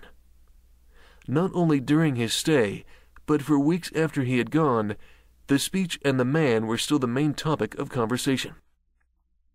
The French cabinet dared on May 1st to present a firmer front under the threat of an unruly socialist demonstration than any French government had in fifteen years dared to do. He left in the minds of these people, said a Parisian, some of that intangible spirit of his. They felt what he would have felt in a similar emergency, and for the first time in their lives showed a disregard of voters when they were bent upon mischief. Roosevelt went to Brussels and was entertained by King Albert and the Queen. He went to The Hague and was received by King Wilhelmina and the Prince Consort. He went to Copenhagen to Christiania. Everywhere were banners and elaborate decorations, and royalties on the station platform, and banquets and cheering crowds, and statesmen and scientists and soldiers and poets crowding round him to have a minute's talk. To these men he was the personification of the moral force in man which translates ideas into accomplished benefit. and they studied him as a strange and wonderful expression of a new spirit in the affairs of men. At Christiania, he delivered a lecture on international peace before the Nobel Prize Committee, which in 1906 had awarded him the Peace Prize for bringing about the conclusion of the Russo Japanese War, pleading for a League of Nations backed by adequate force. He went to Stockholm and again was received with the honors of a king. He turned southward. At Stockholm, he had received news of the death of King Edward VII of England, and all further festivities had everywhere been cancelled. The German Emperor had planned a series of entertainments of extraordinary magnificence for this hero of his whom he so frankly idolized. But King Edward's death made these impossible. Roosevelt was not sorry. He had had more than his share of state banquets, and a gala performance at the opera had no charms for one to whom any performance at the opera was a torture. Berlin was on the surface as enthusiastically hospitable as the other capitals of the continent. The Roosevelt party arrived early in the morning. At noon, they were escorted to Potsdam by the Chancellor, Bethmann Hollweg, and the Minister of Foreign Affairs, von Schoen. The Emperor was on the steps of the Imperial Palace awaiting them. It was late afternoon before he allowed them to depart. The next morning, Roosevelt was again at the Emperor's side on horseback, riding to the great troop maneuvers at Döberitz. For five hours they watched the maneuvers of the thousands on thousands of trained troops, then the long, brilliant march passed. At last the maneuvers were over. The competing generals with their staffs gathered about the Emperor for discussion. The Emperor turned to his guest. Roosevelt, my friend, he said, I wish to welcome you in the presence of my guards. I ask you to remember that you are the only private citizen who ever reviewed the troops of Germany. The next day, May 12th, the Emperor and Empress and the highest military and civil officials of the government gathered with the faculty and student body of the University of Berlin to hear Roosevelt's lecture on the world movement. They waited and waited. Roosevelt did not appear. He arrived at last some twenty minutes late. The crowds at Berlin, it seemed, were as enthusiastic as the crowds elsewhere. They had jammed the streets through which Roosevelt's car had to pass to reach the university and kept him a prisoner with their ovation. But though the emperor was cordial, the newspapers on the whole friendly, and the populace vociferous, Roosevelt was conscious in Berlin, as nowhere else, of a veiled hostility to himself and to the United States. The truth was that the professors thought his address platitudinous without realizing, as the French intellectuals did, that the Ten Commandments are platitudes. The statesmen were not interested in it, for they were not interested in its theme, which was international cooperation. The military officers resented the emperor's attention to a civilian and were frank in their expressions of displeasure that a mere American should have been allowed to review Prussian troops. All the leading officials were undisguisedly scornful of America none of them made the slightest attempts to conceal his hostility. They frankly asserted their conviction that America was a land of dollar chasers in which a man of Roosevelt's idealism was the exception which proved the rule. One German newspaper described him as a spiritual descendant of Frederick the Great, and another as so much like Bismarck as really to have no American qualities at all. In this respect, the German newspapers followed those of Italy and France, which persisted in praising him at the expense of his countrymen. Rome thought him much more like Garibaldi than like an average American. Paris considered him as distinctly Gallic in temperament. London declared that he was much more of the type of an English than an American statesman. All agreed that the hero worship of Theodore Roosevelt was not American, but European. America, they declared, America does not understand the man whom Europe delights to honor. Roosevelt arrived in London the middle of May. The King's death had, of course, completely altered the arrangements made for his visit, and a message from President Taft appointing him special ambassador of the United States at the funeral altered his own status. He made his headquarters at Dorchester House, the residence of Whitelaw Reid, the American ambassador, which immediately became a Mecca whose only rival was the somber abbey where the body of a dead king lay in state. London was full of living kings during the days preceding the funeral, and one after another broke all the rules of royal custom by calling in person at Dorchester House. The footmen suffered spasms at being confronted at any hour of the day by some king wishing to pay his respects to a certain eminent private citizen. And Whitelaw Reid, who had a fondness for earthly grandeur, beamed. But Roosevelt, trying frantically to catch up with his correspondence, was heard to exclaim when a flustered footman announced another sovereign, Hang these kings! I wish they would leave me alone. The kings were plentiful, and they had curious ways. The King of Bulgaria was in London at dagger's point with the Archduke Franz Ferdinand of Austria because each had wished to have his special car immediately next to the engine on the Orient Express two days before, and though the King of Bulgaria had won on that question, the Archduke had revenged himself by not letting the king pass through his car on the way to dinner. The German Emperor was there also, evidently glad to see Roosevelt again. One evening at Buckingham Palace, in a room that was full of kings, Roosevelt was conversing with Ferdinand of Bulgaria. The Emperor suddenly and brusquely interposed.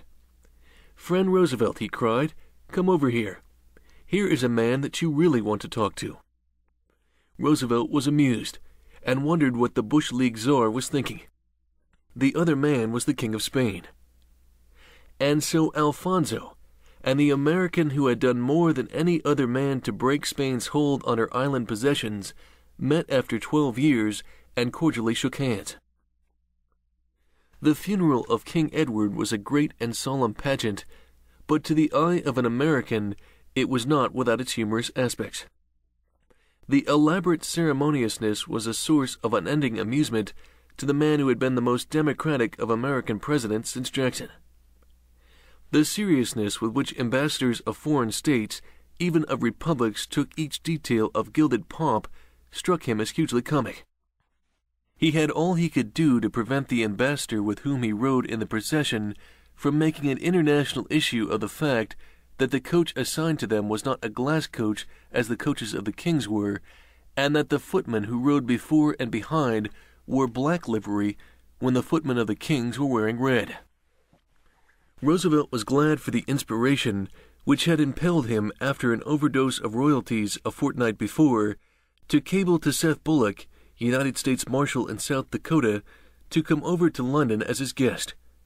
He wanted to see somebody who talked his own language.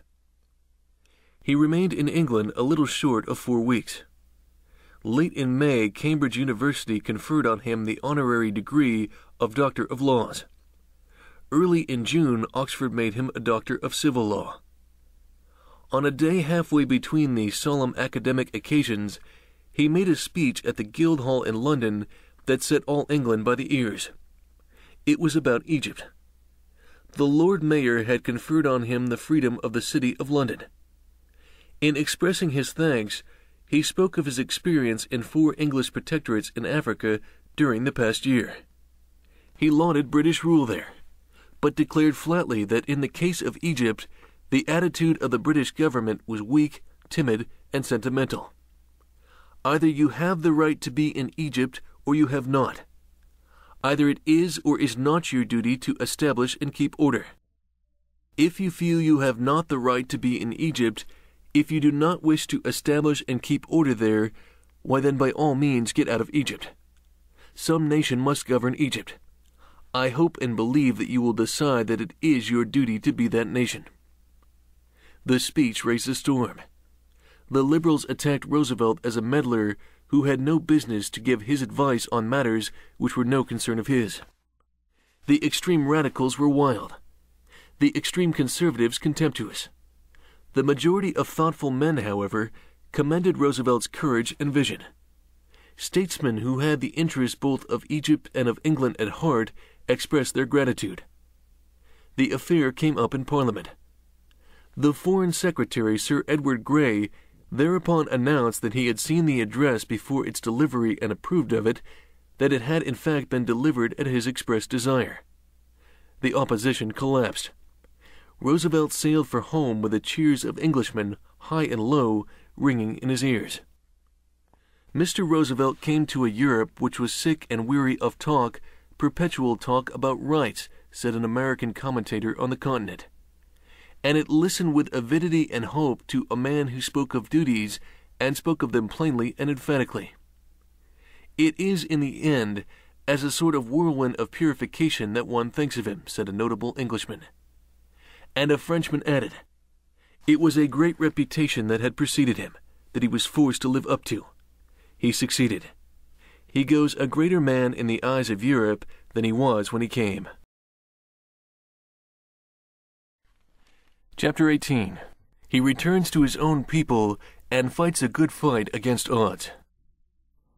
He returned to his own people a greater man than he had been when he went. His countrymen had been eagerly and anxiously waiting for him. During the fifteen months of his absence, the struggle for popular government, in which for ten years he had been the leader, had been moving swiftly to a crisis.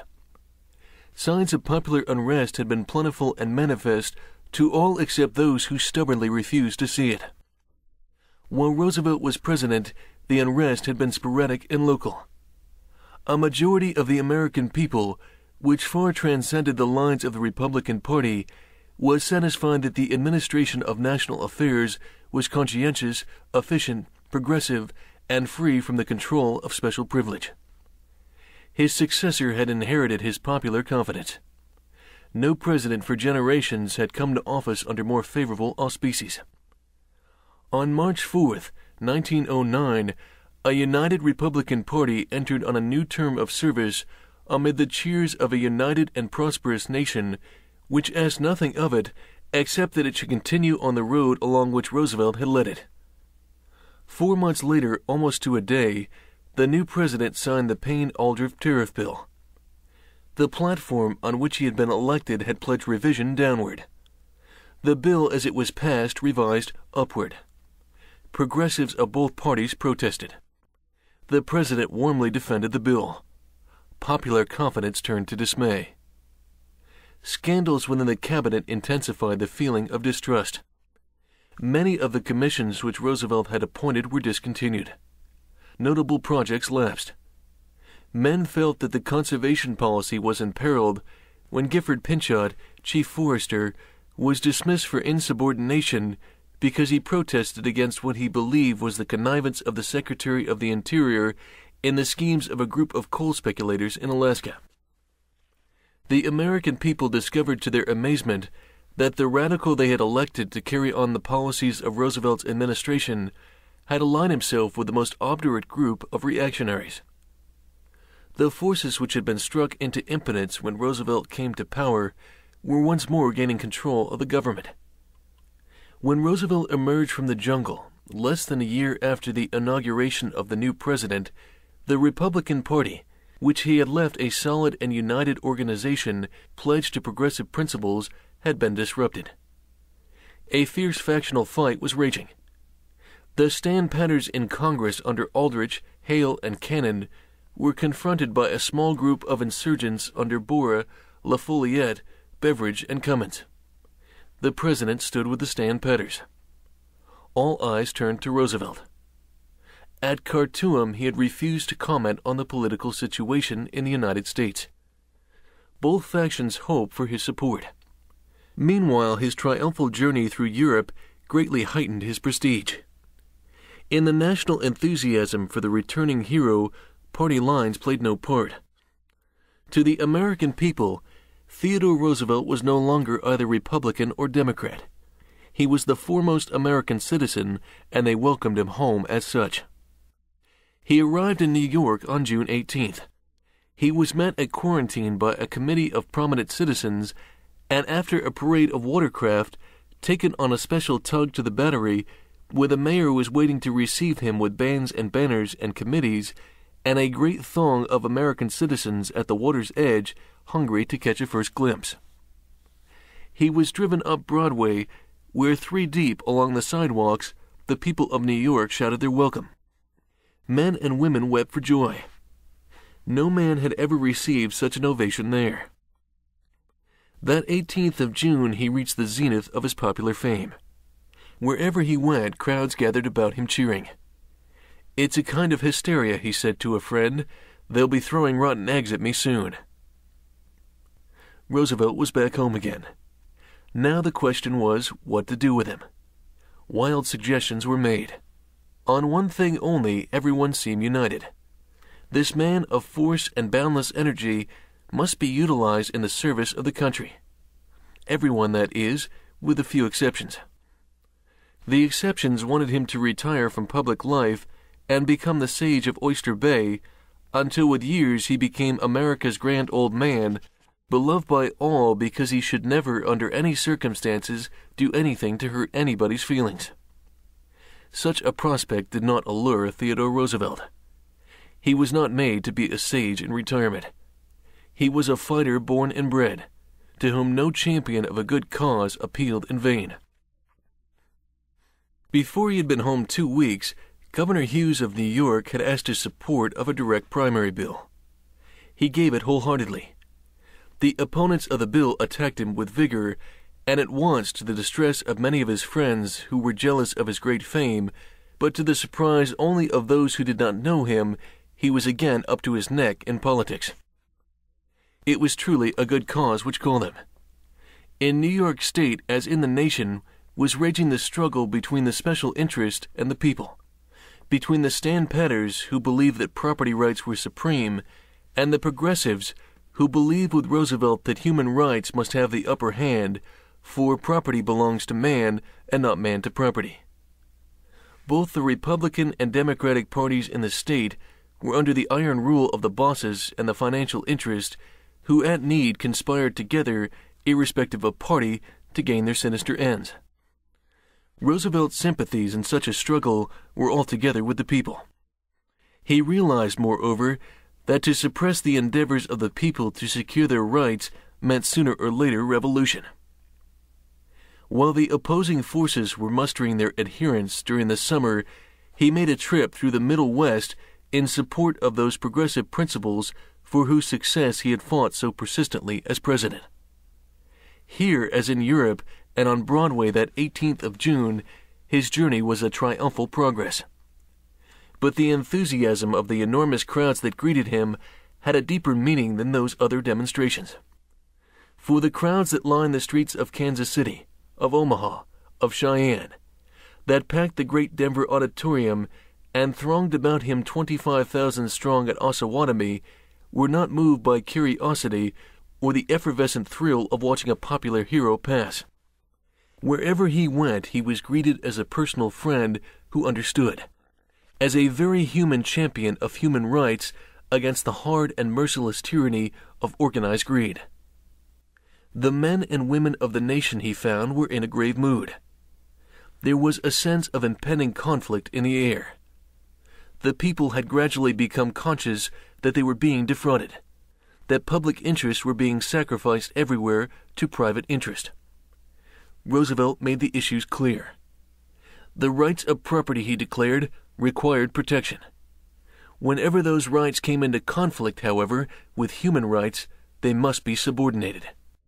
It was not sufficient, moreover, to play the game fairly according to the rules. Whenever the rules were shown to be unfair, they should be changed. At Osawatomie, he struck the keynote. The object of government is the welfare of the people. The material progress and prosperity of a nation are desirable chiefly so far as they lead to the moral and material welfare of all good citizens. It was an old doctrine that he had preached persistently for 20 years and put in practice at every opportunity. His demands for the regulation of trust, for the conservation of natural resources, were his practical application of it. The interest had attacked him on it in the past but those attacks were as nothing compared to the drumfire with which the metropolitan newspapers representing privilege now assailed him. At Osawatomie he spoke of the new nationalism, which was gradually developing out of the new conception of the duties of government, pointing out the necessity for federal action when the separate states showed themselves incapable of safeguarding the public interest. The phrase was taken up by the hostile newspapers and made the text of scathing denunciations. The doctrine it proclaimed was declared by the New York Sun more nearly revolutionary than anything that ever proceeded from the lips of any American who has held high office in our government. Before Roosevelt returned from the West early in September, he was once more the storm center of American politics. In New York, the Republican organization was making a frantic effort to control the state convention that was to nominate a governor. The forces of reaction were led by the Vice President Sherman of Utica, and the battle turned about the election of the temporary chairman of the convention. Roosevelt took charge of the progressive forces against the machine and after a fierce contest was victorious. The progressives begged him to run for governor himself, but he refused, suggesting Henry L. Stimson, a lawyer who had successfully prosecuted the Sugar Trust. Stimson was nominated. The opposition shouted that Roosevelt, who was pretending to fight the bosses, was himself the boss boss of all. I am a leader, replied Roosevelt. I am not a boss. The difference between a boss and a leader is that the leader leads and the boss drives. The explanation was received with scornful laughter. Now followed a campaign bitter in the extreme.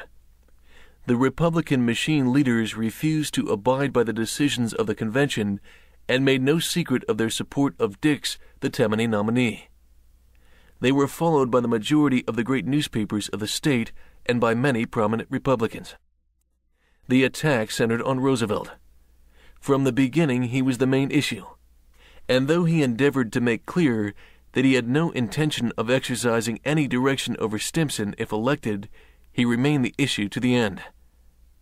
The opposition to him, which at the beginning of the six weeks campaign was tempered by the recognition that in defeating the Albany bosses he had done the state a notable service, became frantic.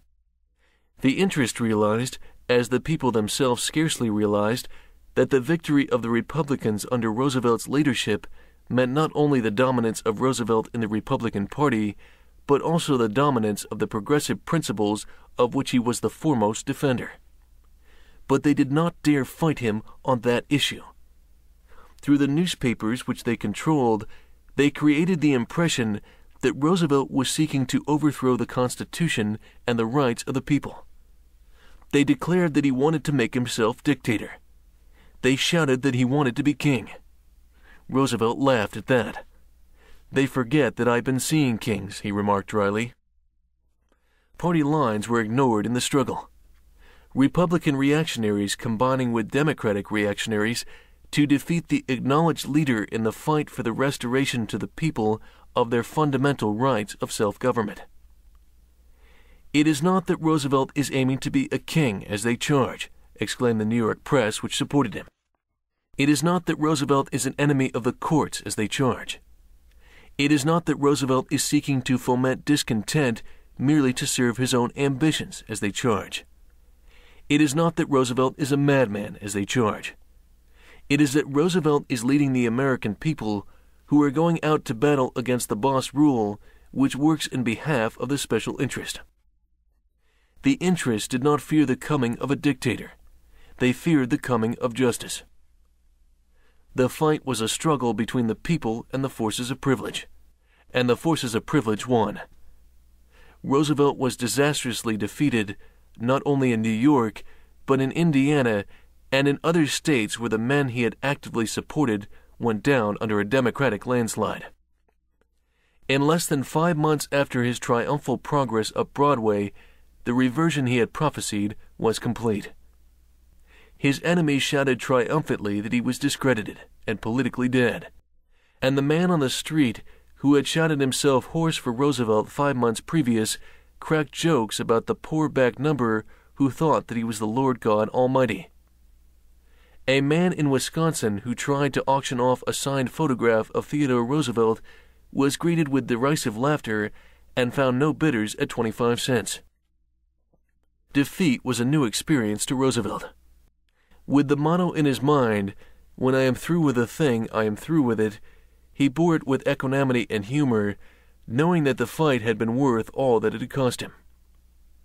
Since his retirement from the presidency, he had been a contributing editor of the Outlook, and through its columns continued to fight for the cause he had at heart. The delight of his opponents in the triumph of the Democrats in the state was short lived. As he had prophesied, Tammany Hall took complete control of the new governor.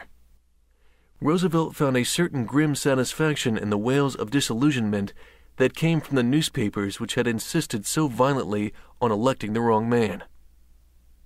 The strength of the progressive element in the Republican Party steadily grew as the months went by. In the West, there was sentiment for La Follette for president, but the East believed him, not unjustly, to be brilliant but ill balanced, a vigorous fighter, but personally pompous and vain, and intellectually radical in the extreme. They turned to Roosevelt as their natural leader. Early in 1912, La Follette's supporters in the West joined the progressives in the East in a demand that Roosevelt agree to run. To friends, Roosevelt stated that he did not wish to be a candidate, that he did not want the office again, that he had everything to lose and nothing to gain by entering the contest, but that if there should be a popular demand for him, he should not refuse to be drafted. The supporters of other candidates were struggling for delegates he stated again and again that he did not wish any attempts made to secure delegates pledged to him. But the trend toward him became day by day more definite and unmistakable. On February 10, 1912, the progressive Republican governors of seven states met in Chicago and sent him a formal letter asking him to become a candidate for the presidency. Two weeks later, he sent his acceptance. In his own phrase, his hat was in the ring. Now began a fierce fight between the factions of the party for delegates and for control of the convention which was to meet in Chicago in June. The president was the candidate of the conservatives, the stand patters. Popular sentiment from the very first was against him. In March, the results of primary elections in different states began to show with unmistakable clearness that the rank and file of the party wished to have Roosevelt as their candidate. One state after another, including the president's own, declared itself for him by an overwhelming majority. But the National Committee, not the rank and file, was to have charge of the convention, and the National Committee was controlled by the stand patters. When early in June the convention met in Chicago, they exercised this control with cynical disregard of the verdict the primaries had delivered. Many of the bosses, who during these June days relentlessly excluded from the convention delegates pledged to Roosevelt, were merely crooked politicians trying to save their own skins. But the foremost among them, men like Elihu Root and the President, in whose behalf the unjust struggle was carried on, sincerely believed that a great principle was at stake, and that Roosevelt was seeking to undermine the Constitution. They fought as men fight for a religion whose foundation appears to them threatened. But Roosevelt and the progressives, too, were fighting for a principle. To them, the battle was a battle for social justice against the powers of the darkness of this world, and they were willing to be flung to the lions for it. Between two groups thus arrayed, there was no hope for a saving compromise. The National Committee gave no quarter. They made no attempt to deal justly with the claims of delegates opposed to them. Before the convention was ready to vote on candidates, the progressive members withdrew. In a neighboring hall, they held a meeting and organized a new National Progressive Party. The Republican convention nominated the president without further opposition. The Democratic Party, meeting shortly after at Baltimore, nominated Woodrow Wilson governor of New Jersey. On August 6, delegates of the new Progressive Party met at Chicago and held a convention such as had never been held before in the history of American politics. The claptrap, the iron rule of a small group, the sordid bickerings and bargaining of cheap politicians, all were absent. Instead, there was the deep religious enthusiasm of a revival meeting. The prayers that were spoken were not perfunctory, but rather the devout expression of a great desire for unselfish and successful service. Men and women were there whose lives had been devoted to the public good, and who saw in this meeting the coming to fulfillment of the dreams of a lifetime. Politicians were there, professionals in the game, who turned against their own past as they caught a gleam of something higher than anything they had known before. In a sense, the meeting was not a political convention at all, but a gathering of crusaders, who sang Onward Christian Soldier and the Battle Hymn of the Republic with the rapt devotion of men who meet at Armageddon to battle for the Lord. Truly, the American people were in a grave mood. Roosevelt made a notable speech, a confession of faith, which stirred the delegates to wild enthusiasm and won the admiration even of his enemies. He was nominated for president by acclamation. In the campaign that followed, as in 1810, Roosevelt was the target for the shafts of both Republicans and Democrats. He was attacked with the utmost virulence by the newspapers of both parties, abused as a dangerous demagogue, of unparalleled viciousness and dishonesty, shameless revolutionary, hypocritical, self seeking, an ambitious Aaron Burr, eager to use fraud. He fought back with all the power that was in him. Most of the men with whom he had been associated in the past turned against him. One friendship after another he saw shattered. He fought on, struggling forward over the prostrate bodies of friend and foe alike. He spared others no more than himself. To him, in this battle, individuals no longer mattered. The cause was all. He gave himself to the cause with his whole soul. The leader for the time being, whoever he may be, is but an instrument, to be used until broken and then to be cast aside and if he is worth his salt, he will care no more when he is broken than a soldier cares when he is sent where his life is forfeit in order that the victory may be won. In the long fight for righteousness, the watchword for all of us is spend and be spent. It is of little matter whether any one man fails or succeeds, but the cause shall not fail, for it is the cause of mankind. We here in America hold in our hands the hope of the world, the fate of the coming years. And shame and disgrace will be ours if in our eyes the light of high resolve is dimmed, if we trail in the dust the golden hopes of men. He campaigned in different parts of the country most of summer and autumn. On the evening of October 14th, he was to speak at Milwaukee.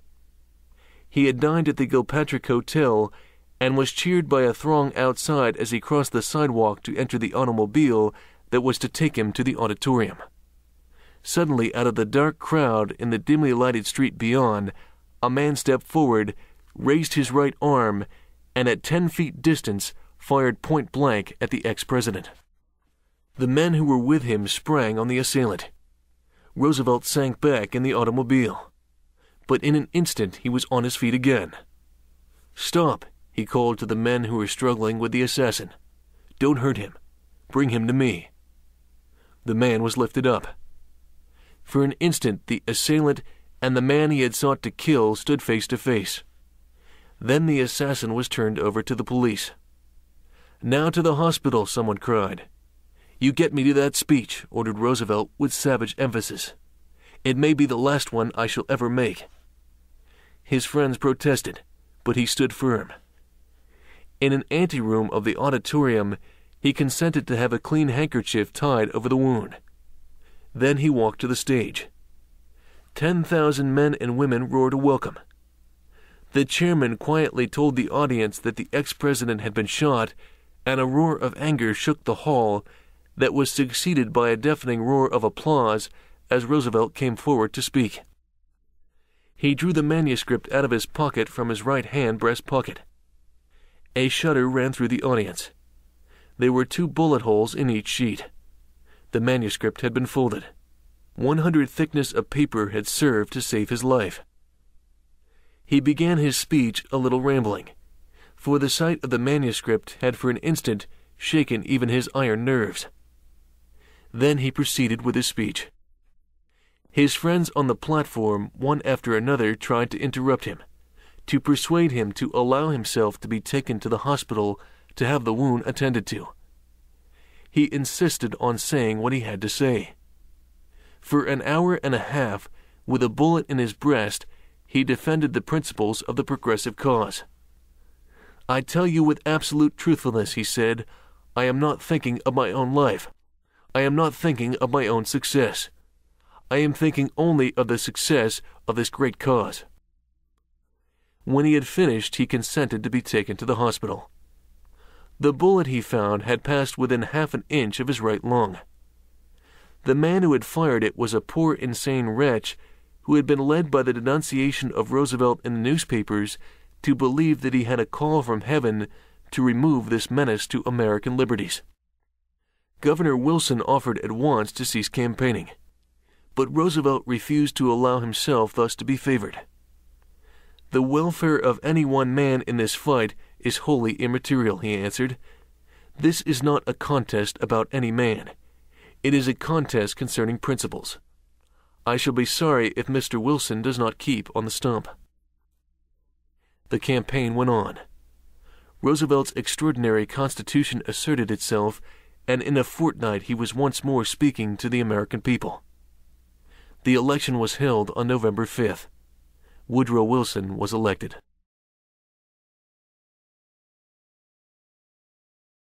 Chapter 19 He goes out after new adventures and nearly finds the greatest of all.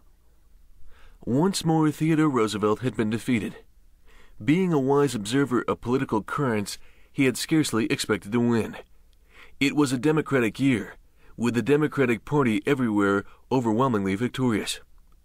Republicans blame Roosevelt bitterly for the Democratic landslide and for the complete disruption of their own party, refusing to see that the party had been disrupted not by Roosevelt, but by the reactionary forces which had turned it from the course in which Roosevelt as president had led it to success. The winds of controversy continued to beat about his head. Roosevelt let them blow and sat down and wrote his autobiography. Through the Outlook, he continued to swing his broadsword for progressive principles. And once in court, he swung it most effectively in defense of his own personal reputation. For an editor in Michigan had rashly expressed in print the charge that had been current here and there during the campaign that Roosevelt was a hard and habitual drinker. Roosevelt sued him for libel, supported by an array of character witnesses that included former cabinet ministers and ambassadors, ministers of the gospel, social workers and temperance workers, soldiers, editors, journalists, naturalists, hunters, Secret Service men, and household servants. That lie he was determined to nail, and he nailed it. He disposed of the Michigan slander in June. A month later, he was on the rim of the Grand Canyon of the Colorado with his younger sons Archie and Quentin hunting cougar. He himself this time carried no gun. This was their own particular holiday, and he who wished his sons to serve their apprenticeship in the great world of hardship and adventure was glad to leave the thrills of it to them. From the gorgeous country above the cannon, fresh with pine and spruce and clear springs, he led them into the grim desolation of the Navajo desert. It was a world of incredible wildness and desolate majesty. Savage, grotesque, terrible. Lizards and rattlesnakes were there the only living things. Only at the water holes, ten or fifteen miles apart, they met an occasional group of Indians watering their flocks. At Tuba they rested for a day then moved northward through the parched mountainous landscape to the upper reaches of cedar and pine at Marsh Pass, and on with their pack train past villages of the cliff dwellers and ruins, through emerald valleys of magical luxuriance to the foot of the Navajo Mountains, and again on through an eerie wilderness over a perilous trail that was no trail at all. By ghastly precipices to the gorge of the Natural Bridge. To right and left loomed enormous cliffs bounded each to each by a triumphal arch of inconceivable majesty. They bathed in the dark pool beneath. For three days they retraced their steps, then crossed the black mesa to climb at last the steep and narrow rock ledge on whose summit in bold outline against the blue sky rose the three rock villages of the Hopi. In one of them a snake dance was to be held. The villages were crowded with visitors, but of the men not of the tribe, Roosevelt alone, as a former great chief at Washington, was admitted to the sacred room, the kiva, in which the snake priests had for a fortnight been preparing for the sacred dance.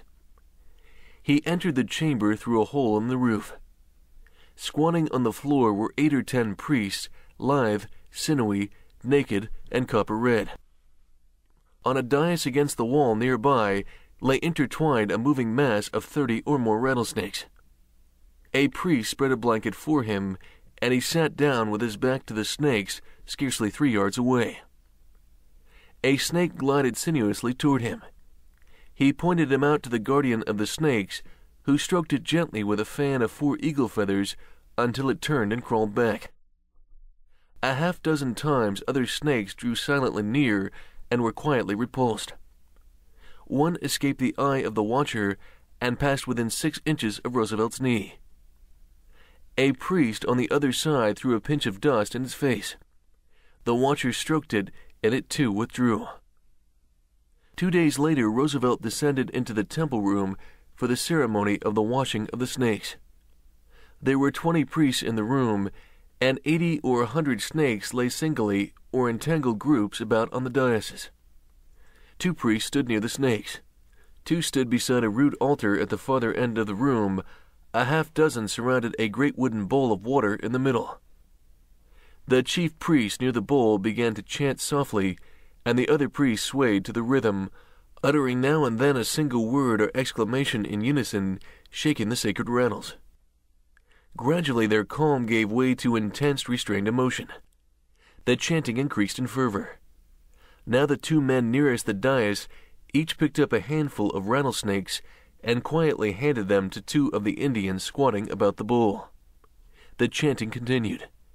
The priest returned and picked up each another handful of the poisonous serpents and delivered them to one of the priests about the bowl. Again they gathered a handful, and again, and once again, until each squatting Indian about the bowl held three or four of the venomous snakes. Then suddenly the chanting quickened and rose to a scream, and at the same instant the priest plunged the snakes into the water, drew them as suddenly forth again, and hurled them half across the room on and about the altar. The snakes began to glide rapidly in every direction. Priests with feather fans gently herded them back. The ceremony was repeated until all the snakes had been washed. Then again the chief priest prayed and the others chanted, slowly and ever more slowly. The noise of the rattles died. The chant died. The ceremony was over. Roosevelt returned home from the Southwest in August 1913. Two months later, he was aboard the Lamport and Holt SS Vandyck, steaming southward in quest of new adventures. He had been invited to speak before certain learned societies in South America on the problems of government in a democracy and had accepted with zest, seeing in the invitation an opportunity to carry out an old and cherished plan of his to explore the jungles of Brazil. He reached Rio de Janeiro the middle of October and for six weeks traveled on the beaten trail southwest to Montevideo in Uruguay and Buenos Aires in Argentine northwest to Tucumán, southwest again across the Andes to Valparaiso and Santiago de Chile, straight south to the border of Patagonia, and then once more across the Andes by ox train through wild and wonderful country northeastward back to Buenos Aires. Much of the country was like the ranch country of the West he knew so well. But the inland cities were quaint and strange, and the seaboard capitals had a mature beauty that was more like the old world than the new. His journey might have been a continuation of his triumphant passage through Europe. Everywhere he was given the honors of a reigning sovereign, and greeted by the crowds that lined the streets and thronged the squares with extraordinary enthusiasm. Here, as in Europe, he spoke fearlessly and directly, wasting no breath on empty flattery. Again and again he thrust at the habit of revolution as the worst foe of democratic progress. He discussed the Monroe Doctrine. He eloquently defended his actions in regard to Panama. They called him an hombre mundial, a world man, belonging not to one race or country, but to the whole of humanity. And again they said, Roosevelt is the United States, typical of all that was best in a great progressive land. He speaks the truth, they said, because he speaks from the heart. To Roosevelt, this six week succession of ever changing scenes and men was one of absorbing interest. And years of popular favor had failed to make him blase to the cheering of great crowds. but he loved adventure even more than he loved politics.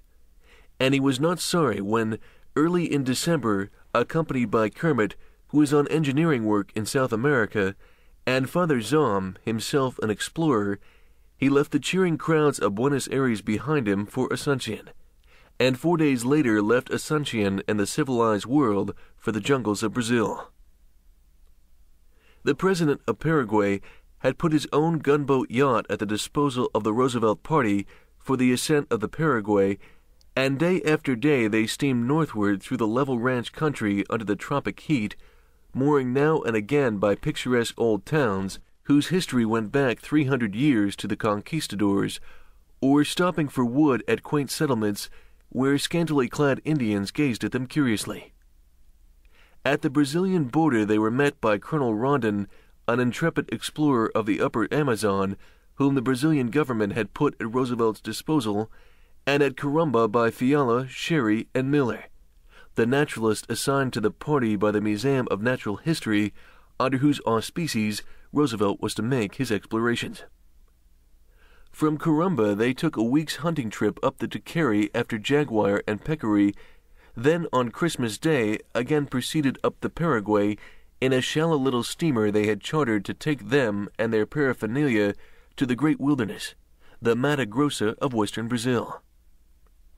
After a day they branched off into the swirling brown waters of the São Lourenço, then into Cuiabá.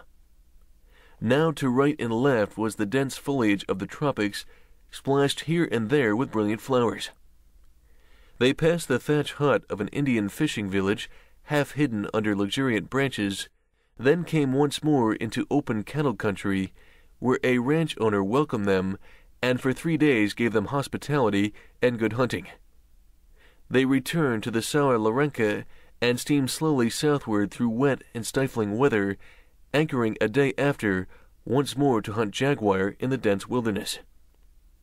Through the jungle on foot, drenched with sweat, torn by the spines of innumerable small palms, bitten by mosquitoes and fire ants that swarmed in the humid thickets, and stung by the red wasps that on occasion had been known to kill, they followed the trail. They waded up to the hips through the marshes, and twice with their guns held over their heads, swam long bayous through marsh grass and slime. The heat was terrific. There was no breath of air. They had left the camp at dawn. It was after midday. They had had nothing to eat. Fiala, who had remained on the boat, heard a call on the bank late that afternoon. It was one of the Indians who had accompanied the hunting party. Burro Guro Hara, he muttered, fell into a corner and went to sleep. Twenty minutes later, another Indian stumbled out of the forest. Plenty work. Tired, he cried, and fell, and also went to sleep. A third Indian came and dropped on the deck. Worried for the safety of the hunters, Fiala started out with a relief party. The sun was setting. In a clearing, a short distance from the river, he came upon one of the Brazilian officers lying exhausted on the ground, his clothes torn his face and neck covered with dust and blood. They sent him to camp under the care of three natives and pushed on. In a clearing beyond, under the last slanting rays of the sun, they came on Roosevelt and Kermit dragging another Brazilian officer through the jungle. Roosevelt's clothes were in tatters, but on his grimy face was a look of warlike determination. All right, Colonel, called Fiala. I'm bully, answered Roosevelt. The Brazilians were laid up for two days. But Roosevelt and Kermit were about as though nothing out of the ordinary had happened. The Indians looked on them thereafter with a new awe. They returned to the Paraguay and steamed northward once more through marshy country to São Luis de Caceres, where they exchanged their little steamer for a launch and dugouts and moved northward again up the swift, clear water of the river of Tapirs. Now and again they hunted in the dense forest that rose from the river bank like a wall, the trees matted with vines, the lower growth an almost impenetrable jungle. In one grove, shoots of fig trees were creeping murderously over the palms and slowly strangling them. It was a sinister place, evil and dark and silent. Slowly they steamed northward, now and then passing a lonely ranch, now gliding through pitiless wilderness, now mooring by some clearing of exquisite beauty of palms and violet orchids and butterflies of gorgeous coloring. The current became more rapid. Here and there they ran into broken water. The middle of January they reached Tapirapoan, and leaving the river behind, proceeded with horses, pack mules, and oxen into the highland wilderness. Their course lay for a day through dense tropical forest, where the machetes had to cut a trail for them as they went, then up on a high sandy plateau of coarse grass and stunted twisted trees, where the air that blew over the limitless rolling plains was cool and wonderful and full of vigor. Day after day they moved forward, camping now and then by pleasant streams, with pampas deer to eat and tales of marvelous adventure to exchange beside the campfire. The weather was cloudy or wet, for the rainy season was on, but the desolate country had a charm of its own for one who loved great open spaces, and here and there were splashes of unexpected beauty. They came at last to a native village, where the sacred river breaks in majestic thunderous falls. The natives were friendly, for Colonel Rondon was a counselor and guardian loved of old, and received the explorers without fear or shyness. At this village they spent the night, then pushed on through the pouring rain to the falls of Utiarity, where the river dropped from a great shelving rock amid the towering growth of the tropical forest, three hundred feet to the gorge of swirling waters below. Here, too, there was a village where the natives played headball when the weather cleared at last and danced and chanted in their honor. At Utiarity, the party separated. Father Zahm returning to Tapirapoan and Fiala proceeding northward to explore the Rio Papagayo, while Roosevelt with the other members of the expedition turned eastward into the wild region of the naked Nhambiquaras. Day after day now they crossed desolate country, passing skeletons of mules and oxen and little barbed wire enclosures which marked the graves of men who had died on the road. They drove a dozen steers ahead of them for food on their journey, but there was no forage. The mules as well as the oxen weakened. None of them dropped behind in the first three days. They pushed on through tropic heat, now and then coming on the parties of Nhambiquaras, some clad in a string of beads, most of them without even that adornment. They saw the savages dance in the moonlight and heard them singing their weird wailing chants. They crossed the headwaters of the Tapajos, ferried across by a native soldier who guarded the telegraph line which Colonel Rondon had constructed far up into the wilderness.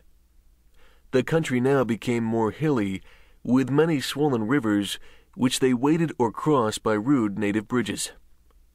At last they came to a large basin cut into swampy valleys covered with tropical forests and rich pastures in which the animals quickly turned. There was respite here from the torment of the insects, and they rested a day then move on once more up through the steep valleys and broad basins where giant rubber trees towered over the wild bananas. Azure butterflies flittered through the sunny glades, bellbirds called through the huge silence of the forest. Now through dreary wastes they went, now through fertile basins, now into dark forests, and out into open cattle country. At a cluster of huts called Bonifacio, they paused for a day and once more divided the party. Miller and three of the Brazilians moved on to descend the Gy-Parana to Manaus. Roosevelt, Rondon, Kermit, Cherrie, and two of the other Brazilians, with sixteen paddlers and seven dugouts, proceeded to the bank of the unexplored stream nearby, known as the River of Doubt. On the afternoon of February 27th, the Roosevelt party started down the river.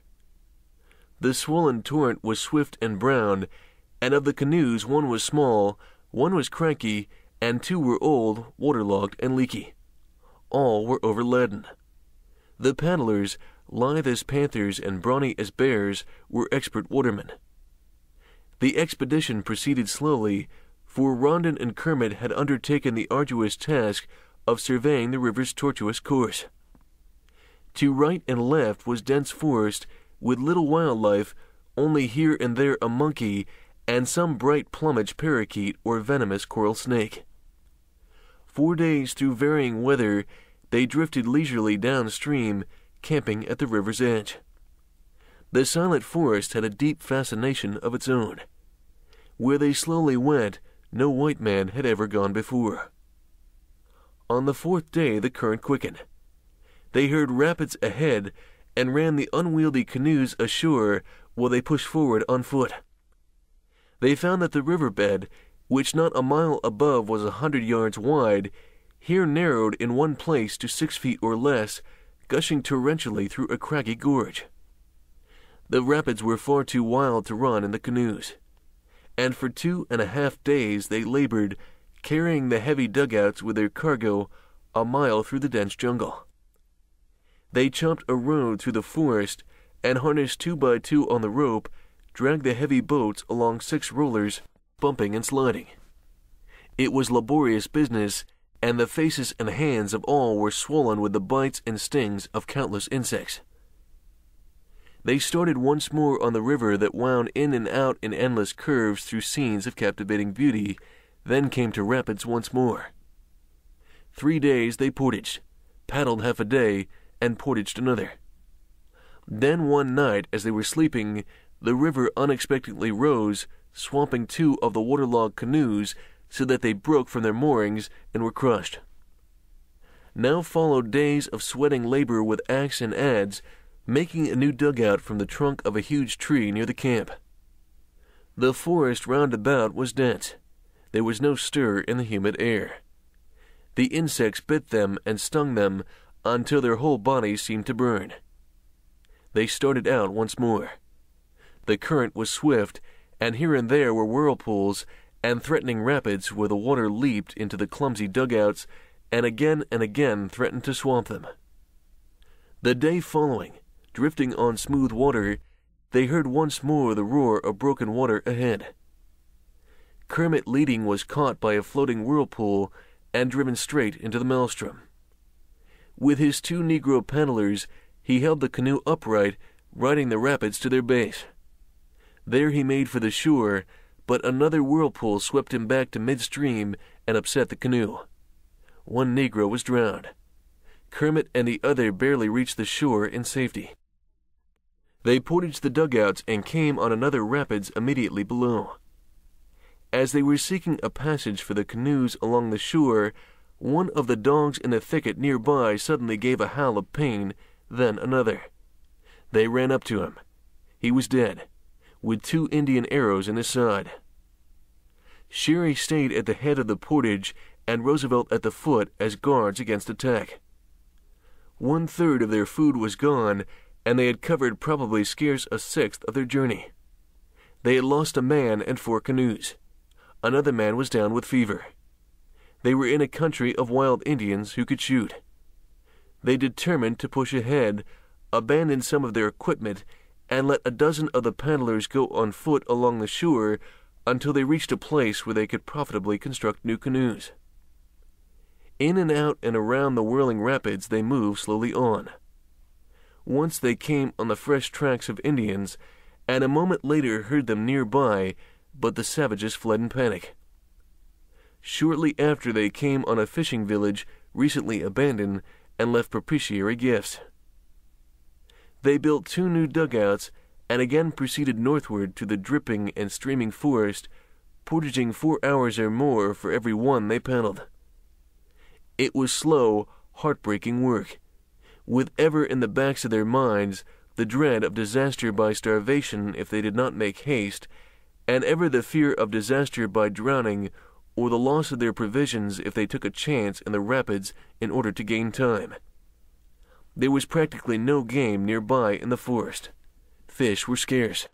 Only at intervals they found coconut or wild honey, and now and then shot a monkey palm cabbage was the only steady item of diet the jungle contributed. They came to a long, deep gorge through which the river rushed at dangerous speed. To take laden canoes through the gorge was out of the question. To portage them over the rock strewn mountainside was likewise impossible. Accordingly, they cut their baggage to the bone and bore what was essential laboriously over the rough trail they carved through the forest to the foot of the rapids, while Kermit directed the passage of the canoes, and with infinite labor and peril after four days brought them through with a loss of only one. They started again, only to find another gorge ahead, and once more they bore their baggage over a craggy mountain, and once more they piloted their canoes through the wild cataract. Again, a canoe was lost. They made camp while the camaradas brought the loads from over the hill. One of the men named Paishon brought in a carbine. Another, a surly and ferocious man named Julio, who had frequently been reproached by Paishon the sergeant for shirking his work, dropped his load, picked up the carbine, and returned as though upstream. A minute later there was a shot. Julio had taken a bloody vengeance. Paishon was dead when they reached him. The murderer fled into the fever and famine of the wilderness. The exertions and privations were now beginning to wear on men scarcely ever more than half fed. The camaradas were growing constantly weaker under the strain of exhausting labor. Kermit was ill with fever. Cherrie and Lyra were suffering from dysentery. Roosevelt bruised his leg against a boulder in the water, and inflammation resulted. A day later, he too was down with fever. For 48 hours, he was deadly ill, tormented by the heat, tormented by the venomous insects that hummed about him and crawled over him, biting and stinging, tormented most by the thought that the provisions were running low and they had far yet to travel, and that every hour's delay brought disaster just so much nearer to all. He lay helpless on his broken, insect riddled cot, not knowing whether he would be well enough to proceed in a day, or two days, or in a week. He felt that he was at the end of the tether. Death had no horrors for him. It scarcely had any regrets except for those who were dearest to him. He had had a wonderful time in life. He had had a wonderful time on the expedition. He had done a scientific service that was worth doing. He was ready to pay with his body. But he could not bear the thought that his slow dying might mean slow death to his companions. He begged Colonel Rondon to leave him behind and to save the rest of the expedition at least from disaster. The fine old Brazilian warrior would not listen to him. Roosevelt implored. The Brazilian was obdurate. For 48 hours, Roosevelt was on the very verge of death. Then the fever broke a little. By a great effort, he mustered what strength remained to him and said that he was well enough to go on. He could barely crawl over the portages that day. Kermit's fever grew worse, and one after another the camaradas sickened. Ahead of them loomed new mountains with sinister promise of new perilous and grinding labor. But for a day, fortune favored them. The hills gradually sank into level plain. They made 20 miles on the swift, flowing, unimpeded current, and only at the day's end became aware of new cataracts ahead. They bore their baggage around the stretch of swirling water and paddled on, again portaged, and again moved swiftly down smooth water. The country was very lovely, for the river was bordered by exquisite palms and wound around hills cloaked in fresh green that glistened brightly in the sunshine. Then again they were among rapids, running ten minutes all told for eight hours that they portaged. Again, all the next afternoon, they dragged their boats and their baggage through the tangled thicket, scarce able to drag their own bodies. Then toward sunset they found respite at last. The river began to run into tranquil reaches. At the water's edge, they suddenly came across cuttings a year old, made evidently by pioneer rubbermen. The next day, farther down, they came upon a post with the initials J.A., and an hour later upon a palm thatch house, cool and clean, guarded by two dogs. Late that afternoon, at the home of a rubberman, they saw the first human beings outside their own party they had encountered in seven weeks they were once more among civilized men. The peril of disaster to the expedition was over. But for Roosevelt himself, the peril of death was still imminent. The fever clung on, and the leg which he had hurt working in the rapids developed an abscess. He hobbled about with difficulty and racking pain. But there was no halting even here on the outskirts of civilization. He kept on his feet until the worst of the rapids were passed, then succumbed, and while the canoes for ten days drifted downward on the wide placid stream, lay stretched in the bottom of a dugout under the intolerable heat and the blinding storms, burning with fever and pain. The end of April they reached the hamlet of São João, and two days later arrived by steamer at Manaus on the Amazon. They had discovered, explored, and placed on the map a river a thousand miles long. A portion of it near its source had been known as the River of Doubt. It was a river of doubt no more. In the name of the Brazilian government, it was rechristened the Rio Teodoro. Chapter 20 The Great Awakener Roosevelt returned to the United States the middle of May 1914. Three months later, the world was engulfed in the most terrible war in history.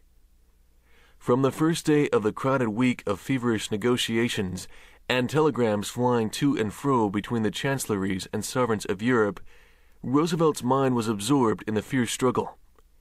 At once, domestic issues, even those over which he had struggled most persistently for half his lifetime, yielded their place in his thoughts to what he saw at once was the foremost issue not only to the nations of Europe, but to his own country. The hand that had thrown the blazing torch into the powder magazine of the Old World had, he saw clearly, at the same time completely shifted the national issues in the New. He was from the first acutely conscious of the nation's responsibilities toward herself and toward humanity. That autumn he published a series of articles in which he pointed out the peril to America of trusting for her safety to arbitration treaties that rested not on the nation's defensive strength, but merely on the goodwill of other nations. He pointed to the example of Belgium to show how worthless treaties are when armed forces lacking to defend them, and called for an increase in the nation's armament to safeguard her in the thousand perils the war must inevitably bring in its train. His demand was greeted with cries of horror and disgust and violent accusations. The timid and the sentimental railed at him. The smug and the self assured smiled in superior fashion at the discredited and disappointed demagogue who was seeing hobgoblins and making political capital out of his hysterical imaginings. Undeterred, he persisted, pointing out the need of some great League of Nations to bring about and preserve the peace of righteousness by means of an international tribunal backed by military force. The idea of a League of Nations was pleasant to the ear and was approved. But the idea of a military force, without which such a league would be a joke as grim and lamentable as the Hague Court, was repellent to men unwilling to face facts. Once more the storms blew about Roosevelt from every direction of the compass at once. They blew hardest from Germany. Before the Great War was two months old, the German papers, ostentatiously courteous to all other Americans, were virulently attacking Theodore Roosevelt. The German language press of the United States took up the fight.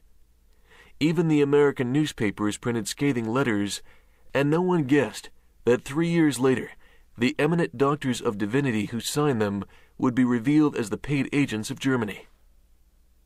Through the German American societies ran the word that Theodore Roosevelt was persona non grata one after another, they revoked the honorary membership they had once been proud to offer him. They burned his portrait and assailed him in resolutions. Germany and her sympathizers had recognized at a glance the one American that an ambitious and ruthless autocracy had most to fear. With the new year came the proclamations by Germany of a war zone about England to be enforced with submarines. Roosevelt heartily applauded the president's note holding Germany to strict accountability, and again pleaded for preparedness to meet any national exigency which might present itself in consequence of it. The peace at any price folk protested, assailing him for his bloodthirsty militarism. The pro Germans sneered and scolded. The timid good, bewailing the fate of the Belgians over their teacups, were shocked at his stern demands. The great mass of the people were too busy that first winter fighting hard times to listen to him. As spring came, and with it the first hint of a new and bloody prosperity, they became too dazzled by alluring war brides to hear the voice of a prophet calling to arms. On May 7, 1915, the Lusitania was sunk. Without 24 hours' delay, said Roosevelt next day, this country should declare that, in view of Germany's murderous offenses against the rights of neutrals, all commerce with Germany shall be henceforth forbidden, and all commerce of every kind permitted and encouraged with France, England, and the civilized world. This would not be a declaration of war. I do not believe the assertion of our rights means war. But we will do well to remember that there are things worse than war. He himself expected war. Sooner or later he knew that the crash must come, that the United States could not indefinitely bow to a junker's arrogance and ruthless disregard of right without losing all self respect and all prestige among the nations. And he pleaded for the preparedness not only of the battleships and armed men, but of the spirit which alone could prevent national disaster. There must not be merely preparedness in things material, he cried. There must be preparedness in soul and mind. To prepare a great army and navy without preparing a national spirit would avail nothing. We should devote ourselves as a preparation to preparedness alike in peace and war to secure the three elemental things 1. A common language, the English language. 2. The increase in our social loyalty. Citizenship absolutely undivided. A citizenship which acknowledges no flag except the flag of the United States and which emphatically repudiates all duality of national loyalty. And third, an intelligent and resolute effort for the removal of industrial and social unrest, an effort which shall aim equally to secure every man his rights and to make every man understand that unless he in good faith performs his duties, he is not entitled to any rights at all. Vigorously and with burning sincerity, in season and out of season, he preached preparedness, Americanism, and national self respect. He met first a feeble and then a growing and deepening chorus of assent.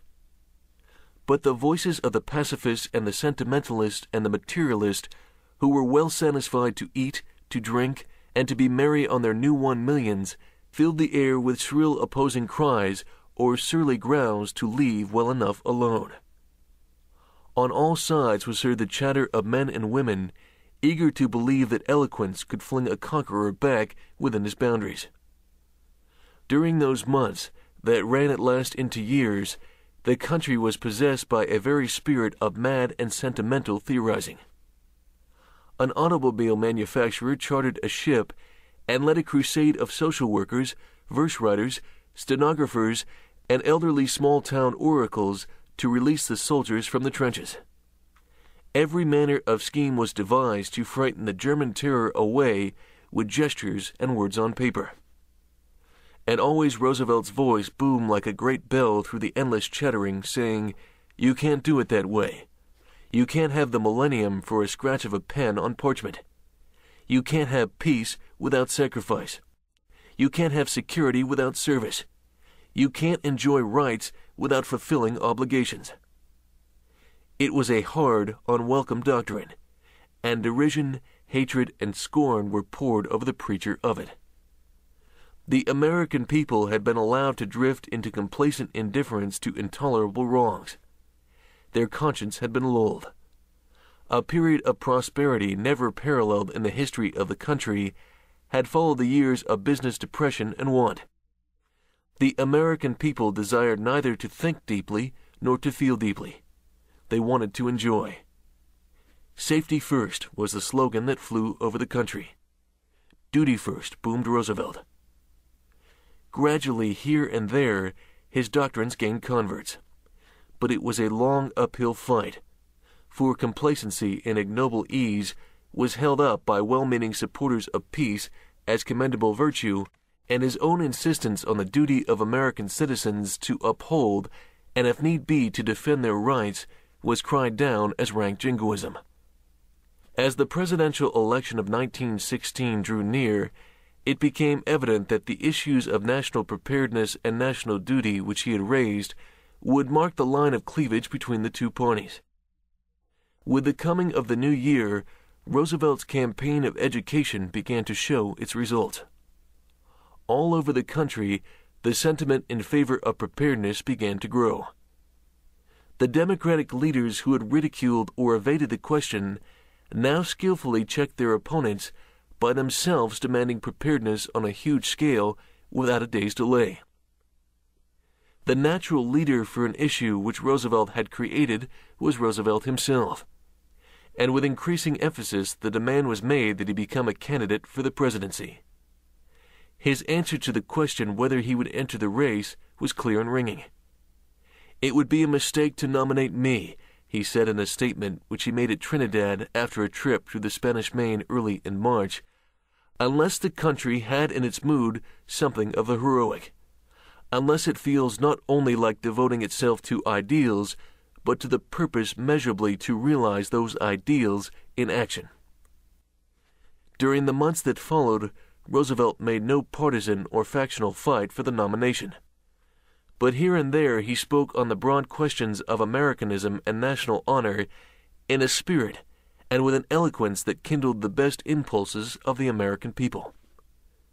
Roosevelt, who had been repudiated in 1910, defeated in 1912, and in 1914 consigned to oblivion alike by American and foreign observers after being deserted by the members of the party he had created and led in the bitterest political struggle in 50 years, was again the foremost figure in American politics. Defeat had been unable to keep him in obscurity. Calumny had left no blot on his character. The pitiless light of a political libel suit had revealed no word or act in his long public record of which he and his supporters need feel ashamed.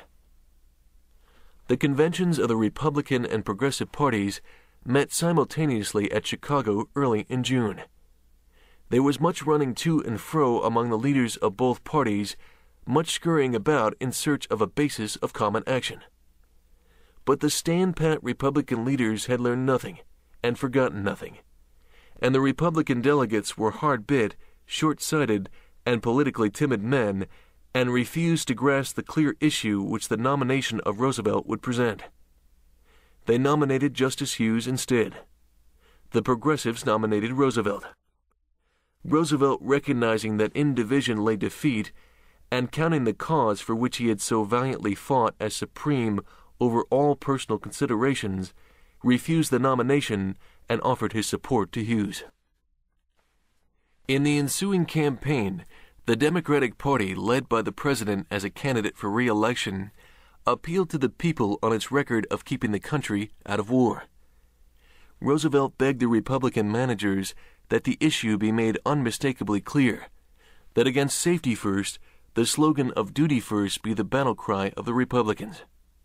But the counsels of timidity prevailed, and in an uninspiring campaign, the Republican Party lost the chance of a century to achieve either a glorious victory or to go down to a scarcely less glorious defeat the president was re elected. Three months later, the German ambassador was given his passports. Two months thereafter, America was at war with Germany. During the Mexican troubles of the preceding spring, Roosevelt had offered to raise a division of volunteers similar in character to the Rough Riders. The day the German ambassador was expelled, he renewed his offer. It was declined. Congress thereupon authorized the raising of four divisions of volunteers. 200,000 men had meanwhile asked to serve under his command, and Roosevelt once more made his offer. It was again, and now definitely, declined. Roosevelt was deeply disappointed. As far as I am concerned, he said, this is a very exclusive war. He could not go himself but he was not without his representatives at the front. One after the other, his four sons volunteered and sailed Theodore, Archibald, and Quentin for France, Kermit for Mesopotamia. Quentin, the youngest, was only 19. It was hard when Quentin went, said one to whom they were dear. But you can't bring up boys to be eagles and expect them to act like sparrows. Roosevelt, forbidden to fight in the field, turned his attention to the winning of the war at home. There was no good cause which during the months that followed he did not aid with the force of his eloquence. No evidence of vacillation and incompetency that he did not castigate in words that stung. He reserved the right of public criticism of the acts of the administration and exercised it alone among the leaders of the opposition party with an energy and incisiveness which won the gratitude of men eager that America should act speedily and act greatly, and drew on him the cry of treason from all the sinister, half hidden forces still working in the interest of the enemy. He was called a common skull, and cheerfully bore the accusation, seeing the demands that he made for action in this field or the other, one after another, accepted. A private citizen, he became one of the most potent factors in the translation into effective action of the President's eloquent expressions of the nation's aims. Chapter 21 So he passed over, and all the trumpets sounded. Almost imperceptibly, Theodore Roosevelt had risen for a second time to leadership in the nation. The steps of his unconscious progress had scarcely been noted. In 1914, men had said that he was definitely done for politically. His enemies had exultantly proclaimed his final downfall. Even his friends had despaired of his return to his lost eminence.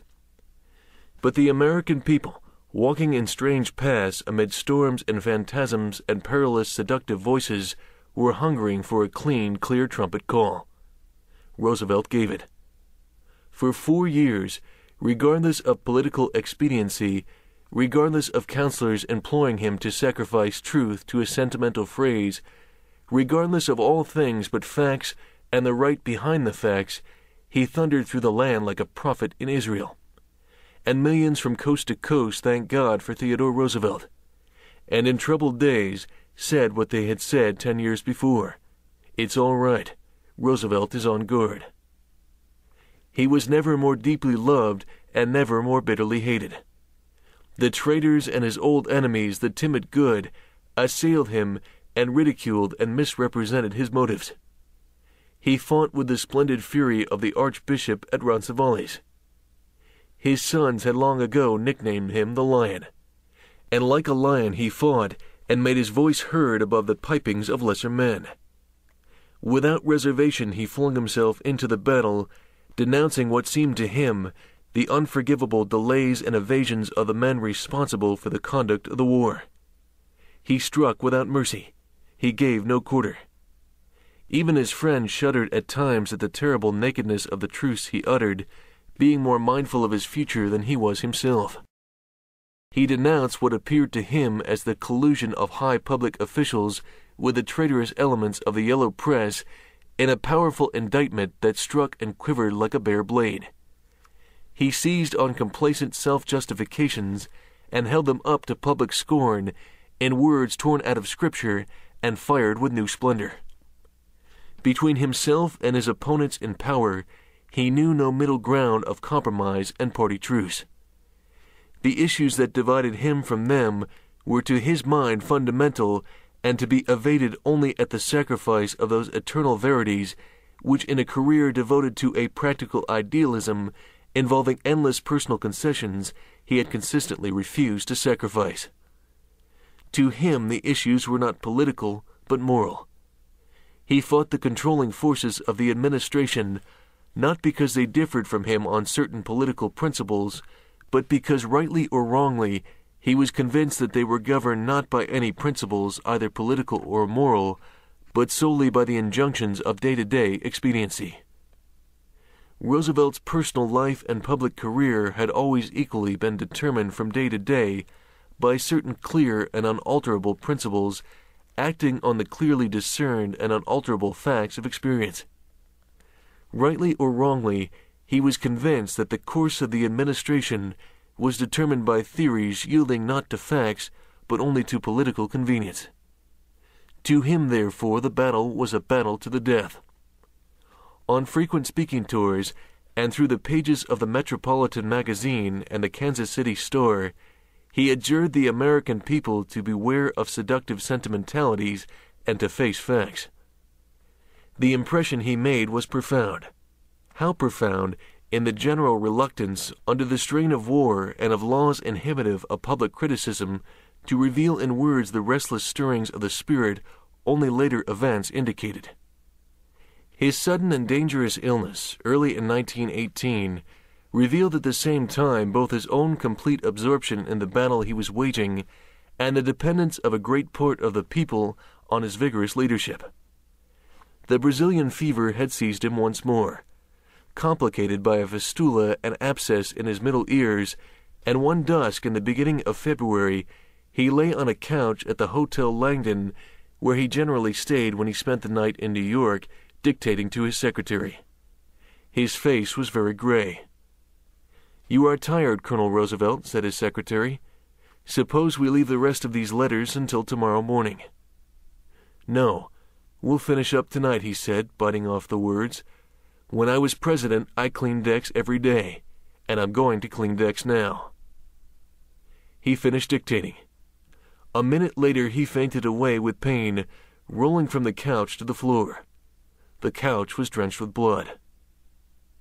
A friend found him next morning lying across his bed, evidently in agony. He believed that the end was not far off. I don't mind pain, he said slowly and with difficulty, when I'm only paying for something that I've had. I don't mind having to die. I've had my good time. I've had my full life. The eyes in the pallid face flashed suddenly.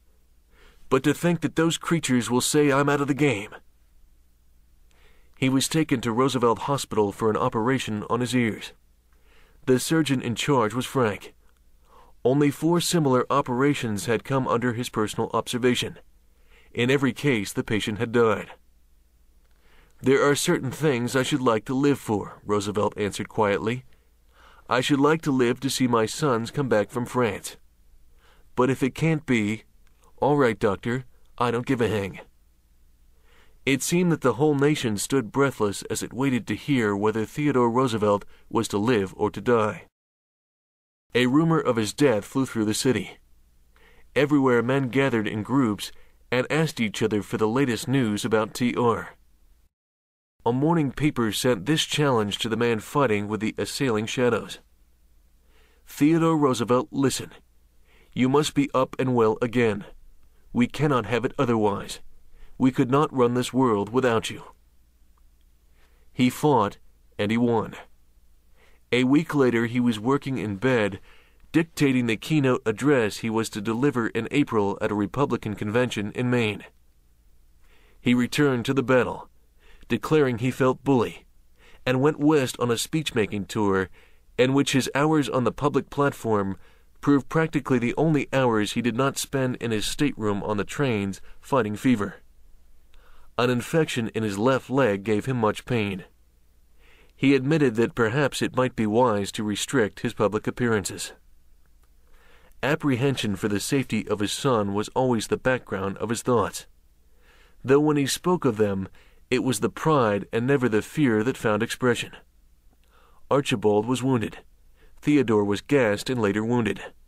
Quentin fell fighting in the air high over the German lines but a friend who approached him with words of condolence was met by him with an exclamation that was almost exultant. Haven't I bully boys? One dead and two in the hospital. About him rang the tumult of battle, the taunts and recriminations, the ridicules and the cheers. He went his way, struggling to make the full force of America felt on the battle lines in France. Republican politicians, preparing in the summer of 1918 for the presidential campaign of 1920, turned with an accord which in 1914 would have seemed to them the ultimate impossibility, but which the facts of the situation now made inevitable again to Theodore Roosevelt. In the New York State Republican Convention at Saratoga, the men who had fought him most bitterly appealed to him once more for leadership realizing that in the Great Schism of 1912 he and not they had been right, and calling him the savior of the party, the savior of the country. They begged him to accept the nomination for governor. He refused. His whole heart was in the war, he said, and he would not attempt to serve two masters. Early in the autumn, the Republican leaders of one of the Atlantic states and a former progressive leader of one of the Pacific states were seated with Roosevelt after dinner in the study at Sagamore Hill. Are you going to run for president in 1920? asked the man from the East. Roosevelt, looking odd and unlike himself in his stiff white shirt front and dinner coat, with his right leg crossed over his left, answered promptly and without evasion. Yes, I will run if the people want me, but only if they want me. I will not lift a finger for the nomination. I will not make a contest for it. It will have to come to me. It would be worthless on any other basis. Colonel, it will be yours without strings and on your own terms. This statement on the surface was rashly confident, but it was not without justification. Roosevelt had throughout the war been the one outstanding figure in the Republican Party, and now at its close was its acknowledged, undisputed leader. When less than two weeks before the congressional elections in November, the President issued an appeal for a Democratic Congress, it was inevitable that Roosevelt should be the one to answer him. In what proved one of the most powerful speeches of his career, Roosevelt drove the answer home. He struck without mercy, blow on blow. His logic was clear, stern, and altogether relentless. Before it, the eloquent persuasiveness of the President's appeal dissolved like fog before a hot sun. He spoke four days after the event, as the average man might dare to speak after the winds and rains of a hundred years had sifted and settled the issues. He knew he was right, and he spoke with the unqualified assurance which that knowledge gave him. His opponents cried out at his hysteria, his violence but the American people rallied behind him. In the elections, the Democrats were disastrously defeated. The Republicans returned to power in Congress with the man they had rejected and who had rejected them as their unrivaled leader. Roosevelt's health was meanwhile bothering him again. The abscess in his leg would not heal satisfactorily, and an attack of sciatica caused him much pain. He was forced to return to the hospital, and as week followed week and seemed to bring no healing, his friends became uneasy. The sciatica developed into inflammatory rheumatism. The prospect was set before him as not out of the range of possibilities that, like his gallant sister, Mrs. Cowles, he might be condemned to spend the rest of his life in a chair. All right, he answered after a pause, I can live that way too but that fear seemed to prove without foundation. He improved slowly, and on Christmas Day left the hospital to spend the holidays with his family. Christmas Day had always been a joy and a romp at Sagamore. But the death of Quentin had laid a shadow over all thoughts of festivities, and for the first time in years, Roosevelt himself was not the presiding genius of the celebrations in the church at the Cove. His illness scarcely abated the boiling activity of his days. His correspondence was more voluminous than at any time since the Progressive campaign, and his articles in the Metropolitan and the Kansas City Star, which were his periodic messages to the American people, suffered in neither volume nor force by the fact that they were written on a bed of pain. The physicians, meanwhile, were encouraging, in spite of one or two sharp attacks which he had suffered in the hospital. And Roosevelt, restless for adventure after two years of ceaseless work, laid plans for an expedition early in March after devilfish in the Gulf of Mexico with his pirate friend Russell Coles. The old year went out and the new year came in. For him, a prisoner in his bed or in his chair, there was no cessation of activity. He read, he wrote, he dictated endless letters. For the Kansas City Star, he dictated an article pleading for realism in the conception of a League of Nations. For the Metropolitan, he dictated another article calling on the new Republican Congress to keep eyes to the front. The first week of the year ended in a Sunday that was the happiest that Sagamore Hill had known since one after the other four sons had set sail for France. For once there were no guests. None of the children even were home. And Roosevelt spent the day alone with their mother, reading aloud alternately with her. In the afternoon he wrote a long letter to Kermit in France, corrected the proofs of his metropolitan article, browsed among books. Altogether, it was one of those rare happy days that fall at long intervals suddenly like the quiet of heaven into the noise and confusion of life. He had promised months before to speak that night at a patriotic meeting at the Hippodrome. But his illness had made public speaking for the moment impossible, and he had sent a letter instead. At nine o'clock that evening, it was the 5th of January, his message was read. There must be no sagging back in the fight for Americanism merely because the war is over. Any man who says he is an American, but something else also, isn't an American at all. We have room for but one flag, the American flag. And this excludes the red flag, which symbolizes all wars against liberty and civilization, just as much as it excludes any foreign flag of a nation to which we are hostile. We have room for but one language here, and that is the English language for we intend to see that the crucible turns our people out as Americans of American nationality and not as dwellers in a polyglot boarding house. And we have room for but one sole loyalty, and that is the loyalty to the American people. Roosevelt, reading aloud in the study at Sagamore, did not hear the cheers that echoed through the great hall. He was not feeling altogether fit. As he was about to retire at eleven, he had difficulty breathing. The trained nurse sent for the physician. He came and gave Roosevelt a treatment.